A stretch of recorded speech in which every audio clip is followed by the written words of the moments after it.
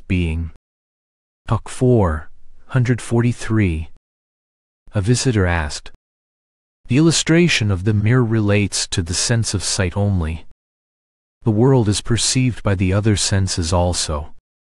Can the unreality be established in relation to the other senses as well? Answer. A figure on the screen in the cinema show appears to watch the whole world. What is the reality behind the subject and the object in the same show? An illusory being watches an illusory world. Disciple, but I am the witness of the show. Answer, certainly you are. You and the world are as real as the cinema figure and the cinema world. Talk 4, 144.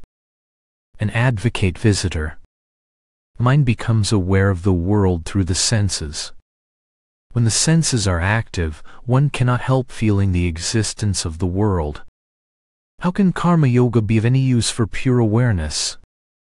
Answer. The world is perceived by the mind through the senses. It is of the mind.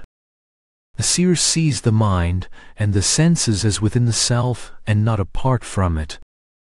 The agent, remaining unaffected by the actions, gets more purified until he realizes the self. 9th January 1938 Talk 4 145 Explaining a stanza in Aksharamanamalai Sri Bhagavan said that Mouna is the highest form of Upadesa. It signifies silence as master, disciple and practizer. Three sannyasins who were visiting Sri Bhagavan began a discussion. Disciple, if one remained quiet how is action to go on? Where is the place for karma yoga? Answer, let us first understand what karma is, whose karma it is and who is the doer. Analyzing them and inquiring into their truth, one is perforce obliged to remain as the self in peace. Nevertheless the actions will go on. Disciple, how will the actions go on if I do not act? Answer, who asks this question? Is it the self or another? Is the self concerned with actions? Disciple, no, not the self. Is another different from the self? Answer, so it is plain that the self is not concerned with actions and the question does not arise. Disciple, I agree. Another asked, What is the state of the realized man? Is he not acting? Answer, the question implies that the realized man is not the questioner. Why should you concern yourself with another? Your duty is to look to yourself and not ask of others. Disciple, the scriptures hold him up as the ideal.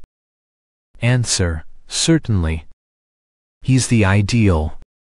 You should realize the self. Even if his state be now described, your understanding of it will be only according to your capacity. You admit that your capacity is limited. The scriptures say that the realized state admits of no limits. So then, the only way to understand his state is to realize the self and experience the state. If the question arises afterwards the answer will be found. Another visitor asked. There is differentiation made between the sentient and the insentient chit and jada in the opening verse of Upadesa Sara. Answer. The Upadesa is from the standpoint of the hearer. There is no truth in the insentient jada. One whole consciousness chit prevails all alone. 24th January 1938 Talk 4 146 Mr. Grant Duff was in the hall. Sri Bhagavan was mentioning some new publications and Maha Yoga among others. He also remarked that Mr. Duff, disciple, having read Sat Darshana Bhashya would be surprised at the different view of Maha Yoga. Both claim to represent Sri Bhagavan's philosophy, but they differ so much that Mahayoga actually condemns the other. Someone cited the curious claim of Sat Darshana Bhashya that individuality is retained even after the loss of ego. Sri Bhagavan remarked, What is to be done? The Upanishads say, Brahmavid Brahmaiva Bhavati nor Brahman becomes Brahman. There are more than one Brahmavid at a time. Are all of them the same? Are they not separate? Though ask some persons. They look to the bodies only. They do not look to the realization. There is no difference in the realization of the Brahmavid. That is the truth. But when the question is raised from the standpoint of the body, the reply is necessarily bound to be, yes. They are different. This is the cause of the confusion. Mr. Duff. The Buddhists deny the world, the Hindu philosophy admits its existence, but says that it is unreal. Am I right? Answer. The difference of view is according to the difference in the angles of vision. Disciple, they say that Sakti creates the world. Is the knowledge of unreality due to the unveiling of Maya? Answer, all admit Sakti's creation. What is the nature of the creatrix? Can only be in conformity with the nature of the creation. Creatrix is of the same nature as her creation. Disciple, are there degrees of illusion? Answer. Illusion is itself illusory. Illusion must be seen by one beyond it. Can such a seer be subject to illusion? Can he then speak of degrees of illusion? There are scenes floating on the screen in a cinema show. Fire appears to burn buildings to ashes. Water seems to wreck vessels but the screen on which the pictures are projected remains unscorched and dry. Why? Because the pictures are unreal and the screen is real. Again reflections pass through a mirror, but the mirror is not in any way affected by the quality or quantity of the reflections on it. Though the world is a phenomenon on the single reality, which is not affected in any manner. Reality is only one, the discussion about illusion is due to the difference in the angle of vision. Change your angle of vision to one of jnana and then find the universe to be only Brahman. Being now in the world, you see the world as such. Get beyond it and this will disappear, the reality alone will shine. Talk 4, 147 Sri Bhagavan said that a Saint Namah Sivaya who was formerly living in Arunachala must have undergone considerable difficulties. Where he has sung a song saying, God proves the devotee by means of severe ordeals. A washerman beats the cloth on a slab, not to tear it, but only to remove the dirt. 25th January 1938 Talk 4 148 literal translation of Namdev's philosophy of the divine name. I. The name permeates densely the sky and the lowest regions and the entire universe. Who can tell to what depths in the nether regions and to what height in the heavens it extends? The ignorant undergo the 84 lakhs of species of births, not knowing the essence of things. Namdev says the name is immortal. Forms are innumerable, but the name is all that. Roman 2. The name itself is form, and form itself is name. There's no distinction between name and form. God became manifest and assumed name and form. Hence the name the Ved, as had established. Beware, there is no mantra beyond the name. Those who say otherwise are ignorant.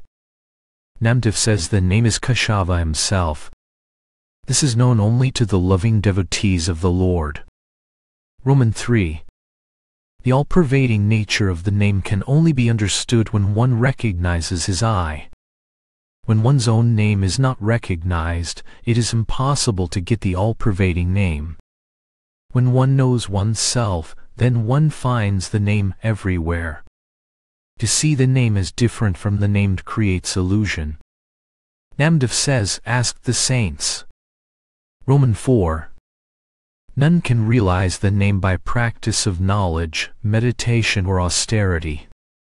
Surrender yourself first at the feet of the Guru and learn to know that I myself is that name. After finding the source of that I, merge your individuality in that oneness, which is self-existent and devoid of all duality. That which pervades beyond Dvaita and Dvaitatita, that name has come into the three worlds. The name is Para Brahman itself, where there is no action arising out of duality. When Sri Bhagavan had read this, a certain musician came into the hall and began to sing Tyagaraja Kirtanas in Telugu. One of them says, Find the source of the sound which is transcendental Muladhara Sabda by diving deep like a pearl diver diving for pearls. Then again, another song was, For man who has controlled his mind, where is the use of tapasya? Give up I am the body idea and realize I am not. Thou art all this song was translated to Mr. Duff who was then in the hall. Mr. Duff. Disciple asked, Is it necessary to control one's breath? What becomes of the man who has not practiced breath control? Answer. Breath control is only an aid for diving deep. One may as well dive down by control of mind. On the mind being controlled, the breath becomes controlled automatically. One need not attempt breath control, mind control is enough. Breath control is recommended for the man who cannot control his mind straight away. Naham, I am not this, corresponds to Rechaka. Koham, who am I search for the I, corresponds to Puraka. Soham, he am I. The self alone, corresponds to Kumbhaka. Though these are the functions of pranayama. Again the three formulae are Na, I am not I. Ha, I am who, I. Ta, I am he, I. Delete the prefixes and hold on to the common factor in all of them. That is Aham I, that is the gist of the whole matter. Later on Sri Bhagavan referred to the songs and said, Tyagaraja says well. The mind should be controlled. The question arises, what is mind? He himself answers in the next couplet, saying that it is the I am the body idea. The next question is how the control is effected. He answers again, saying by complete surrender. Realize that I am not, and that all is He. The song is fine and compact, he also mentions the other method, namely, control of breath. 31st January 1938 Talk 4 149 After Mr. Duff had left, there was some reference to his visit to the ashramam. Sri Bhagavan remarked, some Sakti draws people from all parts of the globe to the center. A devotee aptly said that Sakti is not different from Sri Bhagavan. Sri Bhagavan immediately remarked, What Sakti drew me here originally? The same Sakti draws all others as well. Sri Bhagavan was happily in the mood to relate the following stories. I. There was king with a devoted queen. She was a devotee of Sri Rama and yearned that her husband should similarly be a devotee. One night she found that the king mumbled something in his sleep, he kept her ears close to his lips and heard the word Rama repeated continually as in japa. He was delighted and the next day ordered the minister to hold a feast. The king having partaken of the feast asked his wife for an explanation. He related the whole occurrence and said that the feast was in gratitude to God for the fulfillment of her long-cherished wish. The king was however annoyed that his devotion should have been found out, some say that having thus betrayed God, he considered himself unworthy of God and so committed suicide. It means that one should not openly display one's piety. We may take it that the king told the queen not to make a fuss over his piety, and they then lived happily together. Roman 2 Vandaratapodi Bhaktanhir knew all war. One who delights in the dust of the feet of devotees. A devotee of this name was keeping a plot of land in which he grew tulasi, the sacred basil, made garlands of it, and supplied the same to the god in the temple. He remained a bachelor and was respected for his life and conduct. One day two sisters who lived by prostitution walked near the garden and sat under a tree. One of them said, How disgusting is my life that I soil my body and mind every day. This man's life is most desirable. The other replied, How do you know his mind? Maybe he's not as good as he appears to be. The bodily functions may be forcibly controlled, and the mind may be reveling in riotous thoughts. One cannot control one's vasanas as easily as the physical frame. The former said, the actions are only the indices of the mind. His life shows his mind to be pure. The other said, not necessarily. His mind has not been proved as yet. The first challenged her to prove his mind. He accepted. The second desired to be left alone with only a shred of garment in which to clothe herself. The first sister returned home, leaving the other alone with flimsy clothing. As the latter continued to remain under the tree, she appeared penitent and humble. The saint noticed her and approached her after some time. He asked what had happened to her that she looked so lowly.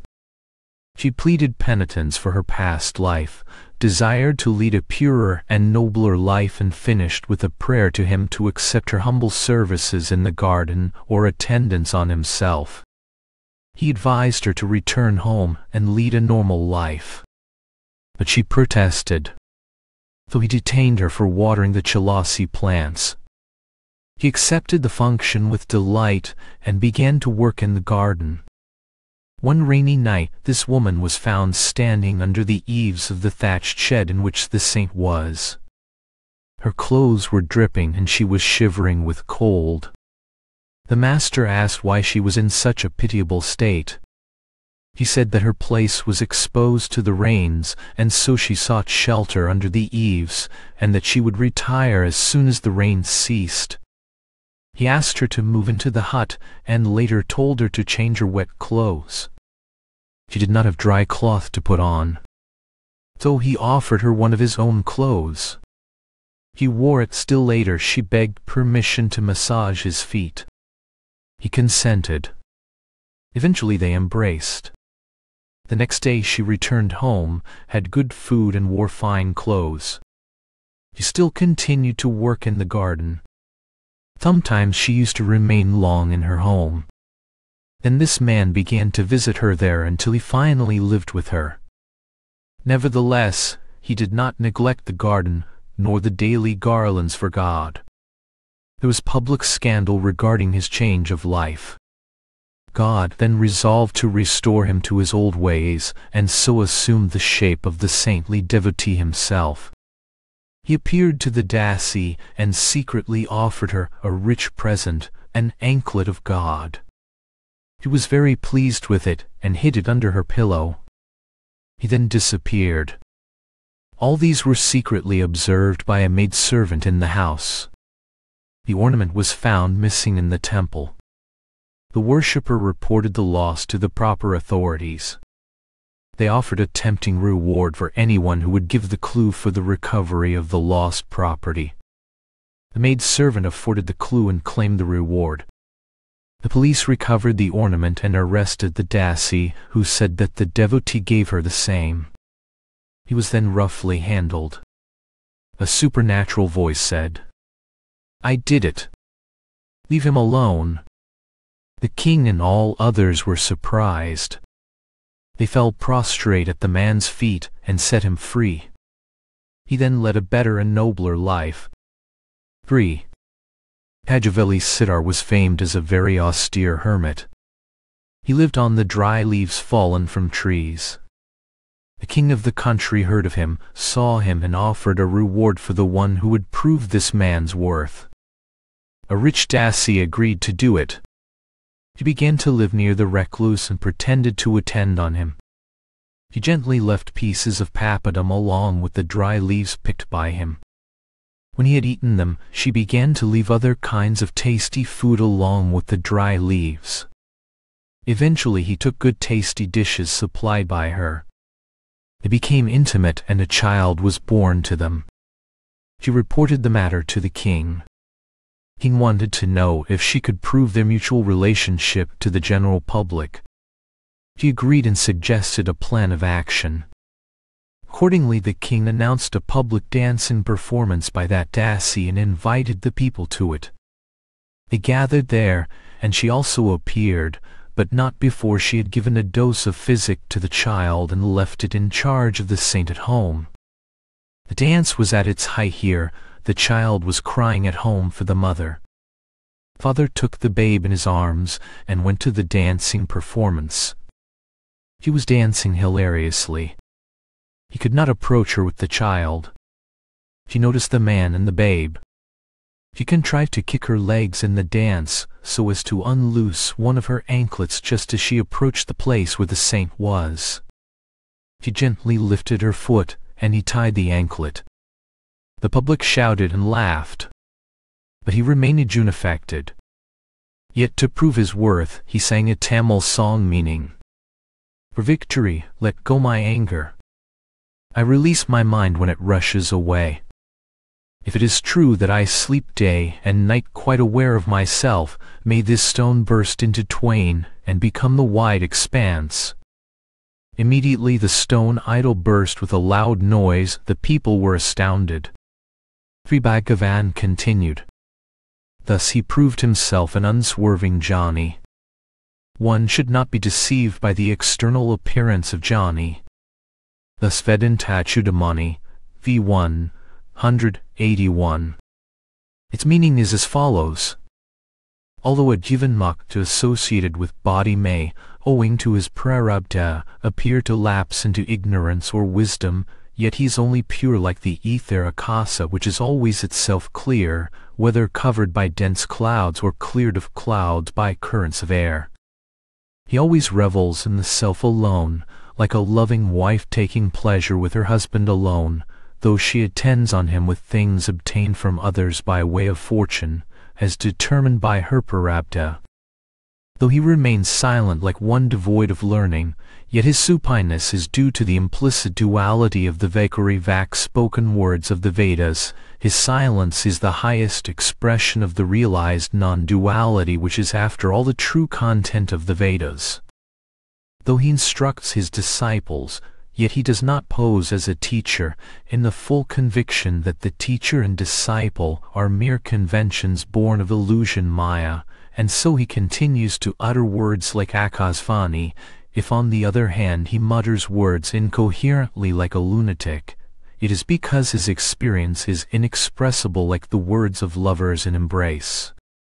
If his words are many and fluent like those of an orator, they represent the recollection of his experience, since he is the unmoving non-dual one without any desire awaiting fulfillment.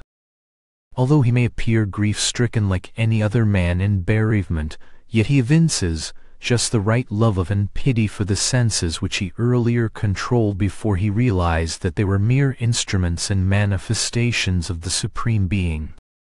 When he seems keenly interested in the wonders of the world, he is only ridiculing the ignorance born of superimposition. If he appears indulging in sexual pleasures, he must be taken to enjoy the ever-inherent bliss of the self, which divided itself into the individual self and the universal self, delights in their reunion to regain its original nature.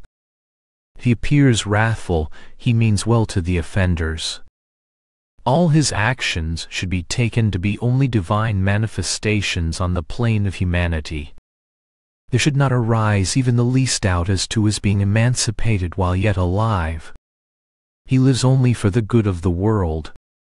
Sri Bhagavan now warned the hearers against the mistake of disparaging a Jnani for his apparent conduct and again cited the story of Parikshit. He was a stillborn child. The ladies cried and appealed to Sri Krishna to save the child. The sages round about wondered how Krishna was going to save the child from the effects of the arrows of Pandavastra of Asvatthama.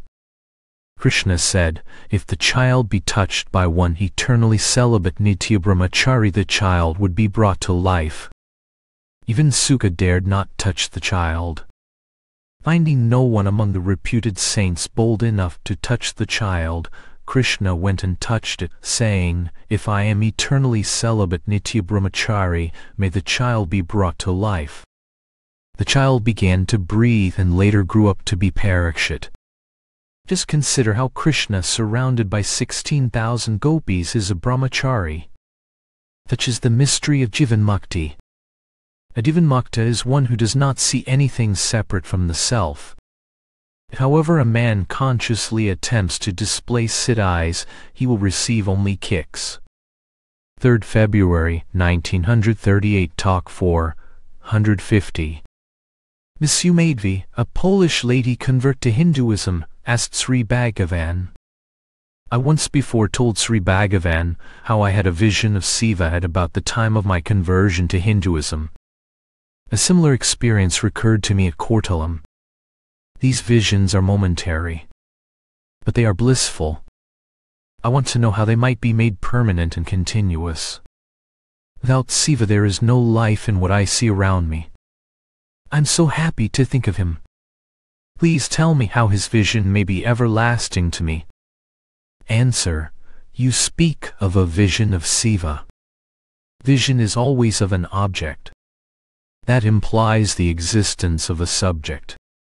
The value of the vision is the same as that of the seer. That is to say, the nature of the vision is on the same plane as that of the seer. Appearance implies disappearance also whatever appears must also disappear. A vision can never be eternal. But Siva is eternal. The pratyaksha vision of Siva to the eye signifies the existence of the eyes to see, the buddhi intellect lying behind the sight, the seer behind the buddhi and the sight, and finally the consciousness underlying the seer. This pratyaksha vision is not as real as one imagines it to be, because it is not intimate and inherent, it is not first-hand. It is the result of several successive phases of consciousness. Of these consciousness alone does not vary. It is eternal. It is Siva. It is the self. The vision implies the seer. The seer cannot deny the existence of the self. There is no moment when the self as consciousness does not exist, nor can the seer remain apart from consciousness. This consciousness is the eternal being and the only being. The seer cannot see himself. Does he deny his existence because he cannot see himself with the eyes as pratyaksha in vision? No. So pratyaksha does not mean seeing but being. To be is to realize, hence I am that I am. I am his seva. Nothing else can be without him. Everything has its being in Siva and because of Siva. Therefore inquire, Who am I? Sink deep within and abide as the Self. That is Siva as being. Do not expect to have visions saw him repeated. What is the difference between the objects you see in Siva? He is both the subject and the object. You cannot be without Seva. Siva is always realized here and now. If you think you have not realized him, it is wrong.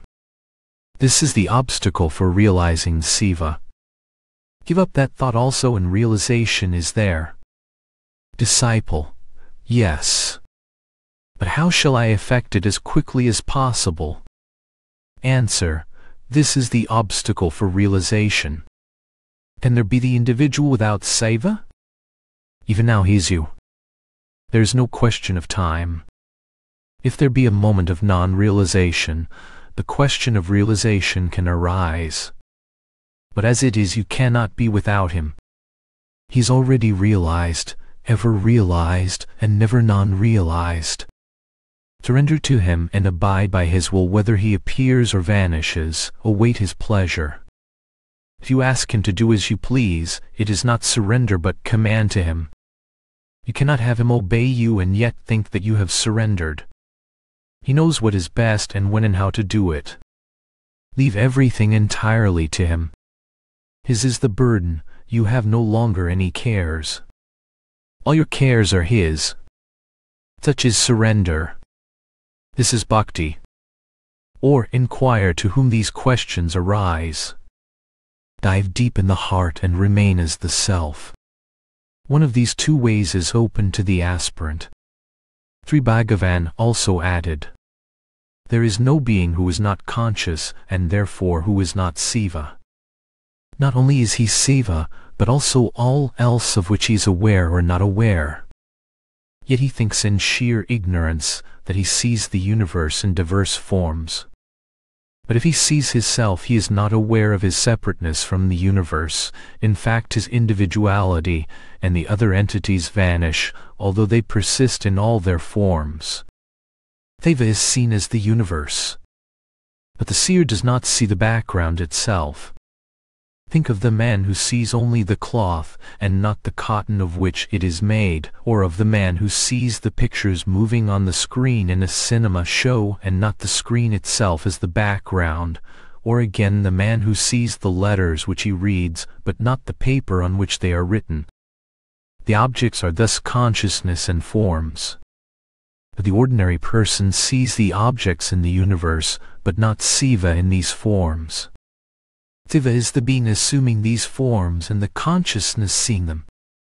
That is to say, Siva is the background underlying both the subject and the object, and again Siva in repose and Siva in action, or Siva and Sakti, or the Lord and the universe. Whatever it is said to be, it is only consciousness whether in repose or in action. Who is there that is not conscious? So who is not realized? How then can questions arise doubting realization or desiring it? I am not pratyaksha to me, I can then say that Siva is not pratyaksha. These questions arise because you have limited the self to the body, only then the ideas of within and without, of the subject and the object arise. The objective visions have no intrinsic value. Even if they are everlasting, they cannot satisfy the person. Uma has Siva always with her, both together form Ardhanariswara. Yet she wanted to know Siva in his true nature. She made tapas. In her dhyana, she saw a bright light. She thought, This cannot be Siva for it is within the compass of my vision. I am greater than this light. Though she resumed her tapas, thoughts disappeared. Stillness prevailed. She then realized that being is Siva in his true nature. Muruganar cited Appar stanza. To remove my darkness and give me light, thy grace must work through me only. Sri Bhagavan mentioned. We do bhajana and the rest. But we have not seen nor heard of those who had seen thee. One cannot see God and yet retain individuality. The seer and the seen unite into one being. There is no cognizer, nor cognition, nor the cognized. All merge into one supreme Siva only. 4th February 1938 Talk 4, 151. Mr. Suryanarayana Sastry, reader in philosophy, Madras University, arrived this night. He had a doubt which he said had been cleared on reading Sarma's commentary on knowledge of self. The doubt was, how can the world be an imagination or a thought? Thought is a function of the mind. The mind is located in the brain. The brain is within the skull of a human being, who is only an infinitesimal part of the universe. How then can the universe be contained in the cells of the brain? Sri Bhagavan answered saying, So long as the mind is considered to be an entity of the kind described, the doubt will persist. But what is mind? Let us consider. The world is seen when the man wakes up from sleep. It comes after the eye thought the head rises up. For the mind has become active. What is the world? It is objects spread out in space. Who comprehends it? The mind. Is not the mind which comprehends space itself space akasa. The space is physical ether bhutakasa. The mind is mental ether manakasa, which is contained in transcendental ether chitakasa. The mind is thus the ether principle akasa tattva. Being the principle of knowledge jnana sattva, it is identified with ether akasa by metaphysics. Considering it to be ether akasa, there will be no difficulty in reconciling the apparent contradiction in the question. Your mind suddha manas is ether akasa. The dynamic and dull rajas and tamas aspects operate as gross objects, etc. Thus the whole universe is only mental. Again, consider a man who dreams. He goes to sleep in a room with doors closed so that nothing can intrude on him while asleep. He closes his eyes when sleeping so that he does not see any object. Yet when he dreams he sees a whole region in which people live and move about with himself among them. Did this panorama get in through the doors? It was simply unfolded to him by his brain. Is it the sleeper's brain or in the brain of the dream individual? It is in the sleeper's brain. How does it hold this vast country in its tiny cells? This must explain the oft-repeated statement that the whole universe is a mere thought or a series of thoughts. A Swami asked, I feel toothache. Is it only a thought? Answer, yes. Disciple, why can I not think that there is no toothache and thus cure myself? Answer, when engrossed in other thoughts one does not feel the toothache. When one sleeps toothache is not felt disciple, but toothache remains all the same. Answer, such is the firm conviction of the reality of the world that it is not easily shaken off. The world does not become, for that reason, any more real than the individual himself. Disciple, now there is the Sino-Japanese war. If it is only in imagination, can or will Sri Bhagavan imagine the contrary and put an end to the war? Answer, the Bhagavan of the questioner is as much a thought as the Sino-Japanese War. Laughter. 7th February 1938 Talk 4, 152. Mr. S., a high officer and his wife, both young, highly cultured and intelligent, are on a visit here. But they fell ill since they arrived here. He desired to know how meditation could become steady. Answer, what is meditation? It consists in expulsion of thoughts. All the present troubles are due to thoughts and are themselves thoughts. Give up thoughts. That is happiness and also meditation. Disciple, how are thoughts given up? Answer, the thoughts are for the thinker. Remain as the self of the thinker, and there is an end of thoughts. Mr. Dihar asks Sri Bhagavan why Brahma, who is perfection, creates and puts us to ordeals for regaining him. Answer, where is the individual who asks this question? He is in the universe and included in the creation. How does he raise the question when he is bound in the creation? He must go beyond it and see if any question arises then. 8th February 1938 Talk 4 153 Three ladies are on a short visit here, Miss Hurst from New Zealand, Miss Craig and Miss Allison from London. One asked, What is the best way to work for world peace? Answer, What is world? What is peace, and who is the worker? The world is not in your sleep and forms a projection of your mind in your jagrat. It is therefore an idea and nothing else. Peace is absence of disturbance. The disturbance is due to the arising of thoughts in the individual, who is only the ego rising up from pure consciousness. To bring about peace means to be free from thoughts, and to abide as pure consciousness. If one remains at peace oneself, there is only peace all about. Disciple, if it is a question of doing something one considers wrong, and hereby saving someone else from a great wrong, should one do it or refrain? Answer, what is right and wrong? There is no standard by which to judge something to be right and another to be wrong. Opinions differ according to the nature of the individual and according to the surroundings. They are again ideas and nothing more. Do not worry about them, but get rid of thoughts. If you always remain in the right, then right will prevail in the world. Disciple, what should one think of when meditating? Answer, what is meditation? It is expulsion of thoughts. You are perturbed by thoughts which rush one after another. Hold on to one thought so that others are expelled. Continuous practice gives the necessary strength of mind to engage in meditation. Meditation differs according to the degree of advancement of the seeker. If one is fit for it one might directly hold the thinker, and the thinker will automatically sink into his source, namely pure consciousness. If one cannot directly hold the thinker one must meditate on God, and in due course the same individual will have become sufficiently pure to hold the thinker and sink into absolute being. One of the ladies was not satisfied with this answer and asked for further elucidation. Sri Bhagavan then pointed out that to see wrong in another is one's own wrong.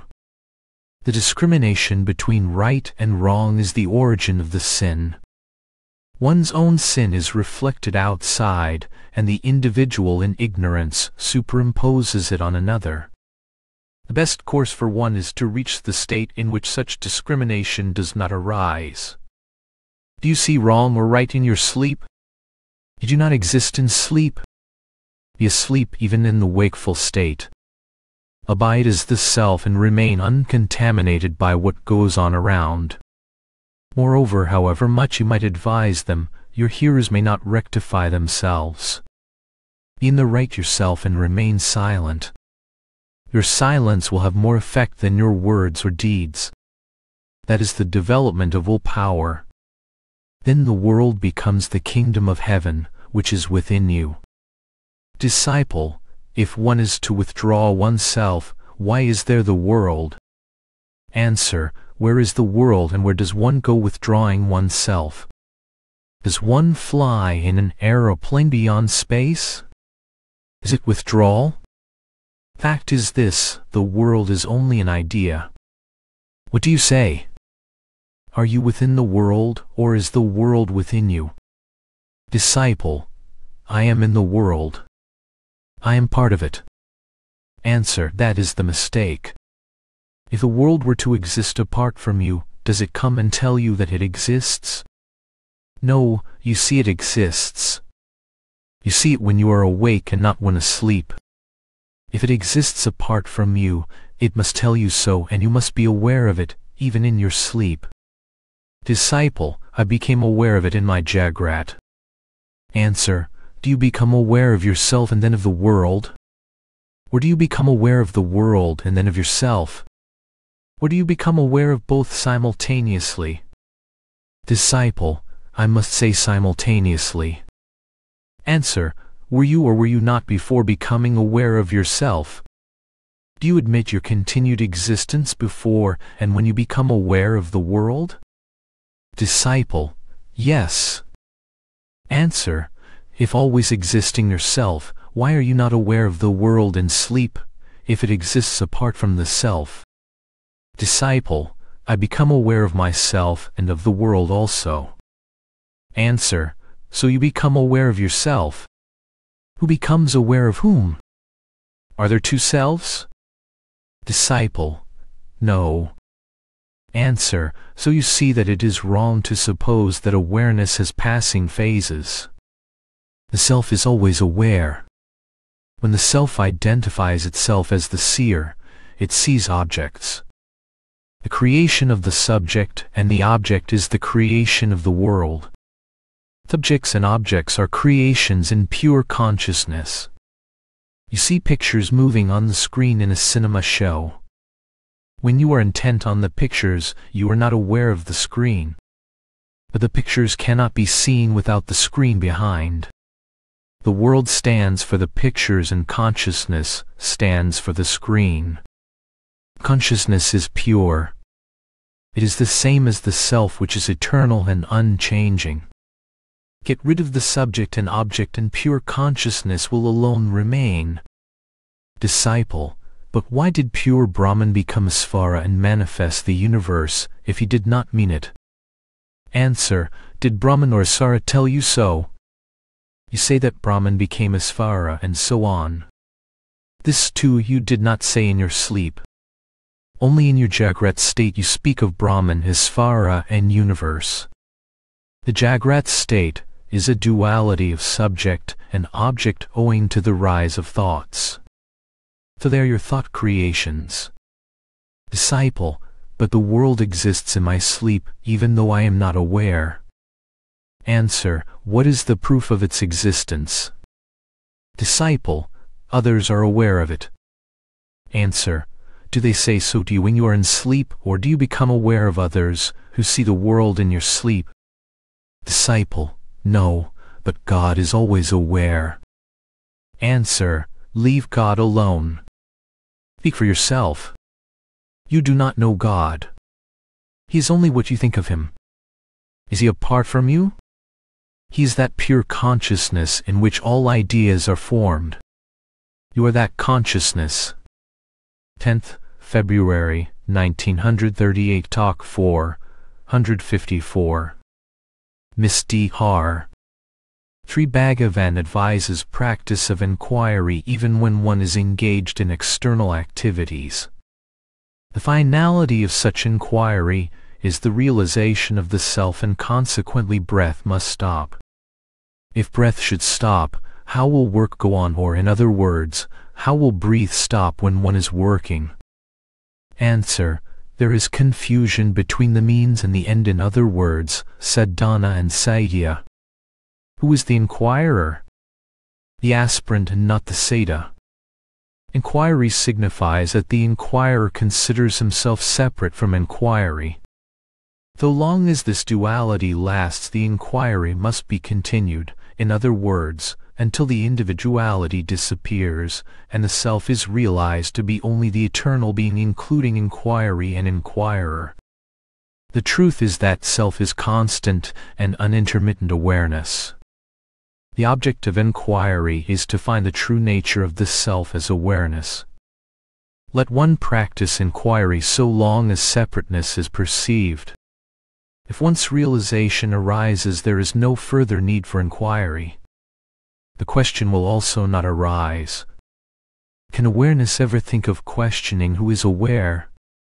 Awareness remains pure and simple.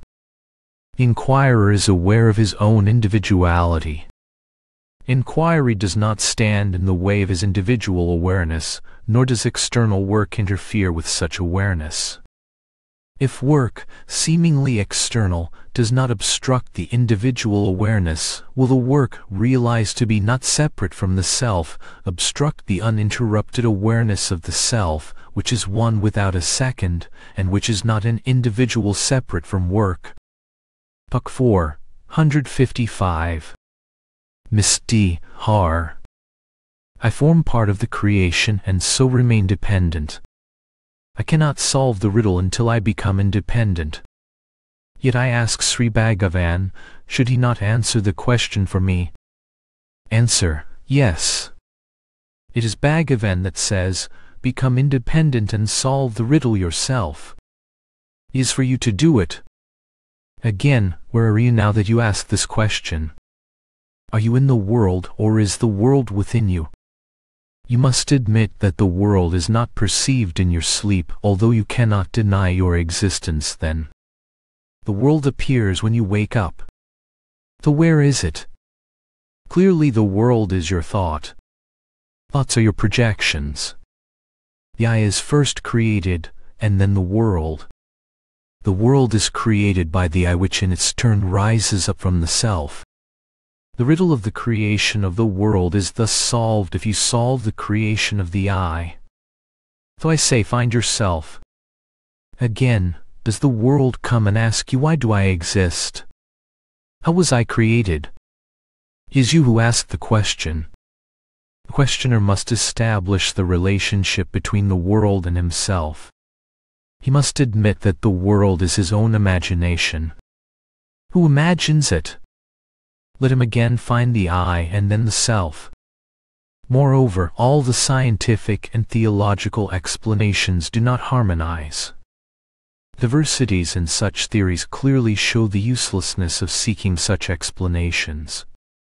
Such explanations are purely mental or intellectual and nothing more. Still, all of them are true according to the standpoint of the individual. There is no creation in the state of realization. When one sees the world, one does not see oneself. When one sees the self, the world is not seen. Those see the self and realize that there has been no creation. The lady being laid up is unable to go to the hall and so feels unhappy that, though near, she cannot go into the hall. This was mentioned to Sri Bhagavan. He said, well, thinking like this keeps her always in the presence. This is better than remaining in the hall and thinking of something else. 11th February, 1938 Talk 4, 156. Contact with saints a danger. Seek the company of saints by all means, but do not remain indefinitely with them. The adage, familiarity breeds contempt, applies even to their case, writes Swami Ramdas in the course of an article in the Vision. Spiritual growth is, no doubt, largely dependent on suitable association. Company of saints is therefore held to be essential for a seeker after truth. But it must not be understood by the company of saints to mean that the seeker should permanently stick onto them. He may for a brief period remain in their contact and, thereby drawing inspiration and guidance, get himself thoroughly awakened to the consciousness of the indwelling reality. It would be well for him to depart from them before the light and inspiration that he has received diminishes or disappears may turn scoffers. There are many cases known to the writer and many others of which he has heard and read, in which such continued dwelling in the company of saints has not only cooled down the ardor and aspiration of the seekers, but also turned them into scoffers and skeptics. The fall of a sadhaka from faith, purity and aspiration does him incalculable harm. A young plant growing beneath the shade of a full-grown giant tree does not develop strength and stature its growth will be dwarfed, shriveled and diseased. Whereas if the same plant were put into the open ground directly exposed to the storms, heat, cold, and other rigors of changing weather, it is bound to grow into a mighty tree drawing sustenance both from above and below. Stifled growth. This analogy of the plant, aptly illustrates the stunted life of a seeker who is attached merely to the outward personality of a saint and spends all his days in close association with him. Here the initiative for a free expression of his unique spiritual possibilities is stifled. He fails to cultivate the fundamental qualities for his advancement, fearlessness, self-dependence and endurance. The one great guide that should control his mind, speech and body should be the Almighty Spirit within him. To surrender to the Spirit and become its very embodiment is his goal. Stand on his own legs, struggle and grow by his own strength and experience, and lastly to hand himself over to God by his own endeavor brings true liberation and peace. From what has been said above, it must not be construed that reflection is cast upon the greatness and efficacy of the company of God-realized souls. Such a contact is the most effective means for a rapid spiritual evolution of the soul. In fact, the grace of saints is an invaluable aid for sadhana, and without it, the condition of the aspirant is like a bird beating in vain its wings against the bars of the cage for freedom. Saints are the saviors and liberators. The Hindu conception of a saint is that he is the very embodiment of God himself. So honor him, derive the rare benefit of his society, serve him with a frank and pure heart, listen intently to his words of advice, and strive to act up to them and achieve the fullest knowledge of the truth you are in quest of. But seek not to remain attached to his person and lose the spiritual gifts you obtain from him, by first contacts. This cutting was read out to Sri Bhagavan. He listened and remained silent. He was requested to say if contact with saints could be a danger. Sri Bhagavan then quoted a Tamil stanza which says that contact with Guru should be kept up till Videha Mukti being disembodied. Again he asked where is the Satpurusha? He's within. Then he quoted another stanza meaning, O Master, who has been within me in all my past incarnations and who manifested as a human being, only to speak the language understood by me and lead me. 12th February, 1938 Talk 4, 157 Miss Rosita Forbes was said to be in India. Sri Bhagavan said, The explorers seek happiness in finding curiosities, discovering new lands and undergoing risks and adventures. They are thrilling. But where is pleasure found? Only within. Pleasure is not to be sought in the external world. 13th February 1938 Talk 4 158 Sri Bhagavan said that non-dual idea is advised, but not Advaita in action. How will one learn Advaita if one does not find a master and receive instructions? Is there not duality then? That is the meaning. 14th February 1938 Talk 4 159 Quoting Alexander Selkirk's soliloquy, Sri Bhagavan said, The happiness of solitude is not found in retreats. It may be at even in busy centers. Happiness is not to be sought in solitude or in busy centers. It is in the self. 17th February, 1938 Talk 4, 160. Observing the moon before the rising sun, Sri Bhagavan remarked, See the moon and also the cloud in the sky. There is no difference in their brilliance. The moon looks only like a speck of cloud. The Jnani's mind is like this moon before sunlight. It is there but not shining of itself. 18th February 1938 Talk 4, 161 As Sri Bhagavan was going through the letters which arrived this day, he read out one of them as follows. Brahmin boy working in a household went to sleep as usual. In his sleep, he cried out. When he woke up, he said that he felt his prana going out of the body through the mouth and nostrils. Though he cried, Soon after he found himself dead, and the soul taken to Vaikuntha where God Vishnu was surrounded by other gods and devotees with prominent Vaishnavite marks on their foreheads. Vishnu said, This man should be brought here at two o'clock tomorrow. Why has he been brought here now? Boy then woke up and related his experience. The next day at two o'clock he passed away. 19th February 1938 Talk 4 162 Miss D. R. had been anxious to ask some questions and get help from Sri Bhagavan. He approached him with great hesitation and gently related her troubles. My attempts at concentration are frustrated by sudden palpitations of the heart and accompanying hard, short and quick breaths. Then my thoughts also rush out and the mind becomes uncontrollable. Under healthy conditions, I am more successful and my breath comes to a standstill with deep concentration. I had long been anxious to get the benefit of Sri Bhagavan's proximity for the successful culmination of my meditation, and so came here after considerable effort. I fell ill here. I could not meditate, and so I felt depressed. I made a determined effort to concentrate my mind even though I was troubled by short and quick breaths. Though partly successful it does not satisfy me. The time for my leaving the place is drawing near.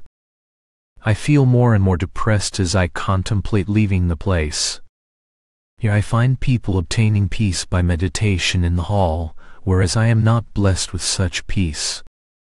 This itself has a depressing effect on me. Answer. This thought I am not able to concentrate is itself an obstacle.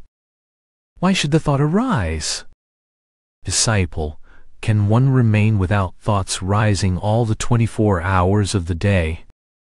Did I remain without meditation? Answer, what is ours again?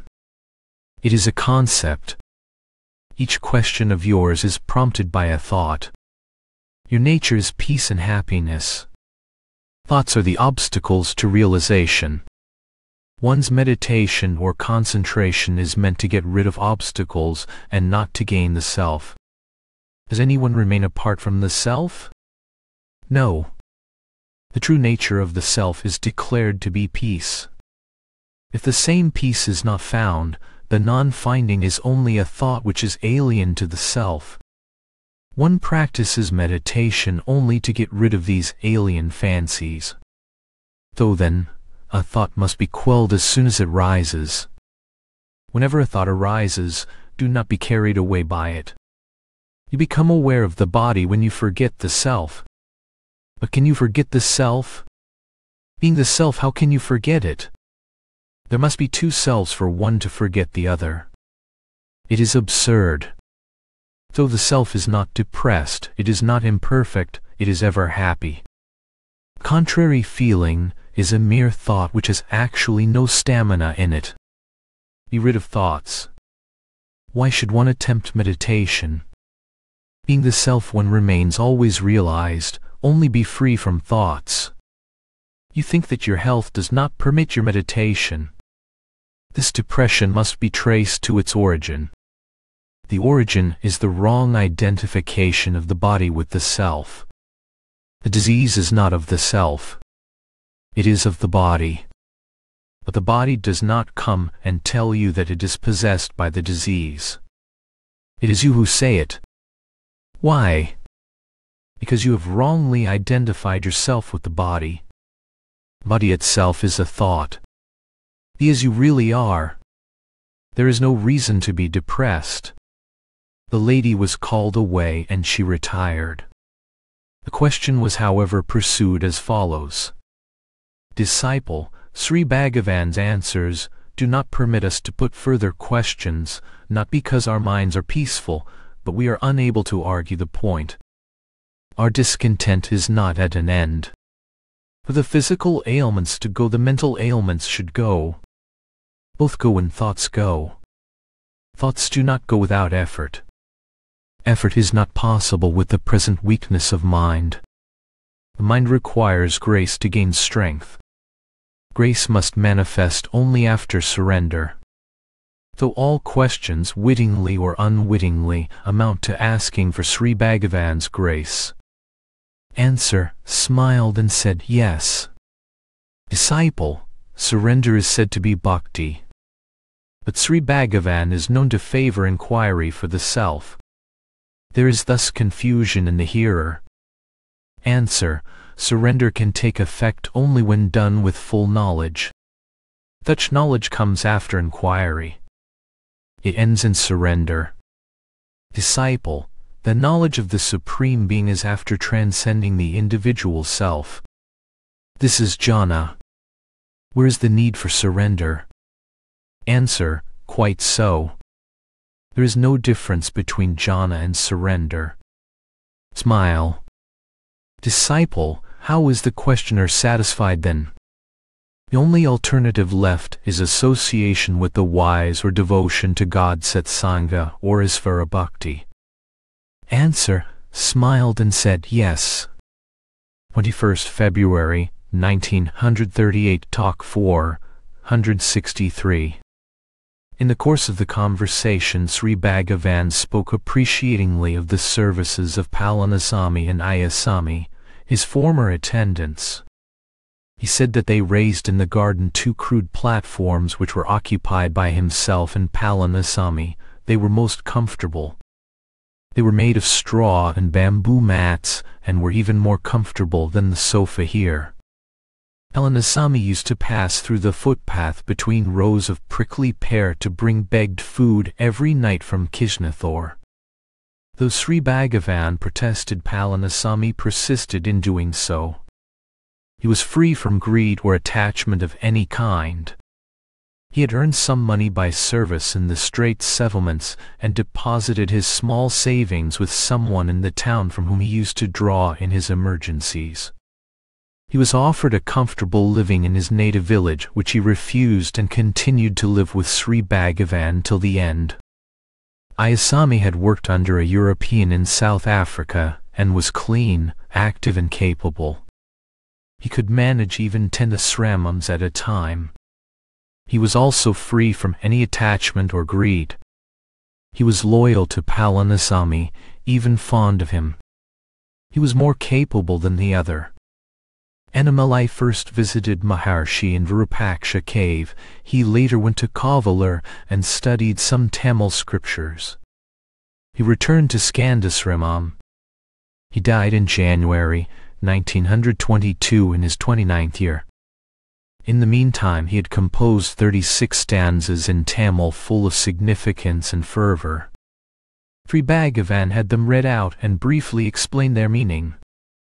5th March 19, 138 Talk 4, 164.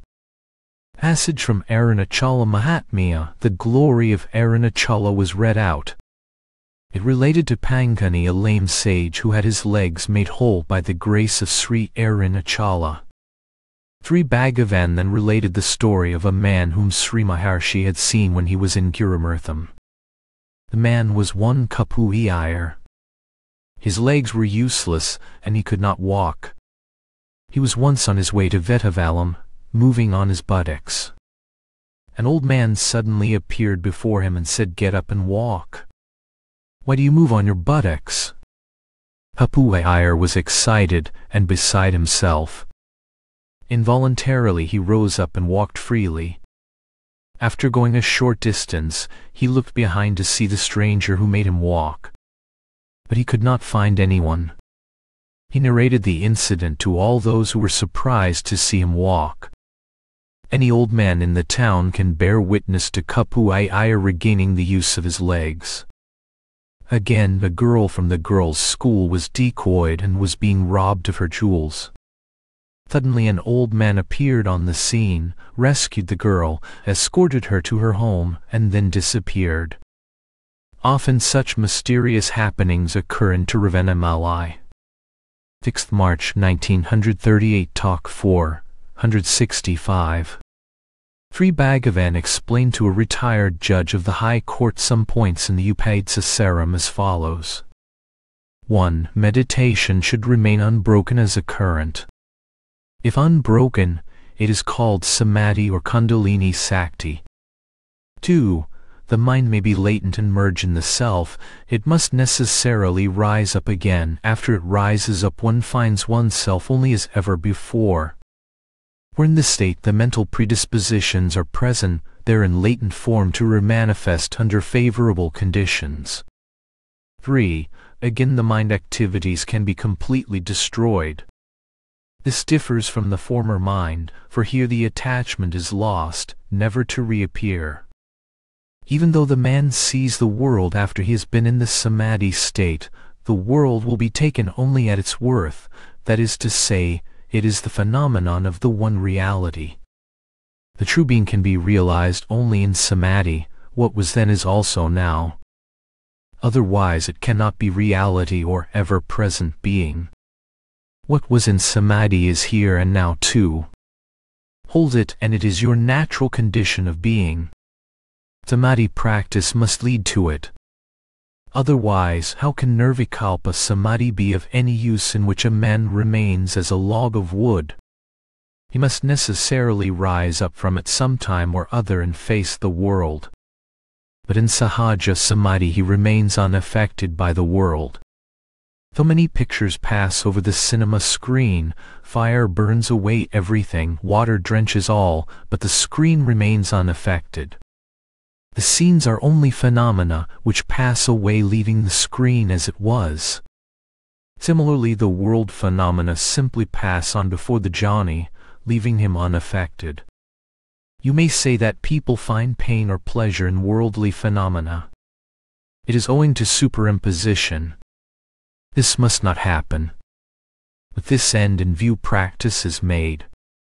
Practice lies in one of the two courses, devotion or knowledge. Even these are not the goals. Samadhi must be gained, it must be continuously practiced until Sahaja Samadhi results. Then there remains nothing more to do. Talk 4, 166. Mr. Vaidyanathan, an employee of the National Bank.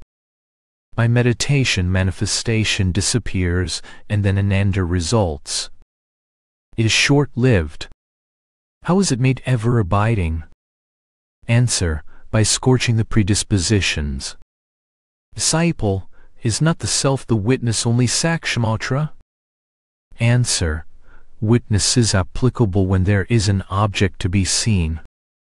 Then, it is duality. The truth lies beyond both.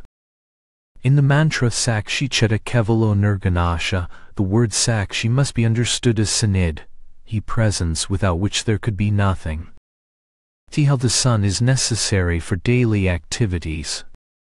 He does not however form part of the world actions, yet they cannot take place without the sun. He is the witness of the activities. Though it is with the self. 7th March, 1938 Talk 4, 167. Yogi Ramaya. All actions take place owing to Sakti. How far does Sakti go? Can she affect anything without one's own effort? Answer The answer to the question depends on what the Purusha is understood to be. Is he the ego or the self? Disciple, Purusha is Svarupa. Answer But he cannot make any prayatna effort. Disciple, Jiva is the one who makes the prayatna. Answer So long as egoity lasts prayatna is necessary. When egoity ceases to be, actions become spontaneous. The ego acts in the presence of the self. He cannot exist without the self. The self makes the universe what it is by his Sakti and yet he does not himself act. Sri Krishna says in the Bhagavad Gita, I am not the doer and yet actions go on. It is clear from the Mahabharata that very wonderful actions were effected by him. Yet he says that he is not the doer. It is like the sun and the world actions. Disciple, he is without abhimana attachment whereas the jiva is with abhimana. Answer, yes. Being attached he acts and also reaps the fruits. If the fruits are according to his desire he is happy, otherwise he is miserable. Happiness and misery are due to his attachment. If actions were to take place without attachment, there would be no expectation of fruit. Disciple, can actions take place spontaneously without individual effort? Should we not cook our food in order to eat it later? Answer, Atman acts through the ego. All actions are due to efforts only. A sleeping child is fed by its mother. The child eats food without being wide awake and then denies having taken food in sleep. However, the mother knows what happened. Similarly, the Jnani acts unawares. Others see him act, but he does not know it himself. Owing to fear of him wind blows, etc. That is the order of things. He ordains everything, and the universe acts accordingly, yet he does not know. Therefore he is called the great doer. Every embodied being ahankari is bound by niyama. Even Brahma cannot transgress it. This devotee later explained the significance of his question. He hears Sri Bhagavan say that the world goes on and the individual needs are met by divine will. But he finds that Sri Bhagavan wakes up the Asramites at about 4 a.m. to cut vegetables for the day's curry. He wanted to have the doubt cleared for his own benefit, and the question was not meant for discussion. 10th March 1938 Talk 4, 168 As Sri Bhagavan was going out, the following Vedic chant was heard from a hut. Entaraditya manasa javalantam, Brahmanavindat. Sri Bhagavan drew our attention to it and remarked, In the Taittiriya Upanishad also he is said to be made of gold, etc. What does it all mean? Although the sun and the other luminaries are said to be self-luminous, yet they do not shine forth of themselves, but they shine by the light of the Supreme Being. So long as they are said to be separate from Brahman their self-luminosity is the luminosity of Brahman. All these mantras mentioning the sun etc. speak only of Brahman. Talk 4, 169 Yogi Ramayar asked. A master is approached by an aspirant for enlightenment. The master says that Brahman has no qualities, nor stain, nor movement, etc. Does he not then speak as an individual? How can the aspirant's ignorance be wiped off unless the master speaks thus? Do the words of the master as an individual amount to truth? Answer, to whom should the master speak? Whom does he instruct? Does he see anyone different from the self? Disciple, but the disciple is asking the master for elucidation. Answer, true, but does the master see him as different? The ignorance of the disciple lies in not knowing that all are self-realized. Can anyone exist apart from the self? The master simply points out that the ignorance lies there and therefore does not stand apart as an individual. What is realization? Is it to see God with four hands bearing conch wheel club etc.? Even if God should appear in that form, how is the disciple's ignorance wiped out? The truth must be eternal realization. Direct perception is ever-present experience. God himself is known as directly perceived. It does not mean that he appears before the devotee as said above. Unless the realization be eternal, it cannot serve any useful purpose. Can the appearance with four hands be eternal realization? It is phenomenal and illusory. There must be a seer. The seer alone is real and eternal. Let God appear as the light of a million suns. Is it pratyaksha? To see it the eyes, the mind, etc., are necessary. It is indirect knowledge, whereas the seer is direct experience. The seer alone is pratyaksha. All other perceptions are only secondary knowledge. Present superimposition of the body as eye is so deep-rooted that the vision before the eyes is considered pratyaksha, but not the seer himself. No one wants realization because there is no one who is not realized. Can anyone say that he is not already realized or that he is apart from the self? No. Evidently all are realized. What makes him unhappy is the desire to exercise extraordinary powers. He knows that he cannot do so. Therefore he wants God to appear before him, confer all his powers on the devotee, and keep himself in the background. In short, God should abdicate his powers in favor of the man. Disciple, it is all right for Mahatmas like Sri Bhagavan to speak out so plainly. Because the truth does not swerve from you, you consider it easy for all others. Nevertheless, the common folk have a real difficulty. Answer, then does anyone say that he is not the self? Disciple, I meant to say that no one else has the courage to put things straight like Maharshi. Answer, where is the courage in saying things as they are? Talk 470. As a European countess was leaving for Europe tonight, she requested him to bless her and her family. Answer, you do not go anywhere away from the presence as you imagine. The presence is everywhere. Body moves from place to place, yet it does not leave the one presence. So no one can be out of sight of the Supreme Presence.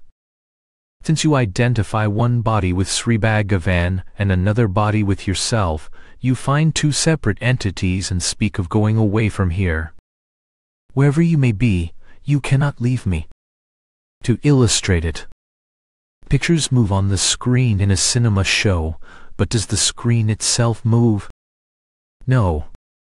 The presence is the screen, you, I, and others are the pictures. The individuals may move but not the self. Talk 4, 171. Disciple, the avatars are said to be more glorious than the self-realized jnanis. Maya does not affect them from birth, divine powers are manifest, new religions are started, and so on. Answer 1. Jani Tivet, Mavami Matam. 2. Sarvam Khalvidam Brahma. How is an avatar different from a jnani, or how can there be an avatar as distinct from the universe? Disciple, the eye chakshu is said to be the repository ayatana of all forms, so the ears srotra is of all sounds, etc. The one Chaitanya operates as all, no miracles are possible without the aid of the senses and indriyas. How can there be miracles at all? They are said to surpass human understanding, so are the creations and dreams. Within is the miracle. The distinction between avataras and jnanis is absurd. Nor of Brahman becomes Brahman only as otherwise contradicted. Answer, quite so. 15th March, 1938 Talk 472 A large group of Punjabis arrived here in a pilgrim special. They came to the Ramanasramam at about 8.45 a.m. and sat quiet for a long time. At about 9.20 one of them said, Your reputation has spread in the Punjab. We have traveled a long distance to have your darshan. Kindly tell us something by way of instruction. There was no oral reply. Sri Bhagavan smiled and gazed on. After some time the visitor asked, Which is the best, the yoga, the bhakti, the jnana path? Still Sri Bhagavan smiled and gazed as before. Sri Bhagavan left the hall for a few minutes. Visitors began to disperse. Still a sprinkling of them continued to sit in the hall. A long-standing disciple told the visitor that Sri Bhagavan had replied to his questions by silence, which was even more eloquent than words. After Sri Bhagavan returned, the visitor began to speak a little. In the course of his speech he asked, Disciple, it is all right for those who believe in God. Others ask, Is there a God? Answer, Are you there? Disciple, Quite so. That is the question.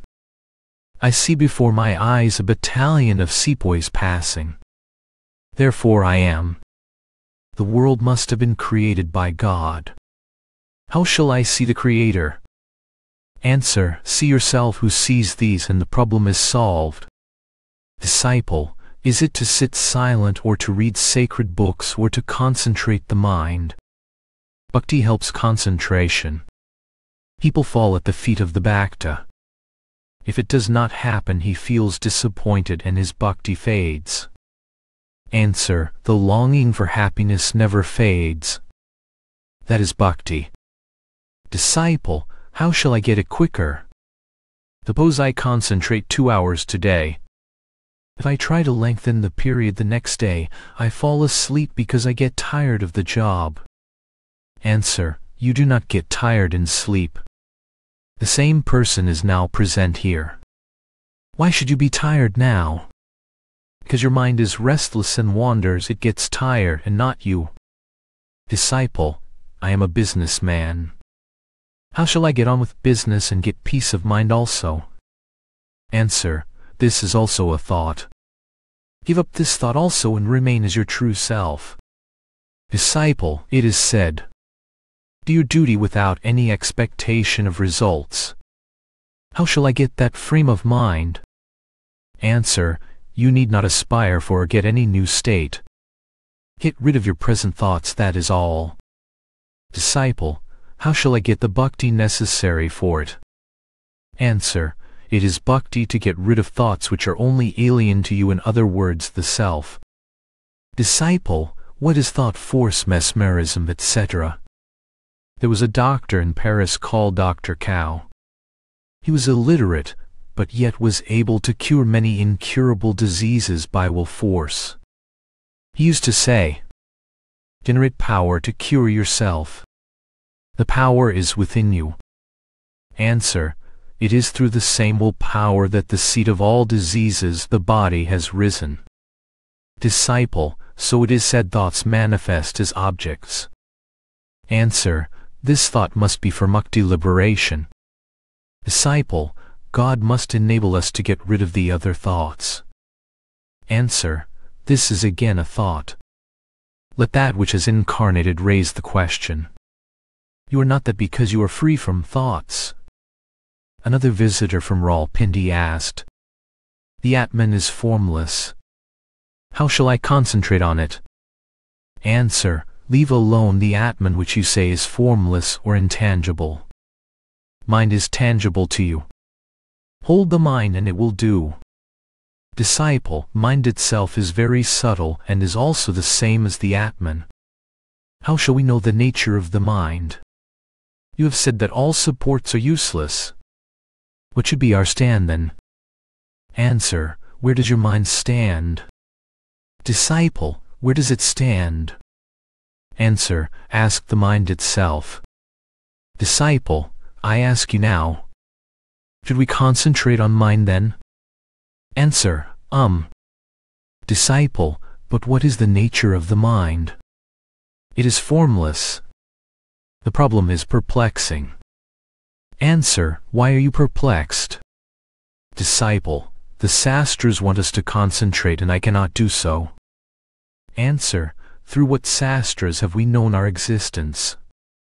Disciple, it is a matter of experience. But I want to concentrate. Answer, be free from thoughts. Do not hold on to anything. They do not hold you. Be yourself. Disciple, I do not yet understand as to where I take my stand and concentrate. Can I meditate on my mind? Answer, whose mind? Disciple, my own mind. Answer, who are you? The question now resolves itself all right. All retired for lunch. Visitor returned at 2 p.m. and pursued the same question. He said, Maharshi advises the seeker to get rid of thoughts. On what should I concentrate the mind after all the thoughts are expelled? I do not see where I stand then and on what I should concentrate. Answer, for whom is the concentration? Disciple, for the mind. Answer, then concentrate the mind. Disciple, on what? Answer, answer the question yourself. What is the mind? Why should you concentrate?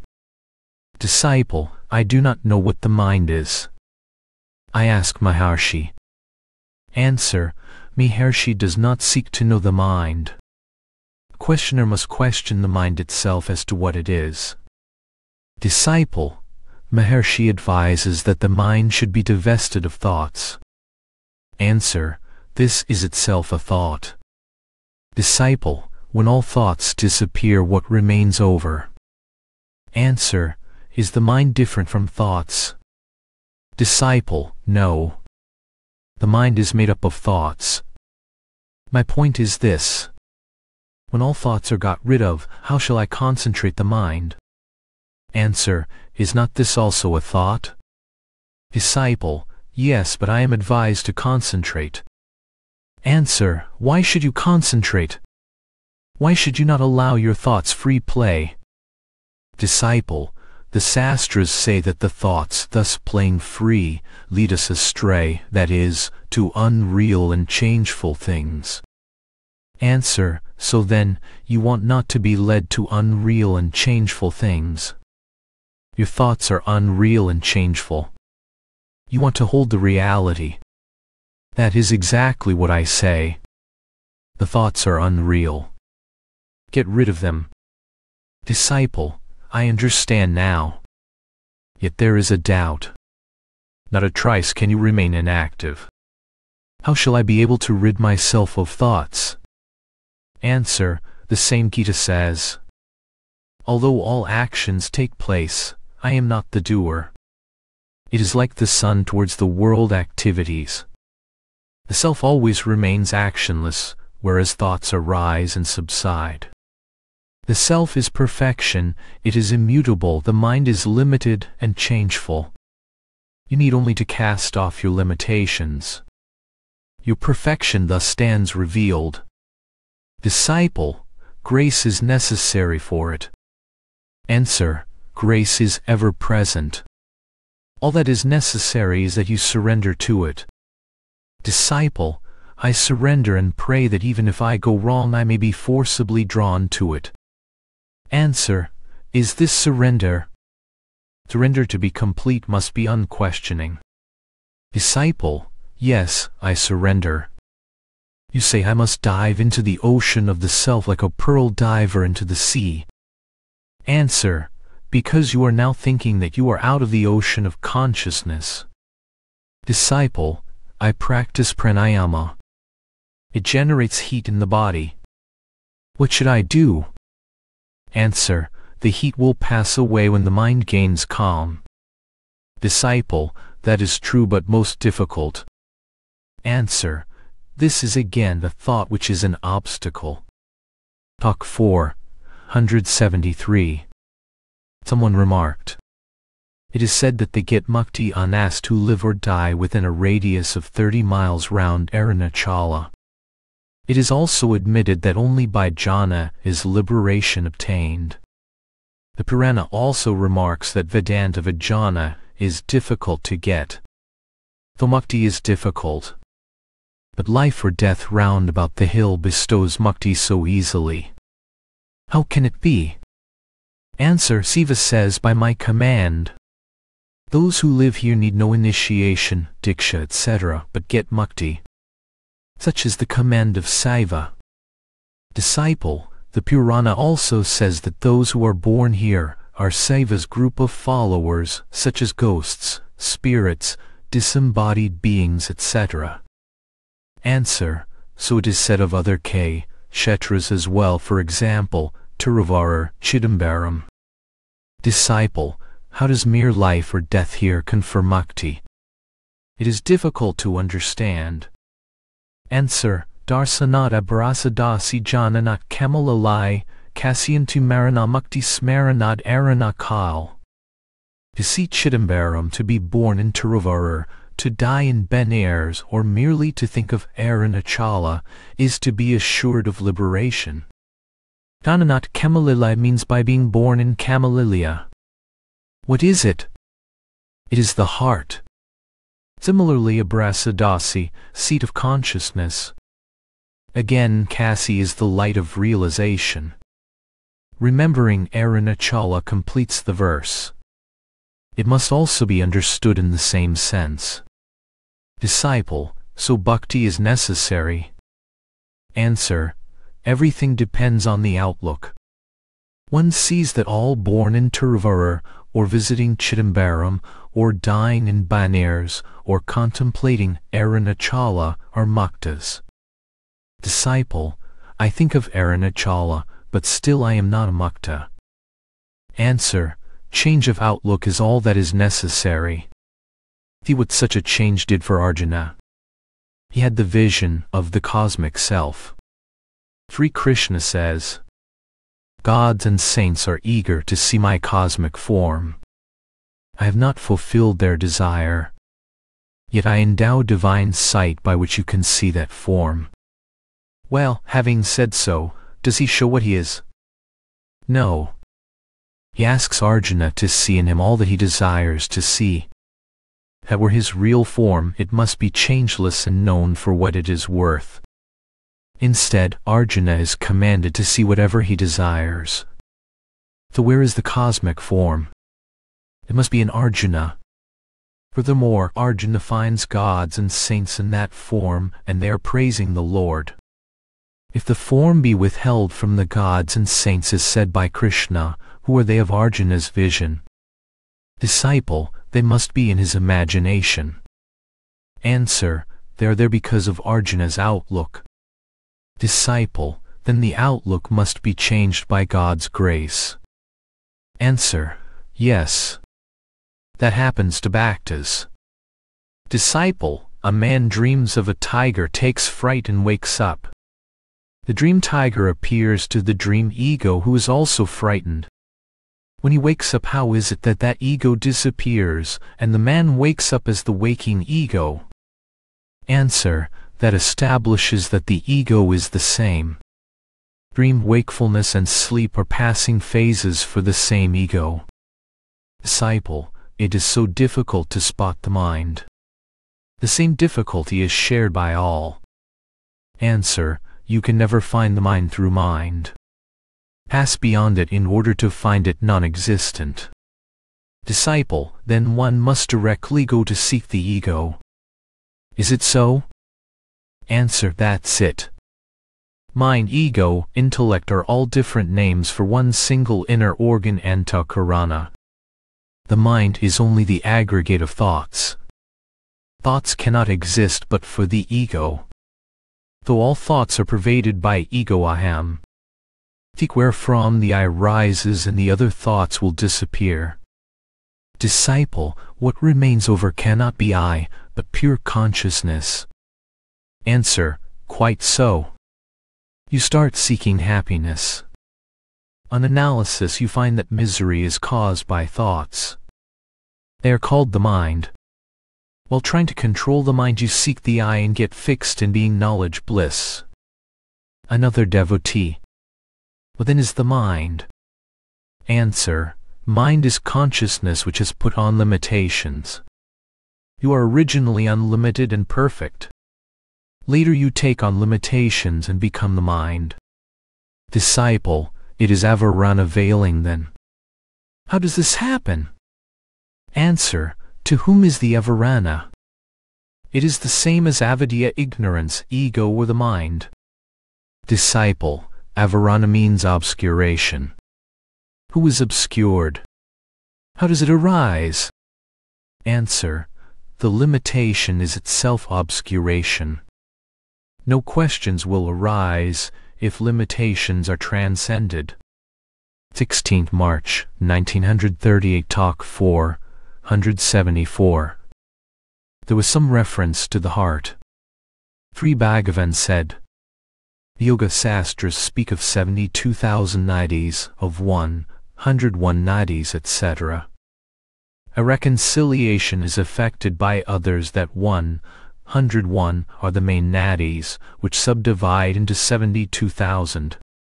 The nadis are supposed by some to spread out from the brain, by others from the heart, and by some others from the coccyx. They speak of a paranadi which is said to rise up from the coccyx through the sushumna to the brain and descends to the heart. Others say that the sushumna ends in para.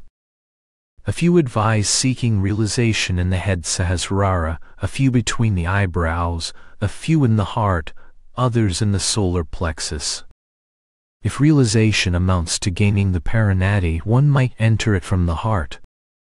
But the yogi is engaged in cleansing the nadis, then kundalini is awakened, which is said to rise up from the coccyx to the head. The yogi is later advised to come down to the heart as the final step. The Vedas say, The heart is like a lotus turned down or a plantain bud. There is a bright spot atom-like, like the end of a grain of paddy. That spot is like a flame, and in its center, transcendental Brahman is seated.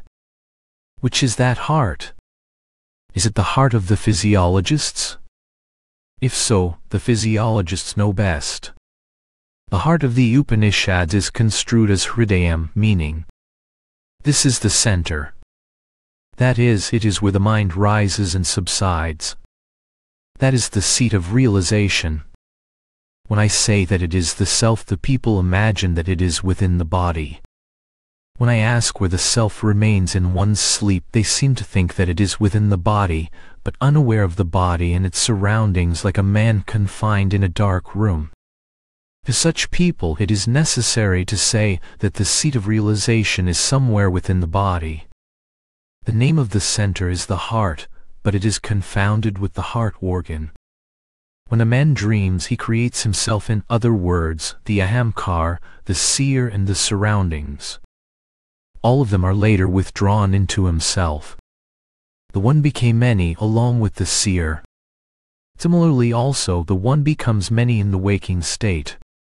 The objective world is really subjective an astronomer discovers a new star at immeasurable distance and announces that its light takes thousands of light years to reach the Earth. Well, where is the star in fact? Is it not in the observer? But people wonder how a huge globe, larger than the sun, at such a distance can be contained in the brain cells of a man. The space, the magnitudes, and the paradox are all in the mind only. How do they exist there? Inasmuch as you become aware of them, you must admit a light which illumines them. These thoughts are absent in sleep but rise up on waking. Though this light is transient, having an origin and an end. The consciousness of I is permanent and continuous. Though this cannot be the aforesaid light. It is different but has no independent existence. Therefore, it must be Abhasa reflected light. The light in the brain is thus reflected knowledge Abhasa Samvit or reflected being Abhasa Sat. The true knowledge Samvit or being Sat is in the center called Heart Hridaya. When one wakes up from sleep, it is reflected in the head, and so the head is no longer lying prone but rises up. From there the consciousness spreads all over the body and so the superimposed I functions as the wakeful entity. The pure light in the brain is Suddha Manas, the pure mind which later becomes contaminated, and is Malina Manas, the one ordinarily found. All these are however contained in the self. Body and its counterparts are in the self. The self is not confined in the body as is commonly supposed. 16th March 1938 Talk 4 175 Sri Maharshi read out a news item from a paper to the following effect. A forest guard armed with a rifle was going in the jungle and noticed two bright spots in a thicket. On closer approach to find out what they were, he was face to face with a huge tiger within a few yards of him. He threw down his gun and assumed a prayerful attitude towards the jungle king. Tiger stood up and slowly moved away without injuring him. 21st March 1938 Talk 4 176 Dr. Stanley Jones, a Christian missionary, visited Maharshi. He writes books and delivers lectures. He has two asramams under his control in North India. He was accompanied by another gentleman and two ladies. He is at present writing a book on the Indian road and wants to meet the spiritually great men in India so that he may collect material for the book. He desired to know how the Indian sages have proceeded and what they have found as their experience in divinity. Though he asked questions. This is only a short sketch of his interview. Disciple, what is your quest? What is the goal? How far have you progressed? Answer, the goal is the same for all. But tell me why you should be in search of a goal. Why are you not content with the present condition? Disciple, is there then no goal? Answer, not so. What makes you seek a goal? Is a counter question to be answered by you. Disciple, I have my own ideas of these subjects. I want to know what Maharshi has to say. Answer, Maharshi has no doubts to be cleared. Disciple, well, I consider the goal to be the realization by the lower mind of the higher mind so that the kingdom of heaven might endure here on earth. The lower mind is incomplete, and it must be made perfect by realization of the higher mind. Answer, so then you admit a lower mind which is incomplete and which seeks realization of the higher so that it may become perfect.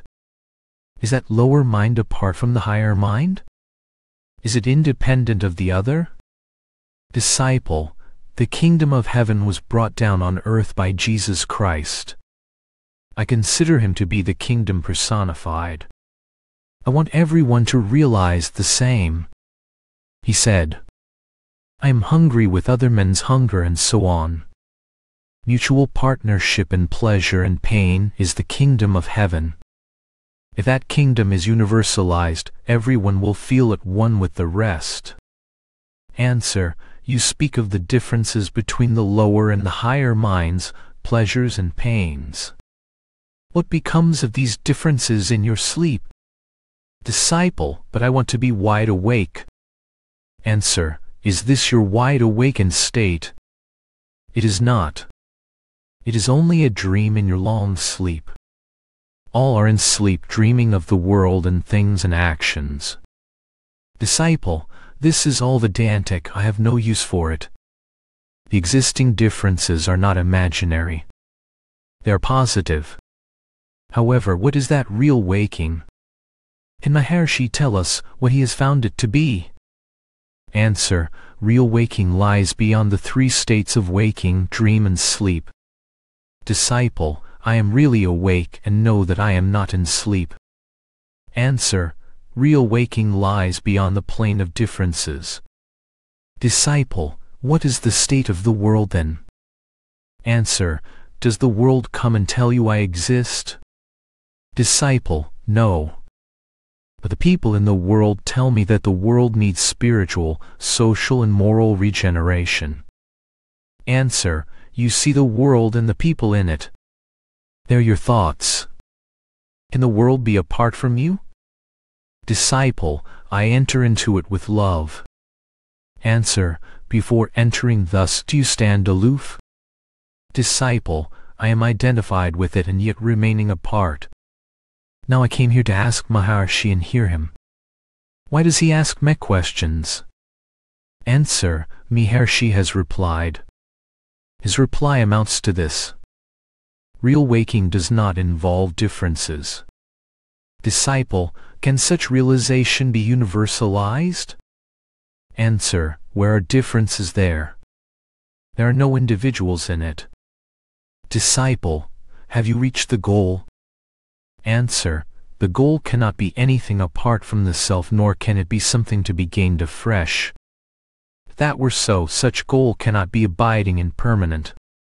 What appears anew will also disappear. Goal must be eternal and within. Find it within yourself. Disciple, I want to know your experience. Answer, Maharshi does not seek enlightenment. The question is of no use to the questioner. Whether I have realized or not, how does it affect the questioner? Disciple, not so. Each one's experience has a human value in it and can be shared by others. Answer. The problem must be solved by the questioner himself. The question is best directed to oneself. Disciple, I know the answer to the question. Answer, let us have it. Disciple, I was shown the kingdom of heaven twenty years ago.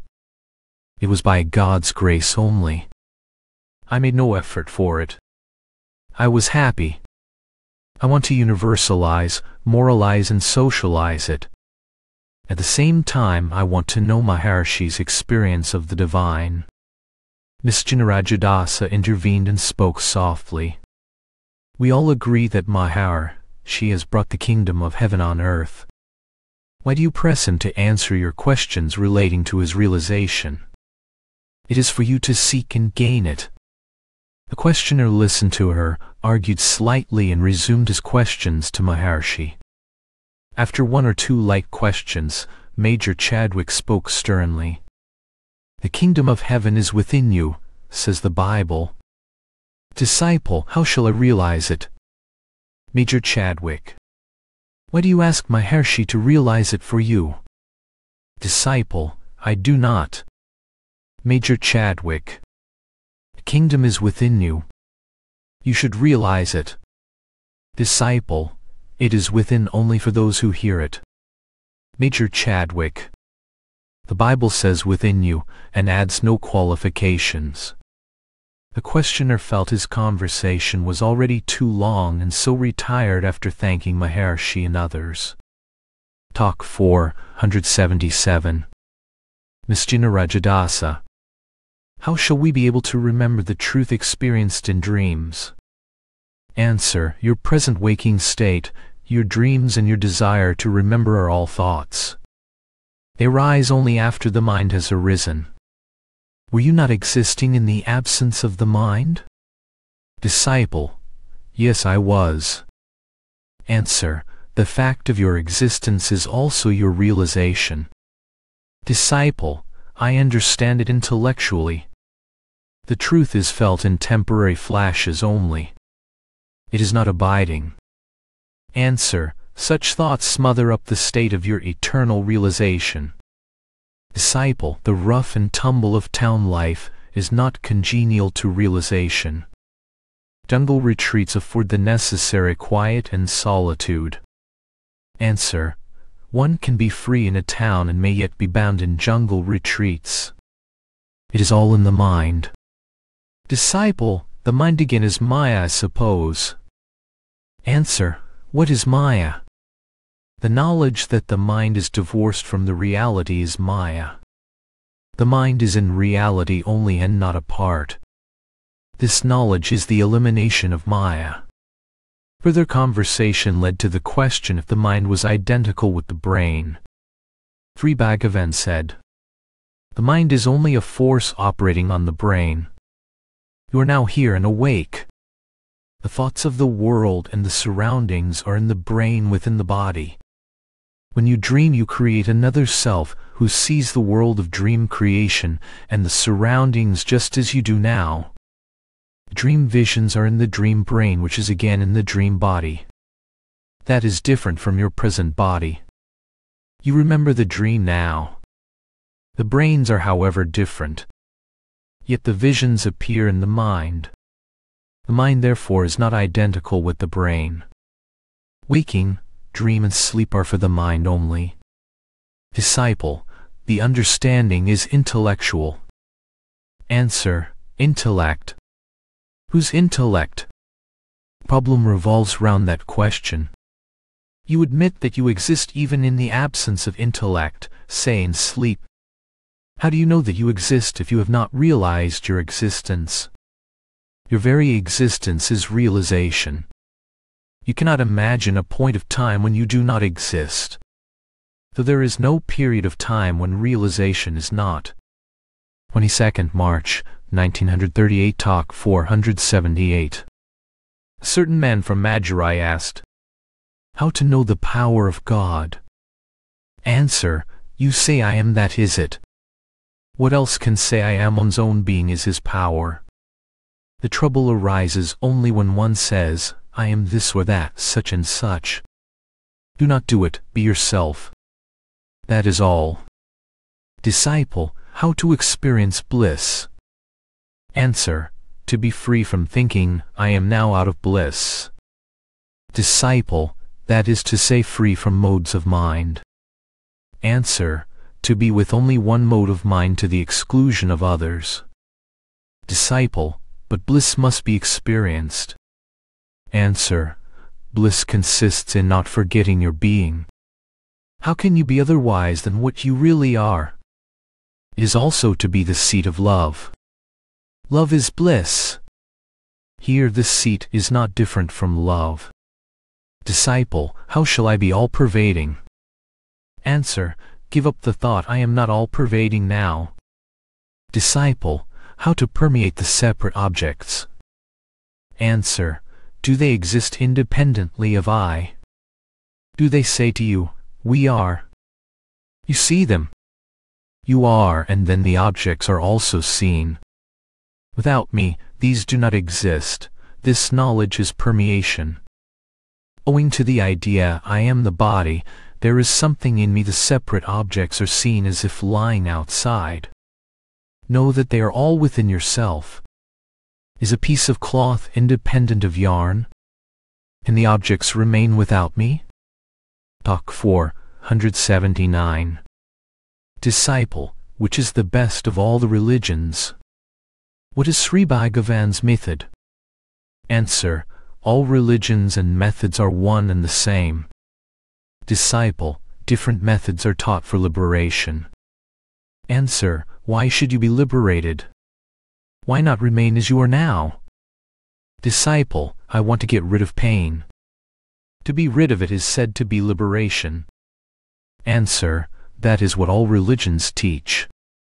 Disciple, but what is the method? Answer, to retrace your way back.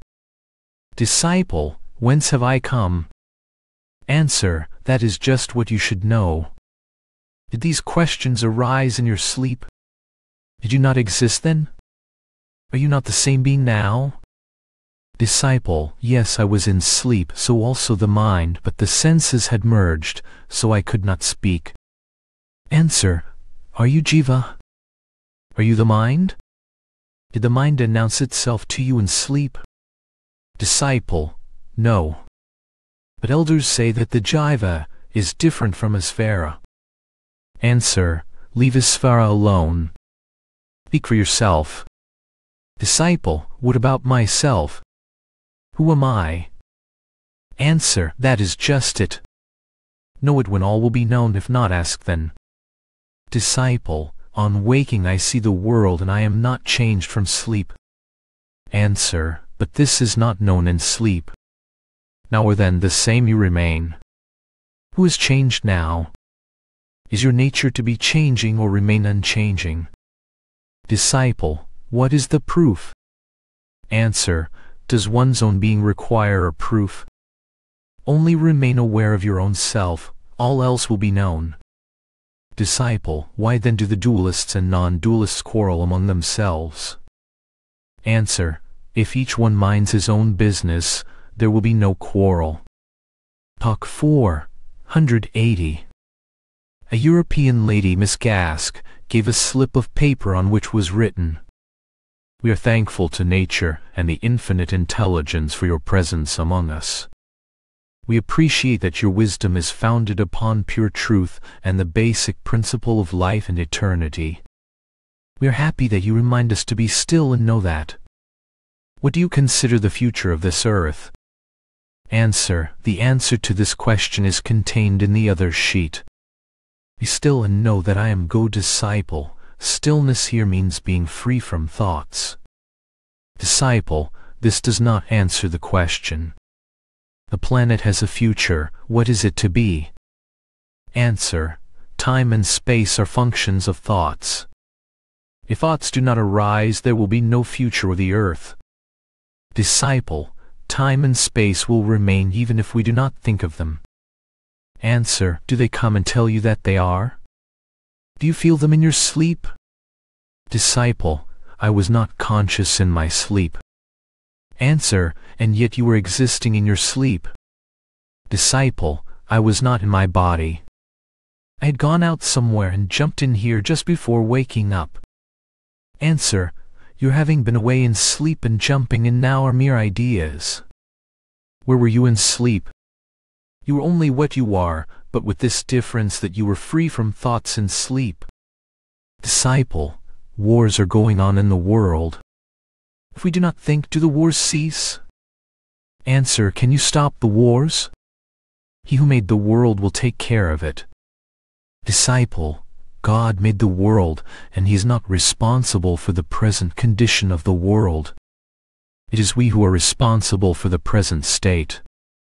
Answer, can you stop the wars or reform the world? Disciple, no. Answer, then why do you worry yourself about what is not possible for you? Take care of yourself, and the world will take care of itself. Disciple, we are pacifists. We want to bring about peace. Answer, peace is always present. Get rid of the disturbances to peace. This peace is the self. Thoughts are the disturbances. When free from them, you are infinite intelligence, in other words, the self. There is perfection and peace. Disciple, the world must have a future. Answer, do you know what it is in the present? The world and altogether are the same now as well as in the future. Disciple, the world was made by the operation of intelligence on ether and atoms. Answer, all of them are reduced to Isvara and Sakti. You are not now apart from them. They and you are one and the same intelligence. After a few minutes one lady asked, Do you ever intend to go to America? Answer, America is just where India is in other words in the plane of thought. Another Spanish lady, they say that there is a shrine in the Himalayas entering which one gets some strange vibrations which heal all diseases. Is it possible? Answer. They speak of some shrine in Nepal and also in other parts of the Himalayas where the people are said to become unconscious on entering them. Talk 4. 181. Muruganar asked what prajna is. Answer. Prajna absolute knowledge is that from which vijnana relative knowledge proceeds. Disciple, in the state of vijnana one becomes aware of the samvit cosmic intelligence. But is that Suddha Samvit aware by itself without the aid of Antahkarana's inner organs? Answer, it is so, even logically. Disciple, becoming aware of Samvit in Jagrat by Vijnana, Prajna is not found self-shining. If so, it must be found in sleep. Answer, the awareness is at present through Antahkaranas. Prajna is always shining even in sleep. If one is continuously aware in Jagrat the awareness will continue in sleep also. Moreover, it is illustrated thus. A king comes into the hall, sits there and then leaves the place. He did not go into the kitchen. Can one in the kitchen for that reason say, the king did not come here? When awareness is found in Jagrat it must also be in sleep. 29th April 1938 Talk 482 Dr. Pande of Indore is on the visit here. He asked leave of Bhagavan to ask questions so that his doubts might be cleared. He wanted to be shown a practical way to realize the self. Answer, a man was blindfolded and left in the woods. He then inquired of the way to Gandhara from each one he met on the way, until he finally reached it though also all the ways lead to self-realization. They are aids to the common goal. Disciple, Dhyana will be easy if there is a pratikam symbol. But the inquiry into the self does not show any pratikam. Answer, you admit the existence of the self. Do you point to the pratikam symbol and say that it is the self? Maybe the body is the self. But consider your deep sleep. You do exist then. What is the pratikam there? For the self can be realized without pratikam. Disciple, quite true. I see the force of the words. But yet are not mantras, etc. helpful? Answer, they are helpful. What is mantra? You are thinking of the simple sounds of the mantra. Repetition of the same excludes all other thoughts single thought of the mantra japa remains. That too drops away giving place to the infinite self, which is the mantra itself. Mantra, dhyana, bhakti etc. are all aids and finally lead to Swarupa, the self, which is they themselves. After a few minutes Maharshi continued. Everyone is the self indeed infinite. Yet each one mistakes the body for the self. To know anything, illumination is necessary. Such illuminating agency can only be in the form of light which is however lighting the physical light and darkness. Though then that other light lies beyond the apparent light and darkness. Is itself neither light nor darkness, but is said to be light because it illumines both. It is also infinite and remains as consciousness. Consciousness is the self of which everyone is aware.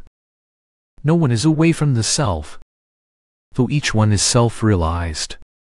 Yet what a mystery that no one knows this fundamental fact and desires to realize the self. This ignorance is due to the mistaking of the body for the self.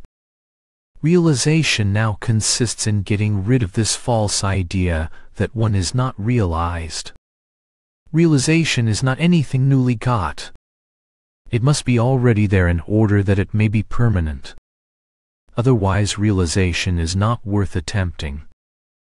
After the false notion I am the body or I have not realized is removed, supreme consciousness or the self alone is left over, which is however called realization in the present state of knowledge.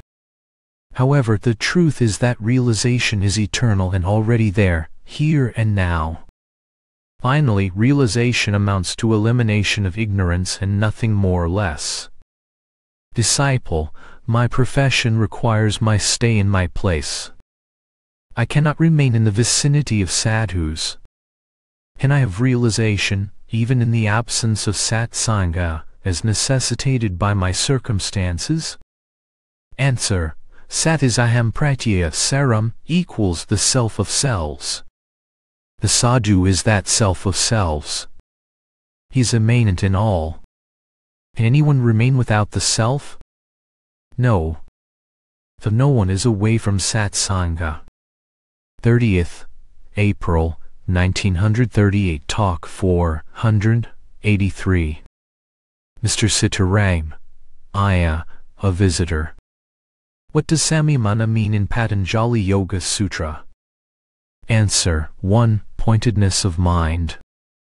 Disciple, by such samyamana in the heart, chitta samvit is said to result. What does it mean? Answer Chitta samvit is atmajnana in other words knowledge of the self. Book 4, 184. Disciple, I think that celibacy and initiation are prerequisites even for a householder in order that he may succeed in self-investigation. Am I right? Or can a householder observe celibacy and seek initiation from a master on occasions only? Answer, first ascertain who the wife and the husband are. Then these questions will not arise. Disciple, engaged in other pursuits, can the mental activities be checked and the query, Who am I pursued? Are they not contrary to each other? Answer, these questions arise only in the absence of strength of mind. As the mental activities diminish its strength increases. Disciple, does the karma theory mean that the world is the result of action and reaction? If so, action and reaction of what? Answer, until realization there will be karma in other words action and reaction after realization there will be no karma no world. Talk 4, 185 Disciple, while engaged in Atmavichara the investigation of the self I fall asleep. What is the remedy for it? Answer, do Namasankirtana sing the name of God. Disciple, it is ruled out in sleep. Answer, True. The practice should be continued while awake. Directly you wake up from sleep, you must resume it. The sleeper does not care for Atmavichara, though he need not practice anything. The waking self desires it, and so he must do it. In the course of conversation Sri Bhagavan continued. The mind is something mysterious. It consists of sattva, rajas and tamas. The latter two give rise to vikshepa. In the sattva aspect, it remains pure and uncontaminated. For there are no thoughts there and it is identical with the self. The mind is like akasa ether. Just as there are the objects in the akasa, so there are thoughts in the mind. The akasa is the counterpart of the mind and objects are of thought. One cannot hope to measure the universe and study the phenomena. It is impossible. The objects are mental creations. To measure them is similar to trying to stamp with one's foot on the head of the shadow cast by oneself. The farther one moves the farther the shadow does also. The one cannot plant one's foot on the head of the shadow. Here Sri Bhagavan related several incidents connected with shadows including the pranks of monkeys and a mirror. A child sees his own shadow and tries to hold the head of the shadow. As he bends and puts out his arm the head moves further. The child struggles more and more. The mother, seeing the struggle, pities the young one. Though she takes hold of the young hand and keeps it on his own head and tells the child to observe the head of the shadow caught in the hand. Similarly with the ignorant practiser to study the universe. The universe is only an object created by the mind and has its being in the mind. It cannot be measured as an exterior entity. One must reach the self in order to reach the universe. Again people often ask how the mind is controlled. I say to them, show me the mind, and then you will know what to do. The fact is that the mind is only a bundle of thoughts. How can you extinguish it by the thought of doing so or by a desire? Your thoughts and desires are part and parcel of the mind. Mind is simply fattened by new thoughts rising up. Therefore it is foolish to attempt to kill the mind by means of the mind. The only way of doing it is to find its source and hold on to it. Mind will then fade away of its own accord. Yoga teaches Chittavritti Nirodha control of the activities of the mind. But I say Atmavichara self-investigation. This is the practical way. Chittavritti Nirodha is brought about in sleep, swoon, or by starvation.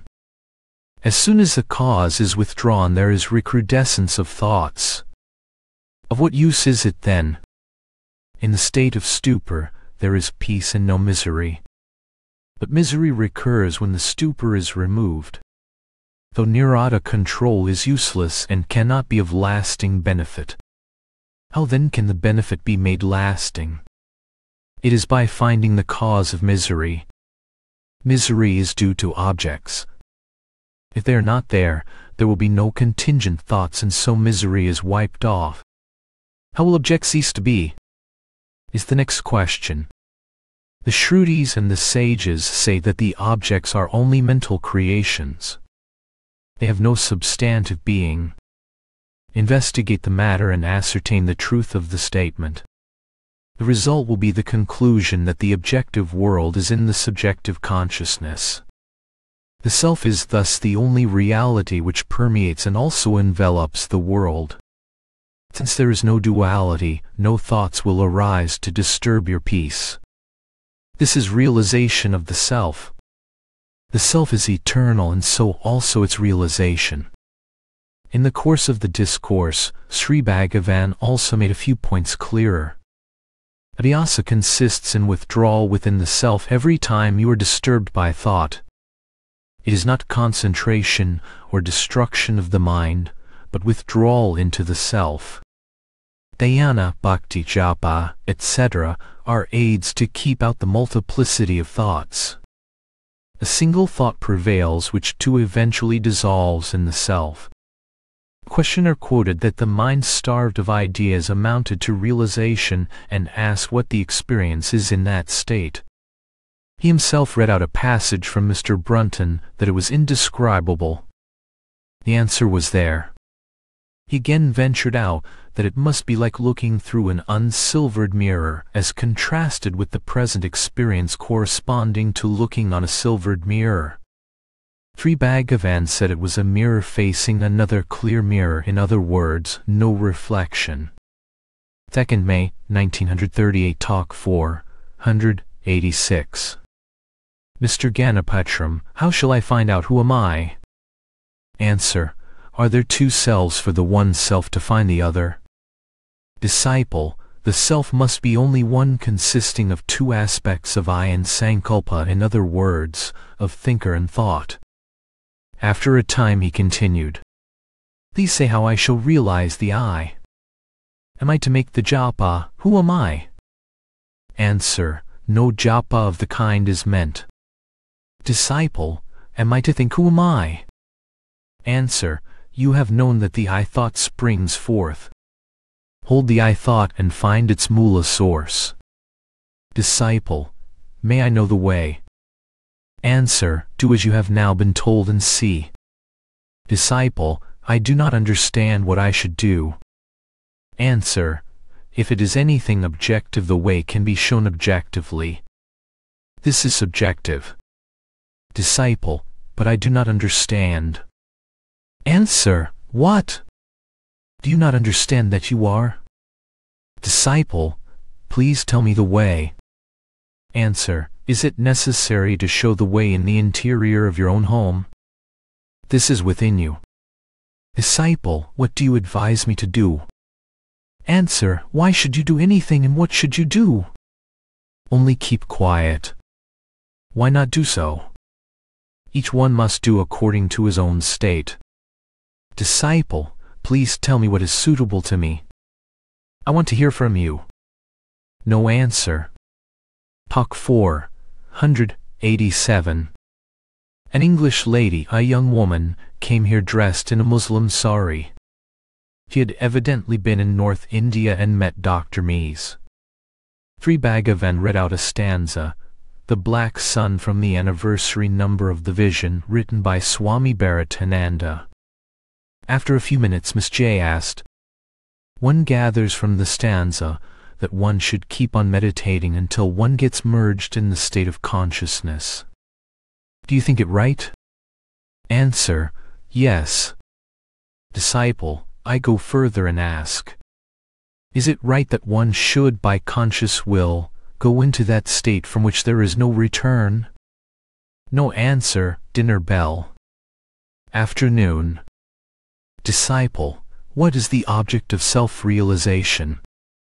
Answer, self-realization is the final goal and it is the end in itself.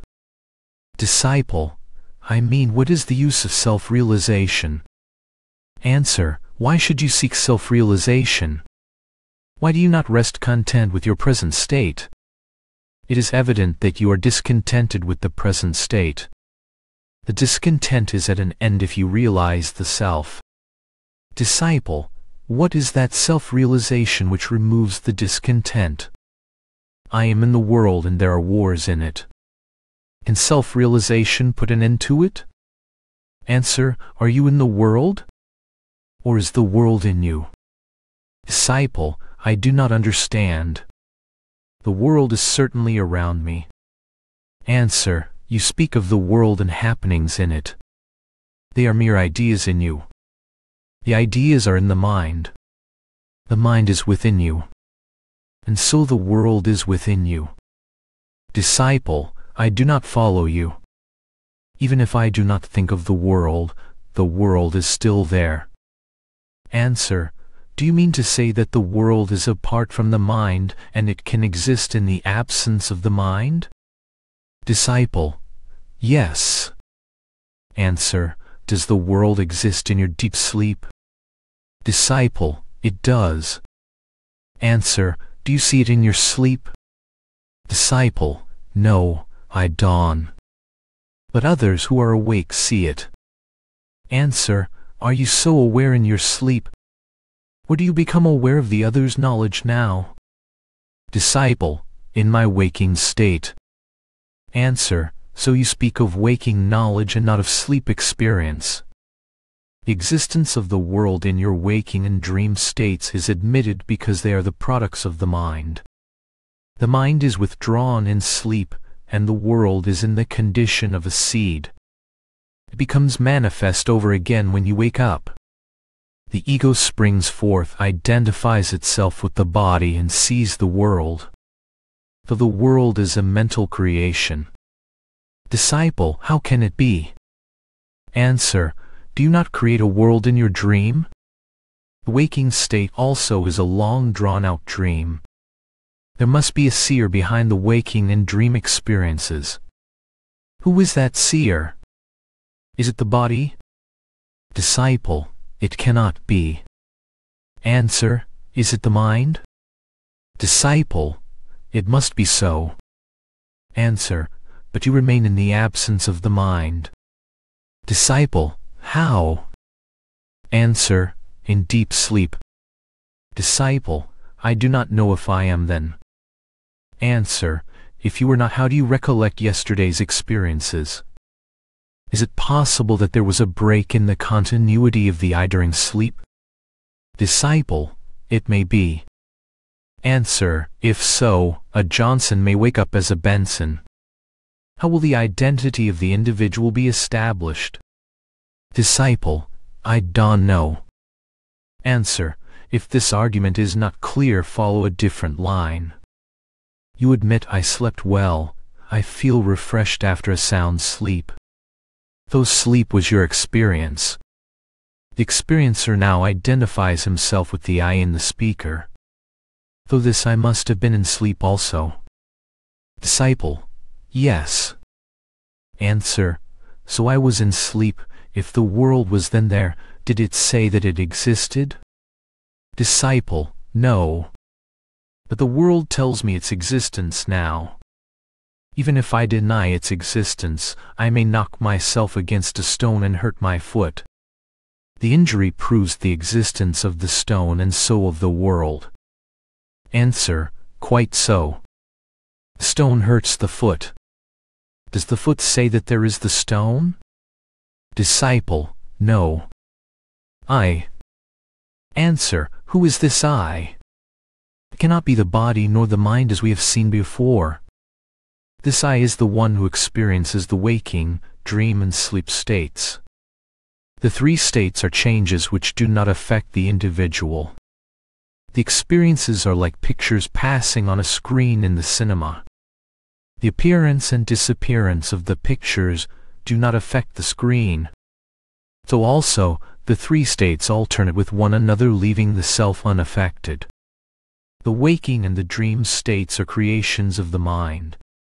So the self covers all. To know that the self remains happy in its perfection is self-realization. Use lies in the realization of perfection and thus of happiness. Disciple, can it be complete happiness to remain self-realized if one does not contribute to the happiness of the world? How can one be so happy when there is a war in Spain, a war in China? Is it not selfishness to remain self-realized without helping the world? Answer, the self was pointed out to you to cover the universe and also transcend it. The world cannot remain apart from the self. If the realization of such self be called selfishness, that selfishness must cover the world also. It is nothing contemptible. Disciple, does not the realized man continue to live just like a non-realized being? Answer, yes, with this difference that the realized being does not see the world as being apart from the self, he possesses true knowledge and the internal happiness of being perfect, whereas the other person sees the world apart, feels imperfection and is miserable. Otherwise their physical actions are similar. Disciple, the realized being also knows that there are wars being waged in the world, just like the other man. Answer, yes. Disciple, how then can he be happy? Answer, is the cinema screen affected by a scene of fire burning or sea rising? so it is with the self. The idea that I am the body or the mind is so deep that one cannot get over it even if convinced otherwise. One experiences a dream and knows it to be unreal on waking. Waking experience is unreal in other states. Though each state contradicts the others. They are therefore mere changes taking place in the seer, or phenomena appearing in the self, which is unbroken and remains unaffected by them. Just as the waking, dream, and sleep states are phenomena, so also birth, growth, and death are phenomena in the self, which continues to be unbroken and unaffected. Birth and death are only ideas. They pertain to the body or the mind. The self exists before the birth of this body and will remain after the death of this body though it is with this series of bodies taken up in succession. The self is immortal. Phenomena are changeful and appear mortal. Fear of death is of the body. It is not true of the self. Such fear is due to ignorance. Realization means true knowledge of the perfection and immortality of the self.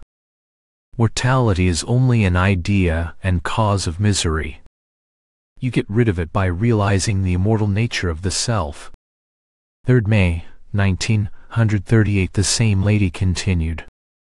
If the world is only a dream, how should it be harmonized with the eternal reality?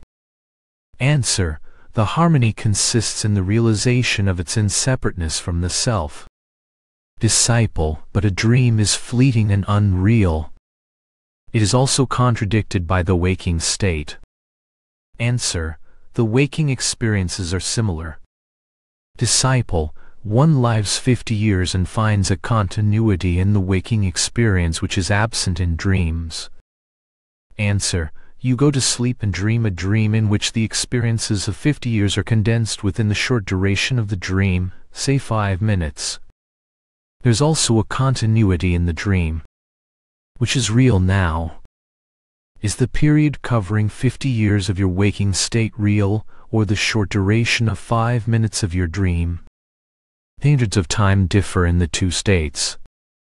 That is all. There is no other difference between the experiences.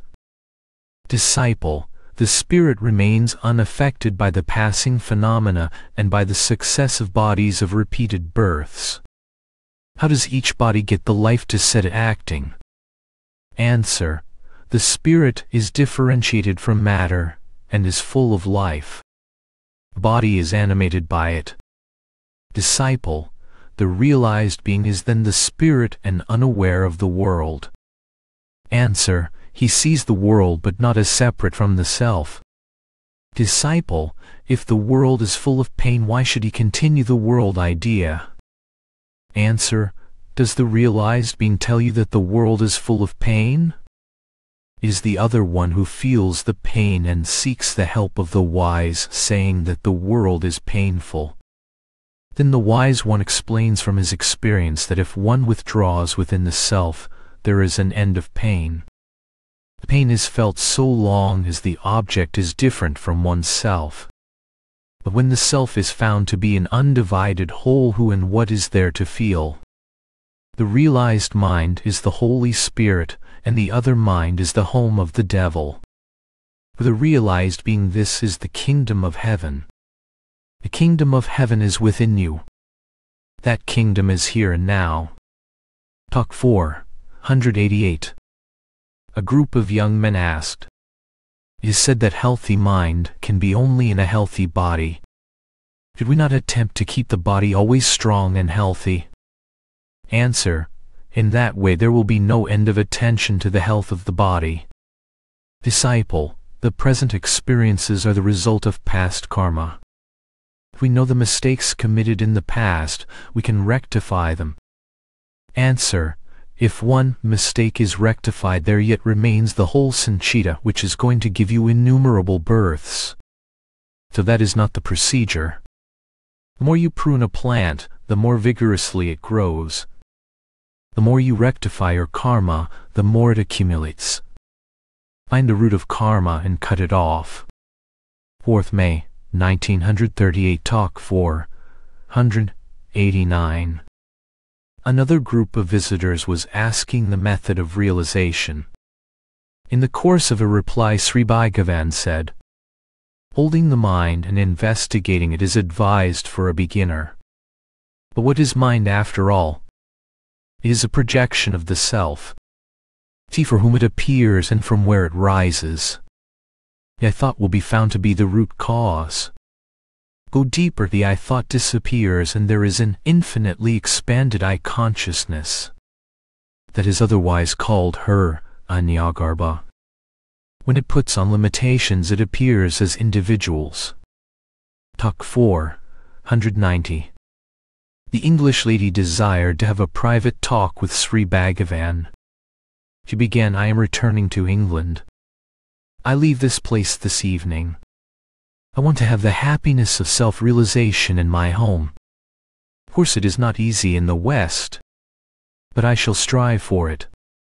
What is the way to do it? Answer. If realization be something outside you a way can be shown consistent with the safety of the individual, his capacity, etc. Then the questions if it is realizable and, if so in what time, will also arise. But here realization is of the self. You cannot remain without the self. The self is always realized. But only you do not recognize the fact. The realization is now obscured by the present world idea. The world is now seen outside you and the idea associated with it obscures your real nature. All that is needed is to overcome this ignorance and then the self stands revealed. No special effort is necessary to realize the self. All efforts are for eliminating the present obscuration of the truth. A lady is wearing a necklace round her neck. She forgets it, imagines it to be lost and impulsively looks for it here, there and everywhere. Not finding it, she asks her friends if they have found it anywhere, until one kind friend points to her neck and tells her to feel the necklace round the neck. The seeker does so and feels happy that the necklace is found. Again, when she meets her other friends, they ask her if her lost necklace was found. She says yes to them as if it were lost and later recovered. Her happiness on rediscovering it round her neck is the same as if some lost property was recovered. In fact, she never lost it, nor recovered it. And yet she was once miserable and now, she is happy. Though also with the realization of the self. The self is always realized. The realization is now obscured. When the veil is removed the person feels happy at rediscovering the ever-realized self. The ever-present realization appears to be a new realization. Now, what should one do to overcome the present ignorance? Be eager to have the true knowledge. As this eagerness grows the wrong knowledge diminishes in strength until it finally disappears. Disciple, the other day you were saying that there is no awareness in deep sleep. But I have on rare occasions become aware of sleep even in that state. Answer. Now of these three factors, the awareness, sleep and knowledge of it, the first one is changeless. That awareness, which cognized sleep as a state now sees the world also in the waking state. The negation of the world is the state of sleep. The world may appear or disappear, that is to say one may be awake or asleep, the awareness is unaffected. Is one continuous whole over which the three states of waking, dream and sleep pass. Be that awareness even now. That is the self, that is realization, there is peace, there is happiness. The lady thanked Maharshi and retired. 7th May 1938 Talk 4 191 Mr. Kishore Mashruwala, President Gandhi Seva Sangh asked, How is brahmacharya to be practiced in order that it may be successfully lived up to? Answer. It is a matter of willpower. Sattvic food, prayers, etc., are useful aids to it. Disciple, young men have fallen into bad habits. They desire to get over them and seek our advice. Answer, mental reform is needed. Disciple, can we prescribe any special food, exercise, etc. to them? Answer, there are some medicines. Yogic asanas and sattvic food are also useful. Disciple, some young persons have taken a vow of brahmacharya. They repent of the vow after the lapse of 10 or 12 years. Under these circumstances, should we encourage young persons to take the vow of brahmacharya? Answer. This question will not arise in the case of true brahmacharya. Disciple, some young men take the vow of brahmacharya without knowing its full implications. When they find it difficult to carry it out in practice, they seek our advice.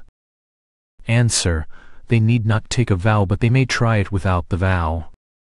Disciple, is Naishthika brahmacharya lifelong celibacy essential as a sadhana for self-realization? Answer, realization itself is Naishthika brahmacharya.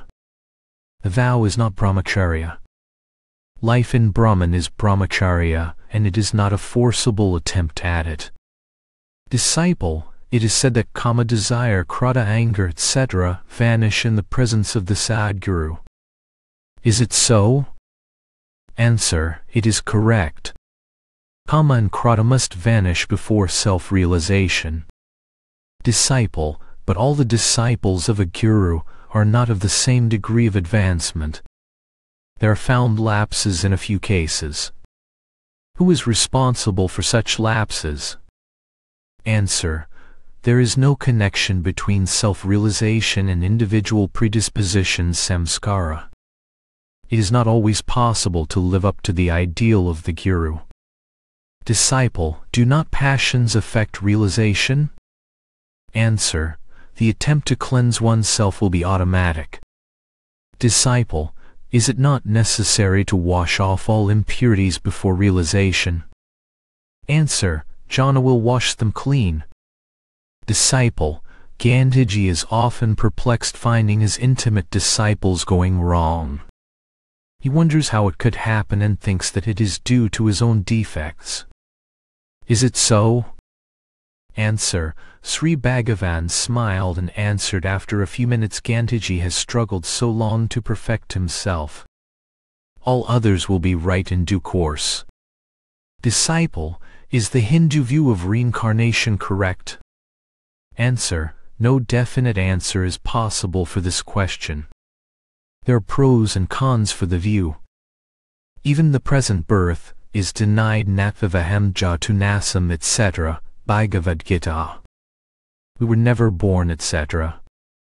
Disciple, is not individuality an eddy without beginning? Answer.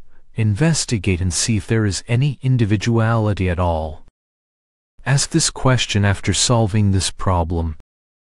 Nammalvar says, In ignorance I took the ego to be myself however, with right knowledge, the ego is nowhere and only remain as the self. Both monists and dualists are agreed on the necessity of self-realization. Let us do it first and then discuss the side issues. Advaita or Dvaita cannot be decided on theoretical considerations alone. If the self is realized the question will not arise at all. Even Suka had no confidence in his brahmacharya whereas Sri Krishna was sure of his brahmacharya. Self-realization is designated by so many different names, satya, brahmacharya, etc. What is natural to the state of self-realization forms the disciplinary course in the other state. I am the body idea will become extinct only on self-realization. With its extinction the vasanas become extinct and all virtues will remain ever. Disciple samskaras are said to persist even in a jnani. Answer, yes. They are bhoga hetu leading to enjoyment only and not bandha hetu. Disciple, this fact is often abused by fakes who pretend to be sadhus but lead vicious lives. They say it is prarabdha remnant of past karma. How shall we mark off the fakes from the genuine sadhus? Answer, the one who has given up the idea being the doer cannot repeat, this is my prarabdha. Jnanis lead different lives is said for the benefit of others. The jnanis cannot make use of this in explanation of their lives and conduct. After a few minutes, Sri Bhagavan remarked about Mr. Kishorlal's weak body. Mr. Kishorlal, I am asthmatic. I have never been strong. Even as a baby I was not fed on my mother's milk. Answer, here the mind is strong and the body is weak. Disciple, I wanted to practice Raja Yoga. I could not do it because of my physical unfitness. The mind also began to wander with the movement of the body. Answer, if the mind be kept immovable let the body change as much as it likes. Disciple, is it not a handicap to the beginner? Answer, attempts must be made in spite of handicaps. Disciple, of course but they will be momentary. Answer, the idea of momentary is one among so many other ideas. Though long as thoughts persist this idea also will recur. Concentration is our own nature in other words being. There is the effort now, but it ceases after self-realization. Disciple, it is said to be the interval between flights of mind. Answer, this too is due to the activity of the mind. The devotee submitted that whenever he had thought that he had found something original, he later discovered that he was already forestalled. Sri Bhagavan pointed out that everything remains already in the germinal form and so there can be nothing new. 8th May, 1938 Talk 4, 192 in a suit by the temple against the government regarding the ownership of the hill Sri Bhagavan was cited as a witness. He was examined by a commission. In the course of the examination in chief Sri Bhagavan said that Siva always remains in three forms. 1. As para Brahman 2. As Linga here as the hill and 3. As Siddha. Brahma Rupa. Linga Rupa. Siddha Rupa. There are some tirthas on the hill, for example, Mulaipal Tirtha and Pada Tirtha, said to have been originated for or by Virupaksha Devar and Guha Namasivayar. There is also our Shabatirtha. All of them are in good condition. Siva originally appeared as a column of light. On being prayed to, the light disappeared into the hill and manifested as linga. Both are Saiva. Maharshi said, The buildings or asramams grow around me. I do not wish for them. I do not ask for them nor prevent their formation. I have known that actions are done even though I did not want them to be done. So I conclude that they must happen and I therefore do not say no question. Is the present Sarvadhikari to be your successor? Answer, yes. Only management. In other words, succession here means simple supervision. Question. Is the work now being carried out by him? Answer, he simply supervises the work. The work is being done by others as well. 18th May, 1938 Talk 4, 193. An Andhra visitor. What will aid me to fix my attention always at thy holy feet? Answer, the thought am I ever away from the feet? Disciple, how is this thought to be fixed? Answer by driving away other thoughts which counteract this. Talk 4, 194. Sri Bhagavan had gone through turn eastwards, the whole book of Mademoiselle Pascaline Maillard, and spoke for about an hour on that book. He said that the writing is full of feeling and the writer is sincere. The book is written in simple style and finishes off with remembrance of himself. A few errors here and there might be pointed out to be corrected in subsequent editions. Nandanar Charitra has been repeated twice under the mistaken notion that the incident was on two different occasions.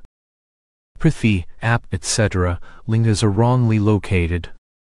Sri Bhagavan thinks the book well written. He interprets turn eastwards as turn to the source of light. This book is a good supplement to Mr. Brunton's book, 29th May 1938 Talk 4 195 A Cochin Brahmin professor in the Ernakulam College had an interesting conversation with Sri Bhagavan. Sri Bhagavan advised surrender to God. The visitor gave a glimpse of an ICS officer. The gentleman while a student was an atheist or an agnostic. He's very pious now and the change has surprised everyone who had known him before. In further conversation, the following points were noteworthy the visitor said. One must become satiate with the fulfillment of desires before they are renounced. Sri Bhagavan smiled and cut in. Fire might as well be put out by pouring spirit over the flames. All laugh. The more the desires are fulfilled, the deeper grows the samskara. They must become weaker before they cease to assert themselves.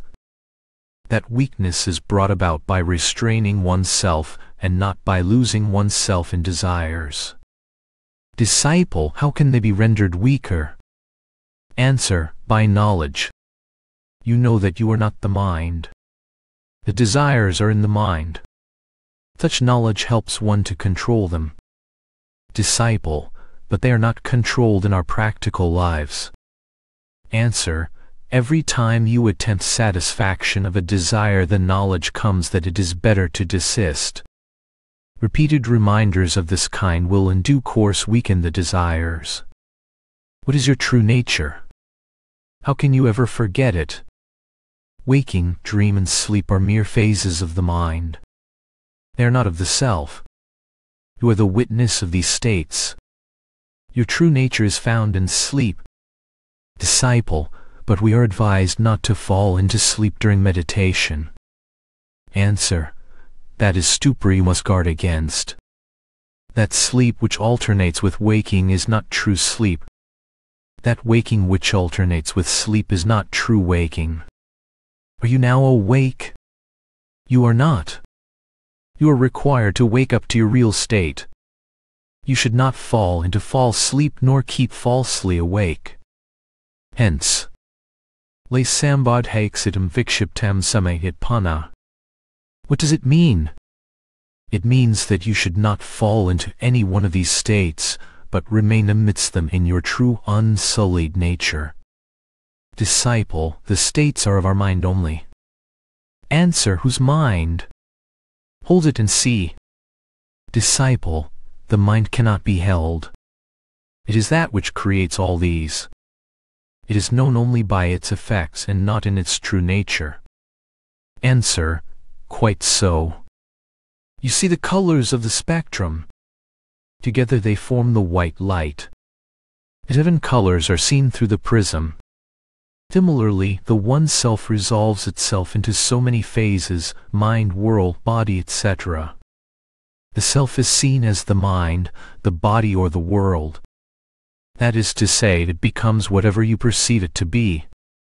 Disciple, these are difficult to follow in practice. I will hold on to God and surrender. Answer, that is the best. Disciple, how can I do my duties without attachment? There's my wife, there are my children. I must do my duty towards them. Affection is necessary. Am I right? Answer, how do you do your work in the college? Disciple, laughing for wages. Answer, not because you are attached, simply as doing your duty. Disciple, but my pupils expect me to love them.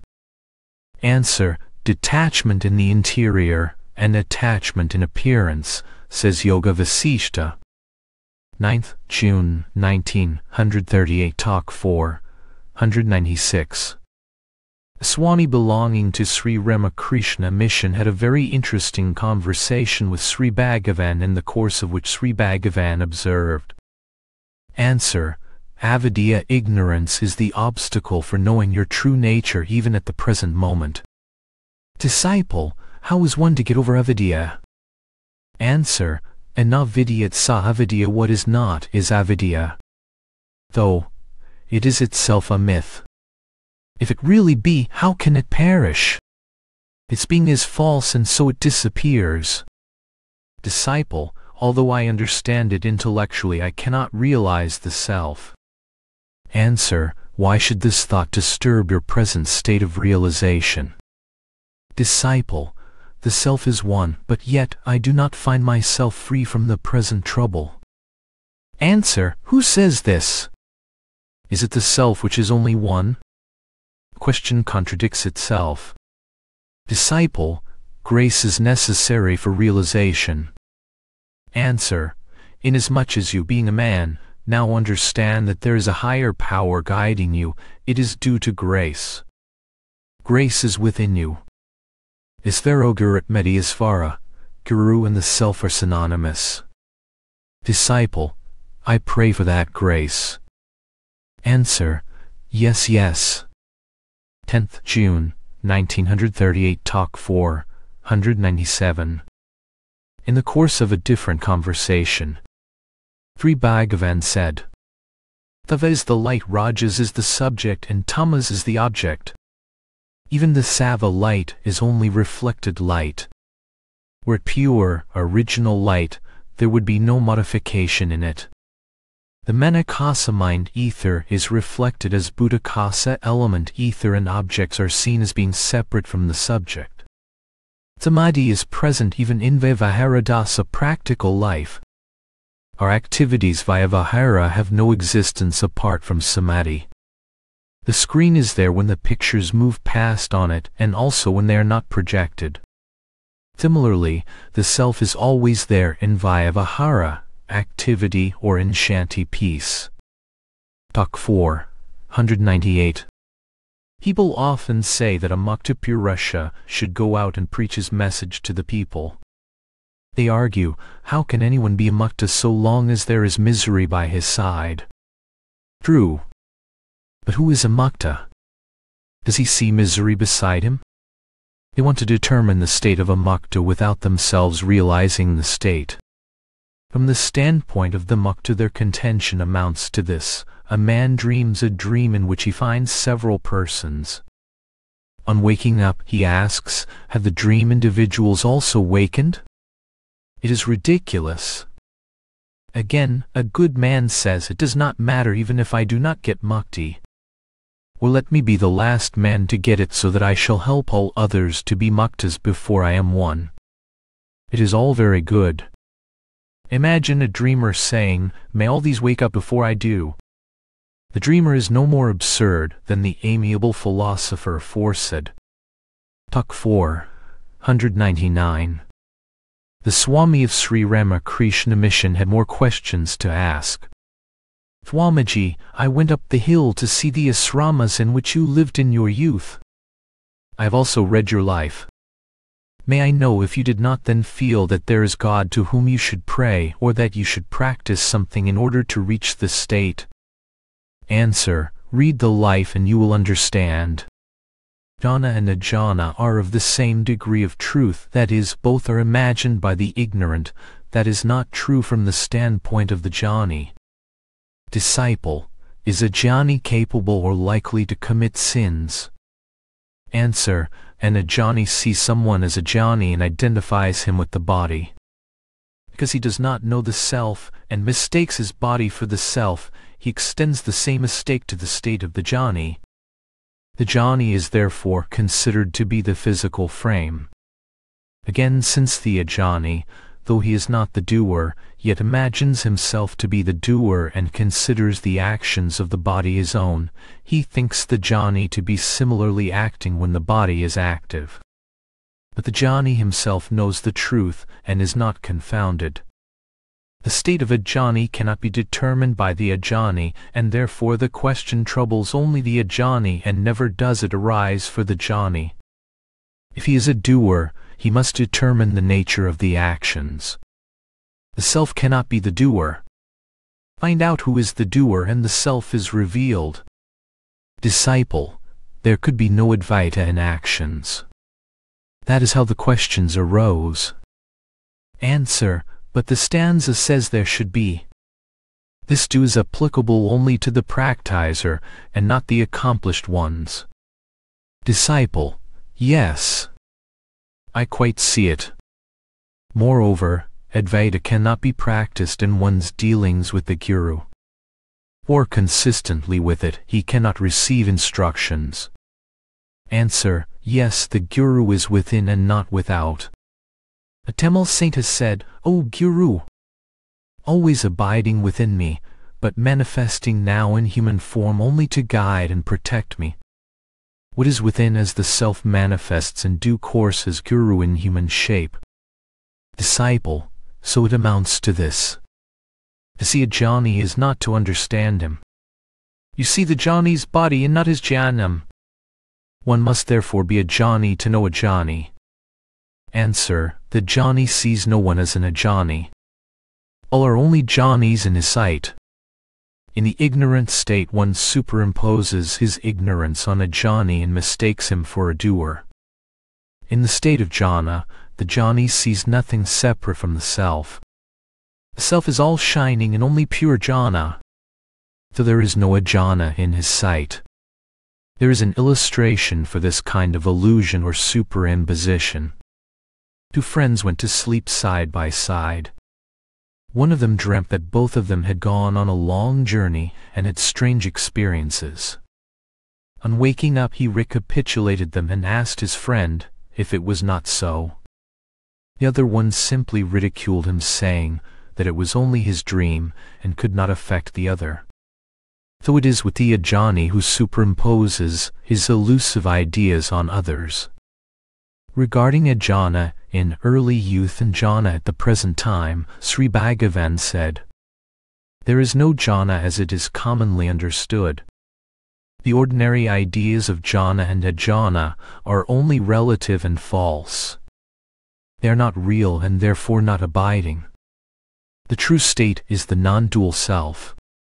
It is eternal and abides whether one is aware or not. It is like Kanthabharana, or the tenth man. Disciple, someone else points it out. Answer, that one is not external. You mistake the body for the Guru. But the Guru does not think himself so. He is the formless self.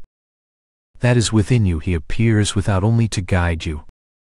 Talk 500 Disciple, when all the thoughts are banished, and the mind is still or enters into a state of nothingness or emptiness, what is the nature of effort needed on the part of the seeker to have a pratyaksha of the sought for example, seeing a mango as a mango? Answer, who sees nothingness or emptiness? What is pratyaksha? Do you call perception of mango pratyaksha? It involves the play of karma, karta, and karya action, doer and deed. So it is relative and not absolute. Because you see a thing now, you say, there is nothing afterwards in other words when you no longer see it. Both are functions of the mind. What lies behind both these assertions is pratyaksha.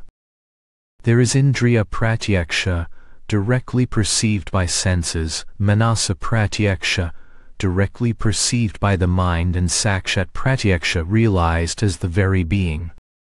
The last alone is true. The others are relative and untrue.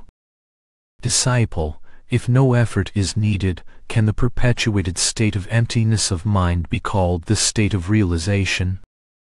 Answer, effort is needed so long as there is mind. The state of emptiness has been the bone of contention in all philosophies.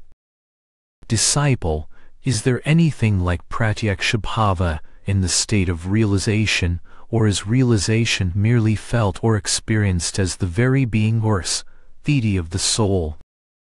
Answer, pratyaksha is very being and it is not feeling, etc. Disciple, until the seeker realizes that he is the sought, the above questions arise for him the former. Answer, true, if you are the seeker. The self is often mistaken for the knower. Is there not the self in deep sleep, in other words, nescience? Therefore the self is beyond knower and knowledge. These doubts are in the realm of mind. To speak from this point of view, the advice is to keep the mind clear, and when rajas and tamas are wiped off, then the sattva mind alone exists though the I vanishes in the Sattva Unnata can. Jnanachakshus does not mean that it is an organ of perception like the other sense organs. Dhanam, Vachaksha, television, etc., are not functions of Jnanachakshus. Though long as there is a subject and also an object, it is only relative knowledge. Jnana lies beyond relative knowledge. It is absolute, the self is the source of subject and object. Now ignorance prevailing, the subject is taken to be the source. The subject is the knower and forms one of the triads whose components cannot exist independent of one another. Though the subject or the knower cannot be the ultimate reality, reality lies beyond subject and object. When realized there will be no room for doubt. Hridaya hridayagranthisa Hidyantai sarva samsaya. Heart knot is snapped, doubts are set at rest. That is called pratyaksha and not what you are thinking of. Avidyanasa is alone self-realization.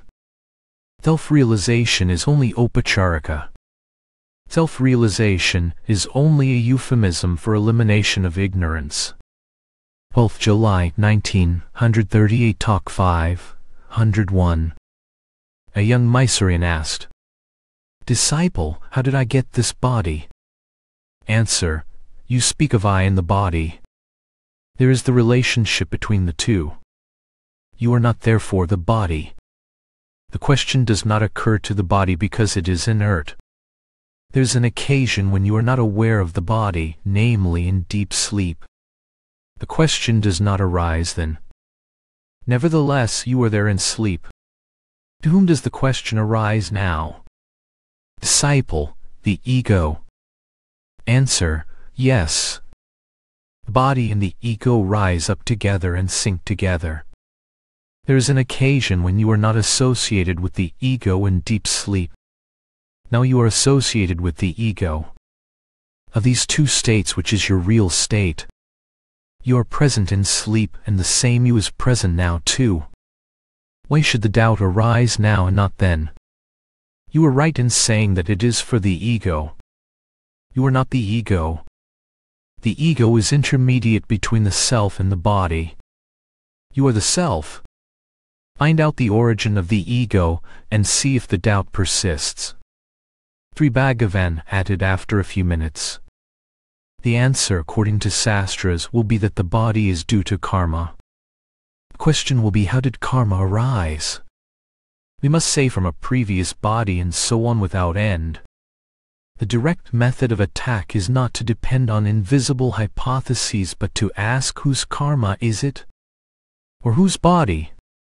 Hence I answered in this manner. This is more purposeful. 14th August 1938 Talk 5, 102. See. Rajendra Prasad and Esther. Jamnalal Bajaj with others are on a visit to Sri Maharshi. 16th August, Ested. KBS questions. Disciple, how is the mind to be steadily kept right? Answer, all living beings are aware of their surroundings and therefore intellect must be surmised in all of them. At the same time, there is a difference between the intellect of man and that of other animals, because man not only sees the world as it is and acts accordingly, but also seeks fulfillment of desires and is not satisfied with the existing state of affairs. In his attempt to fulfill his desires he extends his vision far and wide, and yet he turns away dissatisfied. He now begins to think and reason. The desire for permanency of happiness and of peace bespeaks such permanency in his own nature. Therefore he seeks to find and regain his own nature, in other words his self. That found all is found. Such inward seeking is the path to be gained by man's intellect.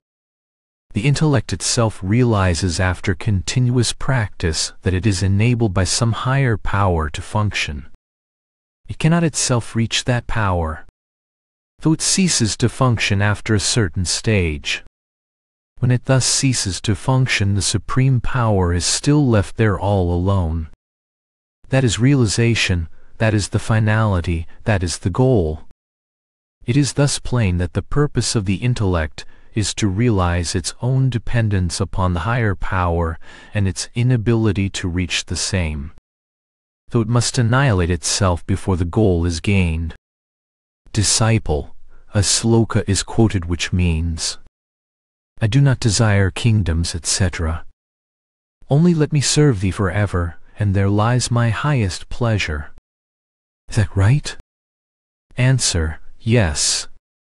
There is room for kama desire so long as there is an object apart from the subject in other words duality. There can be no desire if there is no object. The state of no desire is moksha.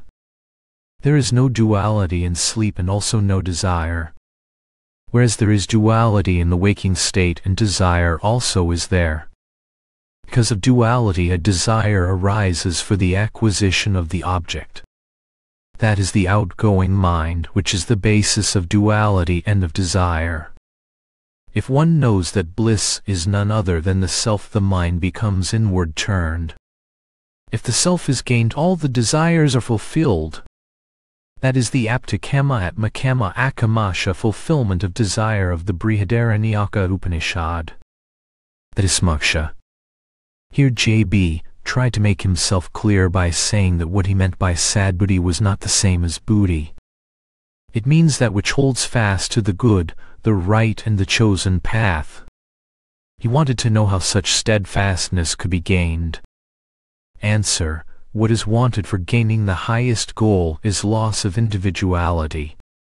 The intellect is coextensive with individuality. Loss of individuality can only be after the disappearance of buddhi, good or bad. The question therefore does not arise. Disciple, but yet one must know the right thing, choose the right path, practice the right dharma and hold fast to it. Otherwise he is lost. Answer. True strength accrues by keeping in the right direction without swerving from it. Disciple, difficulties are met with. How is one to get the strength necessary to overcome the obstacles which beset one's path? Answer. By means of devotion and company of the sages. Disciple, loss of individuality was just before mentioned as a prerequisite to moksha. Now devotion and association with the wise are advised as the methods. Is there not individuality implied in them for example, and I am a bhakta, I am a satsangi? Answer. The method is pointed out to the seeker. The seeker has certainly not lost his individuality so far. Otherwise the question would not have arisen. The way is shown to affect the loss of individuality of the seeker. It is thus appropriate. Disciple, is the desire for Swaraj right? Answer, such desire no doubt begins with self-interest. Yet practical work for the goal gradually widens the outlook so that the individual becomes merged in the country. Such merging of the individuality is desirable and the relate karma is nishkama unselfish. Disciple, if Swaraj is gained after a long struggle and terrible sacrifices, is not the person justified in being pleased with the result and elated by it? Answer, he must have in the course of his work surrendered himself to the higher power, whose might must be kept in mind and never lost sight of. How then can he be elated? He should not even care for the result of his actions. Then alone the karma becomes unselfish. Disciple, how can unerring rectitude be ensured for the worker? Answer, if he has surrendered himself to God or to Guru the power to which he had surrendered will take him on the right course. The worker need no longer concern himself about the rectitude or otherwise of the course.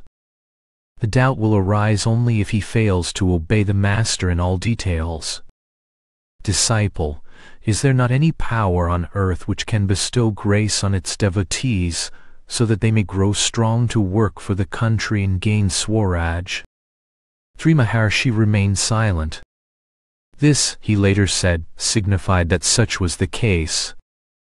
Disciple, is not the tapasya of the ancient Mahatmas of the land available for the benefit of its present-day inheritors? Answer. It is but the fact must not be overlooked that no one can claim to be the sole beneficiary. The benefits are shared by all alike. After a pause, is it without such saving grace that the present awakening has come into being?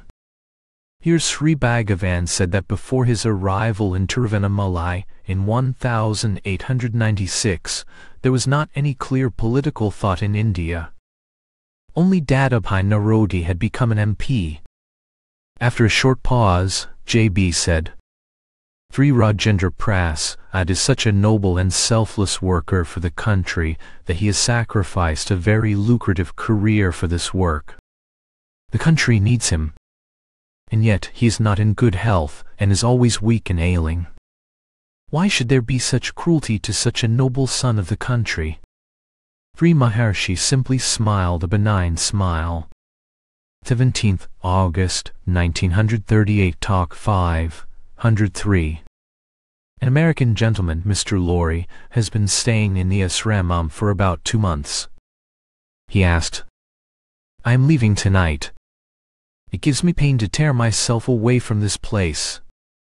But I must go to America. I ask for a message from the Master. The Master understands me even better than I do myself though I pray for a message to keep me up when I am away from the Master. Answer, the Master is not outside you as you seem to imagine. He is within, is in fact the Self. Recognize this truth. Seek within you and find Him there.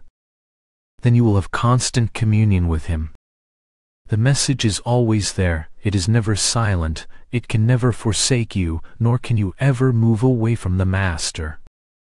Your mind is outgoing. Because of that tendency it sees objects as being outside and the master among them. But the truth is different. The master is the self.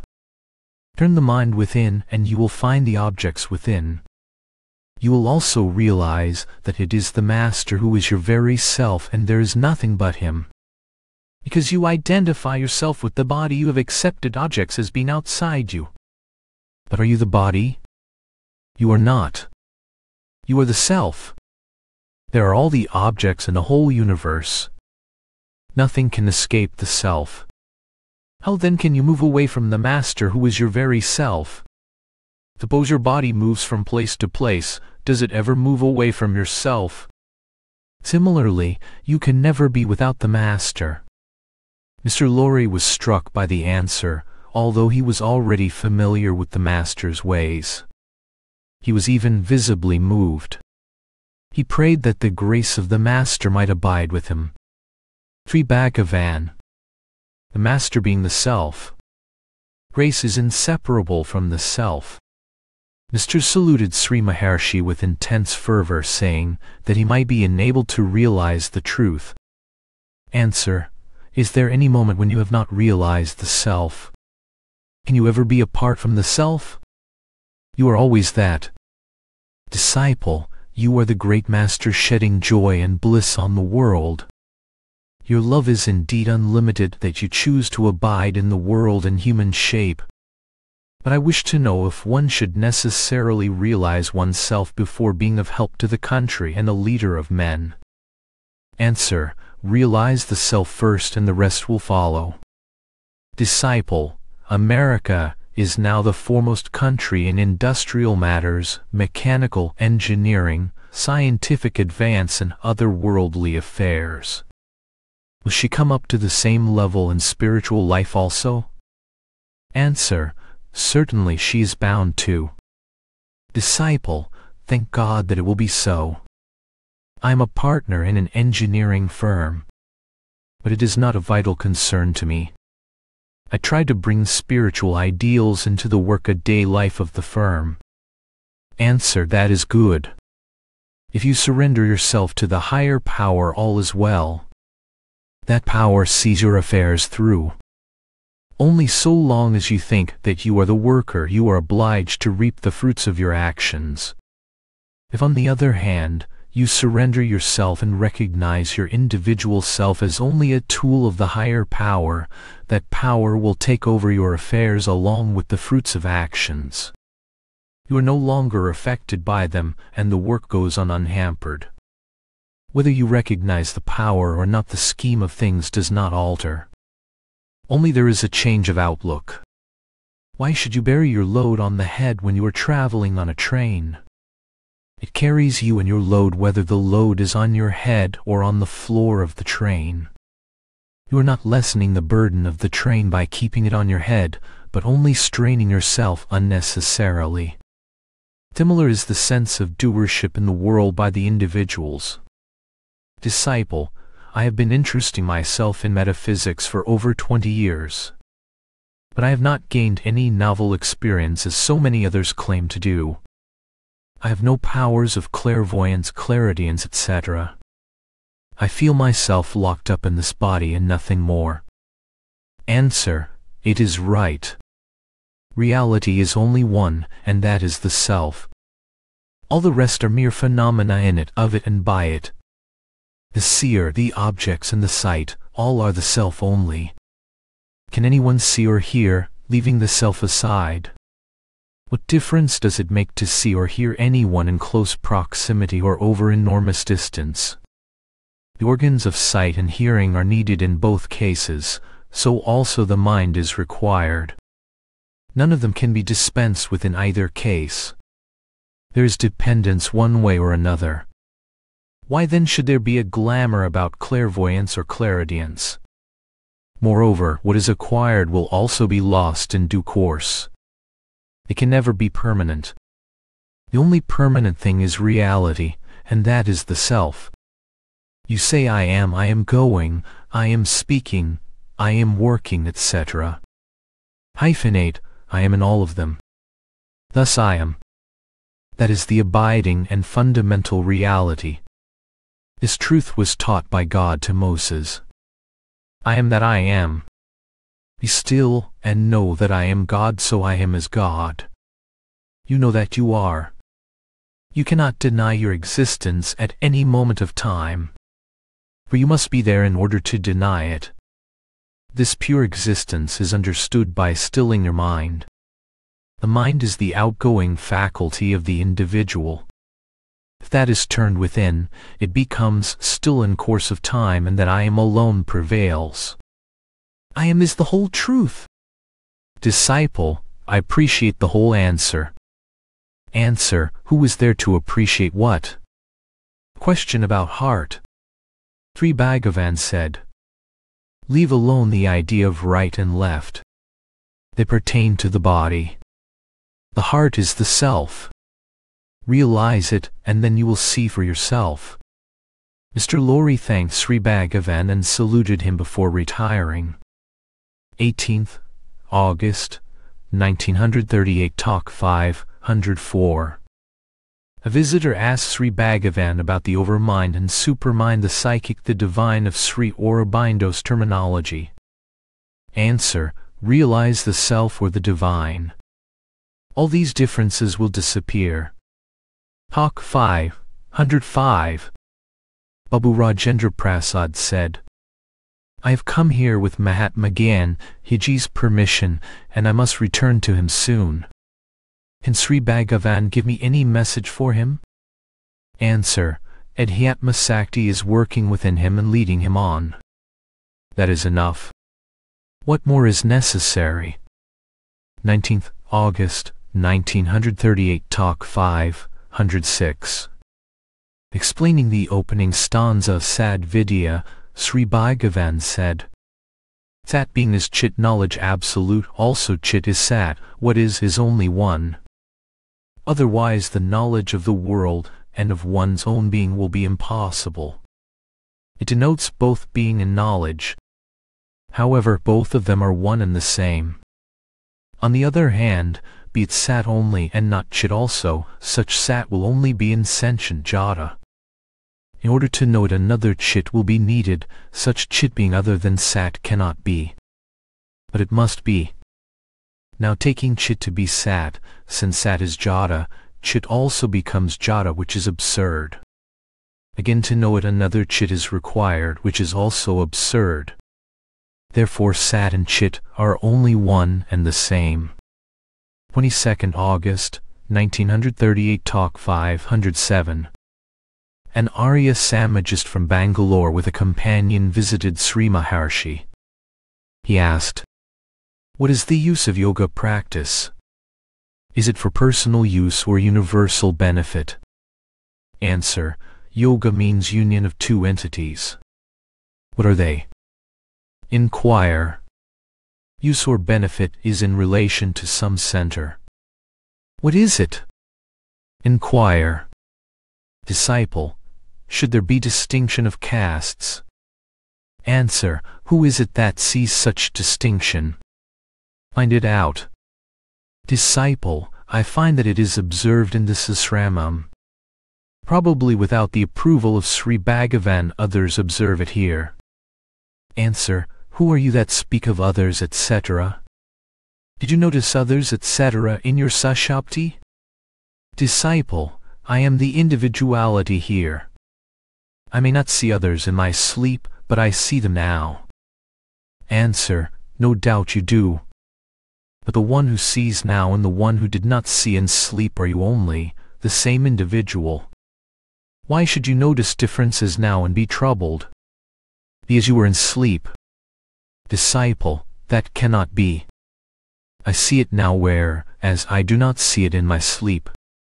That does not alter the existing state of affairs. Answer. Do the objects exist in the absence of the subject? Disciple. Their existence is independent of the subject. Answer. Do you say that they exist or do they come and announce their existence to you? Disciple. I know that they exist. Answer. So it is your knowledge of them only. Their existence is not absolute. Disciple, even if I did not know they will continue to exist. Answer, do you claim their existence in the absence of your knowledge of them? Laughter. Disciple, Brahman is equal to all. There cannot be any distinction there. Caste distinction is against the highest principle. Answer, why do you drag in Brahman? He has no grievances. Let him who has grievances pursue the matter. Disciple, you are a Mahatma. You cannot admit castes.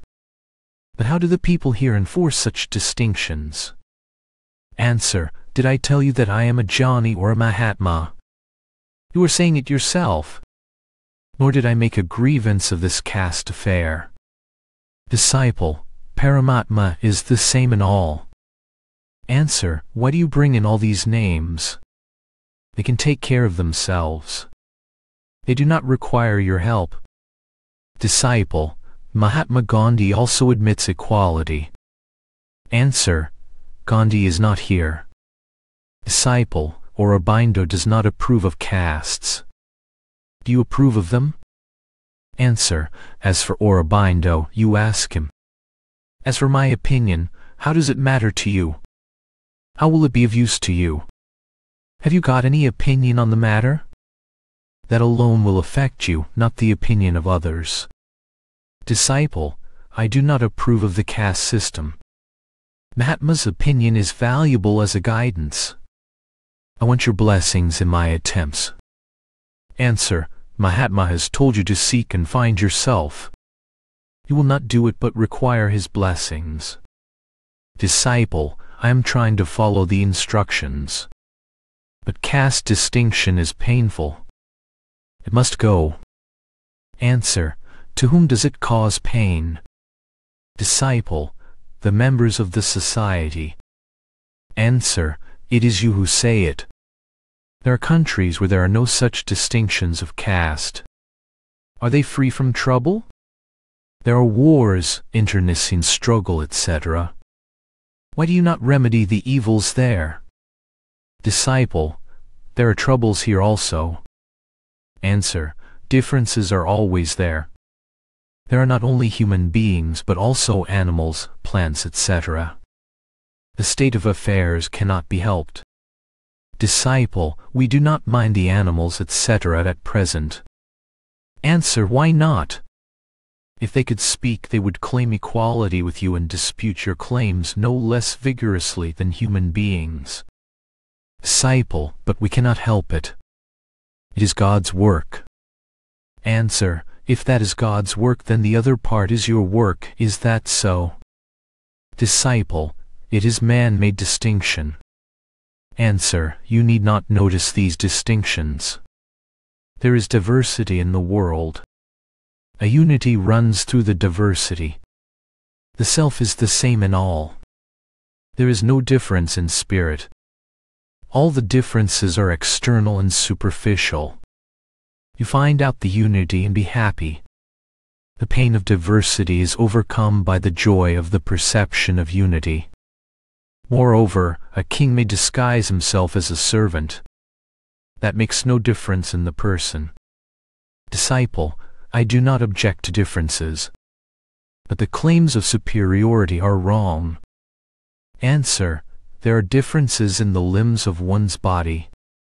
When the hand touches the foot, the hand is not defiled. Each limb performs its function. Why do you object to differences? Disciple, the people feel the injustice of caste distinction. It must be rooted out. Answer, you can individually arrive at the state where such distinctions are not perceived and be happy. How can you hope to reform the world? Even if you try you cannot succeed. Kavyakantha Ganapati Sastri offered to initiate Harijans with mantras and make Brahmins of them. But the Harijans did not come forward to accept the offer. That shows they are themselves afflicted by an inferiority complex. Remove that complex first before you try to reform others. Moreover, why do you go to places where such distinctions are observed and cause pain to yourself? Why should you not seek places where they are not observed and be happy there? Gandhiji also tries to bring about equality. He is also up against the barrier of inferiority complex afflicting the lower orders. He cannot enforce his views on others. He observes nonviolence. Though matters stand as they are. Disciple, we must work to obliterate caste distinctions. Answer, then do it. If you have succeeded in the world, then see if the distinctions persist in this place. Disciple, this must be the first place where I want to effect the reform. Answer, why do you exert yourself so much to effect reforms? Go to sleep and see if there are differences. Do you obliterate differences without any effort? Laughter. 24th August, 1938 Talk 508 An Indian officer was in the hall for a few hours. He asked, Can Ahimsa put an end to wars in the world?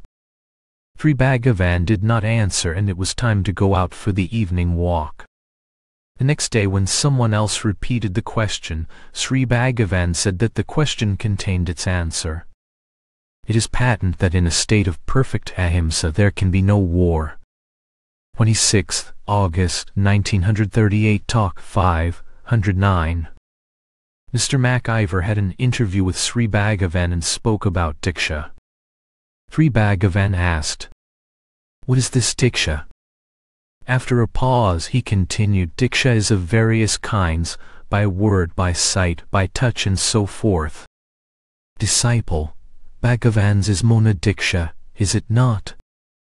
Answer, Yes, this the highest form of Diksha. Disciple, is it applicable to the Vichara Marga only?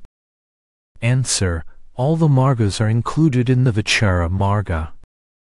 Disciple, yes, but if one wished to take them separately, it would not be applicable. Would it? Answer, no. Disciple, Supposing one feels the need for aids to realization these are to be regarded as belonging to accessory margas. Are they not? Answer, yes. Disciple, and for these then other dikshas would be necessary. Answer, yes. Disciple, from this another question arises. So long as I am at Bhagavan's feet I cannot be regarded as a faithful Christian. Sri Bhagavan interrupted saying that this was the essence of Christianity. Disciple, yes, but not in the eyes of the present representatives of the Church. Accordingly I can no longer look to the side of the Church for aid. Have I Bhagavan's leave to look elsewhere? Answer, that is left to you. After a pause Sri Bhagavan spoke to the effect that people who come here are brought by some mysterious power which will look to their needs. Conversation practically ended with this.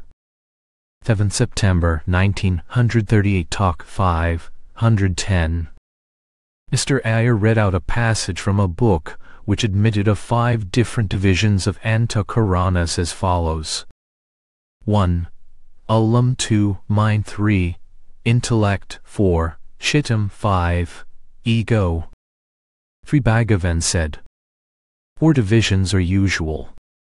The fifth item ulam has been brought in to correspond to five tattvas thus. 1.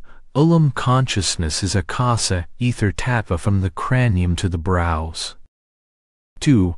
Manas thinking faculty is vayu air tattva from the brows to the throat. 3. Bud, I intellect is Agni light tattva from the throat to the heart. Or, Chitta memory is Jala water tattva from the heart to the navel, and 5. Ahankar ego is Prithvi earth tattva from the navel to the coccyx. Ulam is thus the pure mind or the mind in its pure being, in other words, mind divested of all thoughts. It is the ether of mind corresponding to the expanse of mind without being crowded by thoughts. When a person wakes up from sleep the head is raised, and there is the light of awareness. This light was already there in the heart which is later reflected on the brain and appears as consciousness. But this is not particularized until Ahankar steps in. In the undifferentiated state, it is cosmic cosmic mind or cosmic consciousness. This state lasts usually for a minute interval and passes off unnoticed. It becomes particularized or differentiated by the intrusion of the ego, and the person says I. This is always associated with an entity here, the body. Though the body is identified as I and all else follows. Because Ulam is only the reflected light, it is said to be the moon. The original light is in the heart which is said to be the sun. 9th September 1938 Talk 5 111 Major Chadwick had translated Na Karmana Na Prajaya into English. Sri Bhagavan was explaining its meaning. Brahmaloka may be interpreted subjectively or objectively. The latter meaning requires faith in the sastras which speak of such lokas, whereas the former meaning is purely of experience and requires no external authority. Brahmaloka would mean Brahmajnana knowledge of Brahman or self-realization Atma Sakshatkara. Parantakala as opposed to Aparantakala. In the latter the jivas pass into oblivion to take other births. Their oblivion is enveloped in ignorance avidya. Para is beyond the body. Parantakala is transcendence over the body etc. In other words, jnana knowledge. Paramrit at prakriti equals beyond prakriti. Sarv implies that all are qualified for knowledge and liberation moksha.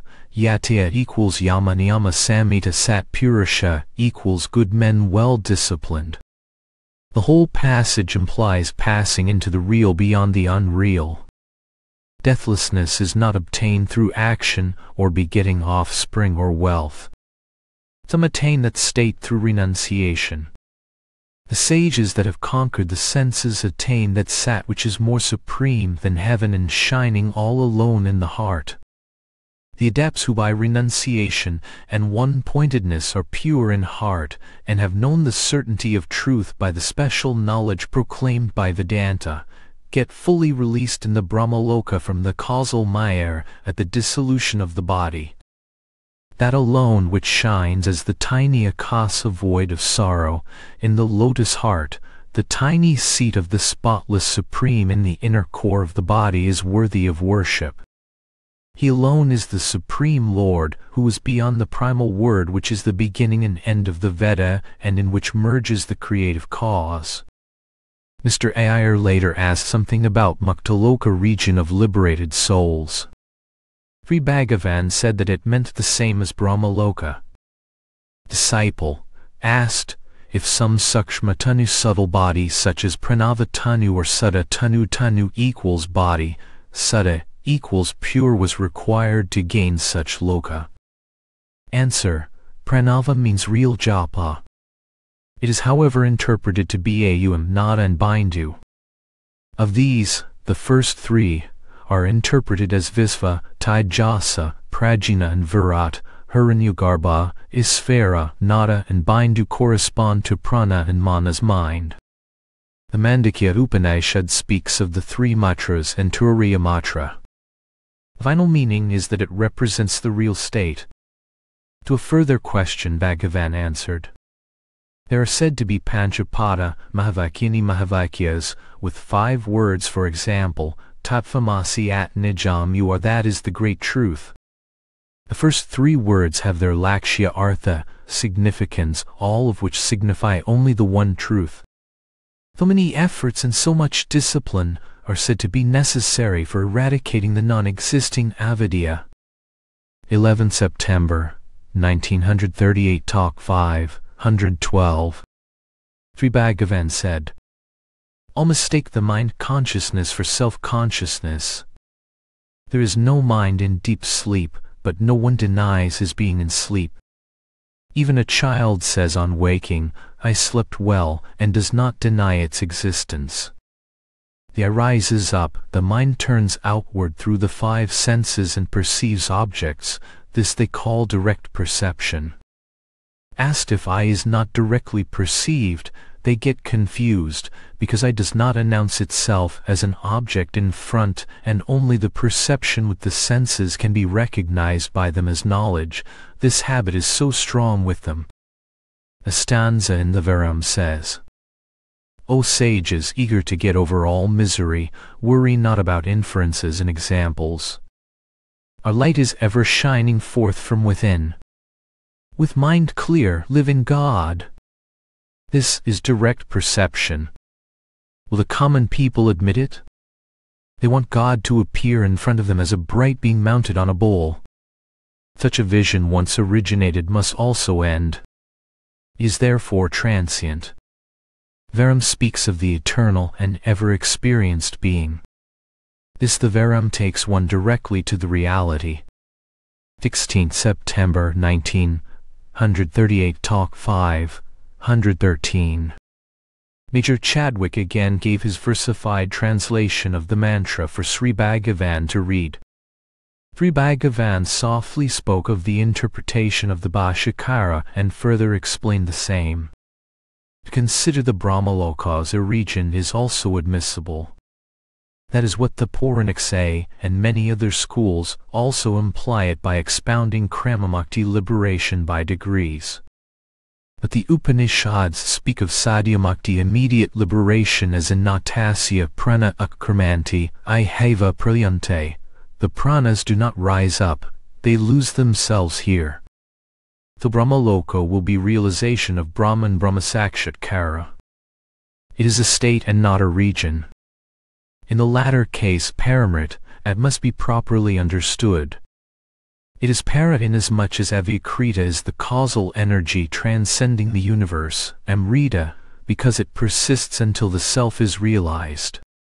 To that paramrit, it will mean avikrita.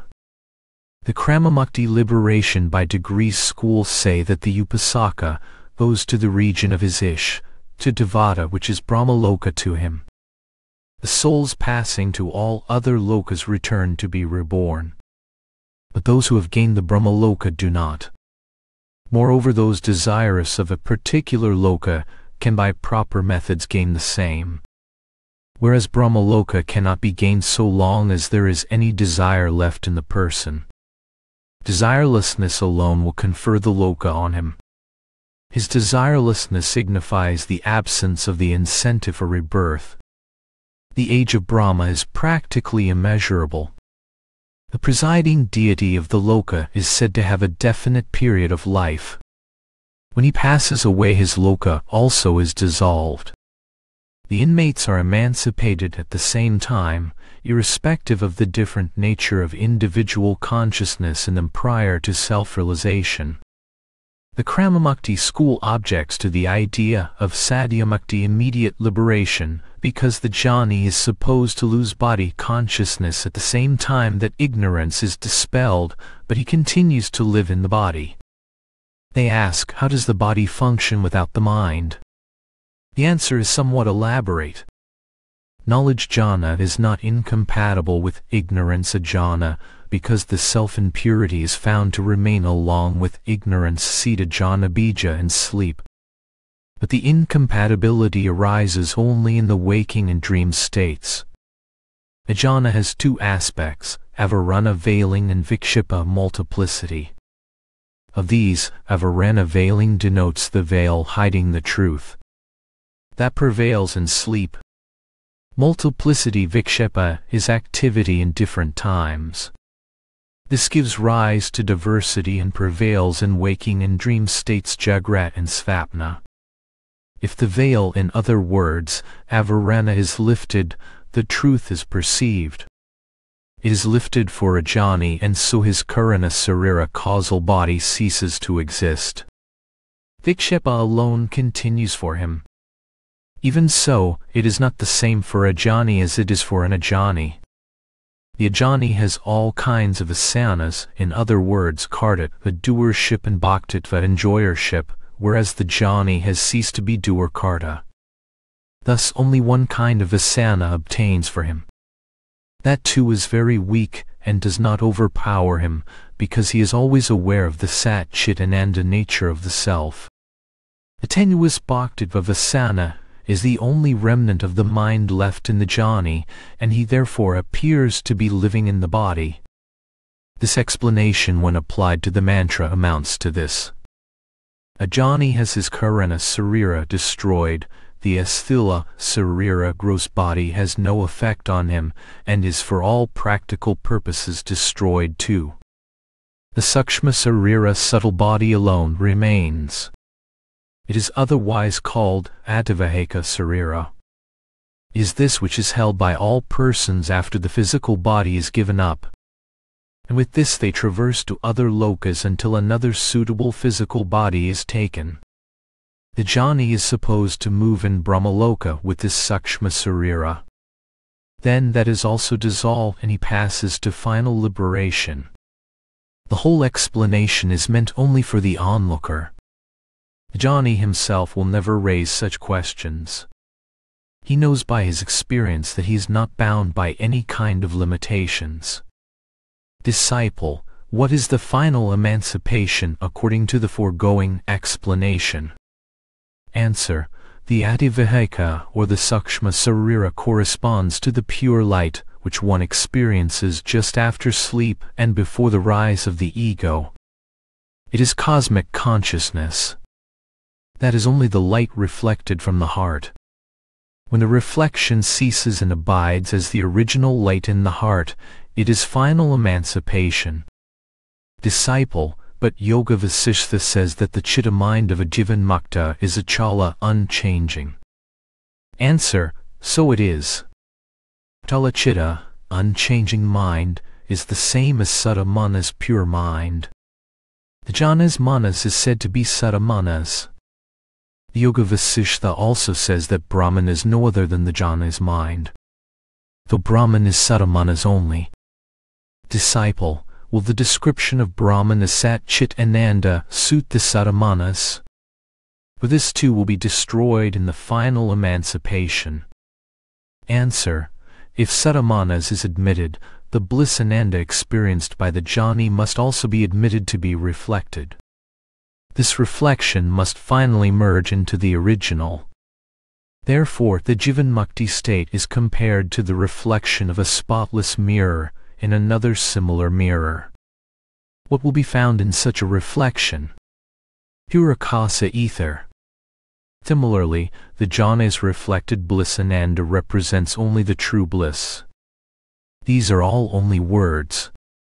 It is enough that a person becomes antarmukhi inward bent. Sastras are not needed for an inward-turned mind. They are meant for the rest. Talk 5, 114 Mr. MacIver, a resident devotee, asked Sri Bhagavan if he might go to Switzerland where a guru was inviting him. Sri Bhagavan said, Some force brought him here and the same as taking him to Europe.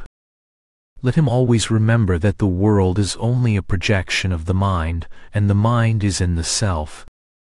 Wherever the body may move the mind must be kept under control. The body moves but not the self. The world is within the self that is all. 17th September 1938 Talk 5 115 Disciple, in the explanation given yesterday, it is said that the removal of avarana results in the annihilation of the karana sarira. That is clear. But how is the gross body considered to fall off too? Answer. The vasanas are of two kinds, bandha hetu causing bondage and bhoga hetu only giving enjoyment. The jhani has transcended the ego and therefore all the causes of bondage are inoperative. Bandhahetu is thus at an end and prarabdha past karma remains as bhoga vasana to give enjoyment only. Therefore, it was said that the Sukshma Sarira alone survives jnana. Helia says that Sanchita karma stored karma is at an end simultaneously with the rise of jnana that agami karma now collecting is no longer operative owing to the absence of the sense of bondage, and that prarabdha will be exhausted by enjoyment bhoga only. Thus the last one will end in course of time, and then the gross body also falls away with it. Triratreya, the three bodies and karma traya the three karmas are mere phrases meant for the delectation of debaters. A Jnani is not affected by any of them. An aspirant is instructed to find who he is. If he does so, he will take no interest in discussing such matters as the above. Find the self and rest in peace. 22nd September 1938 Talk 516 A question arose if the world is real or unreal, since it is claimed to be both by the Advaitins themselves. Sri Bhagavan said that it is unreal if viewed as apart from the self and real if viewed as the self. 25th September 1938 Talk 5 117 There was some reference of two slokas in Yoga Vasishtha where spiritism and Mlechha Desai is mentioned. Mr. MacIver said that black magic is more prevalent in the West than is ordinarily known to the observer. The writer then remembered how Mr. Paul Brunton had once said that he actually feared a woman for her association with black magic. Sri Bhagavan asked if the gentleman had read Devikalottaram. He then said that Abbe, Shara Prayoga black magic is condemned there. He also added that by such practices one compasses one's own ruin. Avidya ignorance is itself bad and makes one commit suicide. Why should black magic be also added to it? Disciple, what is the pratikriya remedy open to the victim of black magic? Answer, bhakti devotion to God. Disciple, non-resistance seems to be the only remedy for all kinds of evils such as slander. Answer, quite so. If one abuses another or injures him the remedy does not lie in retort or resistance. Simply keep quiet. This quiet will bring peace to the injured, but make the offender restless until he is driven to admit his error to the injured party. This black magic is said to have been used even against the greatest saints in India since time immemorial. Tapasvis of Daruka forest used it against Siva himself. Then the conversation turned on Brahmaloka. Sri Bhagavan said Brahmaloka is the same as Atmaloka. Again Brahmaivalaka equals Brahmaloka Brahma is himself the region and Brahma is Atma. Though Brahmaloka is only the self. Loka, Aloka are both synonymous. It is the same as Andamelekan and Aladunarpadu. Loki iti laka that which is seen is loka. 27th September 1938 Talk 518 Mr. Gupta, a Telugu Pandit, is on a visit here. Sri Bhagavan said in the course of conversation. "I am Amkriti the ego is not the same as Aham. The latter is the supreme reality whereas the former is the ego. It is to be overcome before the truth is realized. The Supreme Being is unmanifest, and the first sign of manifestation is Aham Sphurana light of I.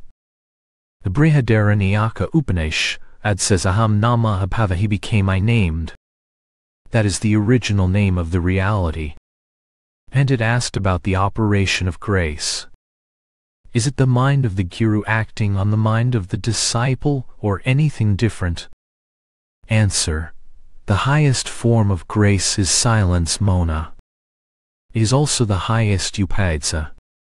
Disciple, Vivekananda has also said that silence is the loudest form of prayer. Answer. It is so for the seeker's silence Guru's silence is the loudest Upadesa. It is also grace in its highest form. All other dikshas initiations for example sparsa, Chakshas are derived from Mouna silence. They are therefore secondary. Mouna is the primary form.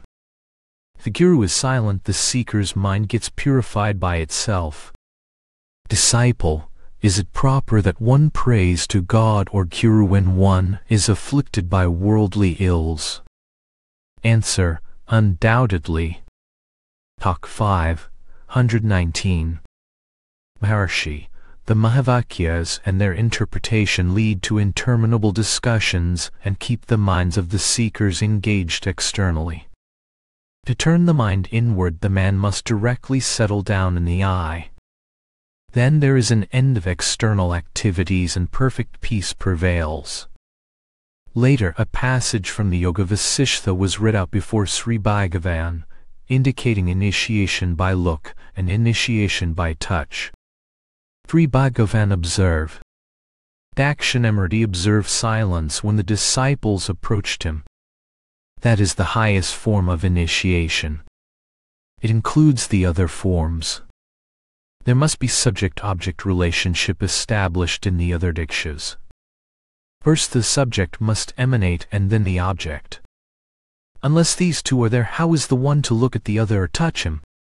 Mouna Diksha is the most perfect, it comprises looking, touching and teaching. It will purify the individual in every way and establish him in the reality.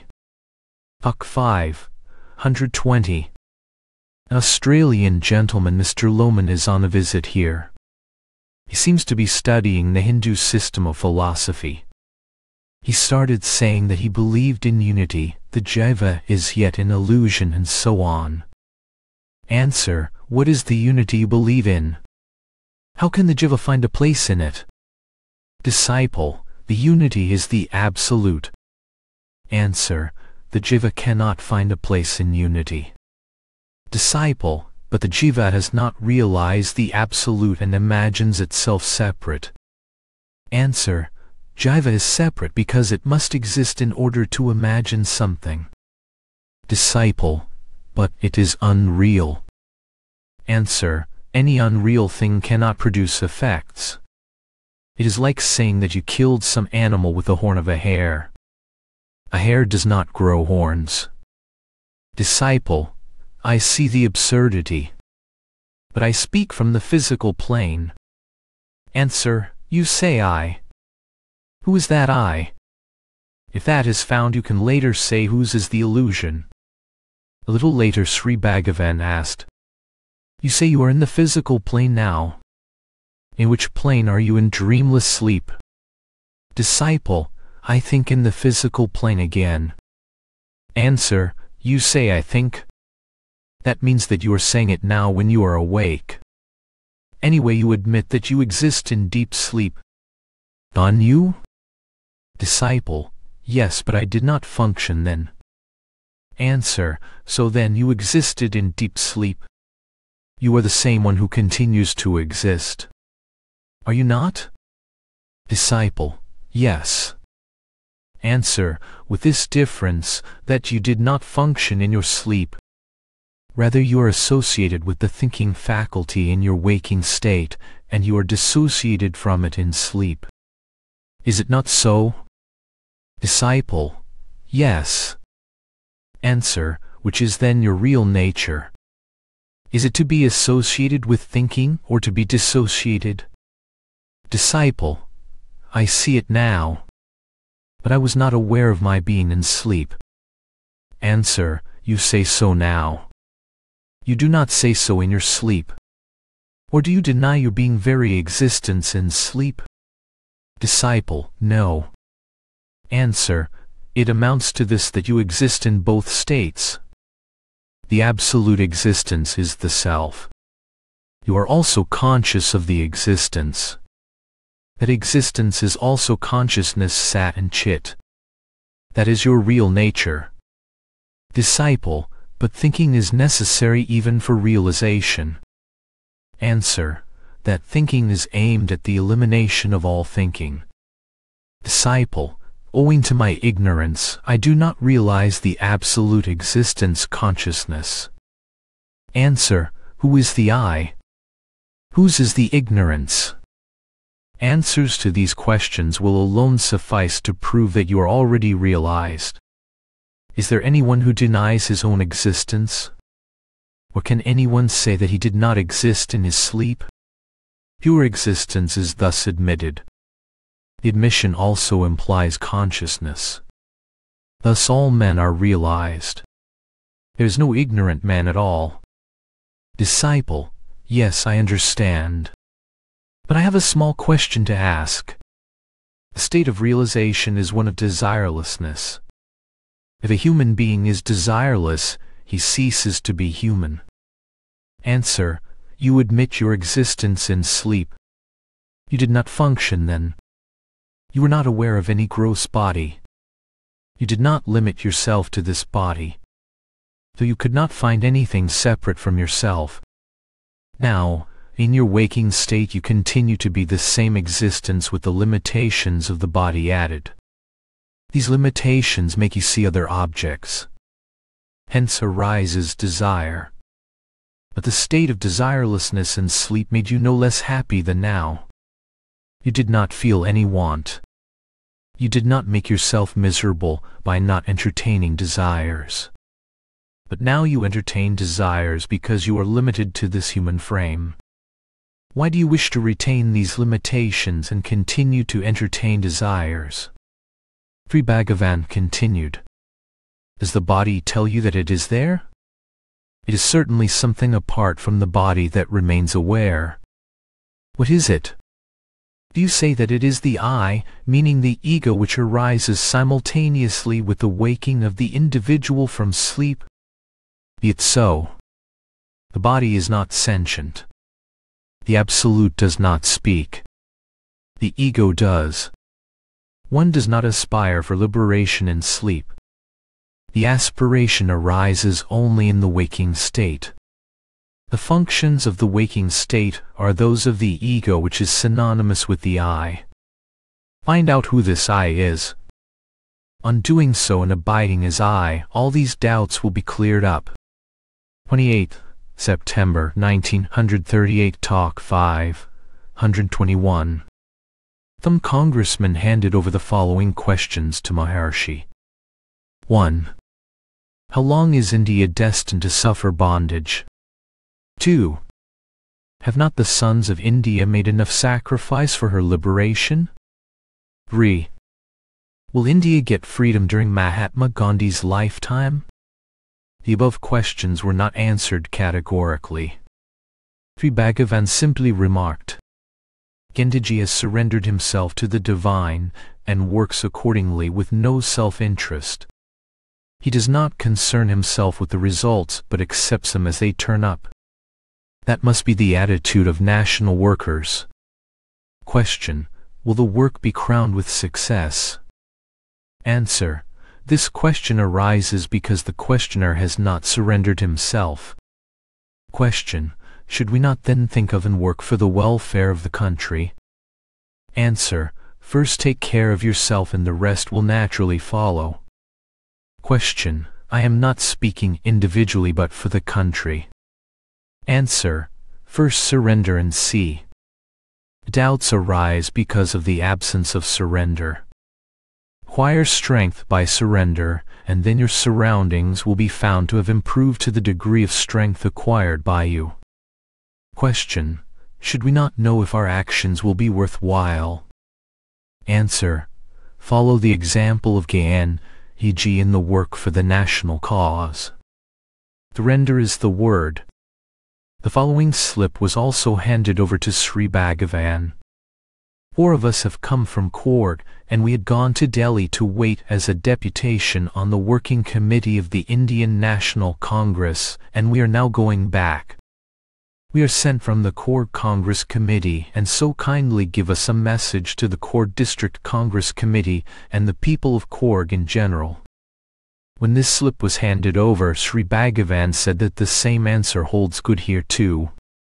The message is contained in the word surrender 29 September 1938 Talk 5, 122. A visitor asks Sri Bhagavan, I want knowledge. Answer, who wants knowledge? Disciple, I want it. Answer, who is that I? Find the I and see later what further knowledge is required. Second, October 1938 Talk 5, 123. Pilgrim Special Train brought several visitors from Bengal. One of them said that he had read Mr. Paul Brunton's book and since then he was anxious to see Sri Bhagavan. He also asked, How shall I overcome my passions? Answer, find their root and then it will be easy. Later, what are the passions? Kama lust, krodha, anger, etc. Why do they rise? Because of likes and dislikes towards the objects seen. How do the objects project themselves in your view? Because of your avidya, in other words, ignorance. Ignorance of what? Of the self. Thus, if you find the self and abide therein, there will be no trouble owing to the passions. Later again, what is the cause of the passions? Desire to be happy or enjoy pleasure. Why does the desire for happiness arise? Because your nature is happiness itself, and it is natural that you come into your own. This happiness is not found anywhere besides the self. Do not look for it elsewhere. Eat the self and abide therein. Still again, that happiness which is natural is simply rediscovered, so it cannot be lost. Whereas the happiness arising from other objects are external and thus liable to be lost. Therefore it cannot be permanent and so it is not worth seeking. Moreover craving for pleasures should not be encouraged. One cannot put out burning fire by pouring petrol over it. An attempt to satisfy your craving for the time being, so that the passion may later be suppressed, is simply foolish.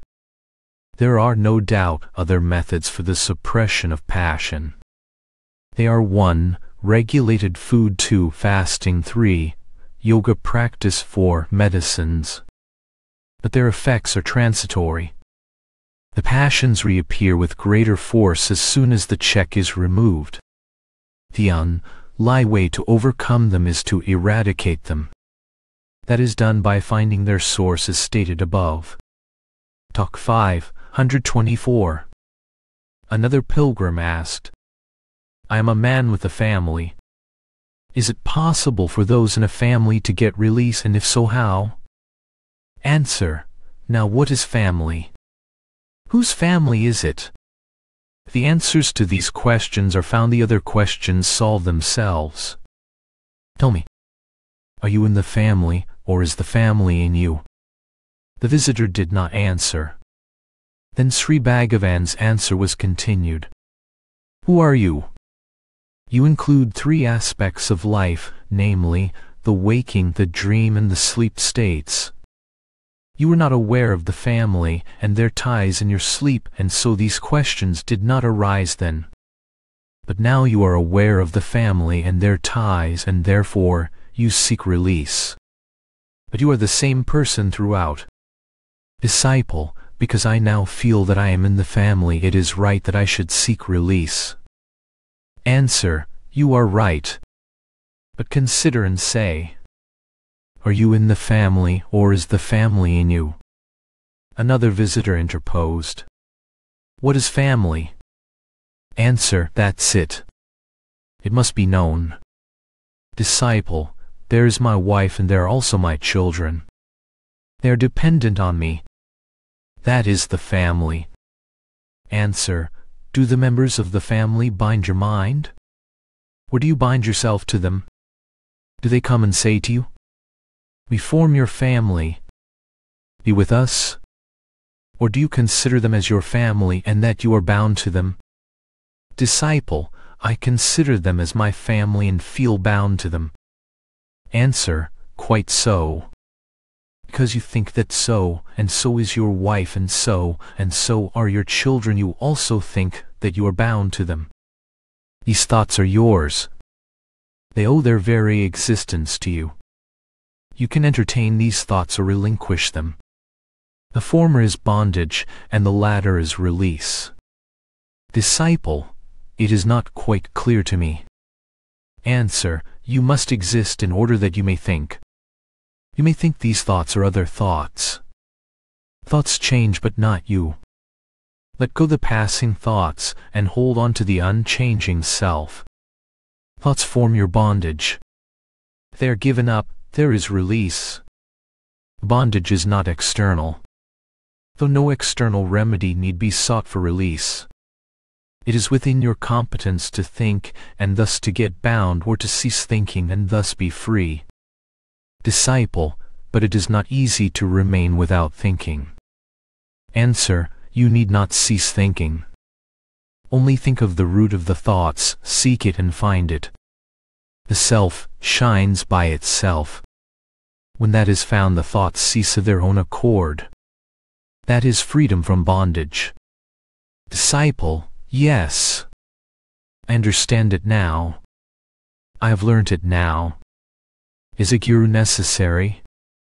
Answer, so long as you consider yourself as an individual, a guru is necessary to show to you that you are not bound by limitations and that your nature is to be free from limitations. Talk 5, 125. Another visitor asked, Actions are bondage. One cannot remain without some kind of activity. Though bondage goes on increasing. What is one to do under the circumstances? Answer, one should act in such a manner that the bondage is not strengthened but gets weakened. That is selfless action. 3rd October 1938 Talk 5, 126. A visitor asked Sri Bhagavan. People give some names to God and say that the name is sacred and repetitions of the name bestow merit on the individual. Can it be true? Answer, why not? You bear a name to which you answer. Your body was not born with that name written on it, nor did it say to anyone that it bore such and such a name. And yet a name is given to you, and you answer to that name, because you have identified yourself with the name. Therefore the name signifies something, and it is not a mere fiction. Similarly God's name is effective. Repetition of the name is remembrance of what it signifies hence its merit. But the man did not look satisfied. Finally he wanted to retire and prayed for Sri Bhagavan's grace. Sri Bhagavan now asked how mere sounds assuring him of grace would satisfy him unless he had faith. Both laughed and the visitor retired. 4th October 1938 Talk 5, 127 a group of respectable Coorg ladies was in the hall. One of them asked, I have received a mantra. People frighten me saying that it may have unforeseen results if repeated. Is only pranava. Though I seek advice. May I repeat it? I have considerable faith in it. Answer, certainly it should be repeated with faith. Disciple, will it do by itself? Or can you kindly give me any further instructions? Answer, the object of mantra japa is to realize that the same japa is already going on in oneself even without effort. The oral japa becomes mental, and the mental japa finally reveals itself as being eternal. That mantra is the person's real nature. That is also the state of realization. Disciple, can the bliss of samadhi be gained thus? Answer. The japa becomes mental and finally reveals itself as the self. That is samadhi.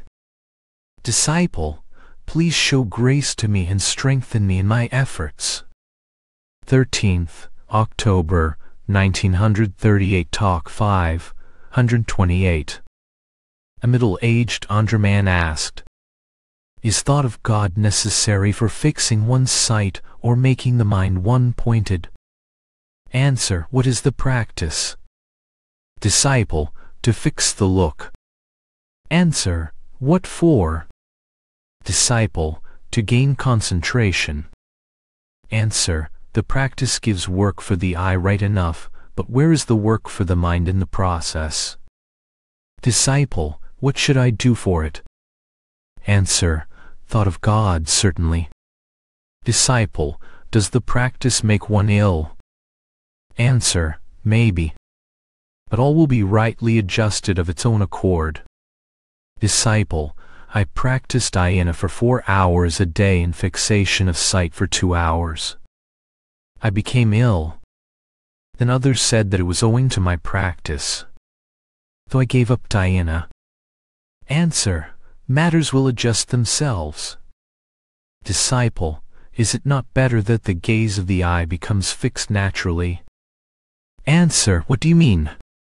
Disciple, is practice necessary to fix the gaze, or is it better to leave it to happen of its own accord? Answer, what is practice if it is not an attempt to make something natural? It will become natural after long practice. Disciple, is pranayama necessary? Answer, yes. It is useful. Disciple, I did not practice it. But should I undertake it? Answer, everything will be all right with sufficient strength of mind. Disciple, how shall I get the strength of mind? Answer, by pranayama. Disciple, is food regulation also necessary? Answer, it is certainly useful. Disciple, should my contemplation be on the infinite or the limited being? Answer, what do you mean? Disciple, may I contemplate on Sri Krishna or Sri Rama alternately? Answer, Bhavana implies Khanda in other words division. 15th October 1938 Talk 5, 129 in the course of conversation Sri Bhagavan said that Tirujnana Sambandar had sung in praise of Sri Arunachala. He also mentioned the story briefly as follows. Jnana Sambandar was born in an orthodox family about 1,500 years ago. When he was three years old his father took him to the temple in Shiali. He left the boy on the bank of the sacred tank and went in to bathe. As he dipped in the water the boy, not finding his father, began to cry out. Immediately Siva and Parvati appeared in a vimana. Siva told Parvati to feed the boy with her milk. So she drew out milk in a cup and handed it to the boy. He drank it and was happy. The father as he came out of the water saw the boy smiling and with streaks of milk round his lips. So he asked the boy what happened to him, the boy did not answer. He was threatened, and the boy sang songs. They were hymns in praise of Siva who appeared before him. He sang the one with ear-rings, the robber who robbed me of my mind. He thus became one of the most famous Bhaktas, and was much sought after. He led a vigorous and active life, went on pilgrimage to several places in South India. He got married in his sixteenth year. The bride and the bridegroom went to have darshan of God in the local temple soon after the marriage ceremonies were over. A large party went with them. When they reached the temple the place was a blaze of light, and the temple was not visible. There was however a passage visible in the blaze of light. Sambandar told the people to enter the passage. They did so, he himself went round the light with his young wife, came to the passage and entered it as the others had done earlier. The light vanished leaving no trace of those who entered it. Temple again came into view as usual. Such was the brief but very eventful life of the sage. In one of his tours he had come to Ariyanalar or Tirukoilur, 18 miles from Tiruvannamalai. The place is famous for its Siva temple. It was here that Sri Bhagavan had that vision of light on his way to Tiruvannamalai in his seventeenth year. Sri Bhagavan did not then know that the place was sanctified by the feet of Tirujnana Sambandar some fifteen centuries ago. When the ancient sage was staying in Ariyanalar, an old man who carried a flower basket came to him. The young sage asked the old man who he was. The latter replied that he was a servitor of Sri Arunachala, the god residing as the hill here. Sage. How far is it from here? The old man. I walk every day from there to here collecting flowers for daily worship. So it is only near. Sage. Then I shall go with you to that place. The old man. A rare pleasure indeed for me. They went together with a large crowd following the sage. After walking some distance the sage wanted to ask how much further the place was. But the old man had disappeared in the meantime. Soon after, a gang of dacoits waylaid the pilgrims who surrendered all that they had with them, threaded their way and reached their destination. The young sage fell into contemplation. God appeared and said that the dacoits were only his followers and that his needs would be met. Accordingly, the group of pilgrims found all their wants. The sage had sung hymns in praise of Sri Arunachala. One of the stanzas, he says, You are a dense mass of jnana, capable of removing the I am the body idea from your devotees. Herds of gazelles, of boars, and of bears come down your slopes in the night to search for food on the plains. Herds of elephants go from the plains to your slopes where they may rest. Though different herds of animals meet on your slopes. Sri Bhagavan continued.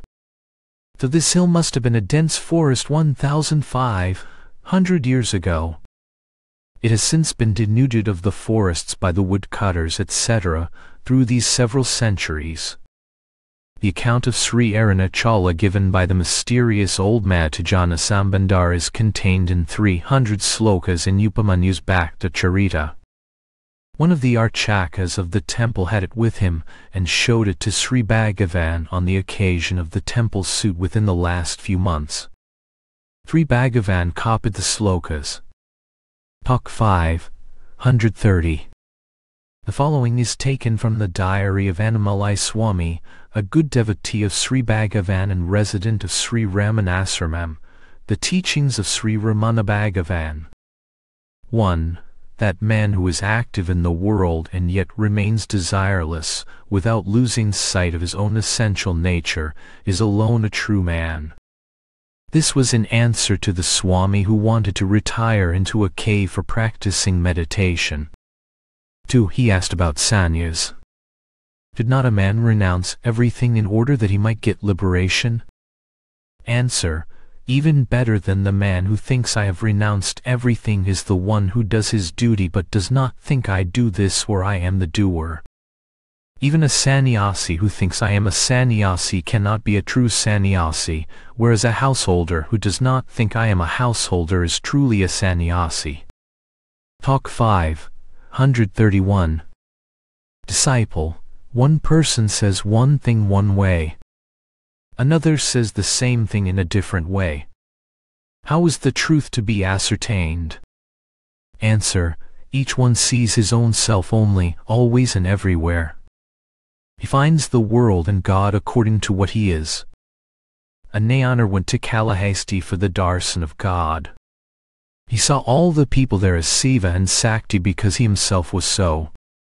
Again, Dharmaputra considered that the whole world was composed of people having some merit or other, and that each of them was even better than he himself for some reason or other. Whereas Duryodhana could not find even a single good person in the world. Each reflects his own nature. Talk 5, 132. Disciple, is there no way of escape from the miseries of the world? Answer, there is only one way and that consists in not losing sight of oneself under any circumstances. To inquire, who am I, is the only remedy for all the ills of the world. It is also perfect bliss. Talk 5, 133.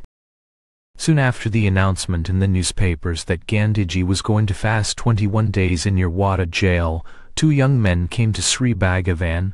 They were very excited. They said, Mahatma is now fasting for 21 days. We want permission from Sri Bhagavan to run up to your Wada so that we may also fast as long as he does. Please permit us. We are in a haste to go things so they made ready to rush out. Sri Bhagavan smiled and said, It is a good sign that you have such feelings. But what can you do now? Hit the strength which Gandhiji has already got by his tapasya. You will afterwards succeed. Talk 534 Sri Bhagavan often used to say, Mouna is the utmost eloquence. He says utmost activity. How? Because the person remains in his essential nature, and so he permeates all the recesses of the self. Thus he can call up any power into play, and whenever or wherever it is necessary. That is the highest, said I. Annamalai asked.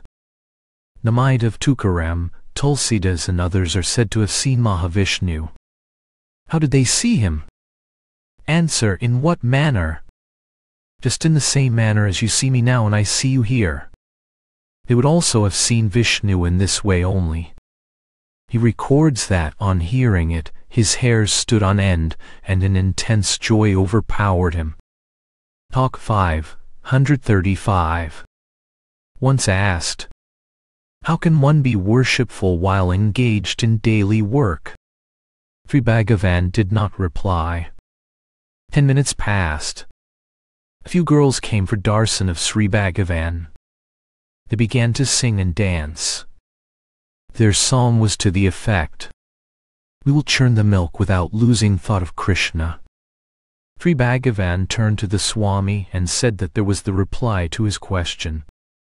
This state is called bhakti, yoga, and karma. Talk 5, 136. The person soaked in the I am the body idea is the greatest sinner, and he is a suicide. The experience of I am the self is the highest virtue. Even a moment's dhyana to that effect is enough to destroy all the sanchita karma. It works like the sun before whom darkness is dispelled. If one remains always in dhyana, can any sin, however heinous it be, survive his dhyana? Talk 5, 137. Once Sri Bhagavan said, Desire constitutes Maya, and desirelessness is God. Talk 5, 138. Asked. What is the exact difference between worldly activity and dhyana? Answer. There is no difference. Is like naming one and the same thing by two different words in two different languages. The crow has two eyes but only one iris which is rolled into either eye as it pleases. The trunk of an elephant is used for breathing and for drinking water. The snake sees and hears with the same organ. Talk 5, 139. When Sri Bhagavan was going up the hill, the Swami asked, Does the closing or the opening of the eyes make any difference during dhyana? Answer, if you strike on a wall with a rubber ball and you stand at a distance, the ball rebounds and runs back to you. If you stand near the wall, the ball rebounds and runs away from you. Even if the eyes are closed, the mind follows thoughts. Talk 5, 140. Once asked, There is more pleasure in dhyana than in sensual enjoyments. Yet the mind runs after the latter and does not seek the former. Why is it so? Answer, pleasure or pain are aspects of the mind only. Our essential nature is happiness. But we have forgotten the self and imagine that the body or the mind is the self. It is that wrong identity that gives rise to misery. What is to be done? This Vasana is very ancient and has continued for innumerable past births. Hence it has grown strong. That must go before the essential nature, namely happiness, asserts itself.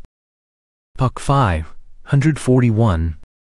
A certain visitor asked Sri Bhagavan, There's so much misery in the world because wicked men abound in the world.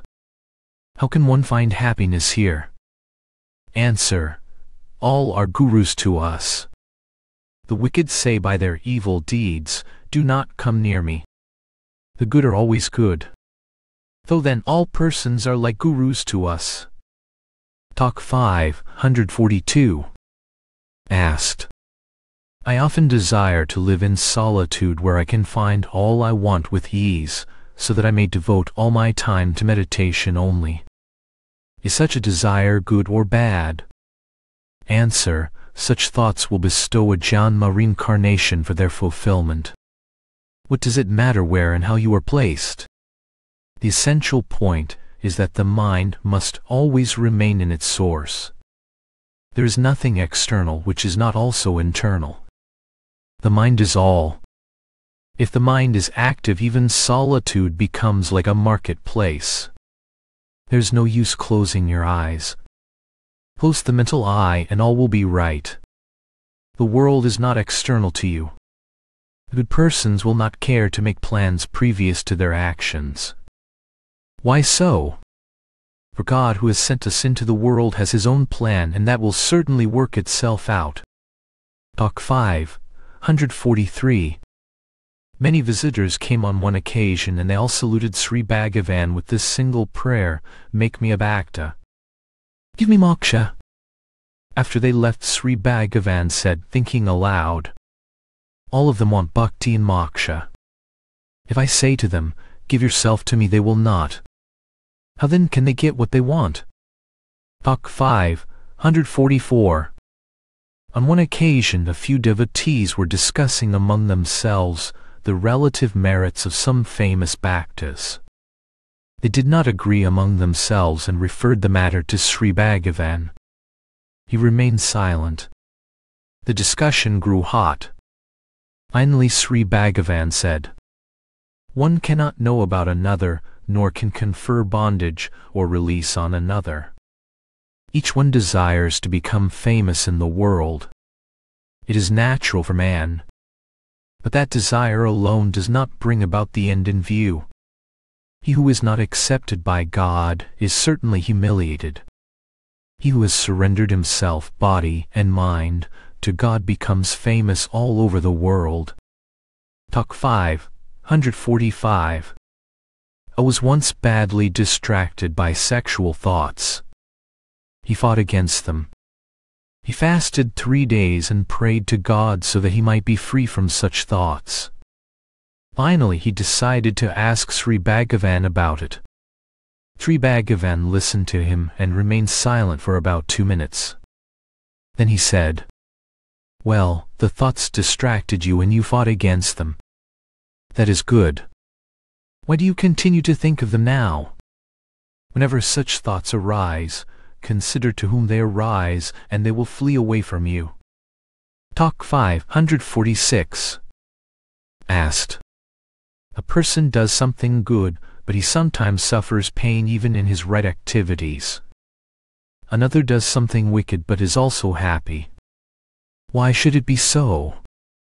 Answer pain or pleasure is the result of past karma and not of the present karma. Pain and pleasure alternate with each other. One must suffer or enjoy them patiently without being carried away by them. One must always try to hold on to the self. When one is active one should not care for the results and must not be swayed by the pain or pleasure met with occasionally. He who is indifferent to pain or pleasure can alone be happy. Talk 5, 147. Disciple, what is the significance of Guru's grace in the attainment of liberation? Answer, liberation is not anywhere outside you. It is only within. A man is anxious for deliverance, the Guru within pulls him in and the Guru without pushes him into the self. This is the grace of the Guru. Talk 5, 148. A visitor asks Sri Bhagavan in writing the following questions.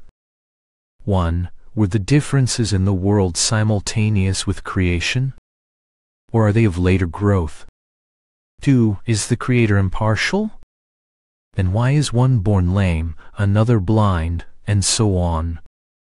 3. Are the eight Dikpalas, 33 crores of gods and the seven rishis existent even today? Answer.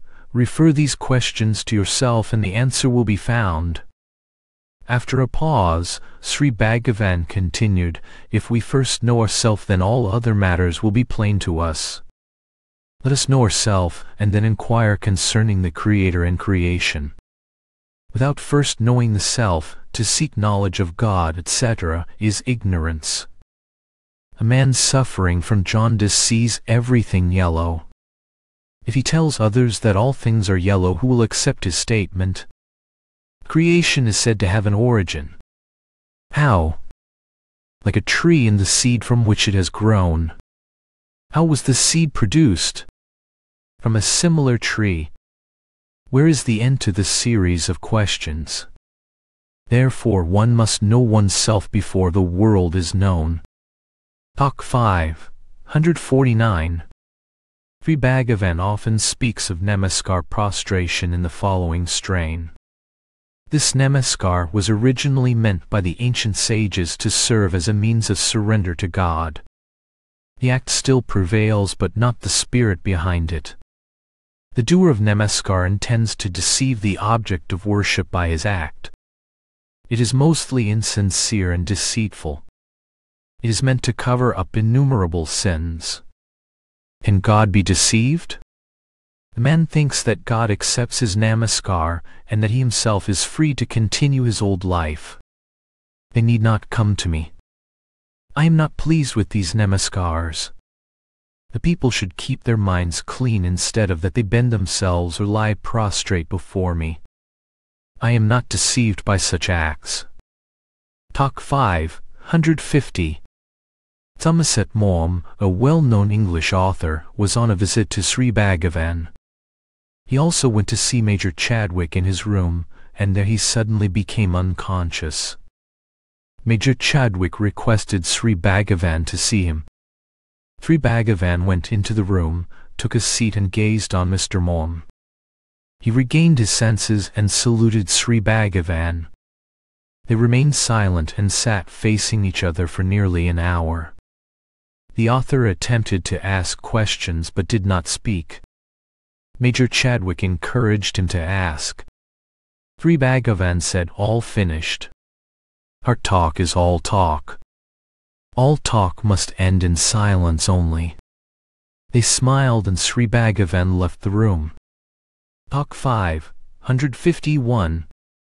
A man asked Sri Bhagavan, How is it that Atmavidya is said to be the easiest? Answer, any other vidya requires a knower knowledge and the object to be known, whereas this does not require any of them. It is the self, can anything be so obvious as that? Hence it is the easiest. All that you need do is to inquire, Who am I? A man's true name is Mukti Liberation Talk 5, 152. There are some buildings in the Asramam. They used to have some plan which somehow could not be followed in entirety. Therefore A and the Sarvadhikari did not agree on many details, and there used to be trouble between them I was once highly disgusted with the state of affairs. He asked Sri Bhagavan what could be done under the circumstances. Sri Bhagavan said, Which of the buildings was according to a plan made by these people here? God has his own plans and all these go on according to that. No one need worry as to what happens. Talk 5, 153 the Asramites once asked Sri Bhagavan, how were we all in our previous births? Why do we not know our own past? Answer, God in His mercy has withheld this knowledge from people. They knew that they were virtuous, they will grow proud contrariwise they will be depressed. Both are bad. It is enough that one knows the self. Talk 5, 154 Maharshi just as a river does not continue its flow after its discharge into the ocean, so also a person loses all movements after he merges in the self. Talk 5, 155. Sri Bhagavan once recounted how Kavikantha Ganapathy Muni asked him, My own opinion is that a man can live on Rs. 3 a month. What is Sri Bhagavan's opinion in the matter? Answer, a man can live happily only if he knows that he requires nothing wherewith to live. Talk 5, 156. Major Chadwick asked Sri Bhagavan one night. The world is said to become manifest after the mind becomes manifest. There's no mind when I sleep. Is the world not existent to others at that time? Does it not show that the world is the product of a universal mind? How then shall we say that the world is not material but only dream-like? Answer. the world does not tell you that it is of the individual mind or of the universal mind. It is only the individual mind that sees the world. When this mind disappears, the world also disappears. There was a man who saw in his dream his father who had died thirty years earlier. Furthermore, he dreamt that he had four more brothers, and that his father divided his property among them. A quarrel ensued, the brothers assaulted the man, and he woke up in a fright. Then he remembered that he was all alone, he had no brothers, and the father was dead long ago. His fright gave place to contentment. So you see, when we see ourself there is no world, and when we lose sight of the self we get ourselves bound in the world. Talk 5, 157. A visitor asked, we are advised to concentrate on the spot in the forehead between the eyebrows. Is it right? Answer. Everyone is aware I am leaving aside that awareness one goes about in search of God. What is the use of fixing one's attention between the eyebrows? It is mere folly to say that God is between the eyebrows. The aim of such advice is to help the mind to concentrate It is one of the forcible methods to check the mind and prevent its dissipation. It is forcibly directed into one channel. It is a help to concentration. But the best means of realization is the inquiry, Who am I? The present trouble is to the mind, and it must be removed by the mind only. Disciple, are there restrictions to be observed in food? Answer, Sava food taken in moderation. Disciple, there are several asanas mentioned. Which of them is the best? Answer, Nididhyasana one-pointedness of the mind is the best. Talk 5, 158. A visitor asked, Sri Bhagavan, when I heard of you, a strong desire arose in me to see you. Why should it be so? Answer, the desire arose in the same way as the body arises to the self. Disciple, what is the purpose of life? Answer. To seek to know the significance of life is itself the result of good karma in past births. Those who do not seek such knowledge are simply wasting their lives. Talk 5, 159. A man asks Sri Bhagavan, Sri Bhagavan can know when I shall become a Jnani. Please tell me when it will be. Answer. If I am Bhagavan then there is no one apart from me to whom jnana should arise or to whom I should speak. If I am an ordinary man like others then I am as ignorant as the rest. Either way your question cannot be answered. Talk 5, 160. When Sri Bhagavan was taking his bath a few bhaktas were around him, speaking to themselves. Then they asked him about the use of Ganja Hashish. Sri Bhagavan had finished his bath by that time. He said, O Ganja, the users feel immensely happy when they are under its influence. How shall I describe their happiness?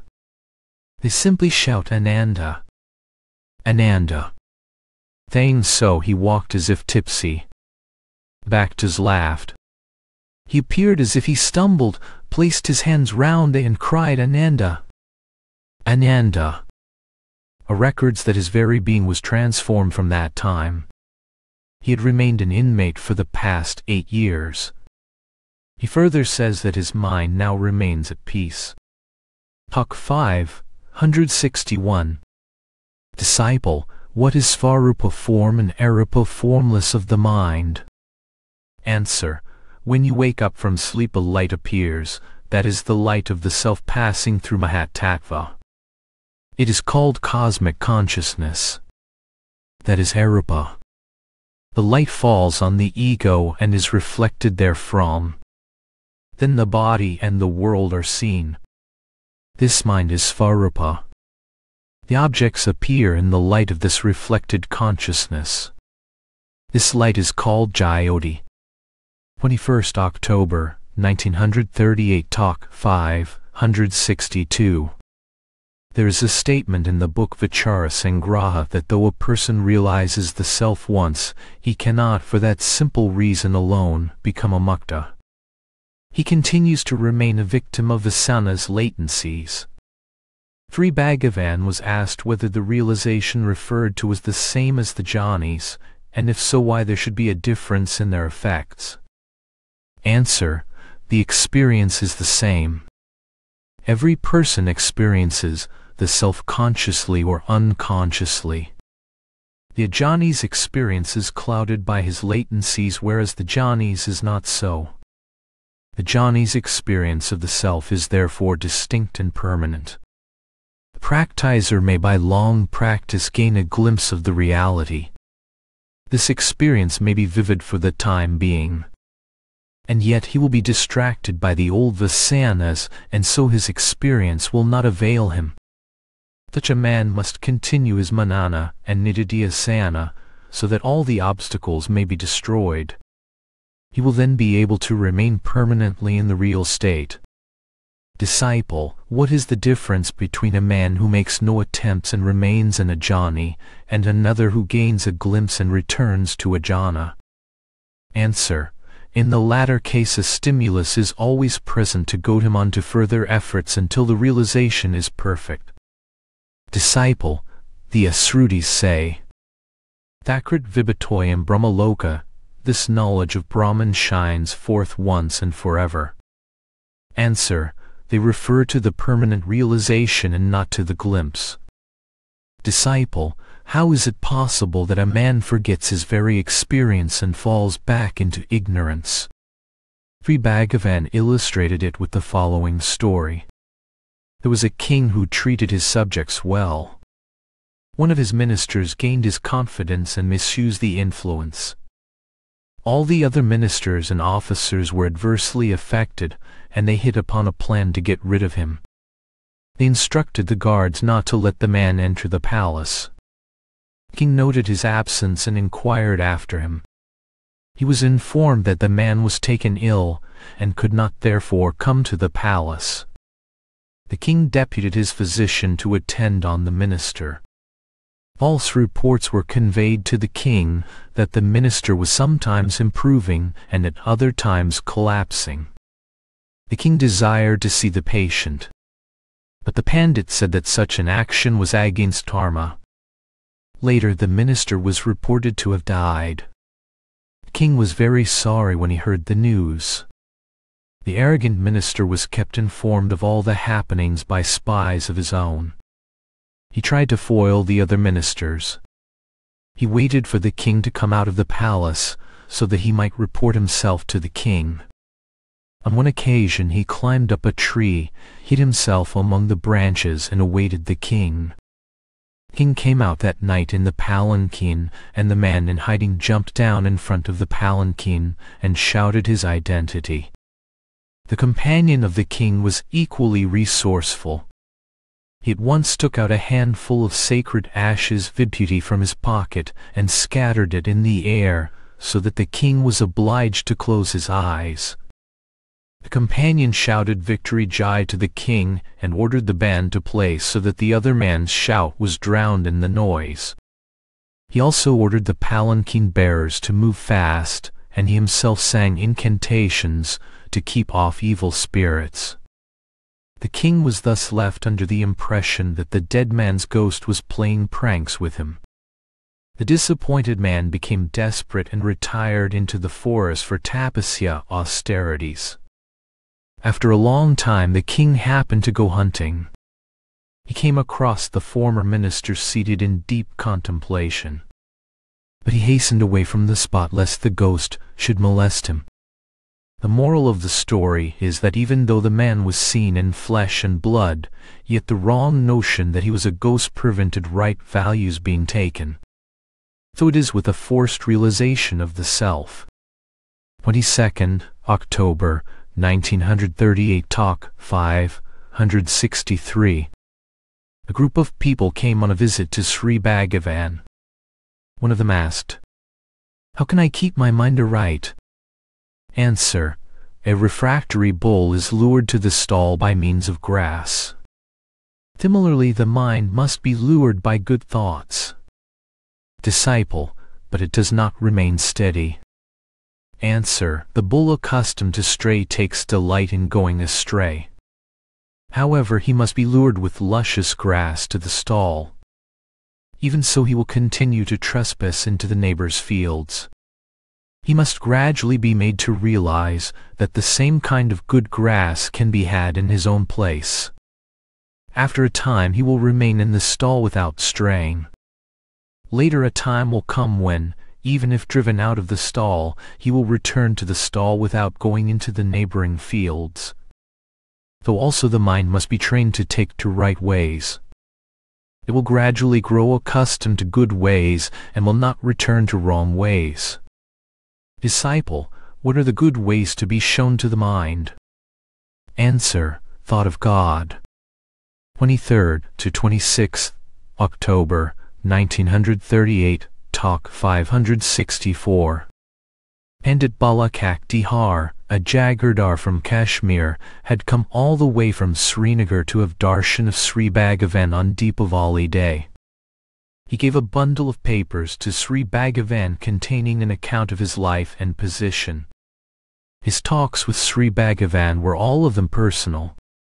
One of his questions was, now that I have had the darshan of Sri Bhagavan, and it is enough for me, may I throw away all the charms, tantras, and pujas into the river? Answer. Daily puja, as prescribed in the Dharma Sastras, is always good. It is for the purification of the mind. Even if one feels oneself too advanced to need such puja, still it must be performed for the sake of others. Such action will be an example to one's children and other dependents. Talk 5, 165. A gentleman from Mysore asked, How is the mind to be kept in the right way? Answer, by practice. Give it good thoughts. Mind must be trained in good ways. Disciple, but it is not steady. Answer, the Bhagavad Gita says, Tanaisaneruparamit the mind must gradually be brought to a standstill. Atmasamstha manakarti making the mind inhere in the self. Abhyasa viragyabhyam by practice and dispassion. Practice is necessary. Progress will be slow. Disciple, what is the self referred to in Atma Samstham fixing it in the self? Answer, do you not know yourself? Certainly exist. Or do you deny your existence? The question may arise who is this self, only if you do not exist, but you cannot ask anything unless you exist at the same time. Your question shows that you exist. Find out who you are. That is all. Disciple, I have read many books. But my mind does not turn to the self. Answer, because the self is not in the books but it is in you. Reading books makes one learned. That is its purpose and it is fulfilled. Disciple, what is Atma Sakshatkara self-realization? Answer, you are the Atma self and that Sakshat here and now also. Where is the place for Kara accomplishment in it? This question shows that you think you are the non-self. Or you think that there are two selves, the one to realize the other. It is absurd that you identify yourself with the gross body lies at the root of this question. Well, this question arises now. Did it arise in your sleep? Did you not exist then? Certainly you did exist in sleep. What is the difference between these two states that the question should arise now but not in sleep? Now you think that you are the body. You see things around you and you want to see the self in a similar manner. Such is the force of habit. The senses are mere instruments of perception. You are the seer. Remain as the seer only. What else is there to see? Such is the state in deep sleep. Therefore this question does not arise then. Atma Sakshatkara self-realization is thus only anatma nirasana giving up the non-self. Disciple, is there only one self or are there more selves? Answer, this is again due to confusion. You identify the body with the self. You think, here I am, here he is, there is another, and so on. You find many bodies and think they are so many selves. But did you ask in your sleep, I am sleeping here, how many are there who are awake? Does any question arise for the matter of that? Why does it not arise? Because you are only one, and there are not many. Disciple, what is my tattva truth? Answer, you are yourself the tattva. Is there a different one to know the tattva of another? How can you exist apart from the tattva? The very fact of your existence makes you ask this question. Your very existence is the tattva. Give up the habiliments of the tattva and remain in your essential nature. All the scriptures tell you only not to waste your efforts in non-truth, non-tattva. Give up the non-tattva. Then tattva remains always shining pure and single.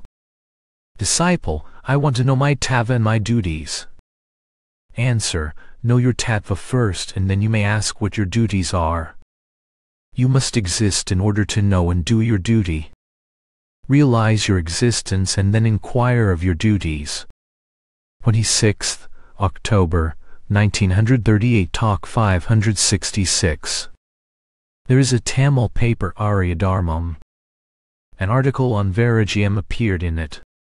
Sri Bhagavan read it out in answer to a question.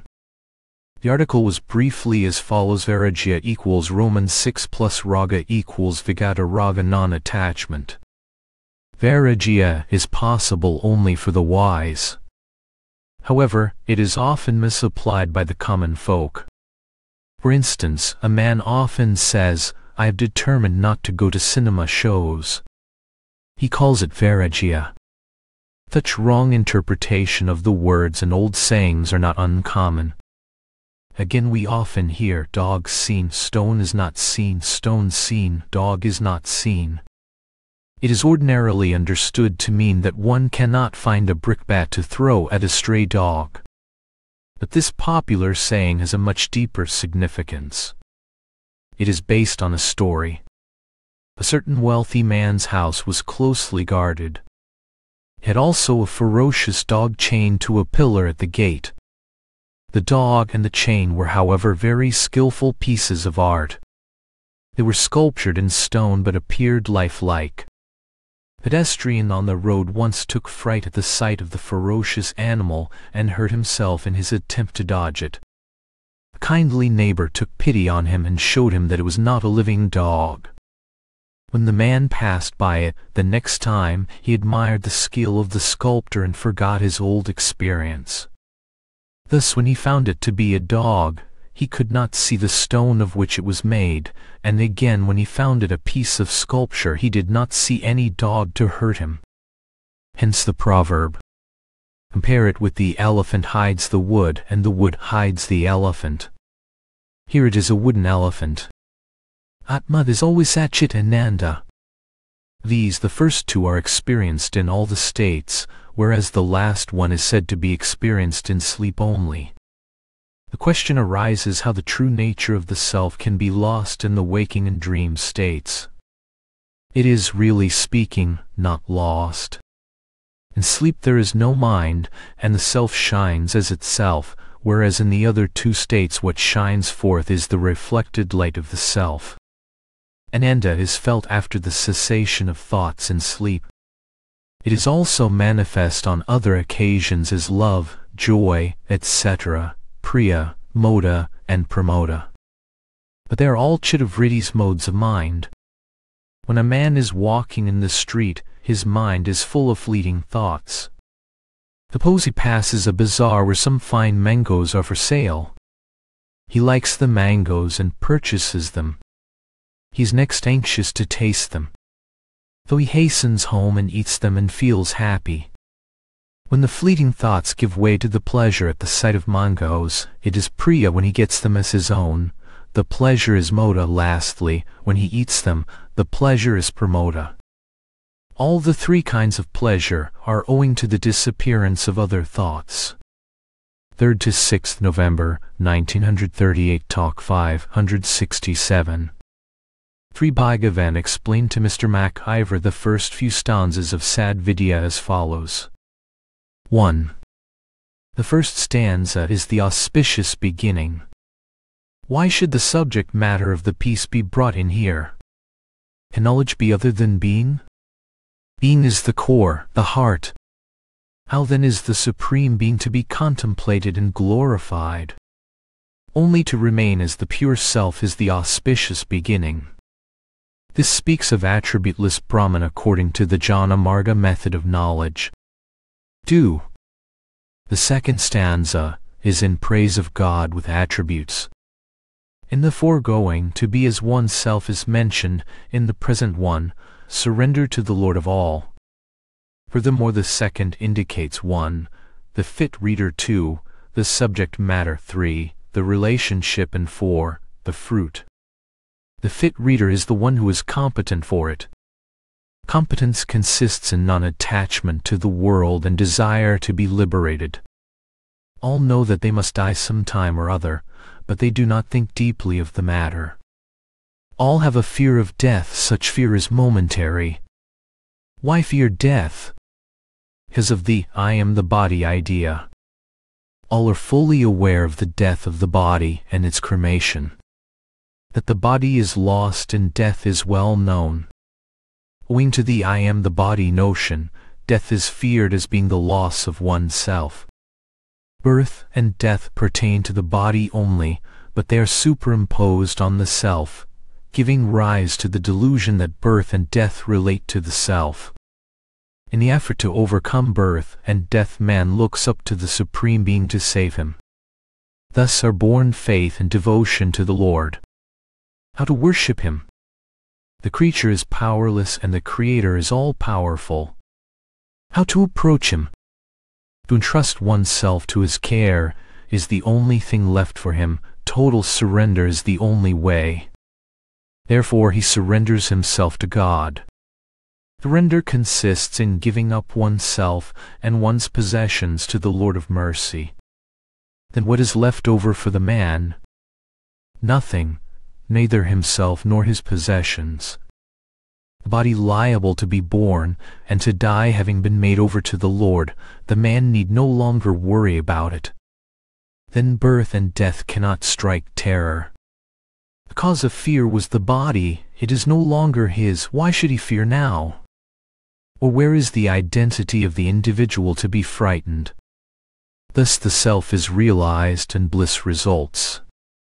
This is then the subject matter freedom from misery and gain of happiness.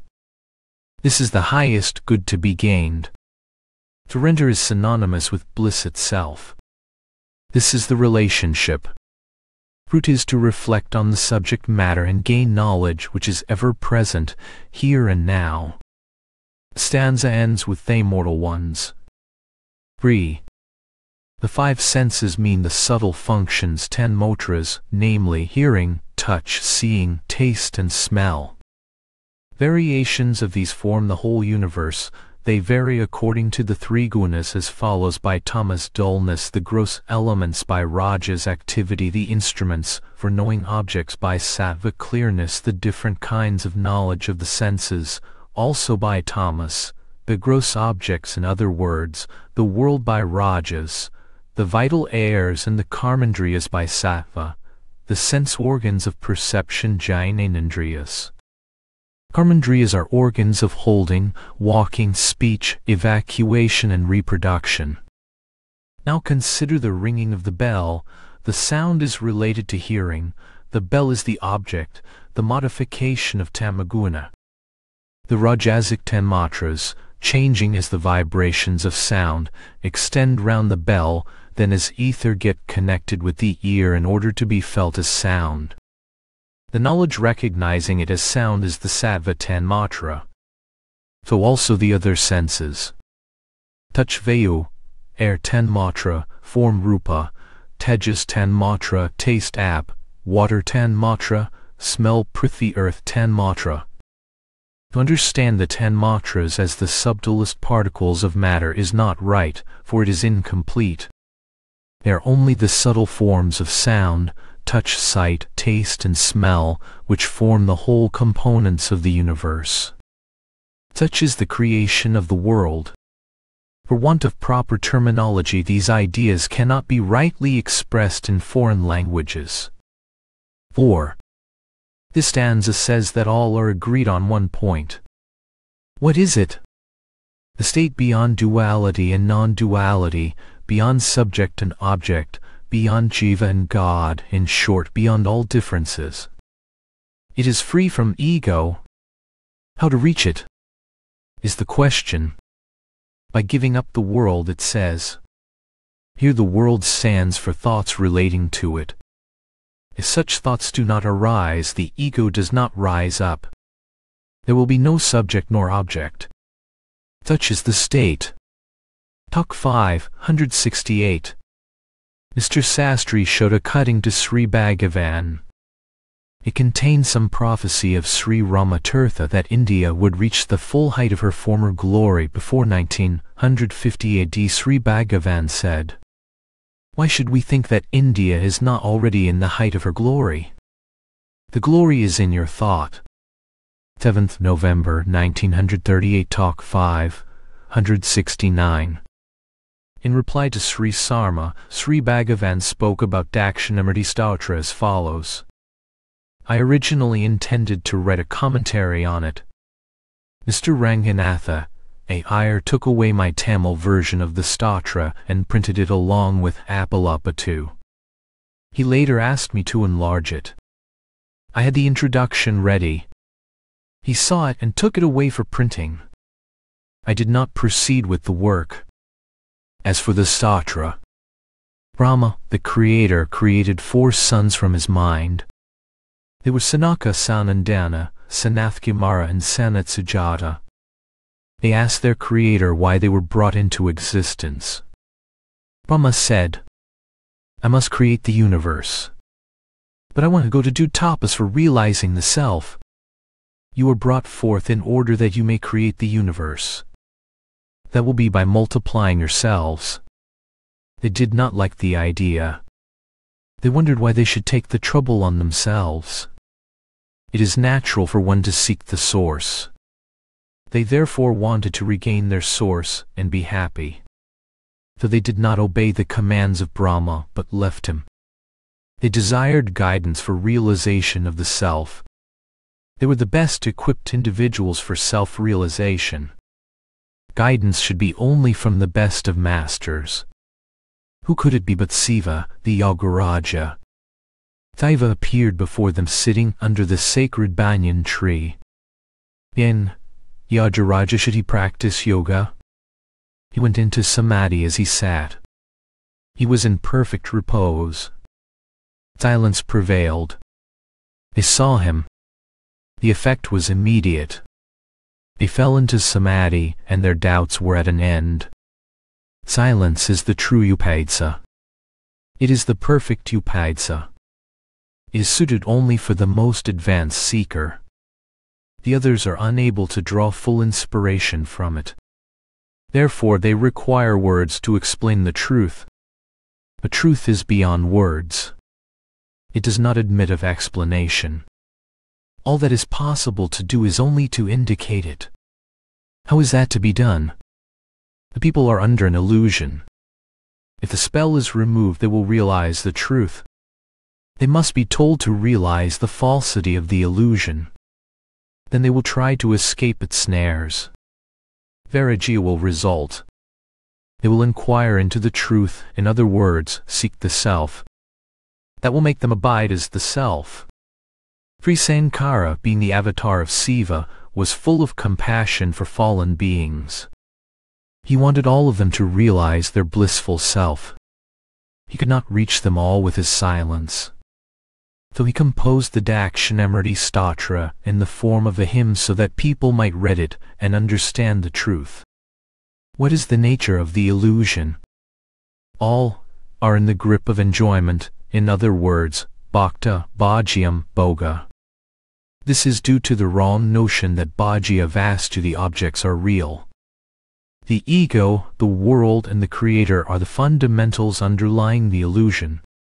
If they are known to be not apart from the self, there will be no more illusion. Verse four stanzas deal with the world. Is shown to be the same as the master whose self is that of the seeker also, or the master to whom the seeker surrenders himself. The second four stanzas deal with the individual whose self is shown to be the self of the master. The ninth stanza deals with the Isvara and the tenth with the Sid, I or realization. Such is the scheme of the Stotra. Which is the Darpana mirror here?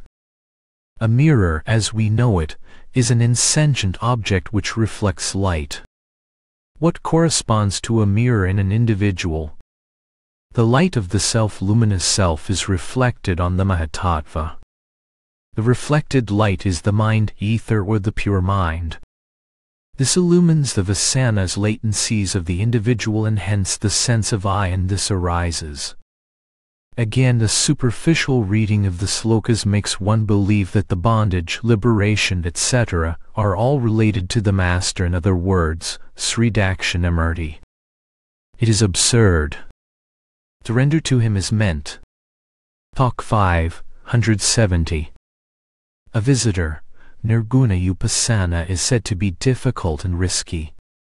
He quoted the verse from Sri Bhagavad Gita, Avyakta, he etc. the manifest, etc. Answer, what is manifest is considered to be unmanifest and doubt is created. Can anything be more immediate and intimate than the self? Can anything be more plain? Disciple, Saguna Upasana seems easier. Answer, do what is easy for you. Talk 571. Multiplicity of individuals is a moot point with most persons. Ajiva is only the light reflected on the ego. The person identifies himself with the ego and argues that there must be more like him. He is not easily convinced of the absurdity of his position. Does a man who sees many individuals in his dream persist in believing them to be real and inquire after them when he wakes up? This argument does not convince the disputant. Again there is the moon. Let anyone look at her from any place at any time, she's the same moon. Everyone knows it. Now suppose that there are several receptacles of water reflecting the moon. The images are all different from one another and from the moon herself. If one of the receptacles falls to pieces, that reflection disappears. Its disappearance does not affect the real moon or the other reflections. It is similar with an individual attaining liberation. He alone is liberated. The sectarian of multiplicity makes this his argument against non-duality. If the self is single, if one man is liberated, that means that all souls are liberated, in practice, it is not so. Therefore Advaita is not correct. The weakness in the argument is that the reflected light of the self is mistaken for the original light of the self. The ego, the world, and the individuals are all due to the person's vasanas. When they perish, that person's hallucinations disappear, that is to say one picture is broken and the relative reflection is at an end. The fact is that the self is never bound. There can therefore be no release for it. All the troubles are for the ego only. 10th November, 1938 A question was asked why it was wrong to say that there is a multiplicity of jivas. Jivas are certainly many. Jiva is only the ego and forms the reflected light of the self. Multiplicity of selves may be wrong but not of jivas. Answer. Jiva is called so because he sees the world. A dreamer sees many jivas in a dream but all of them are not real. The dreamer alone exists, and he sees all. So it is with the individual and the world. There is the creed of only one self which is also called the creed of only one jiva. says that the jiva is only one who sees the whole world and the jivas therein. Disciple, then jiva means the self here. Answer, so it is. But the self is not a seer. But here he is said to see the world, though he is differentiated as the Jiva. Talk 5, 172. Disciple, of what use is the fear of death which is common to all? Answer, true it is common to all. Such fear serves no useful purpose, because being overpowered by the latent tendencies of the mind the man dies a natural death. It does not lead him to non-attachment, and he cannot investigate the matter. Disciple, how then are you giving the same instruction without distinction to visitors? Answer, what do I say? The ego in each one must die. Let him reflect on it. Is there this ego or is there not? By repeated reflection one becomes more and more fit. 11th November 1938 Talk 573 Mr. Ranganatha Iyer, a devotee of 14 years standing, is on a visit here. He asked, How long is the interval between one's death and reincarnation? Answer, It may be long or short. But a jnani does not have any such changes, he merges into the universal being, so says the Brihadaranyaka Upanishad.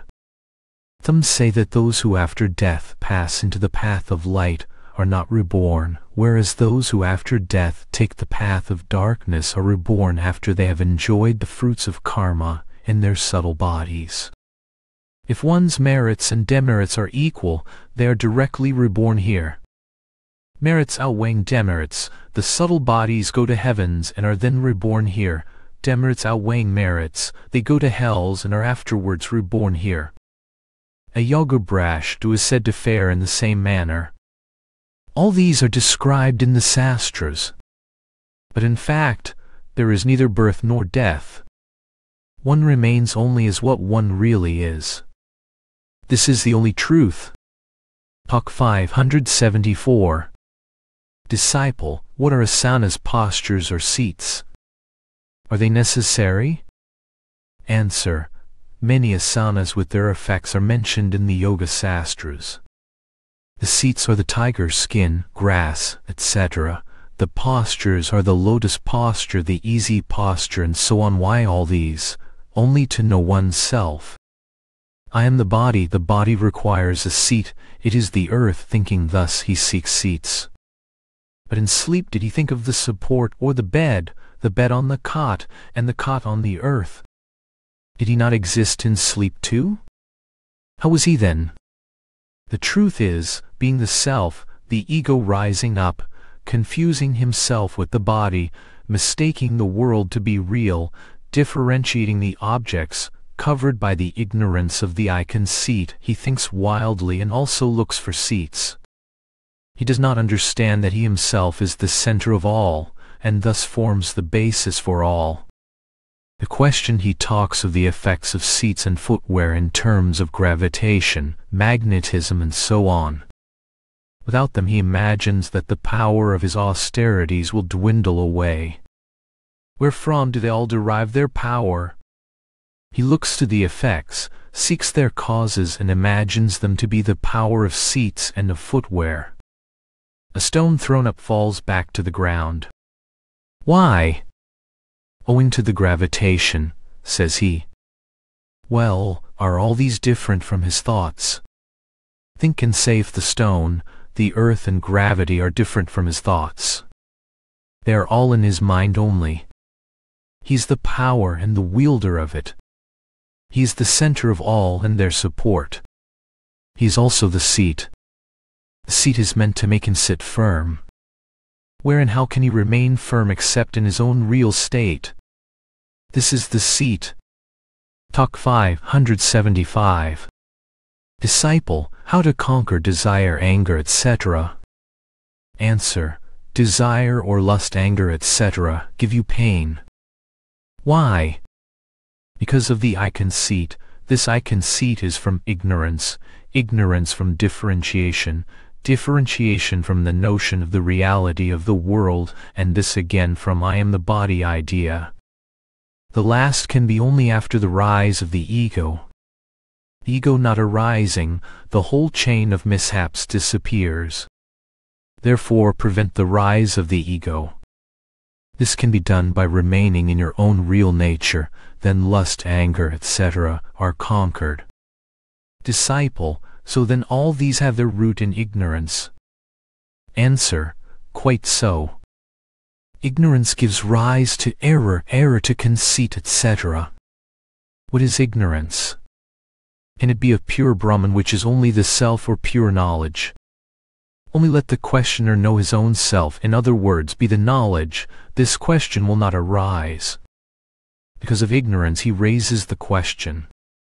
Such ignorance is of the questioner and not of the self. The sun seen, no darkness persists. There is hoarded wealth in an iron safe. The man says it is his own, the safe does not say so. It is the ownership conceit that is responsible for the claim. Nothing is independent of the self, not even ignorance, for ignorance is only the power of the self, remaining there without affecting it. However it affects the I conceit, in other words the jiva. Therefore ignorance is of the jiva. How? The man says, I do not know myself. Are there then two selves? one the subject and the other the object. He cannot admit it.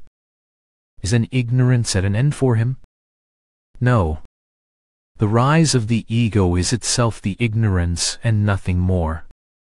Talk 576 Sutrabhashya The sutras are meant to elucidate and establish the meanings of the texts. Commentaries try to do so by bringing in the opponent's views, refuting them and arriving at conclusions after long discussions. There are also differences of opinion in the same school of thought, again protagonists and antagonists. Also different schools of thought interpret the same text in different ways and arrive at different conclusions, contrary to each other. How then is the purpose of the sutras served? 15th. November 1938 Talk 5, 177. Talk 5, 178. Coming here, some people do not ask about themselves. They ask, Does the sage liberated while alive Jivan Mukta see the world? Is he affected by karma? What is liberation after being disembodied? Is one liberated only after being disembodied or even while alive in the body? Could the body of the sage resolve itself in light or disappear from view in any other manner? Can he be liberated though the body is left behind as a corpse? Their questions are endless. Why worry oneself in so many ways? Does liberation consist in knowing these? Therefore I say to them, leave liberation alone. Is there bondage? Know this. To yourself first and foremost. Talk 5, 179. If Veiling does not hide the Jiva in entirety, he knows that he is, only he does not know who he is. He sees the world but not that it is only Brahman. It is light in darkness or knowledge in ignorance. In cinema show the room is first darkened, artificial light is introduced, only in this light are the pictures projected. For differentiation a reflected light is thus necessary. A sleeper dreams, he is not out of sleep, only in the darkness or ignorance of sleep can he see the unreal dream objects. Similarly the darkness of ignorance gives rise to the knowledge of the perceptions of the world. This failing is a characteristic of ignorance, it is not of the self, it cannot affect the self in any manner, it can veil only the jiva. The ego is insentient united with the light from the self, it is called jiva. But the ego and the light cannot be seen distinct from each other, they are always united together. The mixed product is the jiva, the root of all differentiation. All these are spoken of to satisfy the questioners. Jiva is not independent of Isvara, nor ignorance of Maya. Only on waking up from sleep the man perceives the body and the world, but not in sleep. On the strength of the present knowledge, he understands that he remained in deep sleep also. Therefore, in sleep jiva must be concluded to be in pure state in which the body and the world are not perceived. Disciple, is not jiva the reflected light the I thought? Answer, he is also a jiva, before it also he is jiva, the one of them is related to the other's cause and effect. The sleeper jiva cannot be independent of his Isvara. On waking he says I am the body. If all the worlds together form Virat, the body is a tiny dot in it. Thus the body is in and a Virat. What belongs to the Jiva then? Only the conceit makes him claim the body as himself, but not the others. He cannot be independent of Virat. Similarly one is Isvara. Causal cosmic being right arrow prajna individual being in deep sleep. 2. Hiranyagarbha causal subtle being right arrow Taijasa individual subtle being. 3. Virat. Causal gross being right arrow Visva individual gross being. 4. Maya. Causal ignorance adjunct to Isvara right arrow ignorance adjunct to Jiva. 5. Brahman. Cause right arrow Jiva effect.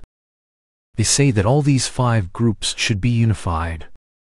This they call the unity of the five. All these are only polemics. 17th November 1938 Talk 5, 180. Party from Rajkot came in a bus. They consisted of four chiefs and four ladies with attendants and a bodyguard. They arrived at 11 a.m. after lunch in their room. They had a short conversation at 12 p.m. and left at 1.5 p.m. One of them said, here is the mother of the Thakur Sahib. We have come a long distance for the darshan of Sri Maharshi. Will he kindly give us some instructions? Sri Bhagavan smiled and answered, Good that they have come such a long distance for the sake of darshan. It is enough that they have said it. What is there for me to say? Lunch bell. At 12 p.m. disciple, is a jnani different from a yogi? What is the difference? Answer, Srimad Bhagavad Gita says that a jnani is the true yogi and also a true bhakta. Yoga is only a sadhana and jnana is the siddhi. Disciple, is yoga necessary? Answer, it is a sadhana. It will not be necessary after jnana is attained. All the sadhanas are called yogas, for example, karma yoga, Bhakti Yoga, Jnana Yoga, Ashtanga Yoga. What is yoga? Yoga means union yoga is possible only when there is viyoga separation. The person is now under the delusion of yoga. This delusion must be removed. The method of removing it is called yoga. Disciple, which method is the best? Answer, it depends upon the temperament of the individual. Every person is born with the samskaras of past lives. One of the methods will be found easy for one person and another method for another. There is no definiteness about it. Disciple, how is one to meditate? Answer, what is meditation? It is commonly understood to be concentration on a single thought. Other thoughts are kept out at that time. The single thought also must vanish at the right time. Thought-free consciousness is the goal. Disciple, how is the ego to be got rid of? Answer, the ego must be held in order to get rid of it. Hold it first and the rest will be easy. Disciple, how is that to be held? Answer, do you mean to say that there is one ego to hold another ego or to eliminate the other? Are there two egos? Disciple, how shall I pray to God? Answer, there must be I who prays to God. I is certainly immediate and intimate whereas God is not thought so. Find out that which is more intimate and then the other may be ascertained and prayed to if necessary. 19th November 1938 Talk 5, 181. When a child held something to be offered to Sri Bhagavan by the parents, they cajoled the child to offer it to Sri Bhagavan. The child did so gladly. Sri Bhagavan remarked, Look at this. When the child can give a thing away to Jeja, it is Tyaga. Jeja, God. See what influence Jeja has on children also. Every gift implies unselfishness. That is the whole content of Nishkama Karma, unselfish action. It means true renunciation. If the giving nature is developed, it becomes Tyaga. If anything is willingly given away, it is a delight to the giver and to the receiver. If the same is stolen, it is misery to both. Dana, Dharma, Nishkama Karma are all Tyaga only. When mine is given up it is Chittasud, I purified mind. When I is given up it is Jnana. When the nature to give away is developed it results in Jnana. Again, a little later, a young boy came all alone, unescorted by his parents. He had come from Chengam in a bus. Sri Bhagavan remarked, the boy has left his parents to come here. This is also an instance of Tyaga. 21st. 22nd November 1938 Talk 582 To an Andhra gentleman Sri Bhagavan said, If one goes on wanting, one's wants cannot be fulfilled. Whereas if one remains desireless anything will be forthcoming. We are not in the wife, children, profession, etc., but they are in us they appear and disappear according to one's prarabdha. The mind remaining still is samadhi no matter whether the world is perceived or not. Environment, time and objects are all in me. How can they be independent of me? They may change, but I remain unchanging, always the same. The objects can be differentiated by means of their names and forms, whereas each one's name is only one and that is I. Ask anyone he says I and speaks of himself as I, even if he's Isvara. His name too is I only. Though also of a locality. As long as I am identified with the body, so long a locality is distinguishable, otherwise not. Am I the body? Does the body announce itself as I?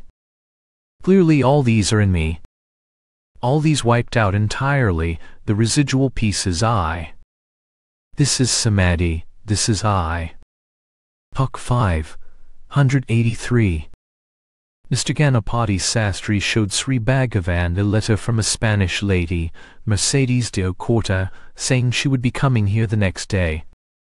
Sri Bhagavan remarked, See the trouble to so many because I am here. 23rd, November 1938 Reminiscence Huck 5, 184 A certain visitor began to pull the panka. Sri Bhagavan said, Because it is cold, they have placed fire by my side. Why should the panka be pulled? Then he continued, On a cold morning when I was in Virupaksha cave, I was sitting in the open.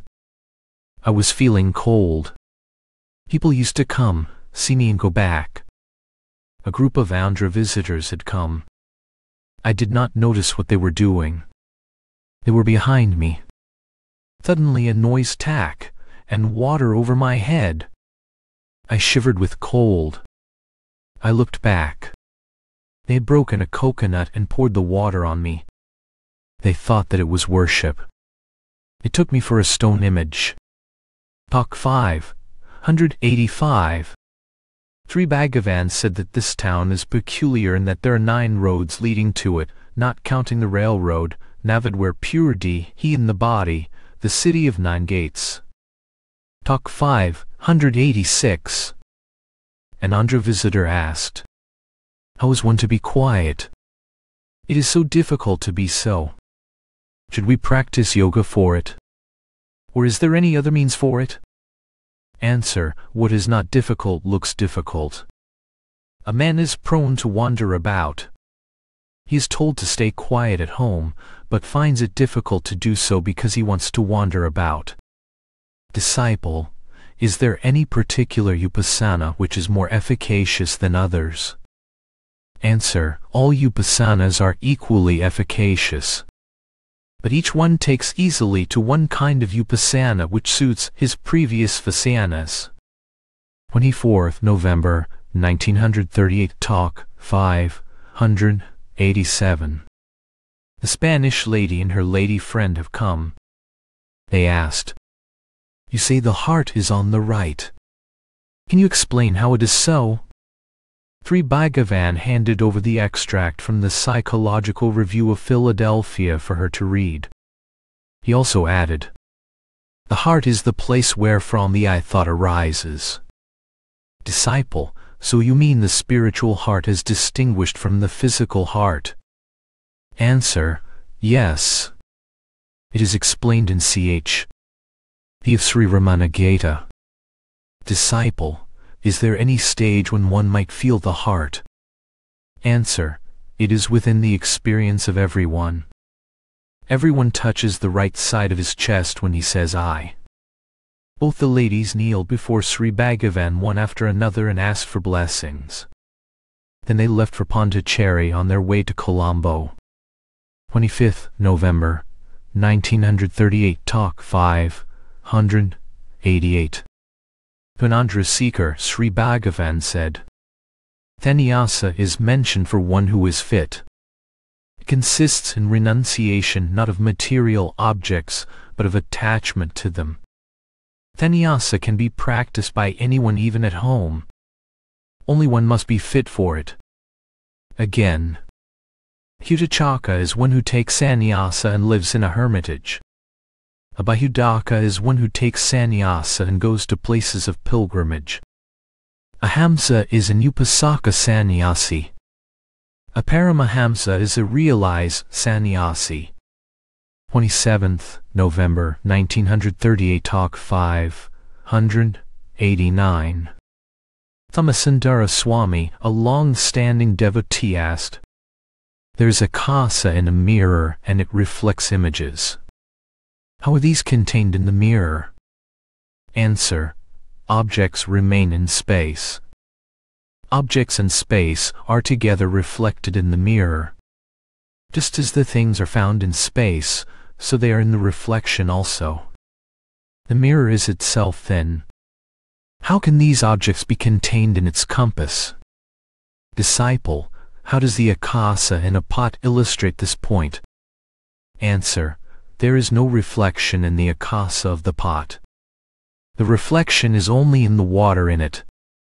Keeping several pots filled with water in a tank, the akasa is reflected equally in the water in each of the pots and in the water of the tank. Similarly, the whole universe is reflected in each individual. Disciple, the mouths of the pots must be above the surface of the water in the tank. Answer, Yes, it must be so. Otherwise can the pots be recognized if sunk in the tank? Disciple, how does the reflection take place there? Answer. Pure ether cannot take reflections, only the ether of water can do so. Glass cannot reflect objects, only a plate of glass with an opaque lining on its back can reflect the objects in front of it. Similarly pure knowledge does not contain objects in it, nor reflect objects. Only with the limiting adjunct, the mind it reflects the world. Neither in samadhi nor in deep sleep does the world remain. There cannot be illusion either in bright light or in total darkness. Only in dim light a rope seems a snake. Similarly pure consciousness remains light only, it is pure knowledge. The mind rising from it is deluded that the objects remain apart. Disciple, so then the mind is the mirror. Answer, mind, mind what is it? It is a mixture of chit intelligence and sankalpa's thoughts. Therefore, it forms all these, the mirror, light, darkness, and the reflections. Disciple, but I do not see it. Answer, Chitakasa chit ether, is pure knowledge only, it is the source of mind. Just at the moment of rising up, the mind is only light, only afterwards the thought I am this rises up, this I thought forms the jiva and the world. First light is the pure mind, the mind ether or sphera. Its modes manifest as objects. Because it contains all these objects within itself, it is called the mind ether. Why ether? Like ether containing objects it contains the thoughts therefore, it is the mind ether. Again, just as the physical ether, though accommodating all the gross objects the whole universe is itself the content of the mind ether, so also the latter is itself the content of chit ether. The last one is chit itself. There are no things contained in it. It remains as pure knowledge only. Disciple, why call it ether? Physical ether is not sentient. Answer, ether denotes not only the insentient physical ether but also pure knowledge. Knowledge does not consist in knowing objects, this is relative knowledge but knowledge in its purity remains all alone one unique, transcendent light. Disciple, well, should we be imagining it in our meditation? Answer, why imagine? We can think of another only if we are independent of it, whereas here we cannot remain independent of this pure knowledge. Rather, only it is. How can it be imagined to be so and so or such and such? Disciple, how are we to proceed? Answer, only get rid of the non-self. Disciple, it looks all right now, but later it is all forgotten. Answer, your forgetfulness implies knowledge, for you know you forgot, otherwise how can you speak of forgetting it? Though forgetfulness also is chitakasa chit ether only. Disciple, how then is it not clear to me? Answer, Chit is knowledge pure and simple. Mind proceeds from it, the mind is made up of thoughts. Darkness or ignorance interposing. Pure knowledge seems different from what it really is, the same is seen as I and the world which are full of desire, attachment, hatred, etc. Therefore desire, etc., are said to veil the reality. Disciple, how to be rid of thoughts? Is it as said in the Atmavidya, the eye of the mental eye, etc.? Answer, that the mind stands for ether being sat, and the eye for knowledge chit, both sat and chit together form the universe. Disciple, how to realize the same? Answer, as pointed out in the Atma Vidya being the eye of the mental eye, the ether of the mental ether meaning, the knowledge behind the relative knowledge, the chit ether containing the mental ether, remains as the only one always shining bright. Disciple, still I do not understand. How shall I realize it? Answer, it is also said remain free from thoughts, and it is realized only in the mind drawn within. Therefore the mind made free from thoughts, and merged in the heart, is chit itself. Disciple, is the aforesaid mental ether Isvara, or Hiranyagarbha? Answer, can the latter remain independent of the former? The same is Isvara and Hiranyagarbha. Disciple, how do they differ from each other? Answer, the immanent being is called Isvara disciple, is not the immanent being chitakasa only? Answer, immanence can only be with Maya. It is the knowledge of being along with Maya, from this subtle conceit Hiranyagarbha, from the latter the gross conceit Virat. Chidatma is pure being only. 13th December 1938 Talk 5, 190. Two ladies, one Swiss and the other French, visited Maharshi. The younger of the ladies asked several questions, of which the most important was, Brahman is the same as Jiva. The Jiva be under illusion it amounts to saying that Brahman is under illusion. How is that possible? Answer. If Brahman be under illusion and wants disillusionment, let him raise the question. 14th December 1938 Talk 5, 191. Disciple, seekers who are in immediate proximity of the Master can get grace by darsana, sparsana, etc. look, touch, etc. But how does one get the same grace when the person is at a distance? Answer, by yoga drishti yogic look. Mr. Chopra, a Punjabi employed in Singapore, is on a visit here and raised a few questions. Disciple, what is the efficacy of the name? Sri Bhagavan read out the extract from the vision. It was a translation of Namdev stanzas. Disciple, how does the name help realization? Answer. The original name is always going on spontaneously without any effort on the part of the individual. That name is Aham I. But when it becomes manifest it manifests as Ahamkara, the ego. The oral repetition of name one to mental repetition which finally resolves itself into the eternal vibration. Disciple, but these are all mental or physical. Answer, the mind or the mouth cannot act without the self. Tukaram, the great Maharashtra saint, used to remain in samadhi in the day and sing and dance at night with large crowds of people. He always used to utter the name of Sri Rama. Once he was answering calls of nature and also saying Ram, Ram. An Orthodox priest was shocked at the unholy mention of the sacred name and so reprimanded him and ordered him to be silent when he answered calls of nature. Tukaram said all right and remained mute.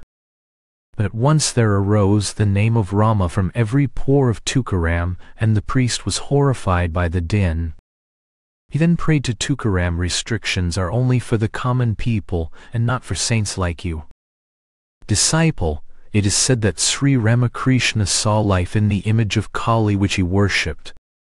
Can it be true? Answer, the life was perceptible to Sri Ramakrishna and not to all. Vital force was due to himself. It was his own vital force which manifested as if it were outside and drew him in. With the image full of life it must have been found so by all. But everything is full of life. That is the fact. Many devotees have had experiences similar to those of Sri Ramakrishna. Disciple, how can there be life in stone? It is unconscious. Answer, the whole universe is full of life. You say the stone is unconscious. It is your self-consciousness which now speaks often consciousness. When a person wants to see if there is an article in a dark room, he takes a lamp to look for it. The light is useful for detecting the presence and the absence of the thing. Consciousness is necessary for discovering if a thing is conscious or not. If a man remains in a dark room one need not take a lamp to find him. If called he answers, he does not require a lamp to announce his presence. Consciousness is thus self-shining. Now you say you are unconscious in sleep and self-conscious in the wakeful state. Which is the reality? The reality must be continuous and eternal. Neither the unconsciousness nor the self-consciousness of the present is the reality. But you admit your existence all through, the pure being is the reality. The others are mere associations. The pure being cannot be otherwise than consciousness. Otherwise you cannot say that you exist. Therefore consciousness is the reality. When that consciousness is associated with you pad his you speak of self-consciousness, unconsciousness, subconsciousness, superconsciousness, human consciousness, dog consciousness, tree consciousness and so on. The unaltering common factor in all of them is consciousness. Therefore the stone is as much unconscious as you are in sleep. Is that totally devoid of consciousness? Disciple, but a dog consciousness is different from my consciousness. I cannot read the Bible to the dog. The tree again does not move whereas I move and act. Answer, call the tree a standing man and call the man a moving tree. An American gentleman who also took part in the conversation would not allow Sri Bhagavan to explain and so it stopped here. Talk 5, 192. The Punjabi gentleman referred to the popular belief of a worm being metamorphosed to a wasp Bhramarakita which Sri Bhagavan had mentioned to the ladies in the course of conversation yesterday. Sri Bhagavan recalled some interesting reminiscences. 1. I had previously heard of this Bhramarakita Nyaya. After I came to Tiruvannamalai, when I was staying in Gurumurtam, I noticed a red wasp construct a hive in which it placed five or six grubs and then flew away. My curiosity was roused, and I wanted to test the truth of the oft-quoted Nyaya. I waited some days, maybe ten days. I then tapped the hive. It broke and there I found that all the five or six grubs had united together and taken the shape of a wasp, but it was white. 2. Later when I was in Virupaksha cave, I saw a red wasp construct five or six hives in each of which it placed five or six grubs and flew away. After about ten days, a black beetle, smaller than the wasp, buzzed round the hives and closed each of them with a little black mud and flew away. I was wondering at the intrusion of the beetle on the hive of the wasp. I waited a few days and then gently opened one of the hives. Five or six black bodies came out, and each of them was a black beetle. I thought it strange. 3. Again, when I was in Pachaiamman temple, I saw a red wasp constructing five or six hives on a pillar in the temple. It placed five or six grubs in each of them and buzzed away. I watched it for several days. The wasp did not return. There was no black beetle also. After about fifteen days, I opened one of the hives. All the grubs had united into a white mass of wasp-like form. It dropped down and was stunned by the fall. After a few minutes, it began to crawl. Its color was gradually changing. In a short time, there were two little specks on its sides which grew into wings as I watched, and the full-grown wasp flew away from the ground. 4. When I was in the mango tree cave I noticed a caterpillar-like worm crawl up a wall. It stopped in one place and fixed two spots which it later connected up with a thin filament from its body. It held the filament with its mouth and rested its tail end on the wall. It remained so several days. I was watching it. It shriveled up in course of time. I wondered if there was life in it, though I gently tickled it with a thin stalk. There was no life within. I left it there. But in a few days more I found that there was only a thin dry skin left behind, and the inner thing had flown away. 5. I had also seen the flies carrying tiny grubs on their legs which they deposited on offal. The grubs later flew away as flies. Disciple, they may be eggs laid by the flies. Answer, but they move and struggle and then shape themselves as flies. Talk 5, 193. Sri Bhagavan mentioned another interesting reminiscence. When I was a boy, I had seen the fishermen divert water from its main course and keep a pot through which the diverted water flowed. The artificial way was spread with tobacco stems.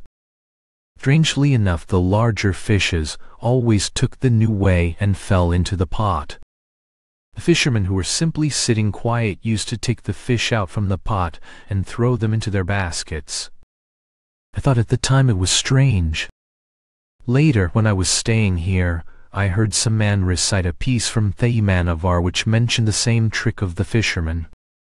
15th December 1938 Talk 5, 194 The Spanish lady Madame Mercedes de Acosta has written a letter to Mr. Haig, the American mining engineer who is here as a temporary resident for the last two months. He has raised a few questions there. If the individual self merges into the universal self, how can one pray to God for the uplift of humanity? The question seems to be common among the thinkers of the West. Sri Bhagavan said, They pray to God and finish with Thy will be done. If His will be done, why do they pray at all?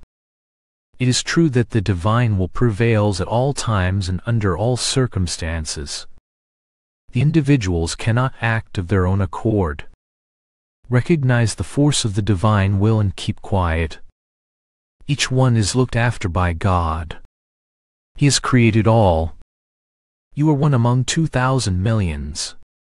When he looks after so many will he omit you? Even common sense dictates that one should abide by his will. Again, there is no need to let him know your needs. He knows them himself and will look after them. Still more, why do you pray? Because you are helpless yourself, and you want the higher power to help you. Well, does not your Creator and Protector know your weakness? Did you parade your weakness in order to make him know it?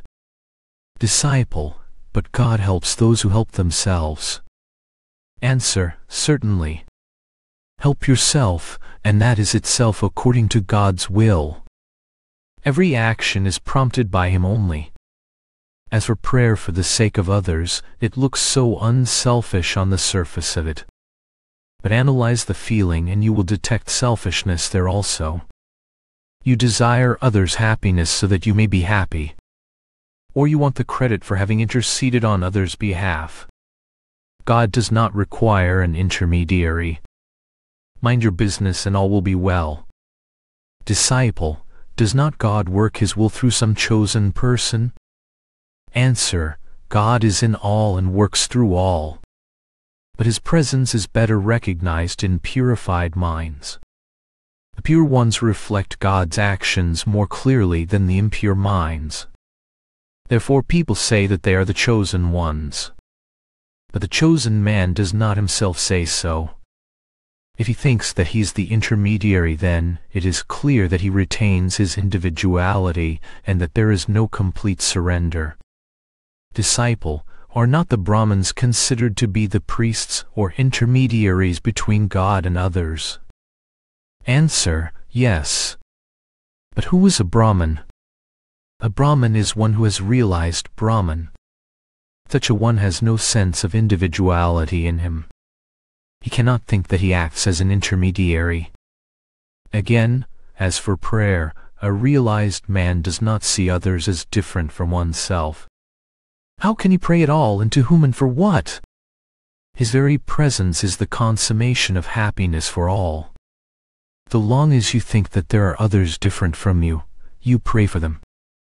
But the sense of separateness is ignorance. This ignorance is again the cause of feeling helplessness. You know that you are weak and helpless. How then can you help others?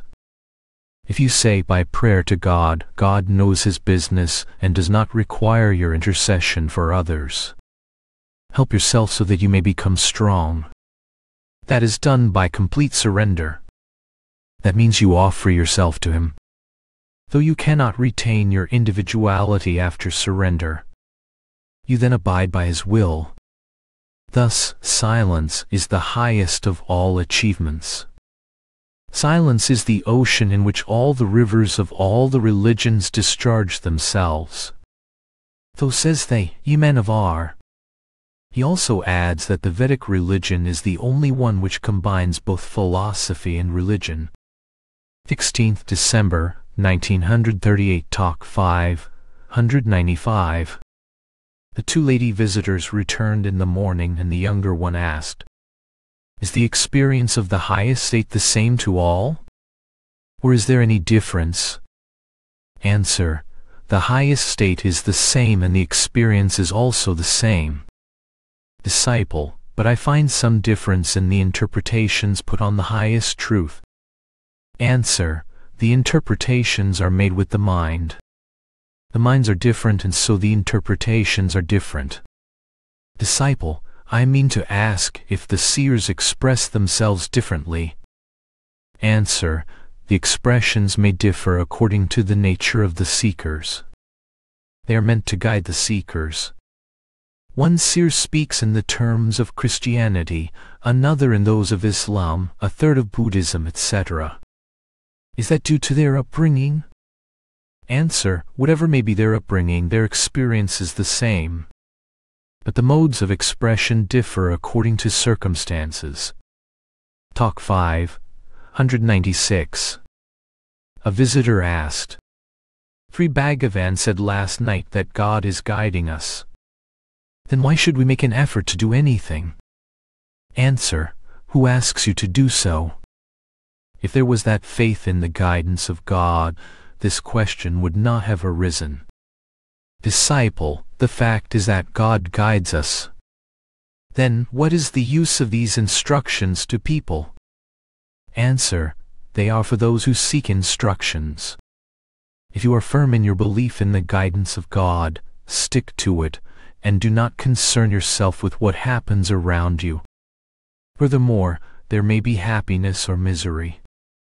Be equally indifferent to both and abide in the faith of God. That will be so only when one's faith is strong that God looks after all of us. Mr. Chopra asked, How shall I secure that firm faith? Answer, Exactly. It is for such as these who want instructions. There are persons who seek freedom from misery. They are told that God guides all, and so there need not be any concern about what happens.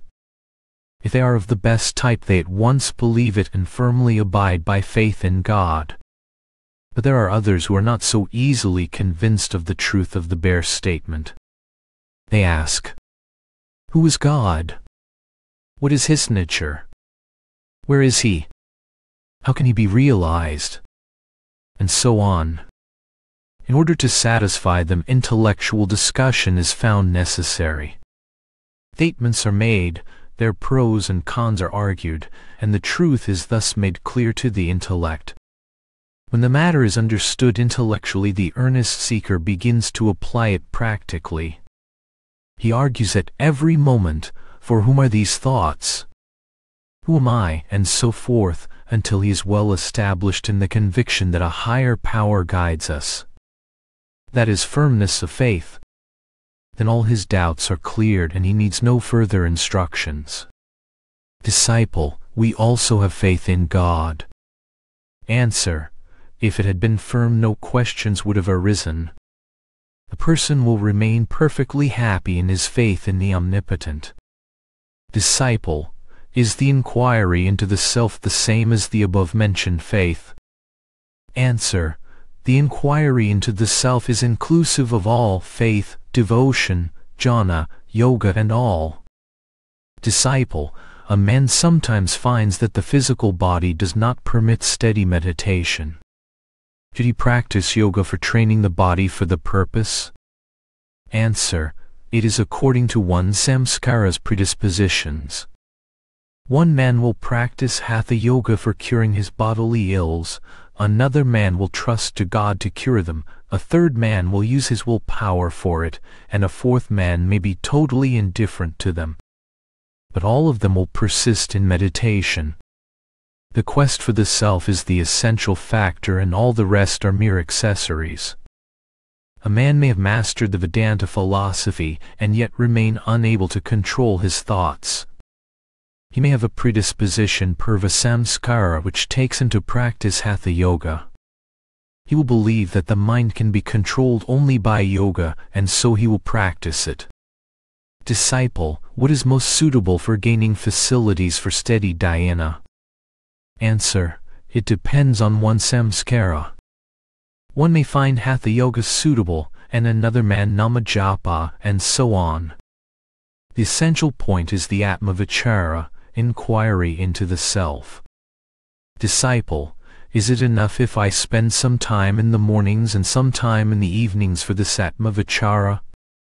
Or should I do it always, say, even when I am riding or walking? Answer, now what is your real nature? Is it riding, walking, or being? The one unalterable reality is being. Until you realize that state of pure being you should pursue the inquiry. If once you are established in it there will be no further worry. No one will inquire into the source of thoughts unless thoughts arise. So long as you think I am walking, I am writing, inquire who does it. These actions will however go on when one is firmly established in the self.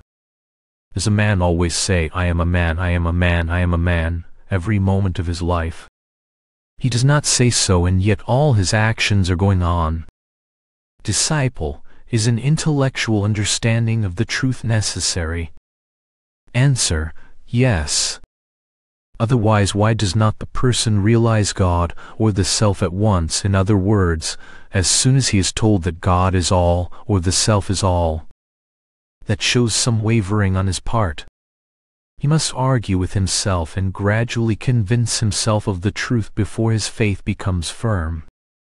20th December 1938 Talk 597 A Swiss lady Miss Hick Riddingh asked, does self-realization imply occult powers also? Answer. The self is the most intimate and eternal being whereas the siddhis are foreign. The one requires effort to acquire and the other does not. The powers are sought by the mind which must be kept alert whereas the self is realized when the mind is destroyed. The powers manifest only when there is the ego, the ego makes you aware of others, and in its absence there are no others to be seen.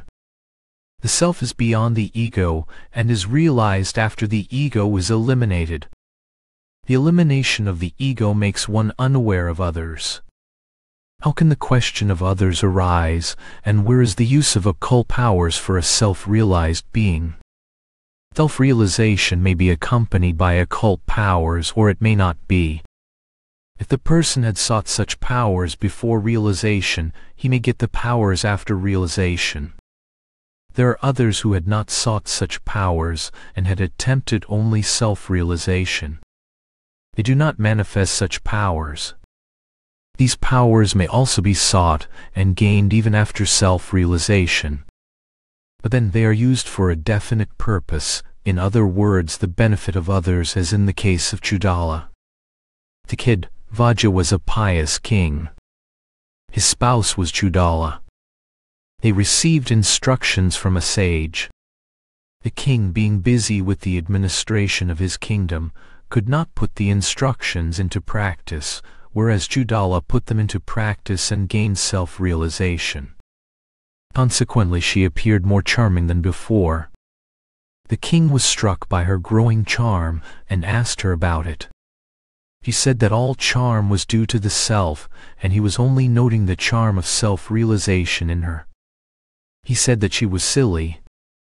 There were great tapasvis who could not realize the self even after long periods of tapas, and what about a silly woman who was all along in the family and in the worldly life? However, Chudala was not offended because she was firm in the self, and only wished that her husband should realize the self and be happy. She then thought that unless she could prove her worth by manifesting some extraordinary powers he could not be convinced, and she began to seek occult powers and gain them. But she did not betray them just then. Constant association with her made the king dispassionate. He began to dislike the worldly life and desired to retire into the forest for performing tapasya. Though he told his wife that he wanted to leave the world for the forest. He was delighted at the development, but pretended to be very much concerned with his unkind decision. He hesitated out of consideration for her. In the meantime, his dispassion gained in force, and he decided to leave home even without her consent. When the queen was sleeping one night, he suddenly left the palace by stealth and retired into the forest. He was seeking some solitary spot where he could perform his tapas. When the queen woke up, she did not find her husband and immediately found out by her occult powers what had really happened. She rejoiced in her husband's determination. She called the ministers and said that the king had gone on some important business and that the administration should be carried on as efficiently as ever. She herself administered the state in the absence of the king. Eighteen years passed. He then knew that the king was fit for self-realization. Though she appeared to him disguised as Kumbha and so on. He then realized the self and returned to rule the kingdom with the queen. The point is that occult powers are sought and gained for the benefit of others by self-realized persons also. But the sages are not deluded by the possession of such powers. Disciple, does the sage use occult powers for making others realize the self or is the mere fact of his self-realization enough for it? Answer, the force of his self-realization is far more powerful than the use of all other powers. Inasmuch as there is no ego in him, there are not others for him. What is the highest benefit that can be conferred on others? It is happiness. Happiness is born of peace. Peace can reign only when there is no disturbance. Disturbance is due to thoughts which arise in the mind. When the mind itself is absent, there will be perfect peace. Unless a person had annihilated his mind, he cannot gain peace and be happy. Unless he himself is happy, he cannot bestow happiness on others. When there is no mind, he cannot be aware of others though the mere fact of his self-realization is itself enough to make all others happy. Disciple, can samadhi come and go? Answer, what is samadhi? Samadhi is one's essential nature. How then can it come or go? If you do not realize your essential nature, your sight remains obstructed. What is the obstruction? Find it and remove it. So one's efforts are meant only for the removal of obstructions which hide the true vision. The real nature remains the same. When once it is realized, it is permanent. Disciple, but Mr. Brunton says that he had one hour's samadhi. Therefore, I ask the question. Answer, a practizer gains peace of mind and is happy. That peace is the result of his efforts. The real state must be effortless. The effortless samadhi is the true one and the perfect state. It is permanent. The efforts are spasmodic and so also their results. When the real, effortless, permanent, happy nature is realized, it will be found to be not inconsistent with the ordinary activities of life. The samadhi reached after efforts looks like abstraction from the external activities person might be so abstracted or live freely among people without detriment to his peace and happiness, because that is his true nature or the self. 21st December, 1938 Talk 5, 198. Sri Bhagavan shows great humor at times.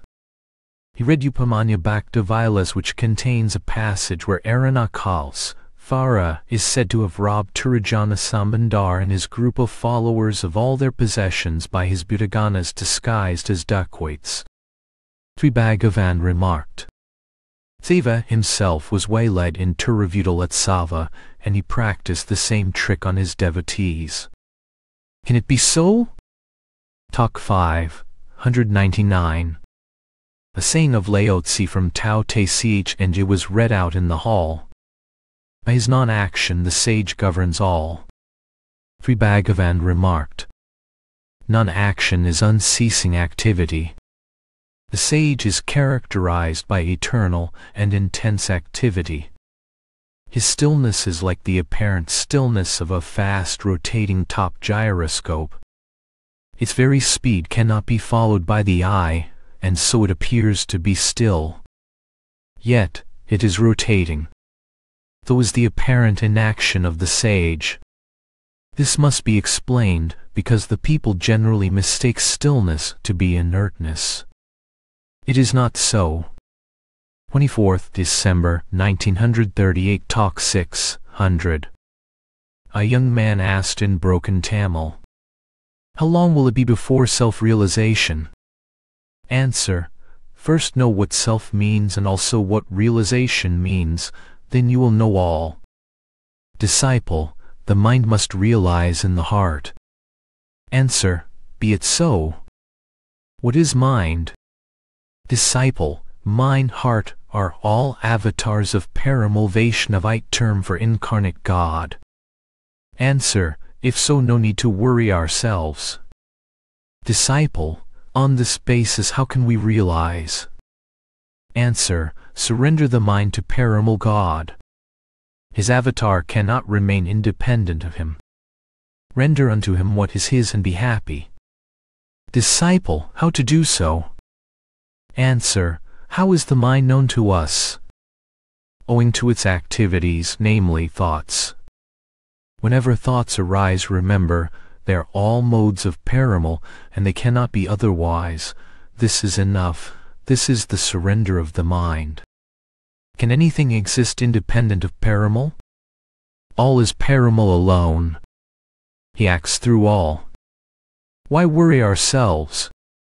27th December 1938 Talk 6, 101 Mr. Subbaray, Maya, and Andhra Devotee mentioned something about time. Answer, what is time? It posits a state, one's recognition of it, and also the changes which affect it. The interval between two states is called time.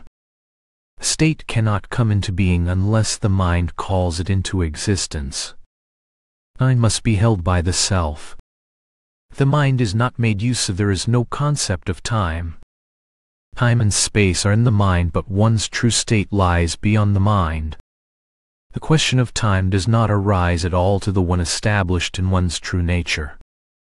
Mr. Narayana E. Iyer Sri Bhagavan's words are so pleasing to hear, but their import is beyond our comprehension. That seems to be far too much for us even to hope to realize. Mr. Subbaray, Maya, our grasp is only intellectual. If Sri Bhagavan be pleased to direct us with a few instructions we shall be highly benefited. Answer, he who instructs an ardent seeker to do this or that is not a true master. The seeker is already afflicted by his activities and wants peace and rest. In other words, he wants cessation of his activities. Instead of that he is told to do something in addition to, or in place of, his other activities. Can that be a help to the seeker?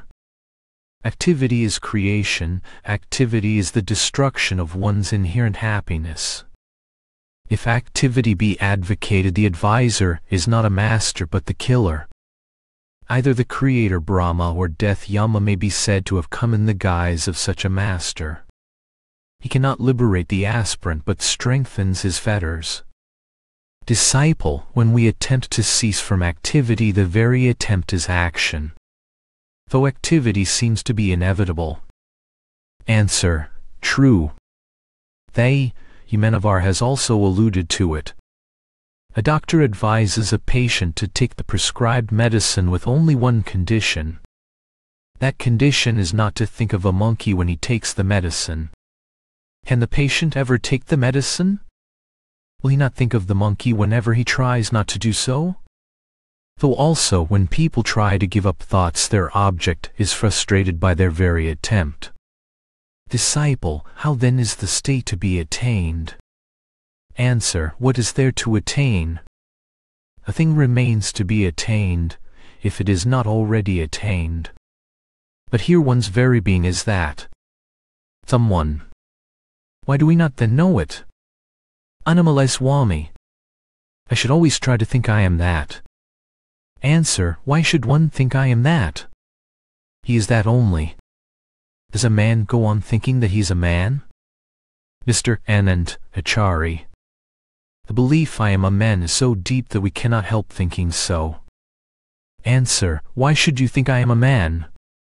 If you are challenged you may say, I am a man therefore the thought, I am a man is called up when another thought, say I am an animal protrudes itself. Similarly, the thought I am that is necessary only so long as the other thought I am a man persists. Disciple, the thought I am a man is so firm that it cannot be got rid of. Answer, be your true self. Why should you think I am a man? Disciple, the thought I am a man is so natural. Answer, not so. On the other hand, I am is natural. Why do you qualify it with a man? Disciple, I am a man is so obvious whereas I am that is not understood by us. Answer, you are neither that nor this. The truth is I am, I am that I am according to the Bible also. Mere being is alone natural. To limit it to being a man is uncalled for. Disciple, humorously if votes be taken the majority will be on my side. Laughter answer, I cast my vote also on your side laughter. I say also I am a man but I am not limited to the body. It is in me. That is the difference. Thumb 1. The limitation you paddy of being a man cannot be got rid of. Answer, how were you in deep sleep? There was no thought of being a man. Another. Though, the state of sleep must be brought about even when one is awake. Answer, yes. It is Jagrat Sushupti. Sri Bhagavan continued. Some people even say that while they sleep they are enclosed somewhere in the body. They forget that such an idea did not persist in sleep, but rises up only on waking. They bring their waking state to bear upon their sleep. The lights went down and all retired. 1 January 1939 Talk 6, 102. Dr. Emil Gathier, S.J., Professor of Philosophy at the Sacred Heart College, Shembaganur, Kodaikanal asked, Can you kindly give me a summary of your teachings? Answer, They are found in small booklets, particularly HUML.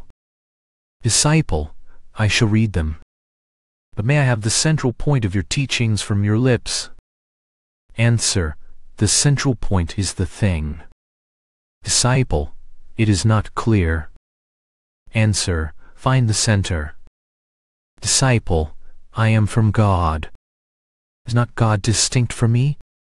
Answer, who asks this question? God does not ask it. You ask it. So find who you are and then you may find if God is distinct from you. Disciple, but God is perfect and I am imperfect.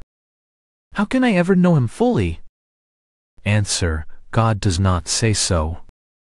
The question is for you. After finding who you are you may see what God is. Disciple, but you have found yourself. Please let us know if God is distinct from you. Answer, it is a matter of experience. Each one must experience it himself. Disciple, oh, I see. But God is infinite and I am finite. I have a personality which can never merge into God. Is it not so? Answer, infinity and perfection do not admit of parts. If a finite being comes out of infinity the perfection of infinity is marred. Thus your statement is a contradiction in terms. Disciple, no. I see both God and creation. Answer, how are you aware of your personality? Disciple, I have a soul. I know it by its activities. Answer, did you know it in deep sleep? Disciple, the activities are suspended in deep sleep. Answer, but you exist in sleep. So do you now too. Which of these two is your real state? Disciple, sleep and waking are mere accidents. I am the substance behind the accidents. He looked up at the clock and said that it was time for him to catch the train. He left after thanking Sri Bhagavan. So the conversation ended abruptly. 8th January, 1939 Talk 6, 103 Lady Bateman came here with her daughter to visit Sri Bhagavan. He brought a letter from Pascal and Maillart Versailles, which reads as follows. Two years have come and gone since last I crossed the threshold of thy ashram, and yet in spirit I have ever remained there. Though illusion still often veils the vision of reality revealed in the blessed silence of thy presence. Though the silver thread of self-awareness be often lost midst changing light and shadows, Still the inner urge to realize the self remains and stronger grows and more insistent as grace and search go hand in hand.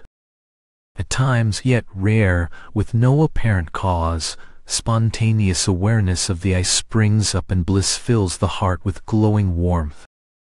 effortless concentration goes with this state while all desires do come to rest fulfilled in utmost peace, till once more the veil is drawn and illusion seeks to blur the vision of the real. Yet what the soul has experienced and knows repeatedly as truth can neither be denied nor ever forgotten, and that which is gives constant strength to persevere. I pray to thee as to myself for light and guidance that I know are ever there and at thy feet lay offerings of unchanging love. St. Pascaline, 11 Rue des Reserves. Versailles, 21st November 1938. 10th January 1939 Talk 6, 104. A certain lady was singing a devotional song. Said among other things, Thou art my father, thou art my mother, thou art my relations, my possessions and all and so on. Sri Bhagavan remarked with a smile, Yes, yes, thou art this, that and everything except I. Why not say I am thou and finish it? Talk 6, 105. A certain Andhra visitor gave Sri Bhagavan a slip of paper containing several questions which he desired to be answered. Sri Bhagavan took it in his hands, went through the questions and said, Answer, all these questions arise so long as there is one who can ask questions. If the questioner is sought and found, the questions will end of their own accord. The man said in reply, Several people raise these points and I do not know how to meet them. Hence I desire to know the fact Vishya was the word used. Answer. If the Vishya in other words, the basis of the facts be understood, the Vishyas in other words, the facts become clear. Talk 6, 106. Mr. Venkatakrishna, a lawyer devotee, visited Sri Bhagavan ten years before and asked him what he should do to improve himself. Sri Bhagavan told him to perform Gayatri Japa. The young man went away satisfied. When he returned after some years he asked, Disciple, if I meditate on the meaning of the Gayatri mantra, my mind again wanders. What is to be done? Answer, were you told to meditate on the mantra or its meaning? You must think of the one who repeats the mantra. Again, the same man had seen another reputed Mahatma who told him to say Om Nama instead of Om, because pure Om is meant for sannyasis whereas others can repeat Om Nama.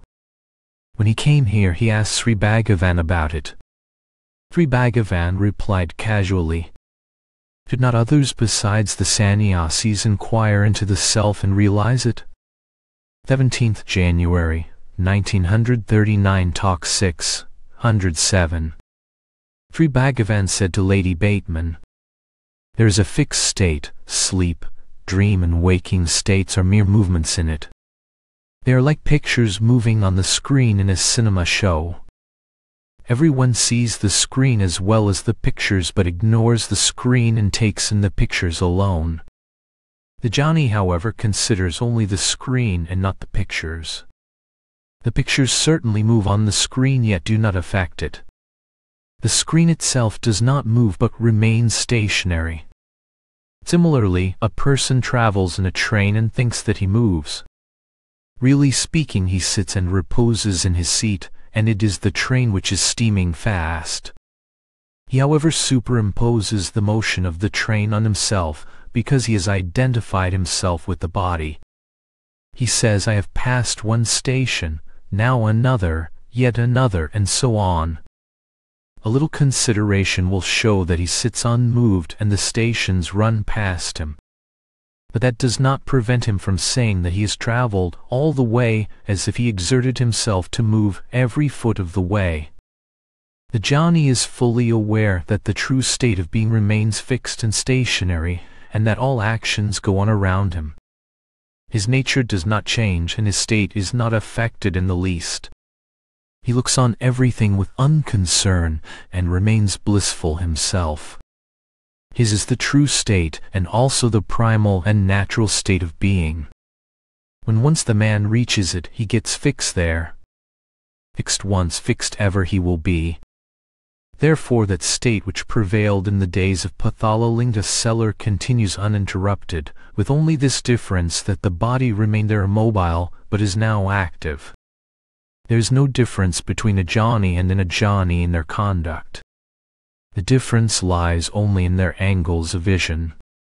The ignorant man identifies himself with the ego and mistakes its activities for those of the self, whereas the ego of the jnani has been lost, and he does not limit himself to this body or that, this event or that, and so on. There is action in seeming inaction, and also inaction in seeming action as in the following instances. 1. A child is fed while asleep. On waking up the next morning, he denies having been fed. It is a case of inaction in seeming action, for although the mother saw him take his food the child himself is not aware. 2. The cartman sleeps in the cart when it jogs along the way in the night, and yet he reaches the destination and claims to have driven the cart. This is a case of action in seeming inaction. 3. A man appearing to listen to a story nods his head to the speaker, but yet his mind is otherwise active, and he does not really follow the story. 4. Two friends sleep side by side. One of them dreams that both of them travel round the globe and have varied experiences. On waking the dreamer tells the other that both of them have been round the earth. The other treats the story with contempt. The lady protested that dream and sleep do not make any appeal to her. He was asked why then she should be careful about her bed, unless she courted sleep. She said that it was for relaxation of the exhausted limbs, rather a state of auto-intoxication. The sleep state is really dull, whereas the waking state is full of beautiful and interesting things. Answer. What you consider to be filled with beautiful and interesting things is indeed the dull and ignorant state of sleep, according to the jnani. Yanisha sarvabhutanam tasyam jagarti samyami. The wise one is wide awake just where darkness rules for others. You must certainly wake up from the sleep which is holding you at present. Dot 1, 8th January, 1939 Talk 6, 108. Miss Hick Ridding wrote two questions on a slip of paper and asked Sri Bhagavan if her interpretations were correct. Answer the self is beyond ignorance and knowledge. Is absolute. These doubts do not arise to the self for it is pure consciousness and cannot admit of dark ignorance. Disciple, from our point of view they arise. Answer, see to whom they arise. Go to their root. See if they arise after you reach their source, and hold on to it. Disciple, but at the present moment answer, such discussions are theoretical and there will be no end to them. One must be practical and try to solve the problems for oneself by the method suggested. The method has been pointed out already. Find out to whom the questions arise. They resolve themselves immediately. Talk 6 109 Lady Bateman and others came to the hall at about 3 p.m. In a few minutes she asked in writing if one is nearer to pure consciousness in deep sleep than in the waking state. Answer. The sleep, dream and waking states are mere phenomena appearing on the self which is itself stationary and also a state of simple awareness. Can anyone remain away from the self at any moment? This question can arise only if that were possible. Disciple, is it not often said that one is nearer pure consciousness in deep slumber than in the waking state? Answer. The question may as well be, Am I nearer to myself in my sleep than in my waking state? For the self is pure consciousness. No one can ever be away from the self. Question is possible only if there is duality. But there is no duality in the state of pure consciousness. The same person sleeps, dreams and wakes up. The waking state is considered to be full of beautiful and interesting things. The absence of such experiences makes one say that the sleep state is dull. Before we proceed further let us make this point clear. Do you not admit that you exist in your sleep? Disciple, yes, I do. Answer, you are the same person that is now awake. Is it not so? Disciple, yes.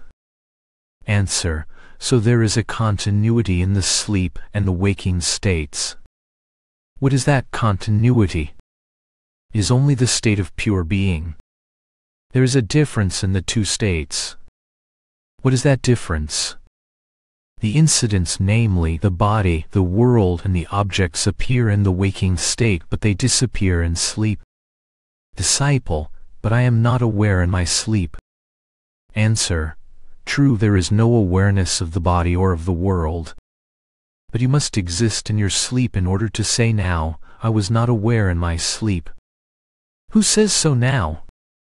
It is the wakeful person. The sleeper cannot say so. That is to say, the individual who is now identifying the self with the body says that such awareness did not exist in sleep. Because you identify yourself with the body, you see the world around you and say that the waking state is filled with beautiful and interesting things.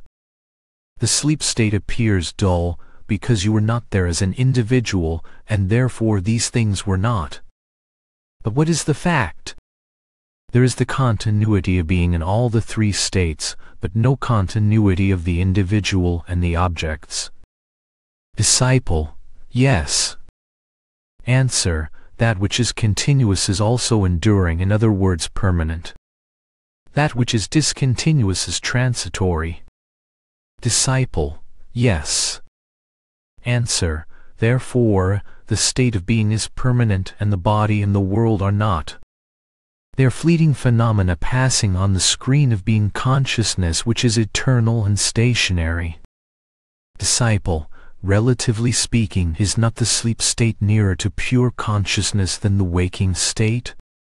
Answer, yes in this sense. When passing from sleep to waking the I thought must start, the mind comes into play, thoughts arise, and then the functions of the body come into operation, all these together make us say that we are awake. The absence of all this evolution is the characteristic of sleep, and therefore, it is nearer to pure consciousness than the waking state. But one should not therefore desire to be always in sleep. In the first place it is impossible, for it will necessarily alternate with the other states. Secondly, it cannot be the state of bliss in which the jnani is, for his state is permanent and not alternating. Moreover, the sleep state is not recognized to be one of awareness by people, but the sage is always aware. Thus the sleep state differs from the state in which the sage is established. Still more, the sleep state is free from thoughts and their impression to the individual. It cannot be altered by one's will because effort is impossible in that condition. Although nearer to pure consciousness, it is not fit for efforts to realize the self. The incentive to realize can arise only in the waking state, and efforts can also be made only when one is awake. We learn that the thoughts in the waking state form the obstacle to gaining the stillness of sleep. Be still and know that I am God though stillness is the aim of the seeker.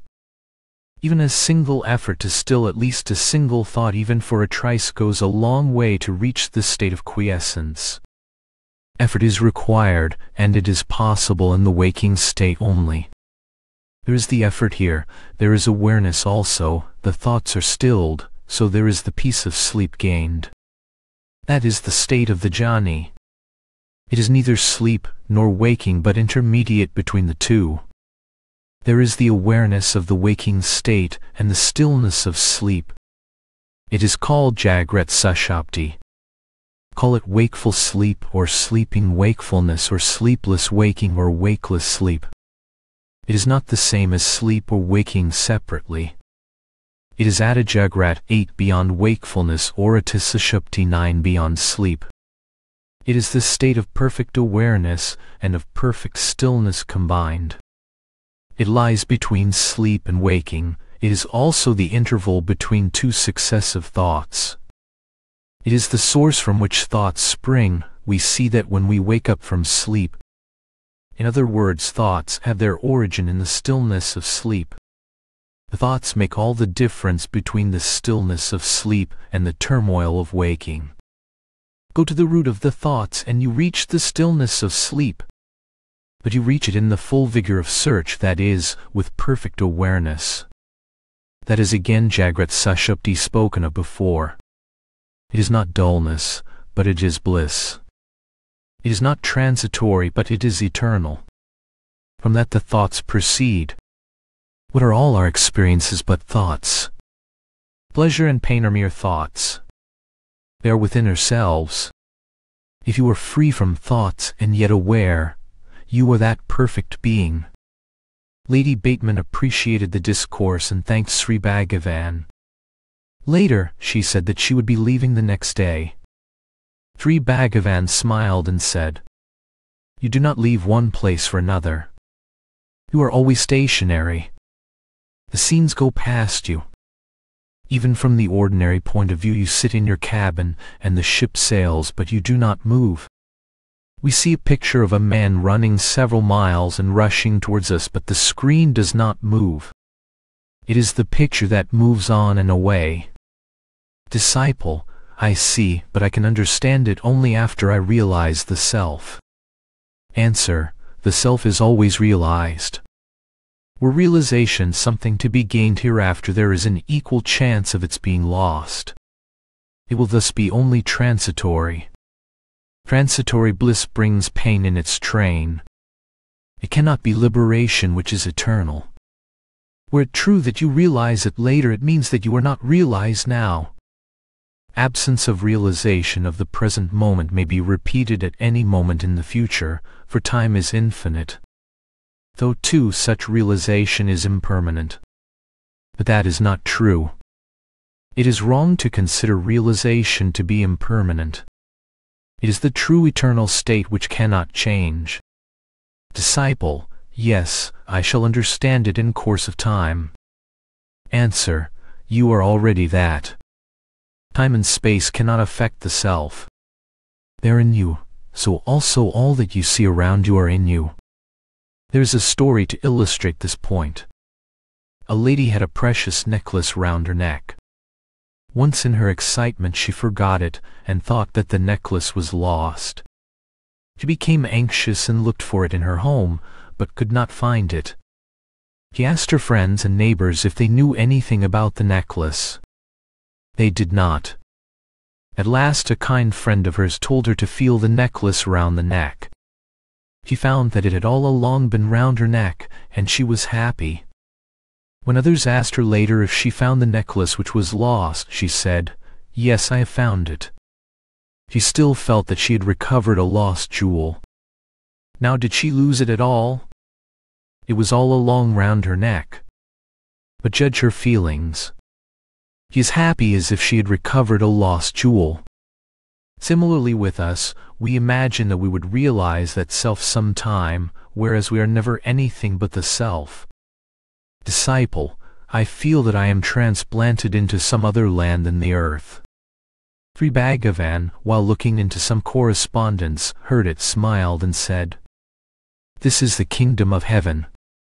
The kingdom of heaven mentioned in the Bible and this world are not two different regions. The kingdom is within you, says the Bible. So it is.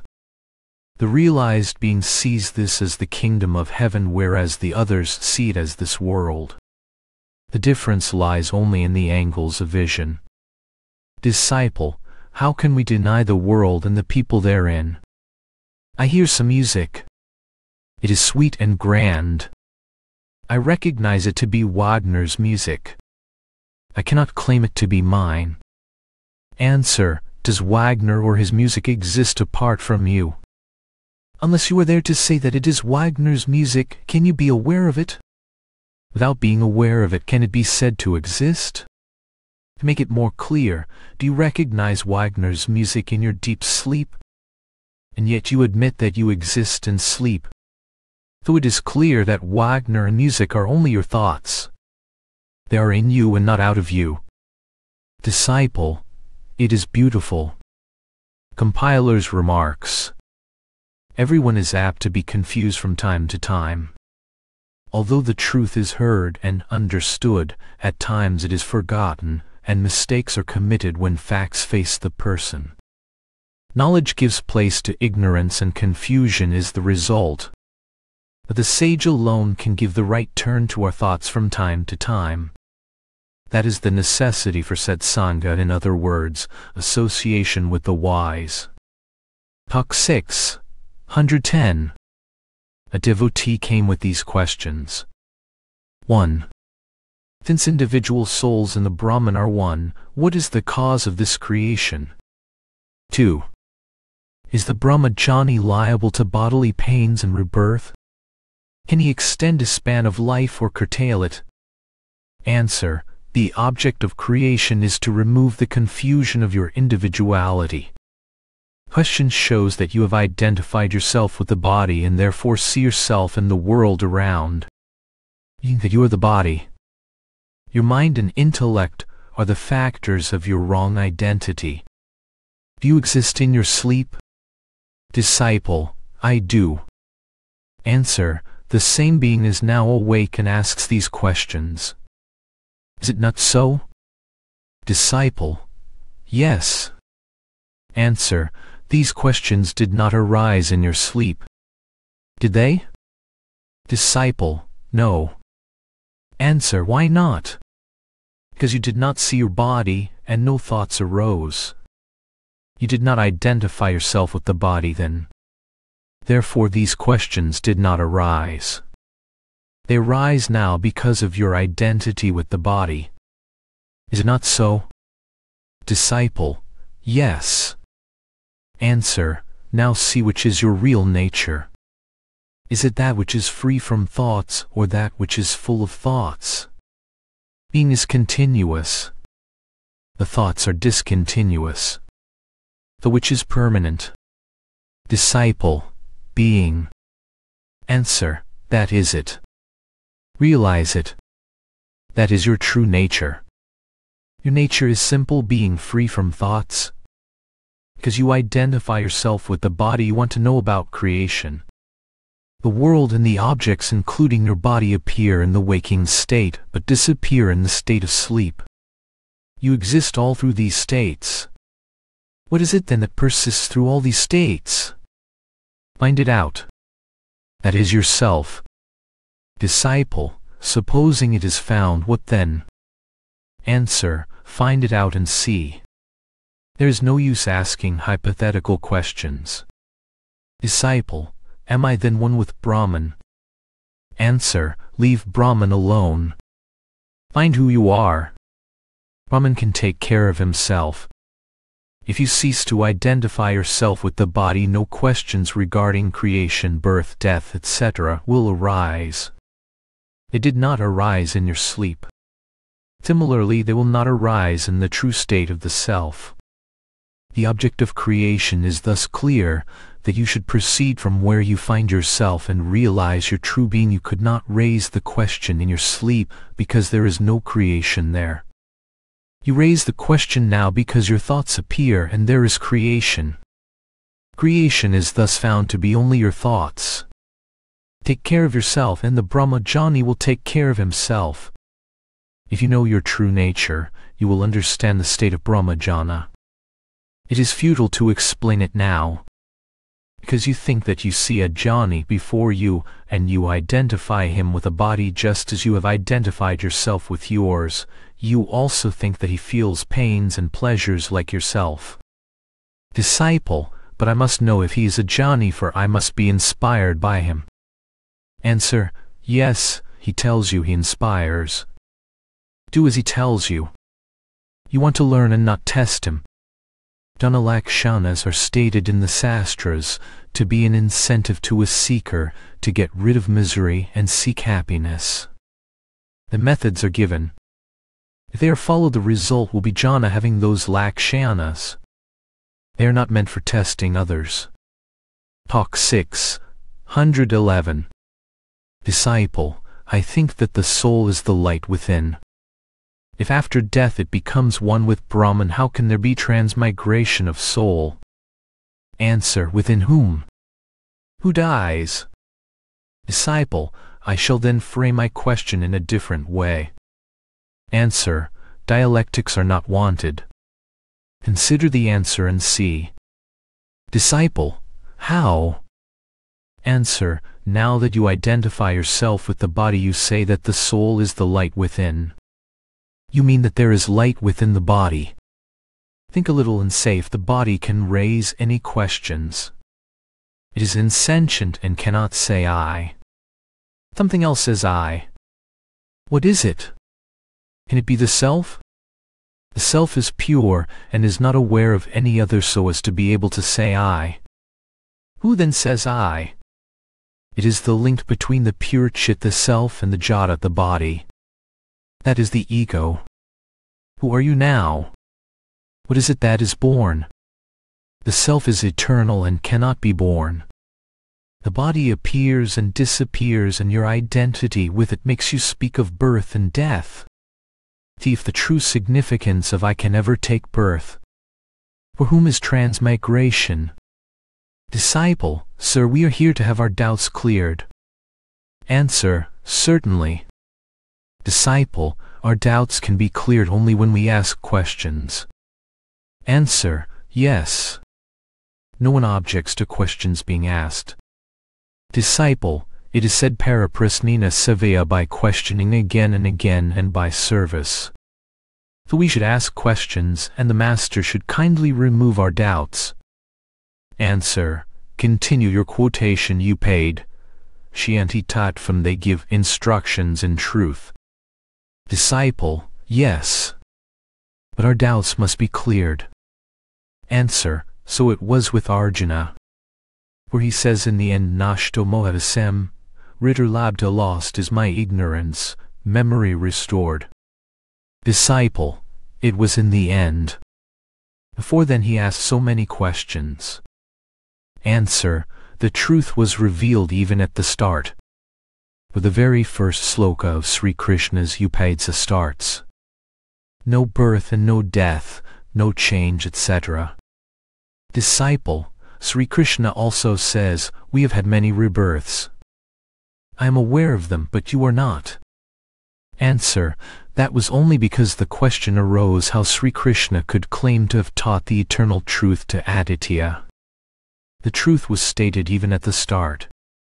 Arjuna did not understand it. Jnani's state was later described and also the means of attainment. Incidentally Sri Krishna said that the truth was eternal and that he had originally taught the same to Aditya.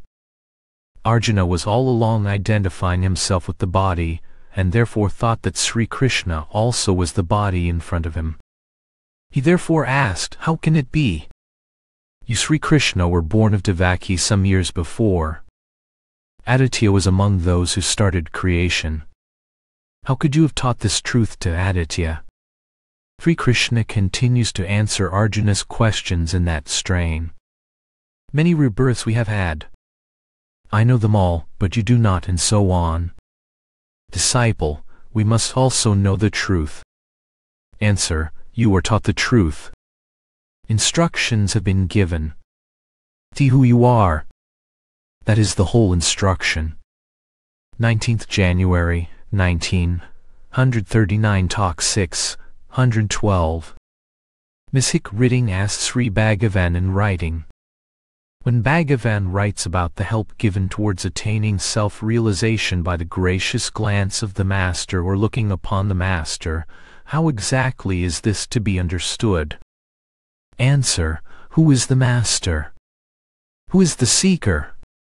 disciple, the self. Answer, if the self be the master and also the seeker, how can the questions arise at all? Disciple, that is just my difficulty. I must seek the self within myself. What is then the significance of the writing above referred to? Seems contradictory. Answer, it is not. The statement has not been rightly understood. If the seeker knows the master to be the self, he sees no duality in other respects either, and is therefore happy, so that no questions arise for him. But the seeker does not bring the truth of the statement to bear in practice. It is because of his ignorance. This ignorance is however unreal. The Master is required to wake up the seeker from the slumber of ignorance, and he therefore uses these words in order to make reality clear to others. The only thing that matters is that you see the self. This can be done wherever you remain. The self must be sought within. The search must be steadfast. If that is gained, there is no need to stay near the Master as a physical being. The statement is meant for those who cannot find the self remaining where they are.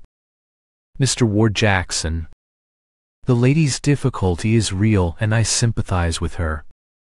He asks, if we could see the self within ourselves, why should we have come all the way to see him? We had been thinking of him so long, and it is only right that we came here. Is it then unnecessary to do so? Answer, you have done well in having come. Isvaro Gururatmeti the self is the God and Guru. A person seeks happiness and learns that God alone can make one happy. He prays to God and worships Him. God hears his prayers and responds by appearing in human shape as a master in order to speak the language of the devotee and make him understand the reality. The master is thus God manifest as human being. He gives out his experience so that the seeker might also gain it. His experience is to abide as the self. The self is within. God, Master, and the Self are therefore seeming stages in the realization of the truth. You have doubts on reading books. You have come here to have them cleared. That is only right. Miss Hick-Riddingh, I understand the Self to be the Master and must be sought within though I can do it where I live? Answer, the understanding has been theoretical.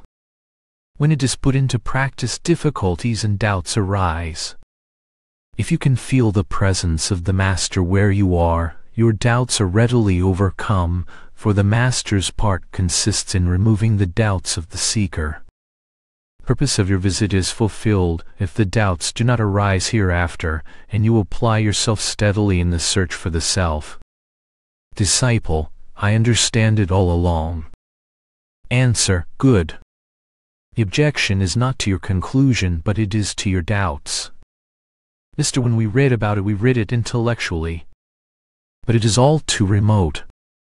When we see you in body, we are brought nearer to reality, and it gives us courage to bring our knowledge into our everyday life. If one realized the self and acted up to it in the West, one would be locked up in a lunatic asylum. Laughter.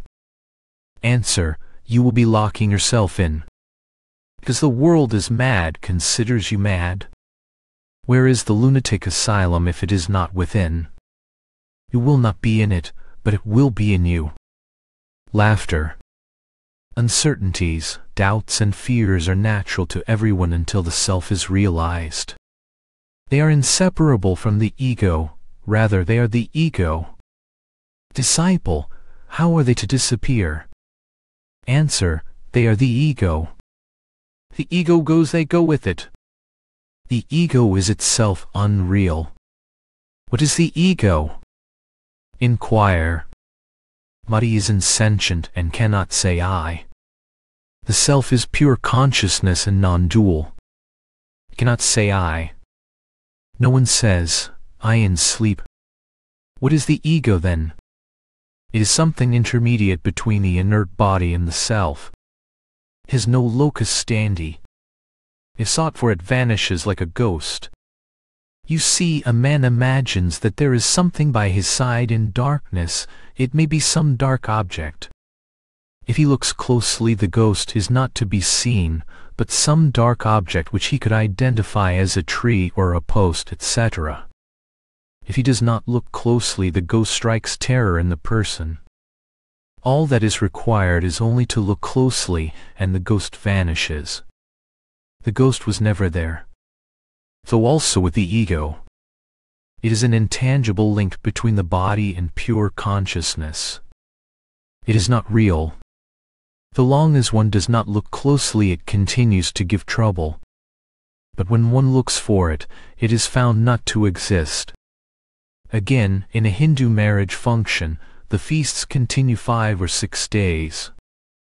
A stranger was mistaken for the best man by the bride's party, and they therefore treated him with special regard. Seeing him treated with special regard by the bride's party, the bridegroom's party considered him to be some man of importance related to the bride's party, and therefore they too showed him special respect. Stranger had altogether a happy time of it. He was also all along aware of the real situation. On one occasion the groom's party wanted to refer to him on some point. They asked for him. He scented trouble and made himself scarce. Though it is with the ego. If looked for it disappears. If not, it continues to give trouble. How it is to be looked for is learnt from those who have already done so. That is the reason why the Master is approached.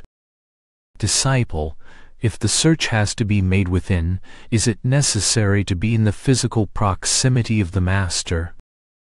Answer, it is necessary to do so until all doubts are at an end. Disciple, if the ego is unreal and troublesome why did we take so much pains to develop it? Answer, its growth and the trouble consequent on such growth make you look for the cause of it all. Its development is for its own destruction. Disciple, is it not said that one must be like a child before one advances spiritually? Answer, yes, because the ego is not developed in the child. Disciple, I mean exactly the same. We could have remained like the child instead of having developed the ego. Answer, the state of the child is meant. No one can take lessons from the child for the realization of the self. The master's state is like the state of the child. There is a difference between the two. The ego is potential in the child, whereas it is totally destroyed in the saint. Disciple, yes, I see, I understand it now. Answer, the reality is alone and eternal. To understand it is good enough. But the old ignorance should not return. A good watch must be kept lest the present understanding of the truth suffers later on. A disciple served a master a long time and realized the self. He was in bliss and wanted to express his gratitude to the master. He was in tears of joy and his voice choked when he spoke. He said, what a wonder that I did not know my very self all these years. I suffered long, and you so graciously helped me to realize the self. How shall I repay your grace? It is not in my power to do it. The master replied, Well, well. Your repayment consists in not lapsing into ignorance over again but in continuing in the state of your real self. Compiler's remarks the self is the master in all else. The realization of the self means self-surrender or merging into the master. What more can anyone do? That is the highest form of gratitude to the master. 21st January, 1939 Talk 6, 113. A young man asked, Are thoughts mere matter? Answer, what do you mean? Do you mean matter like the things you see around you? Disciple, yes, gross. Answer, who asks this question? Who is the thinker? Disciple, the thinker is spirit. Answer, do you then mean that spirit generates matter? Disciple, I want to know. Answer, how do you distinguish between matter and spirit? Disciple, Spirit is consciousness and the other not. Answer. Can consciousness generate non-consciousness or light-darkness? 24th January 1939 Talk 6, 114 There were a few respectable men in the hall. Sri Bhagavan spoke to them some time after their arrival. Where is the use of trying to remember the past or discover the future? That which matters is only the present. Take care of it and the other things will take care of themselves. Disciple, is it bad to desire something? Answer, one should not be elated on having his desire fulfilled or disappointed on being frustrated. To be elated on the fulfillment of desire is so deceitful. A gain will certainly be lost, ultimately. Therefore elation must end in pain at a future date. One should not give place to feelings of pleasure or pain, come what may. How do the events affect the person? You do not grow by acquiring something nor wither away by losing it. You remain what you always are. Disciple, we worldly men cannot resist desire. Answer, you may desire but be prepared for any eventuality. Make effort, but do not be lost in the result. Accept with equanimity whatever happens. For pleasure and pain are mere mental modes. They have no relation to the objective realities. Disciple, how? Answer, there were two young friends in a village in South India. They were learned and wanted to earn something with which they might afford relief to their respective families. They took leave of their parents and went to Benares on a pilgrimage. On the way one of them died. The other was left alone. He wandered for a time, and in the course of a few months he made a good name and earned some money. He wanted to earn more before he returned to his home, in the meantime he met a pilgrim who was going south and would pass through the native village of the young pandit. He requested the new acquaintance to tell his parents that he would return after a few months with some funds and also that his companion had died on the way. The man came to the village and found the parents. He gave them the news but changed the names of the two men. Consequently the parents of the living man bemoaned his supposed loss, and the parents of the dead man were happy expecting the return of their son bringing rich funds as well. You see therefore that pleasure and pain have no relation to the actualities, but are mere mental modes. Talk 6, 115 Another from the group asked, How is the ego to be destroyed? Answer, Hold the ego first and then ask how it is to be destroyed. Who asks this question? It is the ego. Can the ego ever agree to kill itself? This question is a sure way to cherish the ego and not to kill it. If you seek the ego you will find it does not exist. That is the way to destroy it. In this connection I am often reminded of a funny incident which took place when I was living in the West Chitrai Street in Madura. A neighbor in an adjoining house anticipated the visit of a thief to his house. He took precautions to catch him. He posted policemen in mufti to guard the two ends of the lane, the entrance and the back door to his own house. The thief came as expected, and the men rushed to catch him. He took in the situation at a glance and shouted, Hold him, hold him. There. He runs, there, there. Things so he made good his escape. Though it is with the ego. Look for it, and it will not be found. That is the way to get rid of it. 23rd to 28th January 1939 Talk 6, 116. Disciple is the Jivanadi an entity or a figment of the imagination? Answer. The yogis say that there is a nadi called the Jivanadi, Atmanadi or Paranadi. The Upanishads speak of a center from which thousands of nadis branch off. Some locate such a center in the brain and others in other centers. The Garbhopanishad traces the formation of the fetus and the growth of the child in the womb the jiva is considered to enter the child through the fontanelle in the seventh month of its growth. In evidence thereof it is pointed out that the fontanelle is tender in a baby and is also seen to pulsate. It takes some months for it to ossify. Thus the jiva comes from above, enters through the fontanelle and works through the thousands of the nadis which are spread over the whole body. Therefore the seeker of truth must concentrate on the Sahasrara, that is the brain, in order to regain his source. Pranayama is said to help the yogi to rouse the Kundalini Sakti which lies coiled in the solar plexus. The Sakti rises through a nerve called the Sushumna, which is embedded in the core of the spinal cord and extends to the brain. If one concentrates on the Sahasrara, there is no doubt that the ecstasy of samadhi ensues. The vasanas, that is the latencies, are not however destroyed. The yogi is therefore bound to wake up from the samadhi, because release from bondage has not yet been accomplished. He must still try to eradicate the vasanas, in order that the latencies yet inherent in him may not disturb the peace of his samadhi. Though he passes down from the Sahasrara to the heart through what is called the Jivanadi, which is only a continuation of the Sushumna. The Sushumna is thus a curve. It starts from the solar plexus, rises through the spinal cord to the brain, and from there bends down and ends in the heart. When the yogi has reached the heart, the samadhi becomes permanent. Thus we see that the heart is the final center.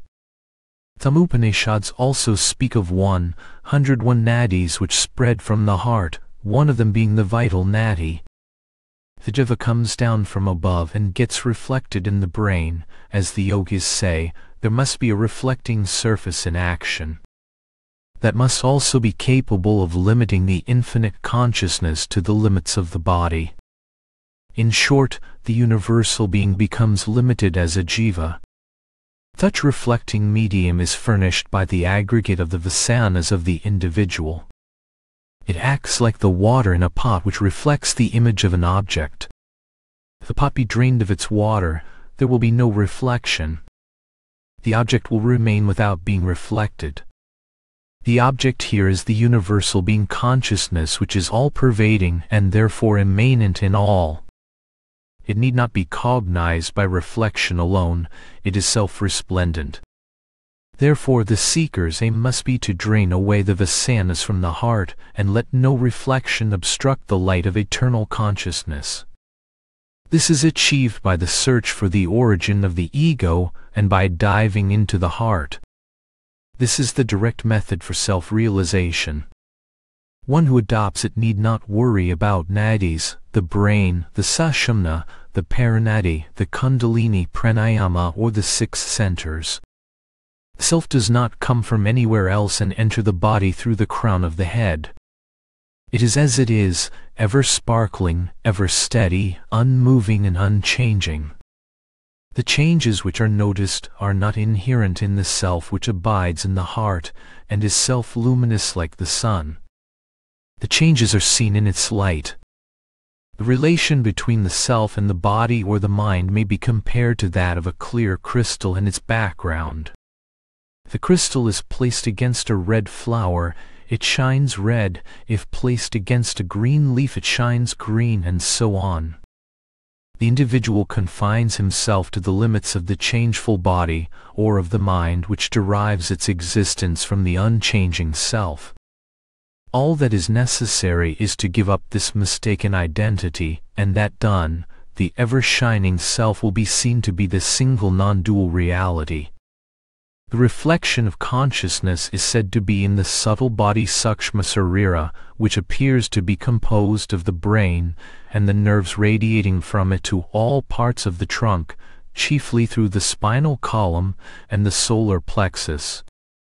When I was on the hill, Nayana Kavikanthaganapathi Muni once argued that the brain was the seat of the Vasanas because it consisted of innumerable cells in which the Vasanas were contained and illuminated by the light of the self which projected from the heart. Only this set a person working or thinking.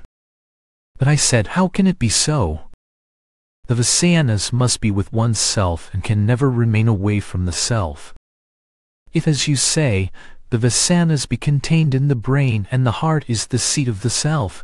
A person who is decapitated must be rid of his vasanas and should not be reborn. You agree that it is absurd.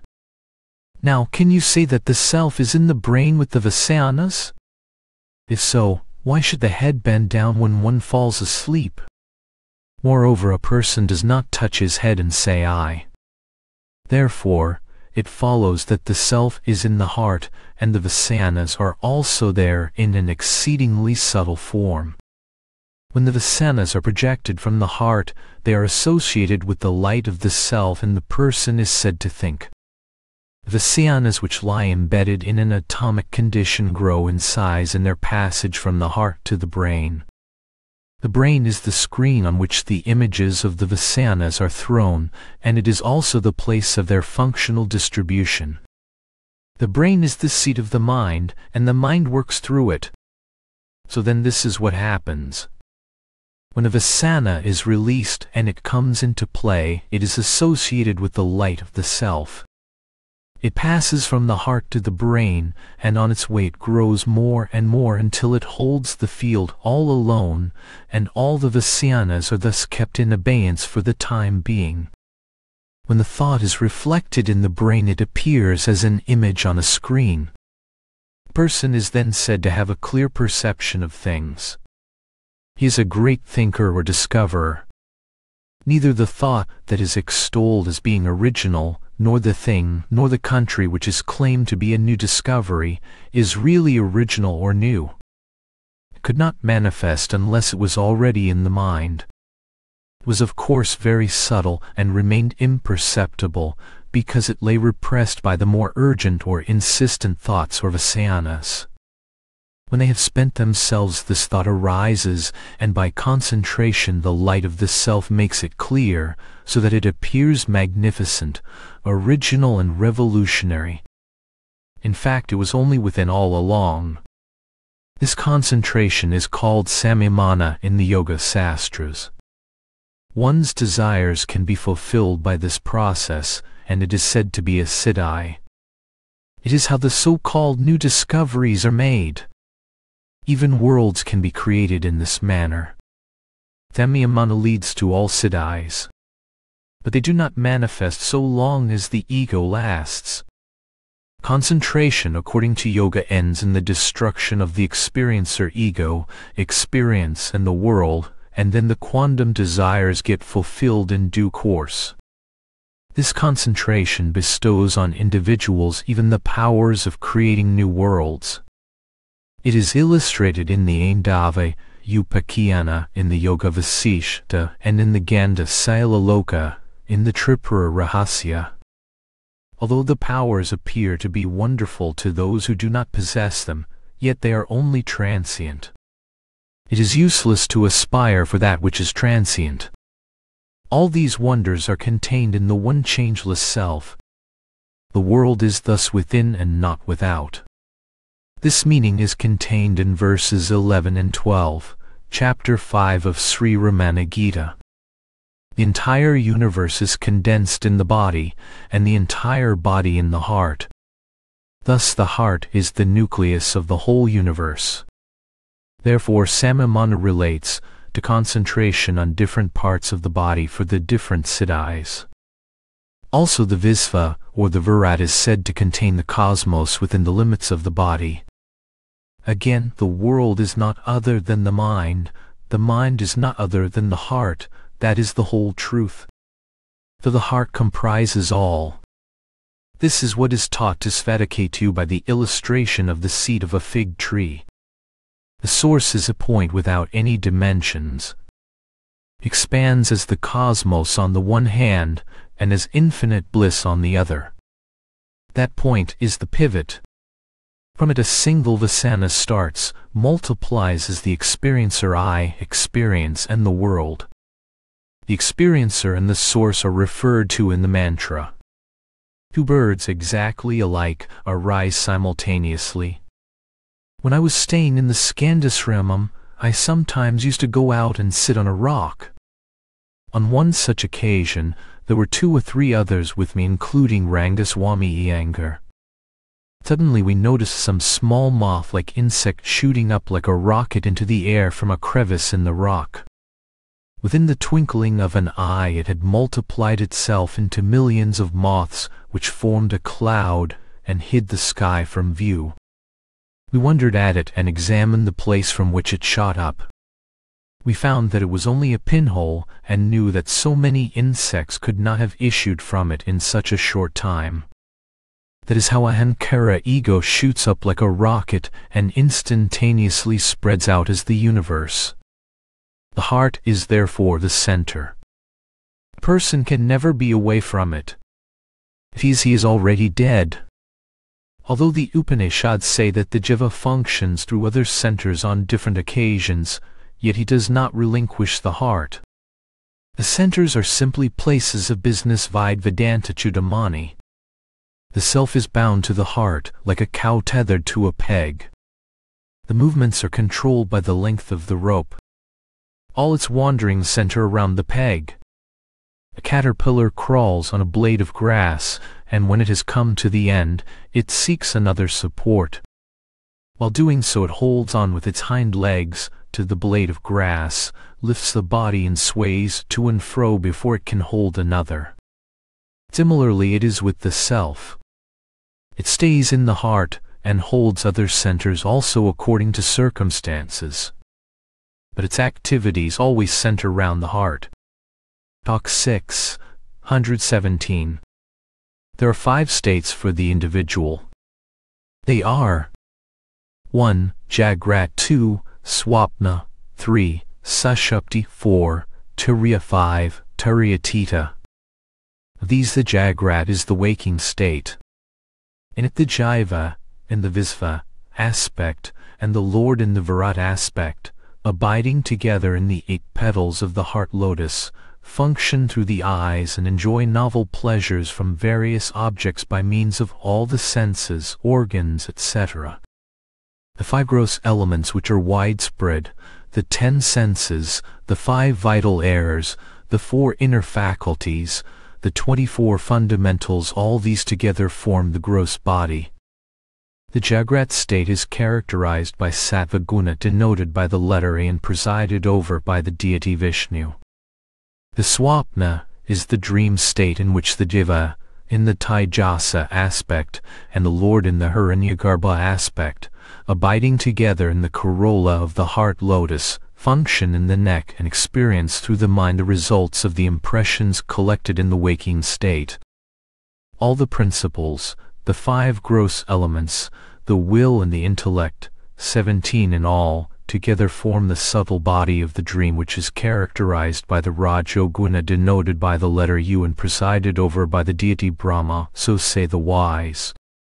The Sushupti is the state of deep sleep in which the Jiva, in the Prajna aspect, and the Lord in the Isvara aspect, abiding together in the stamen of the heart lotus, experience the bliss of the Supreme by means of the Subtle Avidya nescience.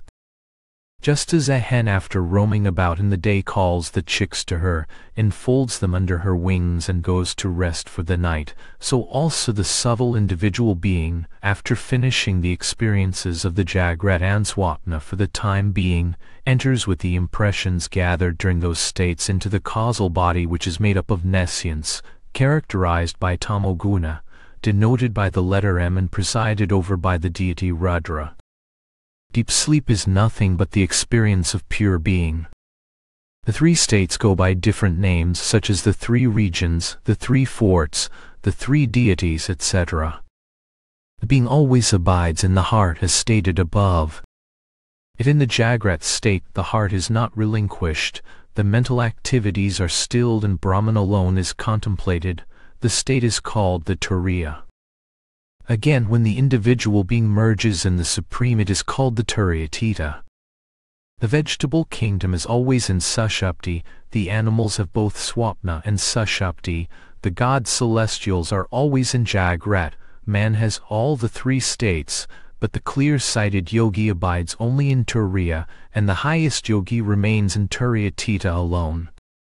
The three states alternate involuntarily for the average man. The last two Turiya and Turiyatita are however the results of practice and form clear aids to liberation. Of the other three states Jagrat, Swapna and Sushupti each one is exclusive of the other two and limited by the conditions of time and space. They are therefore unreal. Our very experience of the Jagrat and the Swapna states proves that the consciousness as the self underlies all the five states, remains perfect all along and witnesses all of them. But with regard to similar consciousness in the deep sleep, every person is known to say I was not aware of anything. I slept soundly and happily. Two facts emerge from the statement unawareness of anything and the happiness of sound sleep. Unless these existed and were experienced in sleep, they could not find expression by the same person in the waking state. Inference also leads to the same conclusion. Just as the eye sees the darkness which remains enveloping all objects, so also the self sees the darkness of nescience, which remained covering the phenomenal world. This darkness was experienced when it the self emerged in dots of supreme bliss, shone a trice and fleeted away, in such fine subtlety as the rays of the moon which peer through the waving foliage. The experience was however not through any media such as the senses of the mind, but bears out the fact that consciousness does exist in deep sleep. The unawareness is owing to the absence of relative knowledge, and the happiness to the absence of seething thoughts. If the experience of bliss in deep sleep is a fact, how is it that no one among all the human beings recollects it? A diver who has found the desired thing under water cannot make his discovery known to the expectant persons on the shore until he emerges from the water. Similarly, the sleeper cannot express his experience because he cannot contact the organs of expression until he is awakened by his vasanas in due course. Therefore, it follows that the self is the light of Sat, Chit, Ananda. Visva, Taijasa, and Prajna are the denominations of the experiencer in the waking, dream, and deep sleep states respectively. The same individual underlies all of them. They do not therefore represent the true self which is pure sat, chit, ananda. The experience in deep sleep was said to be the bliss of Brahman. It is only the negative aspect of such bliss, as it is the result of the absence of thoughts. Moreover, it is transitory. Such a bliss is only the abhasa, the counterfeit of supreme bliss. Is not different from the blissful feeling of sensual pleasures. In deep sleep the prajna is said to be united with the self. Though the individuality is potential in sleep, the self is the basis of all the experiences. It remains as the witness and the support of them all. The reality is thus different from the three states, the waking, the dream and the deep sleep. 1st February 1939 Talk 6, 118 a gentleman from Hardwar. When I go on analyzing myself, I go beyond the intellect, and then there is no happiness. Answer. Intellect is only an instrument of the self. It cannot help you to know what is beyond itself. Disciple, I understand it. There is no happiness beyond it. Answer. The intellect is the instrument wherewith to know unknown things. But you are already known, being the self which is itself knowledge, so you do not become the object of knowledge. The intellect makes you see things outside, and not that which is its own source. Disciple, the question is repeated. Answer, the intellect is useful thus far it helps you to analyze yourself and no further. It must then be merged into the ego and, source of the ego must be sought, that be done, the ego disappears. Remain as that source and then the ego does not arise. Disciple, there is no happiness in that state. Answer, there is no happiness is only a thought. Self is bliss, pure and simple. You are the self. Though you cannot but be bliss being so, you cannot say here is no happiness. That which says so cannot be the self, it is the non-self and must be got rid of in order to realize the bliss of the self. Disciple, how is that to be done? Answer, see wherefrom the thought arises. It is the mind. The for whom the mind or intellect functions. For the ego, Merge the intellect in the ego and seek the source of the ego. The ego disappears. I know and I do not know imply a subject and an object. They are due to duality. The self is pure and absolute one and alone. There are no two selves, so that one may know the other. What is duality then? It cannot be the self which is one and alone. It must be non-self. Duality is the characteristic of the ego. When thoughts arise, duality is present, know it to be the ego, and seek its source. The degree of the absence of thoughts is the measure of your progress towards self-realization. But self-realization itself does not admit of progress, it is ever the same. The self remains always in realization. The obstacles are thoughts. Progress is measured by the degree of removal of the obstacles to understanding that the self is always realized.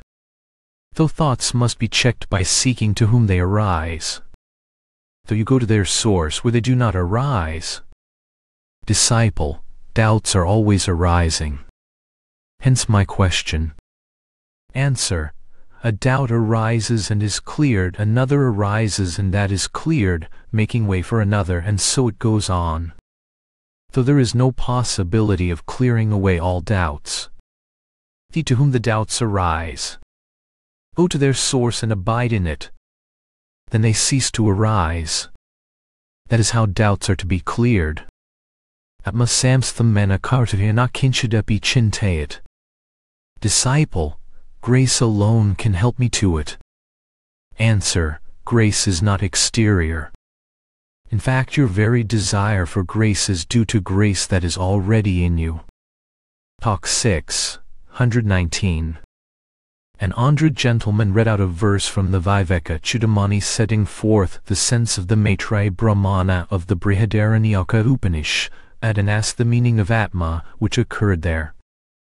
Answer, the self, disciple, is not prema love for something else? Answer.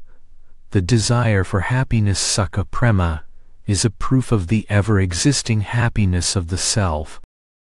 Otherwise, how can desire for it arise in you? If headache was natural to human beings, no one would try to get rid of it. But everyone that has a headache tries to get rid of it because he has known the time when he had no headache. He desires only that which is natural to him, though too he desires happiness because happiness is natural to him. Being natural, it is not acquired. Men's attempts can only be to get rid of misery. If that be done, the ever-present bliss is felt. The primal bliss is obscured by the non-self which is synonymous with non-bliss or misery. Dukhanasam equals sukha Loss of unhappiness amounts to gain of happiness. Happiness mixed with misery is only misery. When misery is eliminated, then the ever-present bliss is said to be gained. Pleasure which ends in pain is misery. Man wants to choose such pleasure. Pleasures are priya, moda and pramoda. When a desired object is near at hand there arises priya, when it is taken possession of moda arises, when it is being enjoyed pramoda prevails. The reason for the pleasurableness of these states is that one thought excludes all others, and then this single thought also merges into the self. These states are enjoyed in the Anandamaya kosa only. As a rule Vijnanamaya kosa prevails on waking.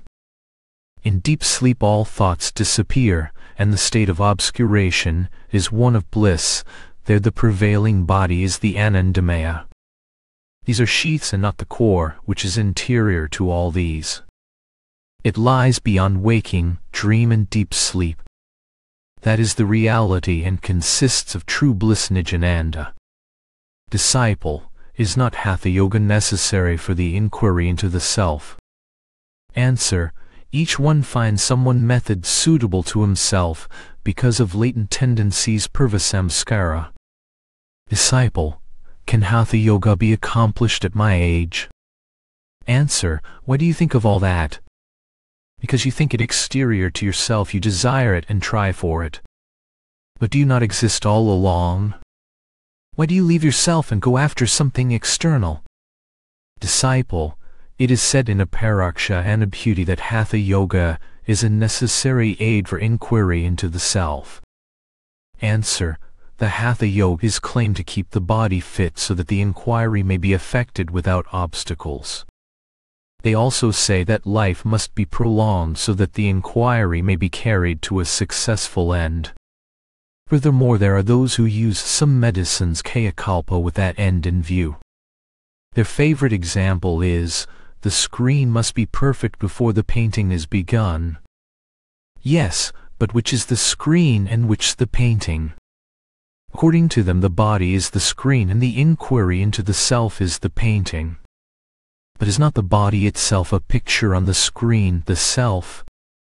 Disciple, but Hatha Yoga is so much spoken of as an aid. Answer, yes. Even great pandits well versed in the Vedanta continue the practice of it. Otherwise their minds will not subside though you may say it is useful for those who cannot otherwise still the mind. Disciple, Saguna Upasana worship of the personal God is said to be imperfect. It is also said that Nirguna Upasana devotion to the personal is hard and risky. I am fit for the former only. What is to be done? Answer. The Saguna merges into the Nirguna in the long run. The saguna purifies the mind and takes one to the final goal. The afflicted one, the seeker of knowledge, and the seeker of gains are all dear to God. But the jnani is the self of God. Talk 6, 120. Disciple, not this, not this. That is the teaching to the seeker. He is told that the self is supreme. How is it to be found?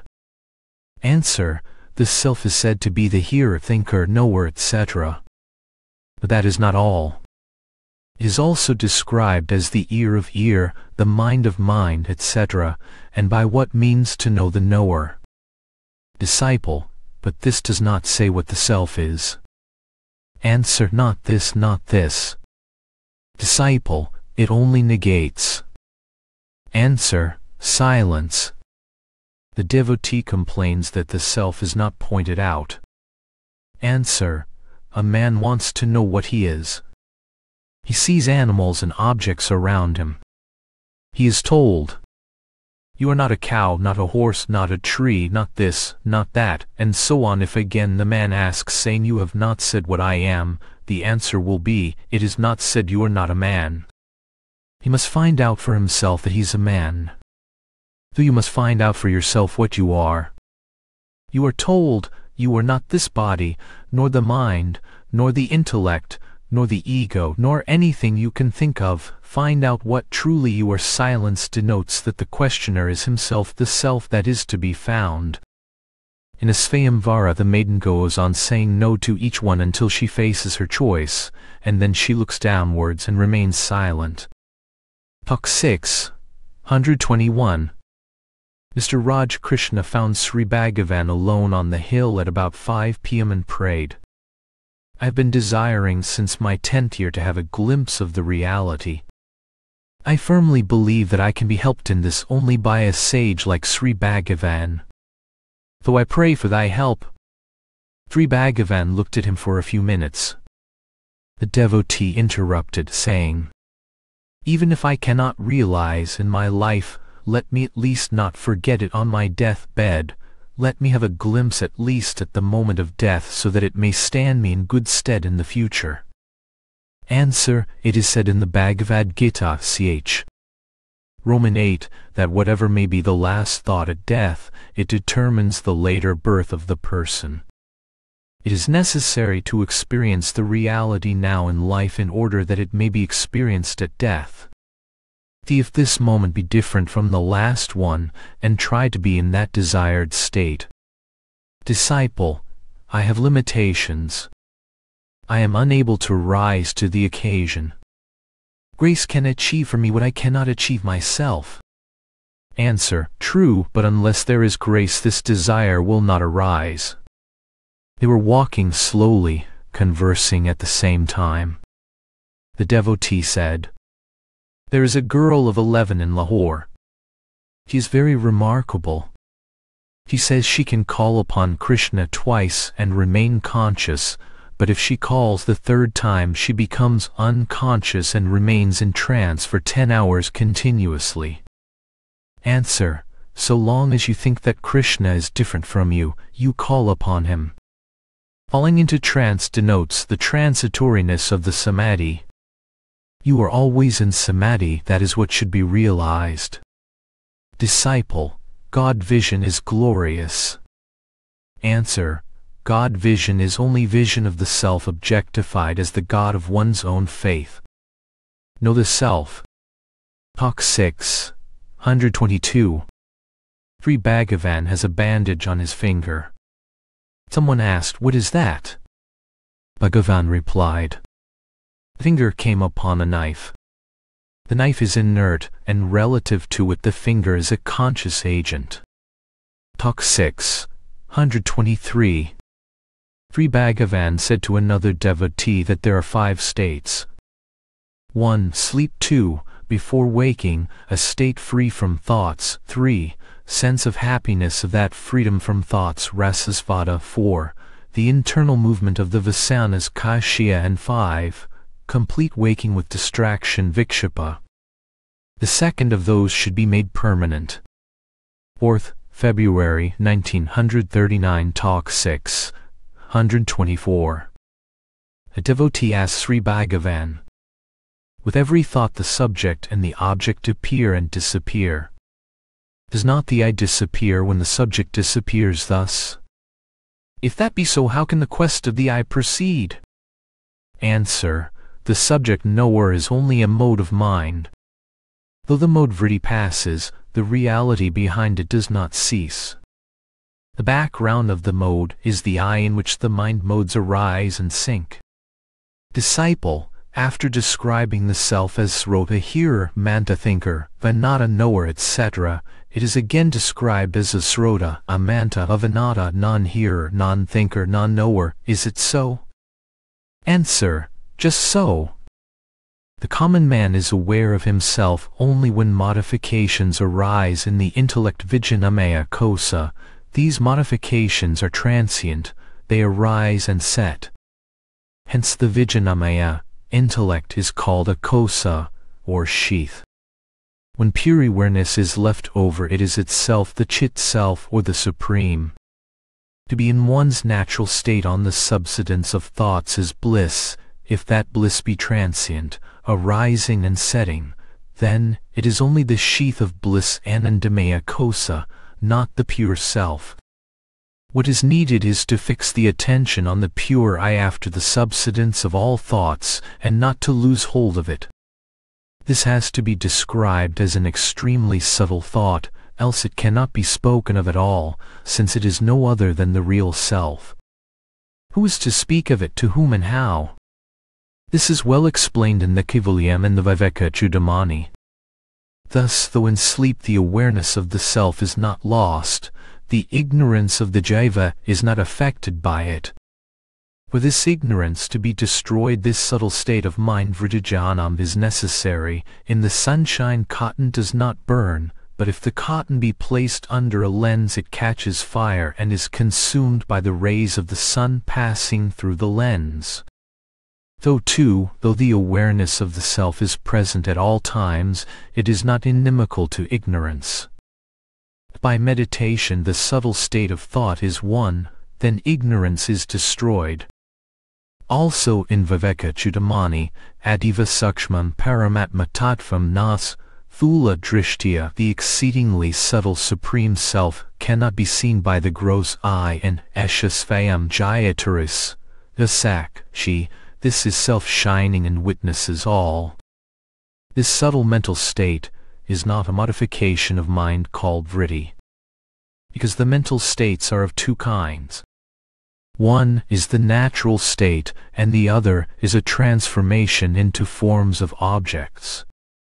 The first is the truth and the other is according to the Durkart Rutantra. When the latter perishes, Jail Kataka renew it like the clearing nut paste in water the former will remain over. The means for this end is meditation. Though this is with the triad of distinction triputi, it will finally end in pure awareness jnanam meditation needs effort, jnanam is effortless. Meditation can be done or not done or wrongly done jnanam is not so.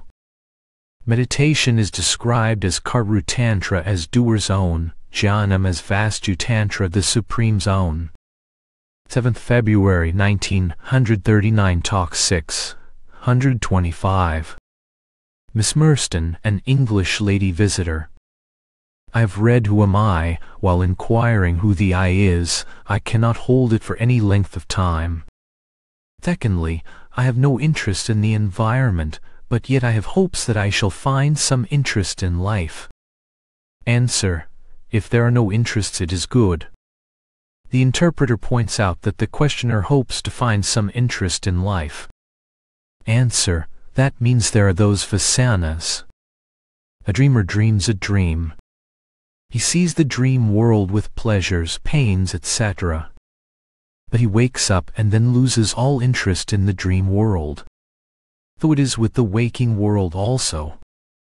Just as the dream world, being only a part of yourself and not different from you, ceases to interest you, so also the present world would cease to interest you if you awake from this waking dream samsara and realize that it is a part of yourself and not an objective reality. Because you think that you are apart from the objects around you, you desire a thing. But if you understand that the thing was only a thought form, you would no longer desire it. All things are like bubbles on water. You are the water and the objects are the bubbles. They cannot exist apart from the water, but they are not quite the same as the water. Disciple, I feel I am like froth. Answer, cease that identification with the unreal and know your real identity. Then you will be firm and no doubts can arise. Disciple, but I am the froth. Answer, because you think that way there is worry. It is a wrong imagination. Accept your true identity with the real. Be the water and not the froth. That is done by diving in. Disciple, if I dive in, I shall find. Answer, but even without diving in you are that. The ideas of exterior and interior exist only so long as you do not accept your real identity. Disciple, but I took the idea from you that you want me to dive in. Answer, Yes, quite right. It was said because you are identifying yourself with the froth and not the water. Because of this confusion the answer was meant to draw your attention to this confusion and bring it home to you. All that is meant is that the self is infinite, inclusive of all that you see. There is nothing beyond it nor apart from it. Knowing this, you will not desire anything, not desiring, you will be content. The self is always realized. There is no seeking to realize what is already, always realized. For you cannot deny your own existence. That existence is consciousness, the self. As you exist you cannot ask questions. Though you must admit your own existence. That existence is the self. It is already realized. Therefore the effort to realize results only in your realizing your present mistake, that you have not realized yourself. There is no fresh realization. The self becomes revealed. Disciple, that will take some years. Answer, why years? The idea of time is only in your mind. It is not in the self. There is no time for the self. Time arises as an idea after the ego arises. But you are the self beyond time and space, you exist even in the absence of time and space. 9th February, 1939 Talk 6, 126. Another devotee. Is it not that the I exists only in relation to a this aham, idam? Answer. I this appear together now. But this is contained vyaptam in the I, they are not apart. This has to merge into and become one with I.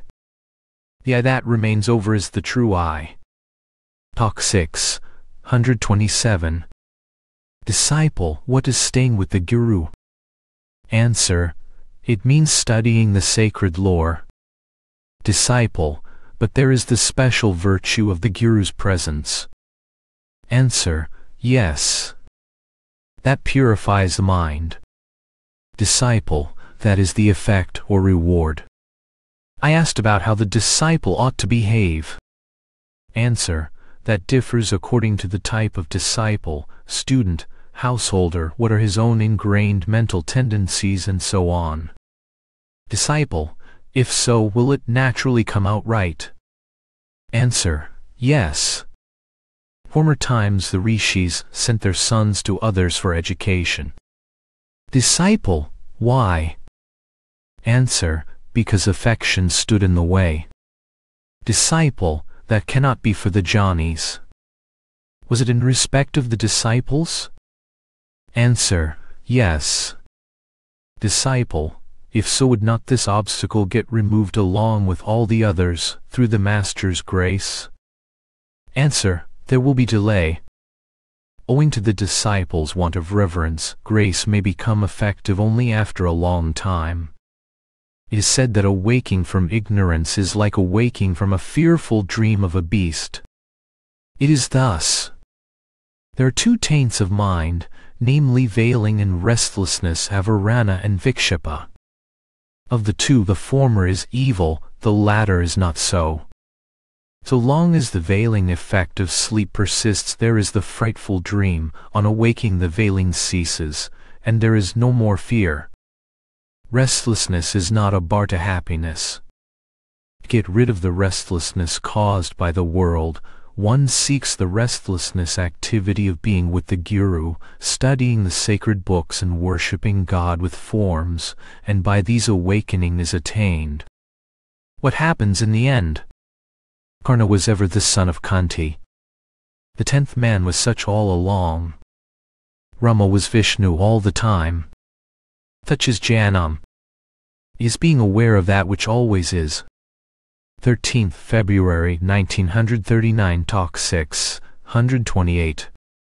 After his return from Europe, Mr. Disciple had a private interview with Sri Bhagavan for a few minutes. He said that his former visit had had some effect, but not as much as he wanted. He could concentrate on his work, is not concentration indispensable for spiritual progress? Karma appealed to him because that helped towards concentration. Sri Bhagavan. There is no karma without a karta doer. On seeking for the doer, he disappears. Where is karma then? Mr. Disciple sought practical instruction. Answer, seek the karta. That is the practice. Miss Disciple said there were breaks in her awareness and desired to know how the awareness might be made continuous. Answer, breaks are due to thoughts. You cannot be aware of breaks unless you think so. It is only a thought. Repeat the old practice, to whom do thoughts arise? Keep up the practice until there are no breaks. Practice alone will bring about continuity of awareness. 17th February 1939 Talk 6, 129. This is Sivaratri Day. Sri Bhagavan was beaming with grace in the evening. A sadhaka raised the following question. Disciple, inquiry into the self seems to take one into the subtle body ativahika saram or puryashtakam or jivatma. Am I right? Answer. They are different names for the same state, but they are used according to the different points of view.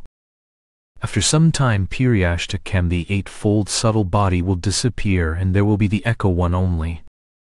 Vritti jnana alone can destroy a jnana ignorance. Absolute jnana is not inimical to a jnana. There are two kinds of Vritti's modes of mind. 1. Vishaya Vritti objective and 2. Atma Vritti subjective first must give place to the second. That is the aim of abhyasa practice, which takes one first to the Puryashtaka and then to the oneself. Talk 6. 130. In the course of conversation, a devotee said in passing, Sivaprakasam Pillai, who is such a good man, such an ardent devotee and a long-standing disciple, has written a poem saying that Sri Bhagavan's instructions could not be carried out by him effectively in practice. What can be the lot of others then? Answer, Sri Acharya also says similar things when he composes songs in praise of any deity. How else can they praise God? Thing the Sri Bhagavan smiled. Talk 6. 131. The Sadhaka repeated his question in a different way. Disciple, the inquiry into the self seems to lead to the Advaita, the Puryashtaka or the Jivatma. Is it right? Answer, yes. It is called Sarira body or abode, city or individual Puri or Jiva, according to the outlook. They are the same. Vritti Jnanam is usually associated with objective phenomena.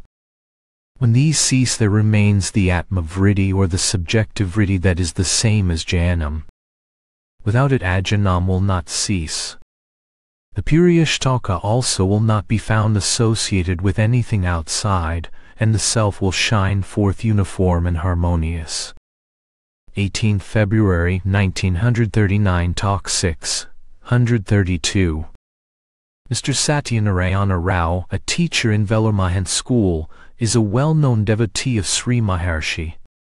He has been ailing from a cancer of the gullet, and the doctors have no hopes for him. He has been given a room in the ashramam, and the Sarvadhikari is very kind to him. It is now about two months, and the patient is very weak. At about 9 a.m., Sri Bhagavan was reading the tapals. The brother of the patient appeared in the hall with an anxious look to ask Sri Bhagavan about the patient, who was gasping. The Sarvadhikari also came to the hall on behalf of the sufferer. Sri Bhagavan continued to read the tapals. In a few minutes another devotee also came there for the same purpose. Sri Bhagavan asked, Did you call the doctor? Disciple, Yes, but he is too busy in the hospital. Answer What can I do? After a short time they will be pleased if I go there. Soon Bhagavan left the hall and went to the patient's side, massaged him gently and placed his hand on the heart and the other on his head. Patient, whose tongue was protruding, mouth open and eyes fixed, showed signs of relief, and in about twenty minutes gently murmured, O help of the helpless, how I have troubled thee. What return can I make for this kindness? The people felt relieved. Sri Bhagavan returned to the hall. Someone offered soap and water to Sri Bhagavan to wash his hands. But he declined them and rubbed his hands over his body. However, the patient passed away a few days later. A well-known devotee remarked, Sri Bhagavan appears so unconcerned under all circumstances but he is all along so loving and gracious. 23rd February 1939 Talk 6 133 A visitor from Dindigul said, I suffer in both mind and body. From the day of my birth I have never had happiness. My mother too suffered from the time she conceived me, I hear. Why do I suffer thus? I have not sinned in this life. Is all this due to the sins of past lives? Answer, if there should be unrelieved suffering all the time, who would seek happiness? That is, if suffering be the natural state, how can the desire to be happy arise at all? However the desire does arise. Though to be happy is natural, all else is unnatural. Suffering is not desired, only because it comes and goes. The questioner repeated his complaint. Answer, you say the mind and body suffer. But do they ask the questions? Who is the questioner? Is it not the one that is beyond both mind and body? You say the body suffers in this life, the cause of this is the previous life, its cause is the one before it, and so on. So, like the case of the seed and the sprout, there is no end to the causal series. It has to be said that all the lives have their first cause in ignorance. That same ignorance is present even now, framing this question. That ignorance must be removed by Jnanam. Why and to whom did this suffering come? If you question thus, you will find that the I is separate from the mind and body, that the self is the only eternal being, and that it is eternal bliss. That is Jnanam. Disciple, but why should there be suffering now? Answer, if there were no suffering how could the desire to be happy arise? If that desire did not arise how would the quest of the self be successful? Disciple, then is all suffering good? Answer, quite so. What is happiness? Is it a healthy and handsome body, timely meals, and the like? Even an emperor has troubles without end, though he may be healthy though all suffering is due to the false notion I am the body. Getting rid of it is Jnanam. Talk 6, 134. An Andhra gentleman retired from government service asked, I have been doing Omkara Upasana for long. In the left ear, I am always hearing a sound. Is like the piping of a nadaswaram pipe. Even now I hear it. Some luminous visions are also seen. I do not know what I should do. Answer, there must be one to hear sounds or see visions. That one is the I. If you seek it, asking who am I, the subject and objects would coalesce. After that there is no quest. Till then thought will arise, things will appear and disappear, you ask yourself what has happened, and what will happen. If the subject be known, then the objects will merge in the subject. If without that knowledge one applies the mind to objects, because these objects appear and disappear, and one does not know that one's true nature is that which remains over as the self. On the vanishing of objects, fear arises. That is, the mind being bound to objects there is suffering when the objects are absent. But they are transient and the self is eternal. If the eternal self be known subject and object merge into one, and the one without a second will shine. Disciple, is there the merger of the Omkara? Answer, Om is the eternal truth. That which remains over after the disappearance of objects is Om. Does not merge in anything.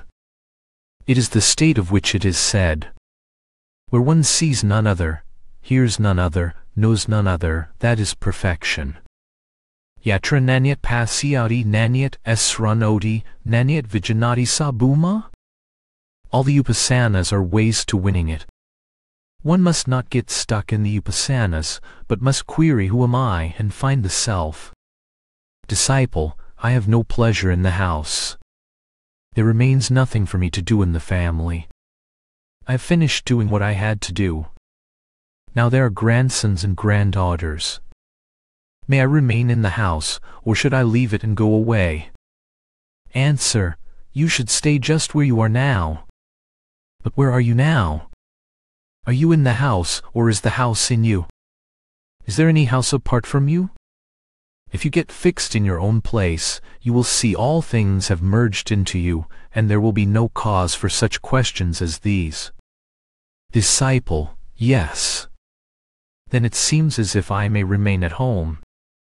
Answer, you must remain in your real state. Talk 6, 135. An Andhra gentleman of Hospet, has returned from pilgrimage to Kailas, Amarnath, etc. He described how fine those places are, and how difficult the journey was. He finally asked for something to remind him of Maharshi, meaning some instruction. Answer, you have been to Kailas, etc. Have you been to Muktanath? Disciple, no. It was too difficult a journey for me. I have however been in Nepal. Have you been to those places? Answer, no, no. I mentioned Muktanath casually. Then Sri Bhagavan remarked, To go to Kailas and return is just a new birth. For there the body idea drops off. Talk 6, 136. Miss Kelly Heck asked if the waking and the dream states might be imagined to be excursions from the natural state of the self. Answer, there must be a place for excursions. The place must also lie outside oneself. It is not possible in the true nature of the self. Disciple, but I meant that it might be imagined to be so. Answer, one might as well imagine the true nature of the self. Disciple, the illustration of the screen is very beautiful.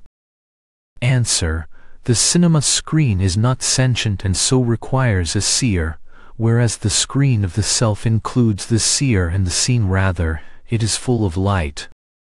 Pictures of the cinema show cannot be seen without the help of darkness, for you cannot have a show in broad daylight. Similarly, the mind thinks thoughts and sees objects owing to an underlying ignorance avidya. The self is pure knowledge, pure light where there is no duality. Duality implies ignorance. The knowledge of the self is beyond relative knowledge and ignorance, the light of the self is beyond the ordinary light and darkness. The self is all alone. Talk 6, 137. There was some question about progress. Sri Bhagavan said that progress is for the mind and not for the self.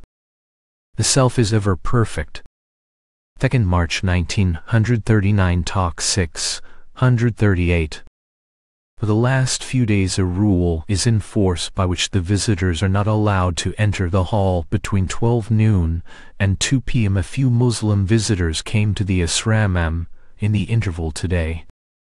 The attendant promptly told them that they should not disturb Sri Bhagavan's rest at this hour. Sri Bhagavan quietly got down from the sofa and came out of the hall. He sat on the stone pavement adjoining the wall and asked the visitors also to sit close to him. He went on reading a newspaper and also laid himself on the stone. He was finally requested to go in. Talk 6, 139. While speaking to Mr. Sarma of Pujakata, Sri Bhagavan said, Leaving out what is intimate and immediate, why should one seek the rest? The scriptures say that thou art. In this statement thou is directly experienced, but leaving it out they go on seeking that. Disciple, in order to find the oneness of that and of thou. Answer, Thou is the inner self immanent in all, in order to find the same, he leaves himself out and sees the world objectively. What is the world? What is immanent in it? It is that. All such ideas arise only on forgetting one's own self. I never bothered myself with such matters. Only after a time it occurred to me that men had investigated such matters. 3rd March 1939 Talk 6, 140. At about 4 p.m. Sri Bhagavan, who was writing something intently, turned his eyes slowly towards the window to the north. He closed the fountain pen with the cap and put it in its case. He closed the notebook and put it aside. He removed the spectacles, folded them in the case, and left them aside. He leaned back a little, looked up overhead, turned his face this way and that and looked here and there. He passed his hand over his face and looked contemplative. Then he turned to someone in the hall and said softly, Answer, the pair of sparrows just came here and complained to me that their nest had been removed. I looked up and found their nest missing. Then he called for the attendant, Madhava Swami, and asked, Madhava, did anyone remove the sparrow's nest? The attendant, who walked in leisurely, answered with an air of unconcern. I removed the nests as often as they were built. I removed the last one this very afternoon. Answer, that's it. That is why the sparrows complained. The poor little ones. How they take the pieces of straw and shreds in their tiny beaks and struggle to build their nests. Attendant, But why should they build here over our heads? Answer, well, well. Let us see who succeeds in the end. After a short time Sri Bhagavan went out. Talk 6, 141. Explaining the opening stanza of the Sad Vidya, Sri Bhagavan observed, The world is always apparent to everyone. All must know I and this world exist. On inquiry do these always exist? And if indeed real, they must remain even unrelated to time, space, and differentiation, are they so? It is evident that only in the waking and dream states these are perceived but not in deep sleep. Therefore I and the world appear sometimes and disappear also. They are created, have their being and later vanish. Whence do they arise? Wherein do they remain? Where do they go on vanishing from view? Can such phenomena be admitted to be real? Furthermore, I and the world, objects of creation, sustenance and destruction, are perceived in the waking and dream states only and not in deep sleep. How does deep sleep differ from the other two states? In sleep there are no thoughts whereas in the other two states there are. There the thoughts must be the origin of the I and the world. Now what about thoughts? They cannot be natural, otherwise they cannot appear at one moment and disappear at another. Wherefrom do they arise? Their source ever present and not subject to variations must be admitted to be. It must be the eternal state as said in the Upadesa mantra, that from which all beings come forth, that in which they remain and that into which they resolve. This stanza is not in praise or adoration, but only an expression of the reality. Talk 6, 142. Mr. Sarma asked, Vasvarupanusan hanam bhaktirityabatit. Again, Svatmatattvanusadanam bhaktiritya What is the difference between the two? Answer, the former is vichara, who am I koham? It represents jnana.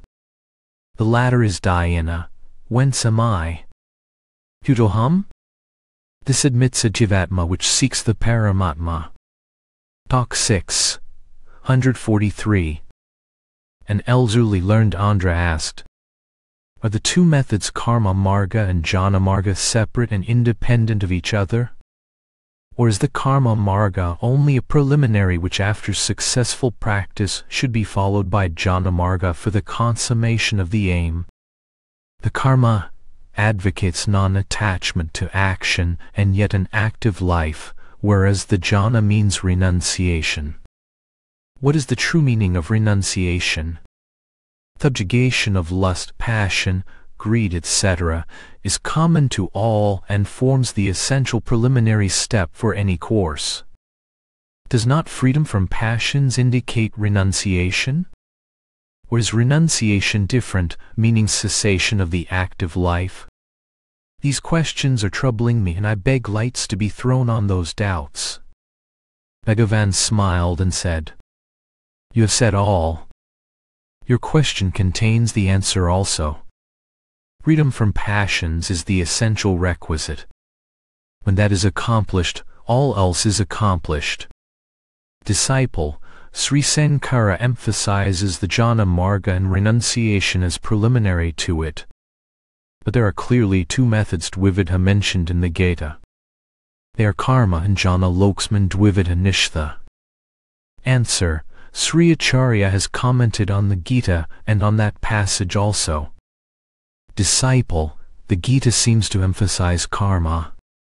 For Arjuna is persuaded to fight, Sri Krishna himself set the example by an active life of great exploits. Answer. The Gita starts saying that you are not the body, that you are not therefore the karta. Disciple, what is the significance? Answer. That one should act without thinking that oneself is the actor. The actions go on despite his egolessness. Person has come into manifestation for a certain purpose. That purpose will be accomplished whether he considers himself the actor or not. Disciple, what is Karma Yoga? Is it non-attachment to karma or its fruit? Answer. Karma yoga is that yoga in which the person does not arrogate to himself the function of being the actor. The actions go on automatically. Disciple. Is it the non-attachment to the fruits of actions? Answer. The question arises only if there is the actor. It is being all along said that you should not consider yourself the actor. Disciple, so karma yoga, is karta vibhuti rahita karma, action without the sense of doership. Answer, yes. Quite so. Disciple, the Gita teaches active life from beginning to end. Answer, yes the actor less action. Disciple, is it then necessary to leave the home and lead a life of renunciation? Answer, is the home in you? Or are you in the home? Disciple, it is in my mind. Answer, then what becomes of you when you leave the physical environment? Disciple, now I see. Renunciation is only action without the sense of being the karta. Is there not action for a jivanmukta? Answer, who raises the question? Is he a Jivanmukta or another? Disciple, not a Jivanmukta. Answer, let the question be raised after Jivanmukti is gained if it is found necessary. Mukti is admitted to be freedom from the mental activities also. Himukta think of action? Disciple, even if he gives up the action, the action will not leave him. Is it not so? Answer, with what is he identified in order that this question might apply? Disciple, yes I see all right. My doubts are now cleared. Talk 6, 144. A district official, a Muslim, what is the necessity for reincarnation? Answer, let us first see if there is incarnation before we speak of reincarnation. Disciple, how? Answer, are you now incarnated that you speak of reincarnation? Disciple, yes. Certainly. An amoeba developed into higher organisms until the human being has been evolved. This is now the perfection in development. Why should there be further reincarnation? Answer, who is to set limits to this theory of evolution? Disciple, physically it is perfect. But for the soul, further development may be required which will happen after the death of the man. Answer, who is the man? Is he the body or the soul? Disciple, both put together. Answer, do you not exist in the absence of the body? Disciple, how do you mean? It is impossible. Answer, what was your state in deep sleep? Disciple, Sleep is temporary death. I was unconscious, and therefore I cannot say what the state was. Answer, but you existed in sleep. Did you not? Disciple, in sleep the soul leaves the body and goes out somewhere. Then it returns to the body before waking. It is therefore temporary death. Answer, a man who is dead never returns to say that he died, whereas the man who had slept says that he slept. Disciple, because this is temporary death. Answer, if death is temporary and life is temporary, what is it that is real? Disciple, what is meant by the question? Answer, if life and death be temporary, there must be something which is not temporary. Reality is that which is not temporary. Disciple, there is nothing real. Everything is temporary. Everything is Maya. Answer, on what does Maya appear? Disciple, now I see you, it is all Maya. Answer, if everything is Maya, how does any question arise? Disciple, why should there be reincarnation? Answer, for whom? Disciple, for the perfect human being. Answer, if you are perfect, why do you fear to be reborn? It indicates imperfection. Disciple, not that I fear. But you say that I must be reborn. Answer, who says it? You are asking the question. Disciple, what I mean is this. You are a perfect being. I am a sinner. You tell me that I being a sinner must be reborn in order to perfect myself. Answer, no I do not say so. On the other hand I say that you have no birth and therefore no death. Disciple, do you mean to say that I was not born? Answer, yes, you are now thinking that you are the body and therefore confuse yourself with its birth and death. But you are not the body and you have no birth and death. Disciple, do you not uphold the theory of rebirth? Answer, no. On the other hand, I want to remove your confusion that you will be reborn. It is you who think that you will be reborn. He for whom this question arises. Unless the questioner is found, the questions can never be set at rest. Disciple, this is no answer to my question. Answer, on the other hand, this is the answer to elucidate the point and all other doubts as well. Disciple, this will not satisfy all others. Answer, leave others alone.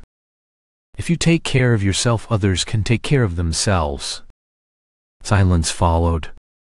He left in a few minutes apparently dissatisfied with the discourse. Sri Bhagavan said after a few minutes, This will work in him. The discourse will have its effect.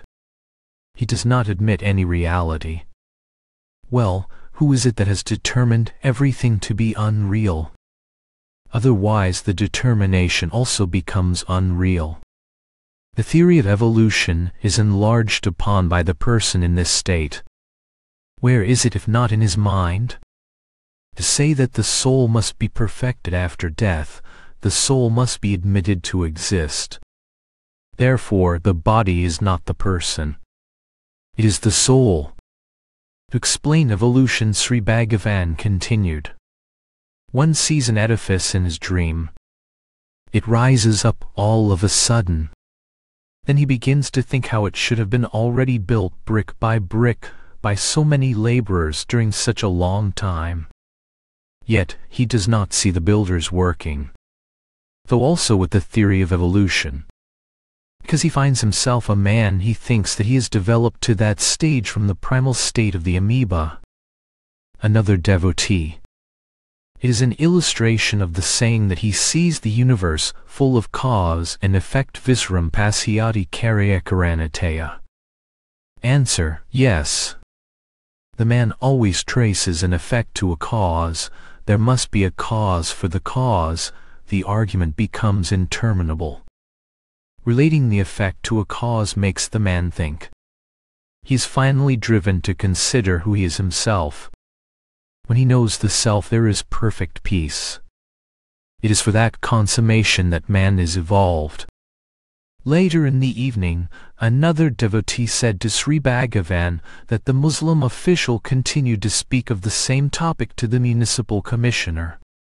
Then Sri Bhagavan said, He says that body and soul together form the man.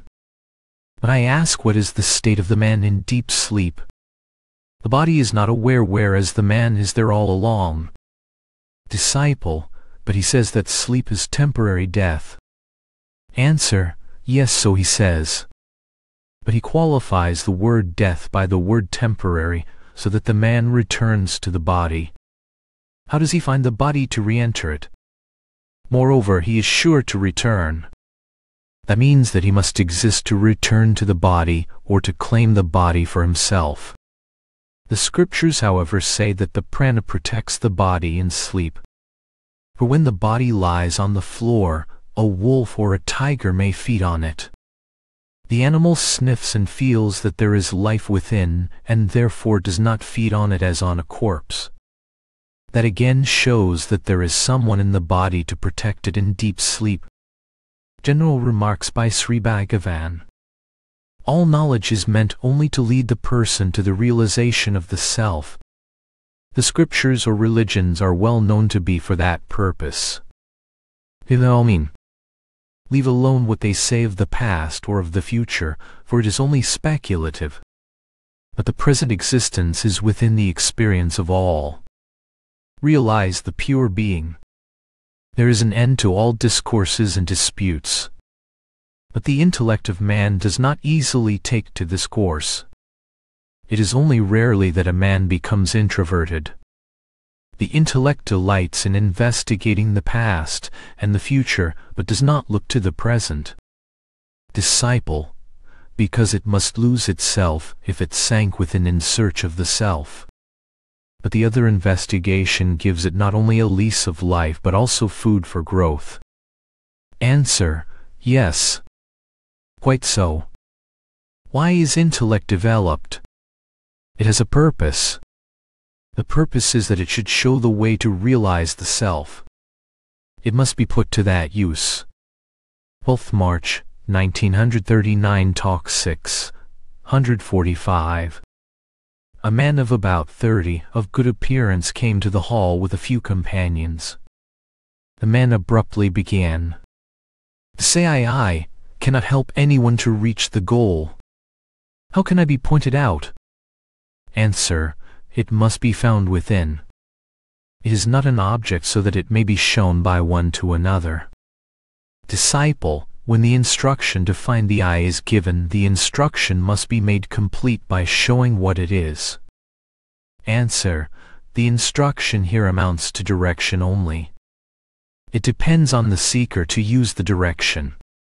Disciple, the seeker is ignorant and seeks instruction. Answer, he is therefore guided to find the truth. Disciple, but it is not enough. The I must be pointed out specifically. The man assumed an aggressive attitude and did not listen.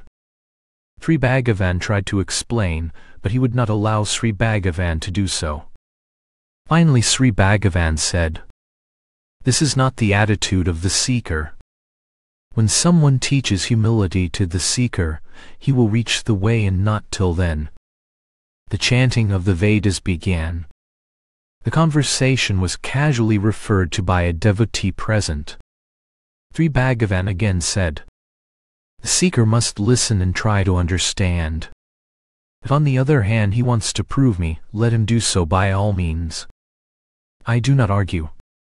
The man again began my attitude was not properly understood.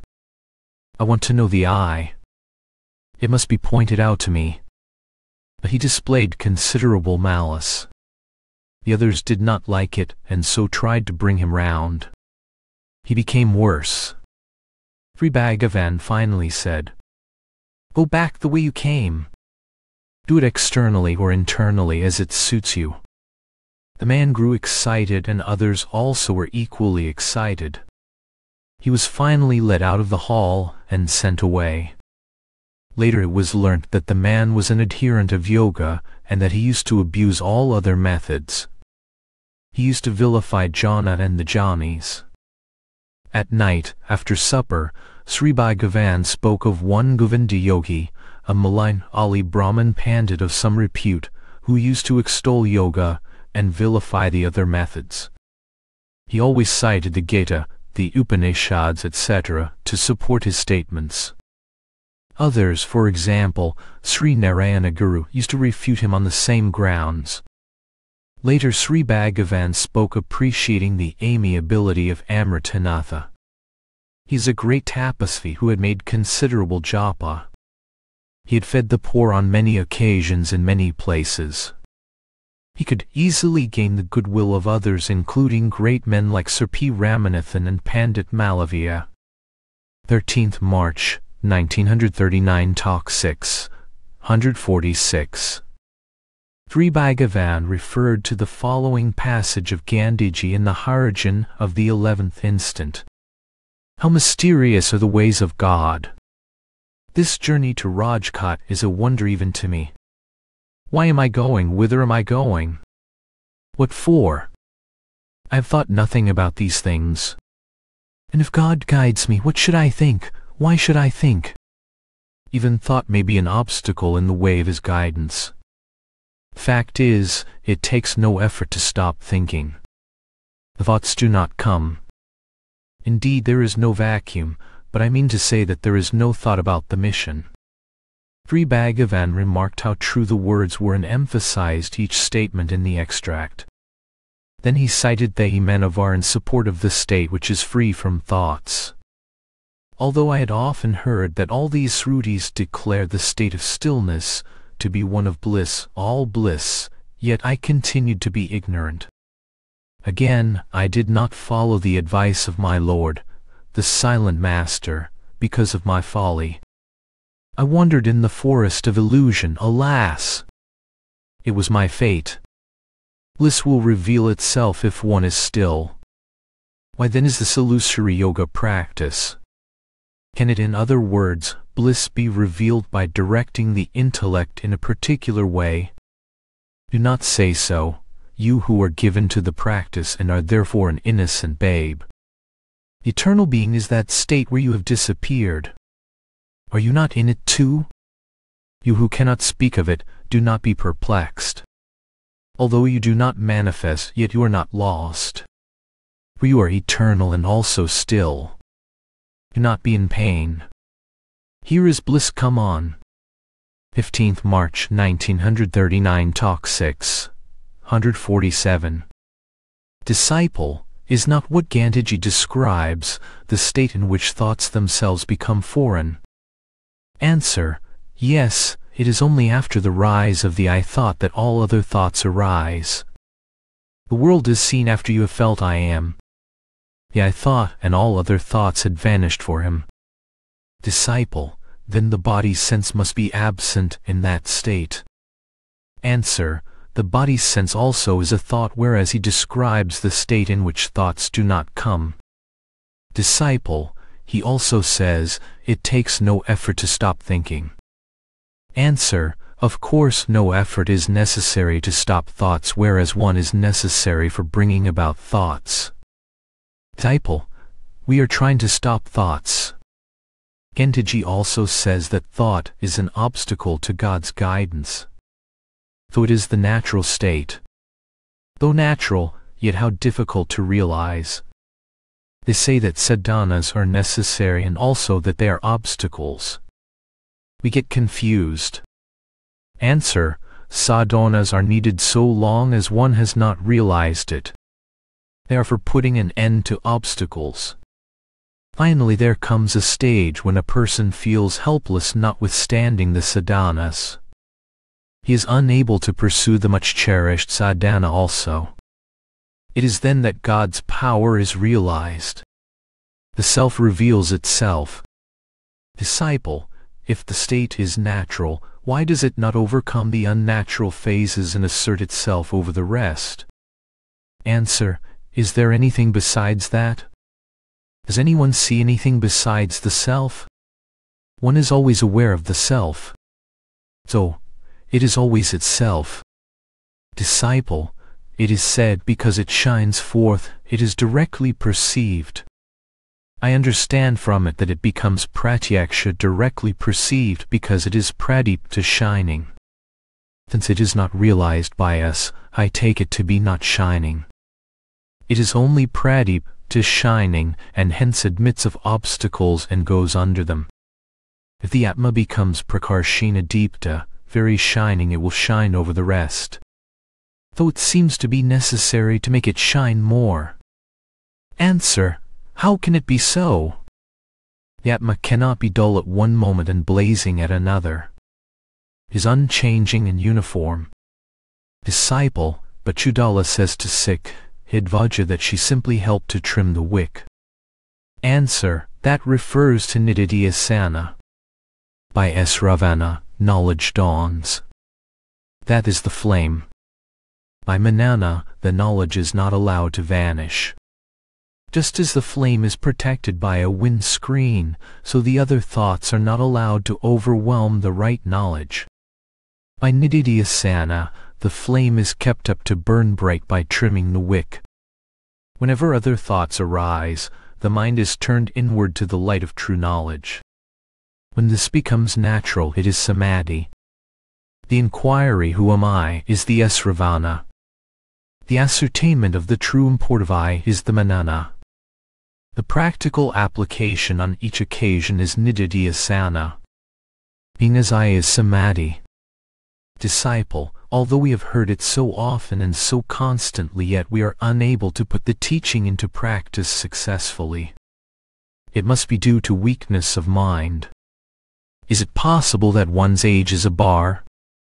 Answer, the mind is commonly said to be strong if it can think furiously.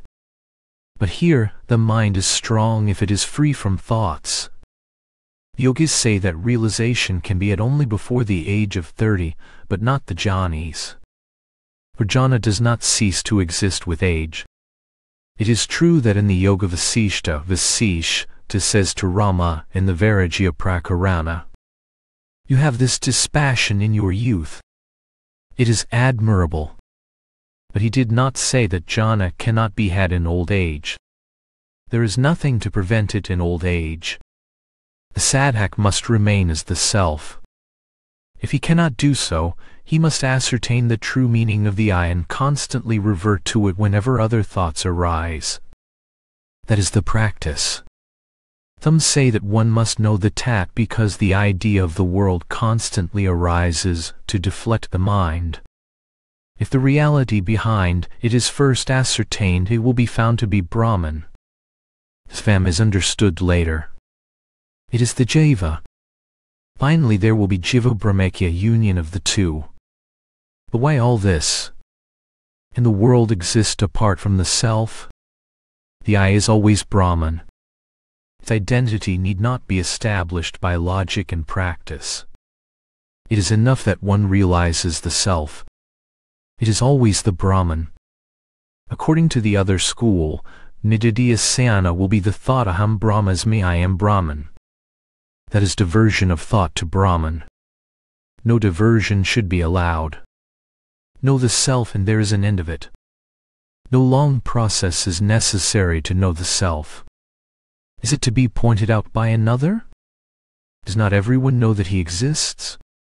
Even in utter darkness when he cannot see his hand, he answers a call and says I am here. Disciple, but that I is the ego or the I thought and it is not the absolute self that answers the call or is otherwise aware of oneself. Answer, even the ego can become aware of itself in the absence of light, sight, etc much more so should be the pure light of the self. I am saying that the self is self-evident. One need not discuss the tattvas to find the self. Some say there are 24 tattvas, others more and so on. Should we know the tattvas before we admit the existence of the self? The sastras dilate upon them in order to point out that the self is untouched by them. But for the seeker he can straightway admit the self and try to be that without having recourse to the study of the tattvas. Disciple, Gandhiji adhered to Satya truth so long in one realization of the self. Answer, what is Satya except the self? Satya is that which is made up of Sat. Again Sat is nothing but the self. Though Gandhiji's Satya is only the self, each one knows the self but is yet ignorant. The person is enabled to realize only after hearing the Mahavakya. Hence the Upanishadic text is the eternal truth to which everyone who has realized owes his experience. After hearing the self to be the Brahman the person finds the true import of the self and reverts to it whenever he is diverted from it. Here is the whole process of realization. 1. 7th March, 1939 Talk 6, 148. Sri Bhagavan said that Tattva Ray R was the first to pour forth Advaita philosophy in Tamil. He had said that the earth was his bed, his hands were his plates for taking food, the loin cloth was his clothing, and thus there was no want for him. In Maharaja Turavu 10 The Renunciation of the King he says, he was seated on the bare ground, the earth was his seat, the mind was the chamara, the sky was the canopy, and renunciation was his spouse. Then Sri Bhagavan continued. I had no cloth spread on the floor in earlier days. I used to sit on the floor and lay on the ground. That is freedom. The sofa is a bondage. It is a jail for me. I am not allowed to sit where and how I please. Is it not bondage? One must be free to do as one pleases, and should not be served by others. No want is the greatest bliss. It can be realized only by experience. Even an emperor is no match for a man with no want. The emperor has got vassals under him, but the other man is not aware of anyone beside the self. Which is better? 18th March 1939 Talk 6, 149 Mr. Thompson, a very quiet young gentleman who was staying in India for some years and studying Hindu philosophy as an earnest student asked, Srimad Bhagavad Gita says, I am the prop for Brahman. In another place it says, I am in the heart of each one. Thus the different aspects of the ultimate principle are revealed. I take it that there are three aspects namely 1. The transcendental 2 the immanent and 3. The cosmic. Is realization to be in any one of these or in all of them? Coming to the transcendental from the cosmic, the Vedanta discards the names and forms as being Maya.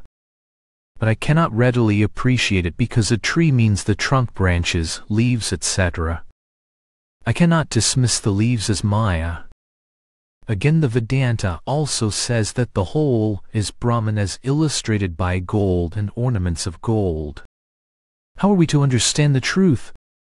Answer, the Gita says, Brahmanohai pradishtaham. That aham is known, the whole is known. Disciple, it is the immanent aspect only. Answer, you now think that you are an individual, there is the universe and that God is beyond the cosmos. For there is the idea of separateness. This idea must go. For God is not separate from you or the cosmos. Gita also says, The self am I, O Lord of sleep, in every creature's heart enshrined. The rise and noon of every form, I am its final doom as well. Thus God is not only in the heart of all, He is the prop of all, He is the source of all, their abiding place and their end. All proceed from Him, have their stay in Him, and finally resolve into Him. Therefore He is not separate. Disciple, how are we to understand this passage in the Gita? This whole cosmos forms a particle of me, Answer, it does not mean that a small particle of God separates from Him and forms the universe. Isakti is acting, as a result of one phase of such activity the cosmos has become manifest.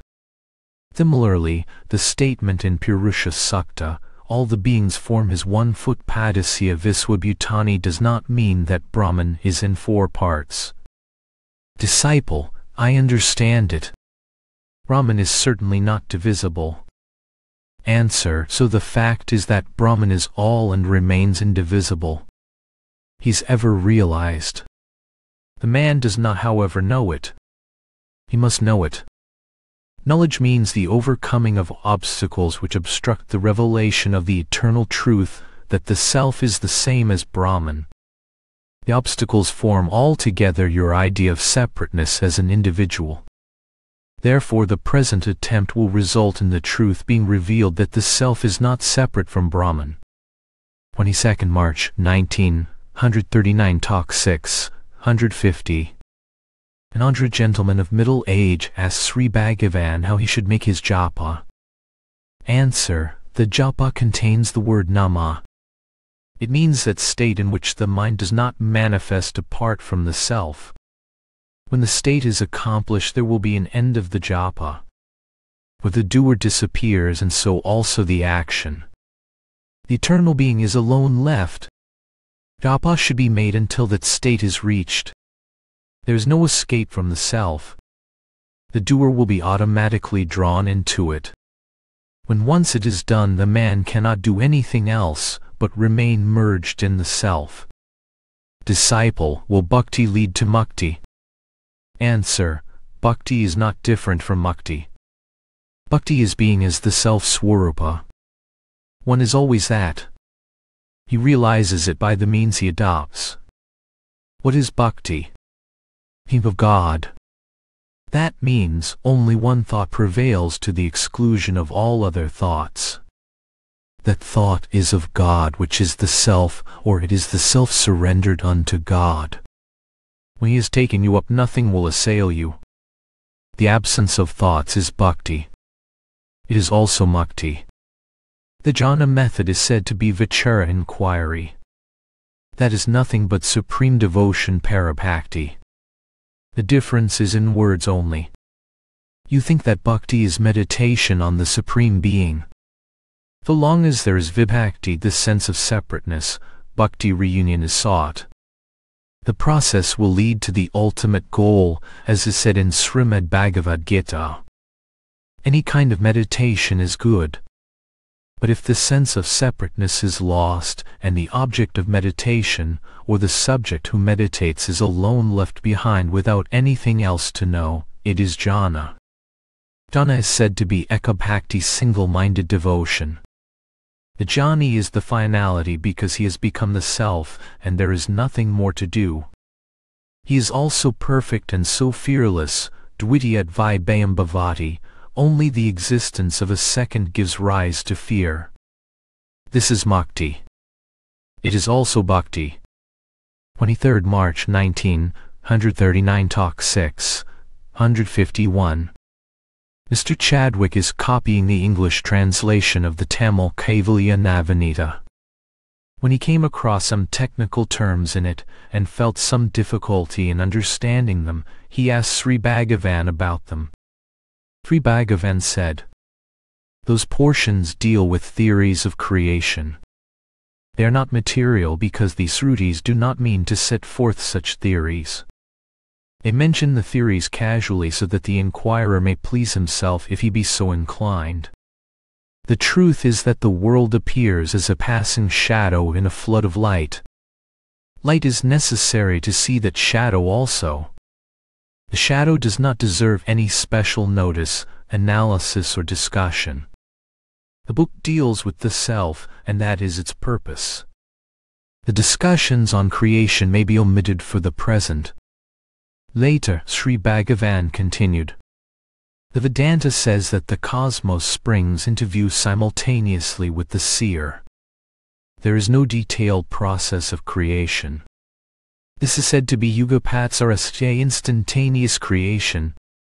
It is quite similar to the creations in dream where the experiencer springs up simultaneously with the objects of experience. When this is told, some people are not satisfied for they are so rooted in objective knowledge. They seek to find out how there can be sudden creation. They argue that an effect must be preceded by a cause. In short, they desire an explanation for the existence of the world which they see around them.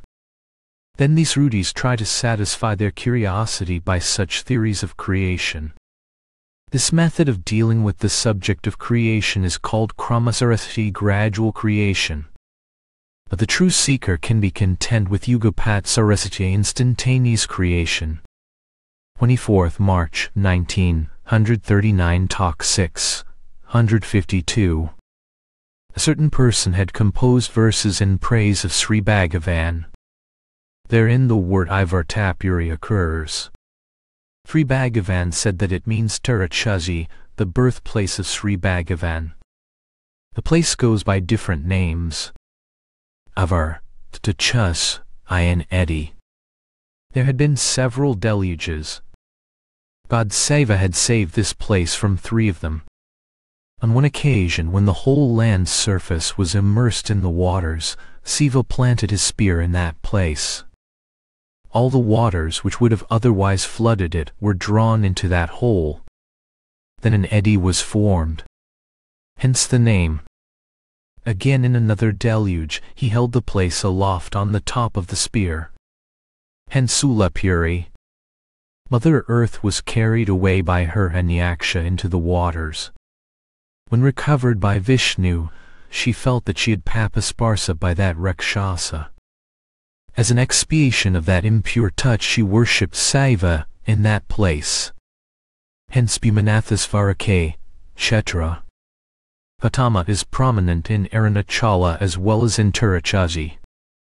Shiva showed himself to the saint in the dancing posture and also reenacted the wedding of Gauri Sankar.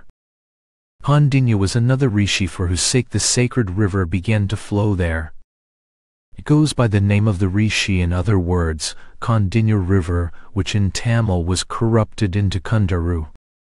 Is otherwise called Papahari in other words, the destroyer of sins. There lies a story behind it. A king's daughter was hysterical in other words, possessed. He was taken on a pilgrimage to various sacred places and tirthas. On one occasion, the party heard the name of Papahari as a tirtha in a sankalpa before bathing. Inquired where the tirtha was and went to Tiruchuzhi.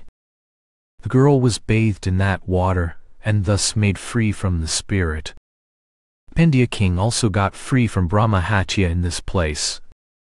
It happens to be the center of the Pandya kingdom, which comprised the Madura, Ramnad and Tirunelveli districts. The village had a sacred tank in front of the temple, which was the spot of the eddy created by the spear of Siva. Even now the waters in the tank rise at the rate of about a foot every day for ten consecutive days, preceding the full moon in the Tamil month Masi Magha Sutta Purnami and then gradually fall during the succeeding ten days. This phenomenon can be observed every year. It is noted with wonder by the young ones of the village. Pilgrims gather to bathe in those waters on that occasion. That water is sulphurous for the silver jewels of the bathers become dark after bathing in it.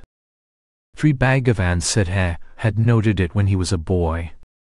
The village has the river on one side and a huge lake on the other side. The bund of the lake is clay and runs about three miles in all. The lake is strangely enough twenty feet over the level of the village. Even when it is over full, the waters escape in other directions leaving the village unaffected. 1st April 19, 139 Talk 6, 153. Some teachers who attended the Teachers Guild meeting in the town came on a visit to the hall. One of them asked Sri Bhagavan, I seem to be wandering in a forest because I do not find the way. Answer, this idea of being in a forest must go. It is such ideas which are at the root of the trouble. Disciple, but I do not find the way. Answer, where is the forest, and where is the way unless they are in you? You are as you are, and yet you speak of a forest and ways. Disciple, but I am obliged to move in society. Answer, society is also an idea similar to that of the forest. Disciple, I leave my home and go and mix in society. Answer, who does it? Disciple, the body moves and does all. Answer, quite so. Now that you identify yourself with the body you feel the trouble. Trouble is in your mind. You think that you are the body or that you are the mind. But there are occasions when you are free from both. For example, in deep slumber, you create a body and a world in your dream. That represents your mental activities. In your waking state, you think that you are the body and then the idea of forest and the rest arise. Now consider the situation. You are an unchanging and continuous being who remains in all these states which are constantly changing and therefore transient. But you are always there. It follows that these fleeting objects are mere phenomena which appear on your being like pictures which move across a screen. The screen does not move when the picture moves. Similarly, you do not move from where you are even when the body leaves the home and mixes in society. Your body, the society, the forest and the ways are all in you, you are not in them. You are the body also but not this body only. If you remain as your pure self, the body and its movements need not affect you. Disciple, this can be realized only by the grace of the Master. I was reading Sri Bhagavata, it says that bliss can be at only by the dust of the Master's feet. I pray for grace. Answer, what is bliss but your own being? You are not apart from being which is the same as bliss. You are now thinking that you are the mind or the body which are both changing and transient. But you are unchanging and eternal. That is what you should know. Disciple, it is darkness and I am ignorant. Answer, this ignorance must go. Again who says I am ignorant? He must be the witness of ignorance. That is what you are. Socrates said, I know that I do not know. Can it be ignorance? His wisdom. Disciple, why then do I feel unhappy when I am in Vellore and feel peace in your presence? Answer, can this feeling in this place be bliss? When you leave the place you say you are unhappy. Therefore this peace is not permanent, nay, it is mixed with unhappiness which is felt in another place. Therefore you cannot find bliss in places and in periods of time. It must be permanent in order that it may be useful. Such permanent being is yourself. Be the self and that is bliss. You are always that. You say that you left Vellore, traveled in the train, arrived in Tiruvannamalai, entered the hall and found happiness. When you go back, you are not happy in Vellore. Now, do you really move from place to place? Even considering you to be the body, the body sits in a cart at the gate of the home, the cart moves on to the railway station. Then it gets into a railway carriage which speeds on from Vellore to Tiruvannamalai. There it gets into another car which brings the body here. Yet when you are asked, you say that you traveled all the way from Vellore. Your body remains where it was and all the places went past it. Such ideas are due to the false identity which is so deep-rooted. Another asked, Did we understand the world as transient anitya? Answer, why so? Because you are now considering it to be permanent nitya, the scriptures tell you that it is not so in order to wean you from wrong ideas. This should be done by knowing yourself to be eternal nitya and not by branding the world as transitory anitya. Disciple, we are told to practice indifference udasana which is possible only if the world is unreal. Answer, yes. Audasinium abhipsatam. Indifference is advised. But what is it? It is absence of love and hatred. When you realize the self on which these phenomena pass, will you love or hate them? That is the meaning of indifference. Disciple, that will lead to want of interest in our work. Did we do our duty or not? Answer, yes, certainly. Even if you try not to do your duty, you will be perforce obliged to do it. Let the body complete the task for which it came into being. Sri Krishna also says in the Gita, whether Arjuna liked it or not he would be forced to fight. When there is work to be done by you, you cannot keep away, nor can you continue to do a thing when you are not required to do it, that is to say, when the work allotted to you has been done. In short, the work will go on and you must take your share in it, the share which is allotted to you. Disciple, how is it to be done? Answer, like an actor playing his part in a drama, free from love or hatred.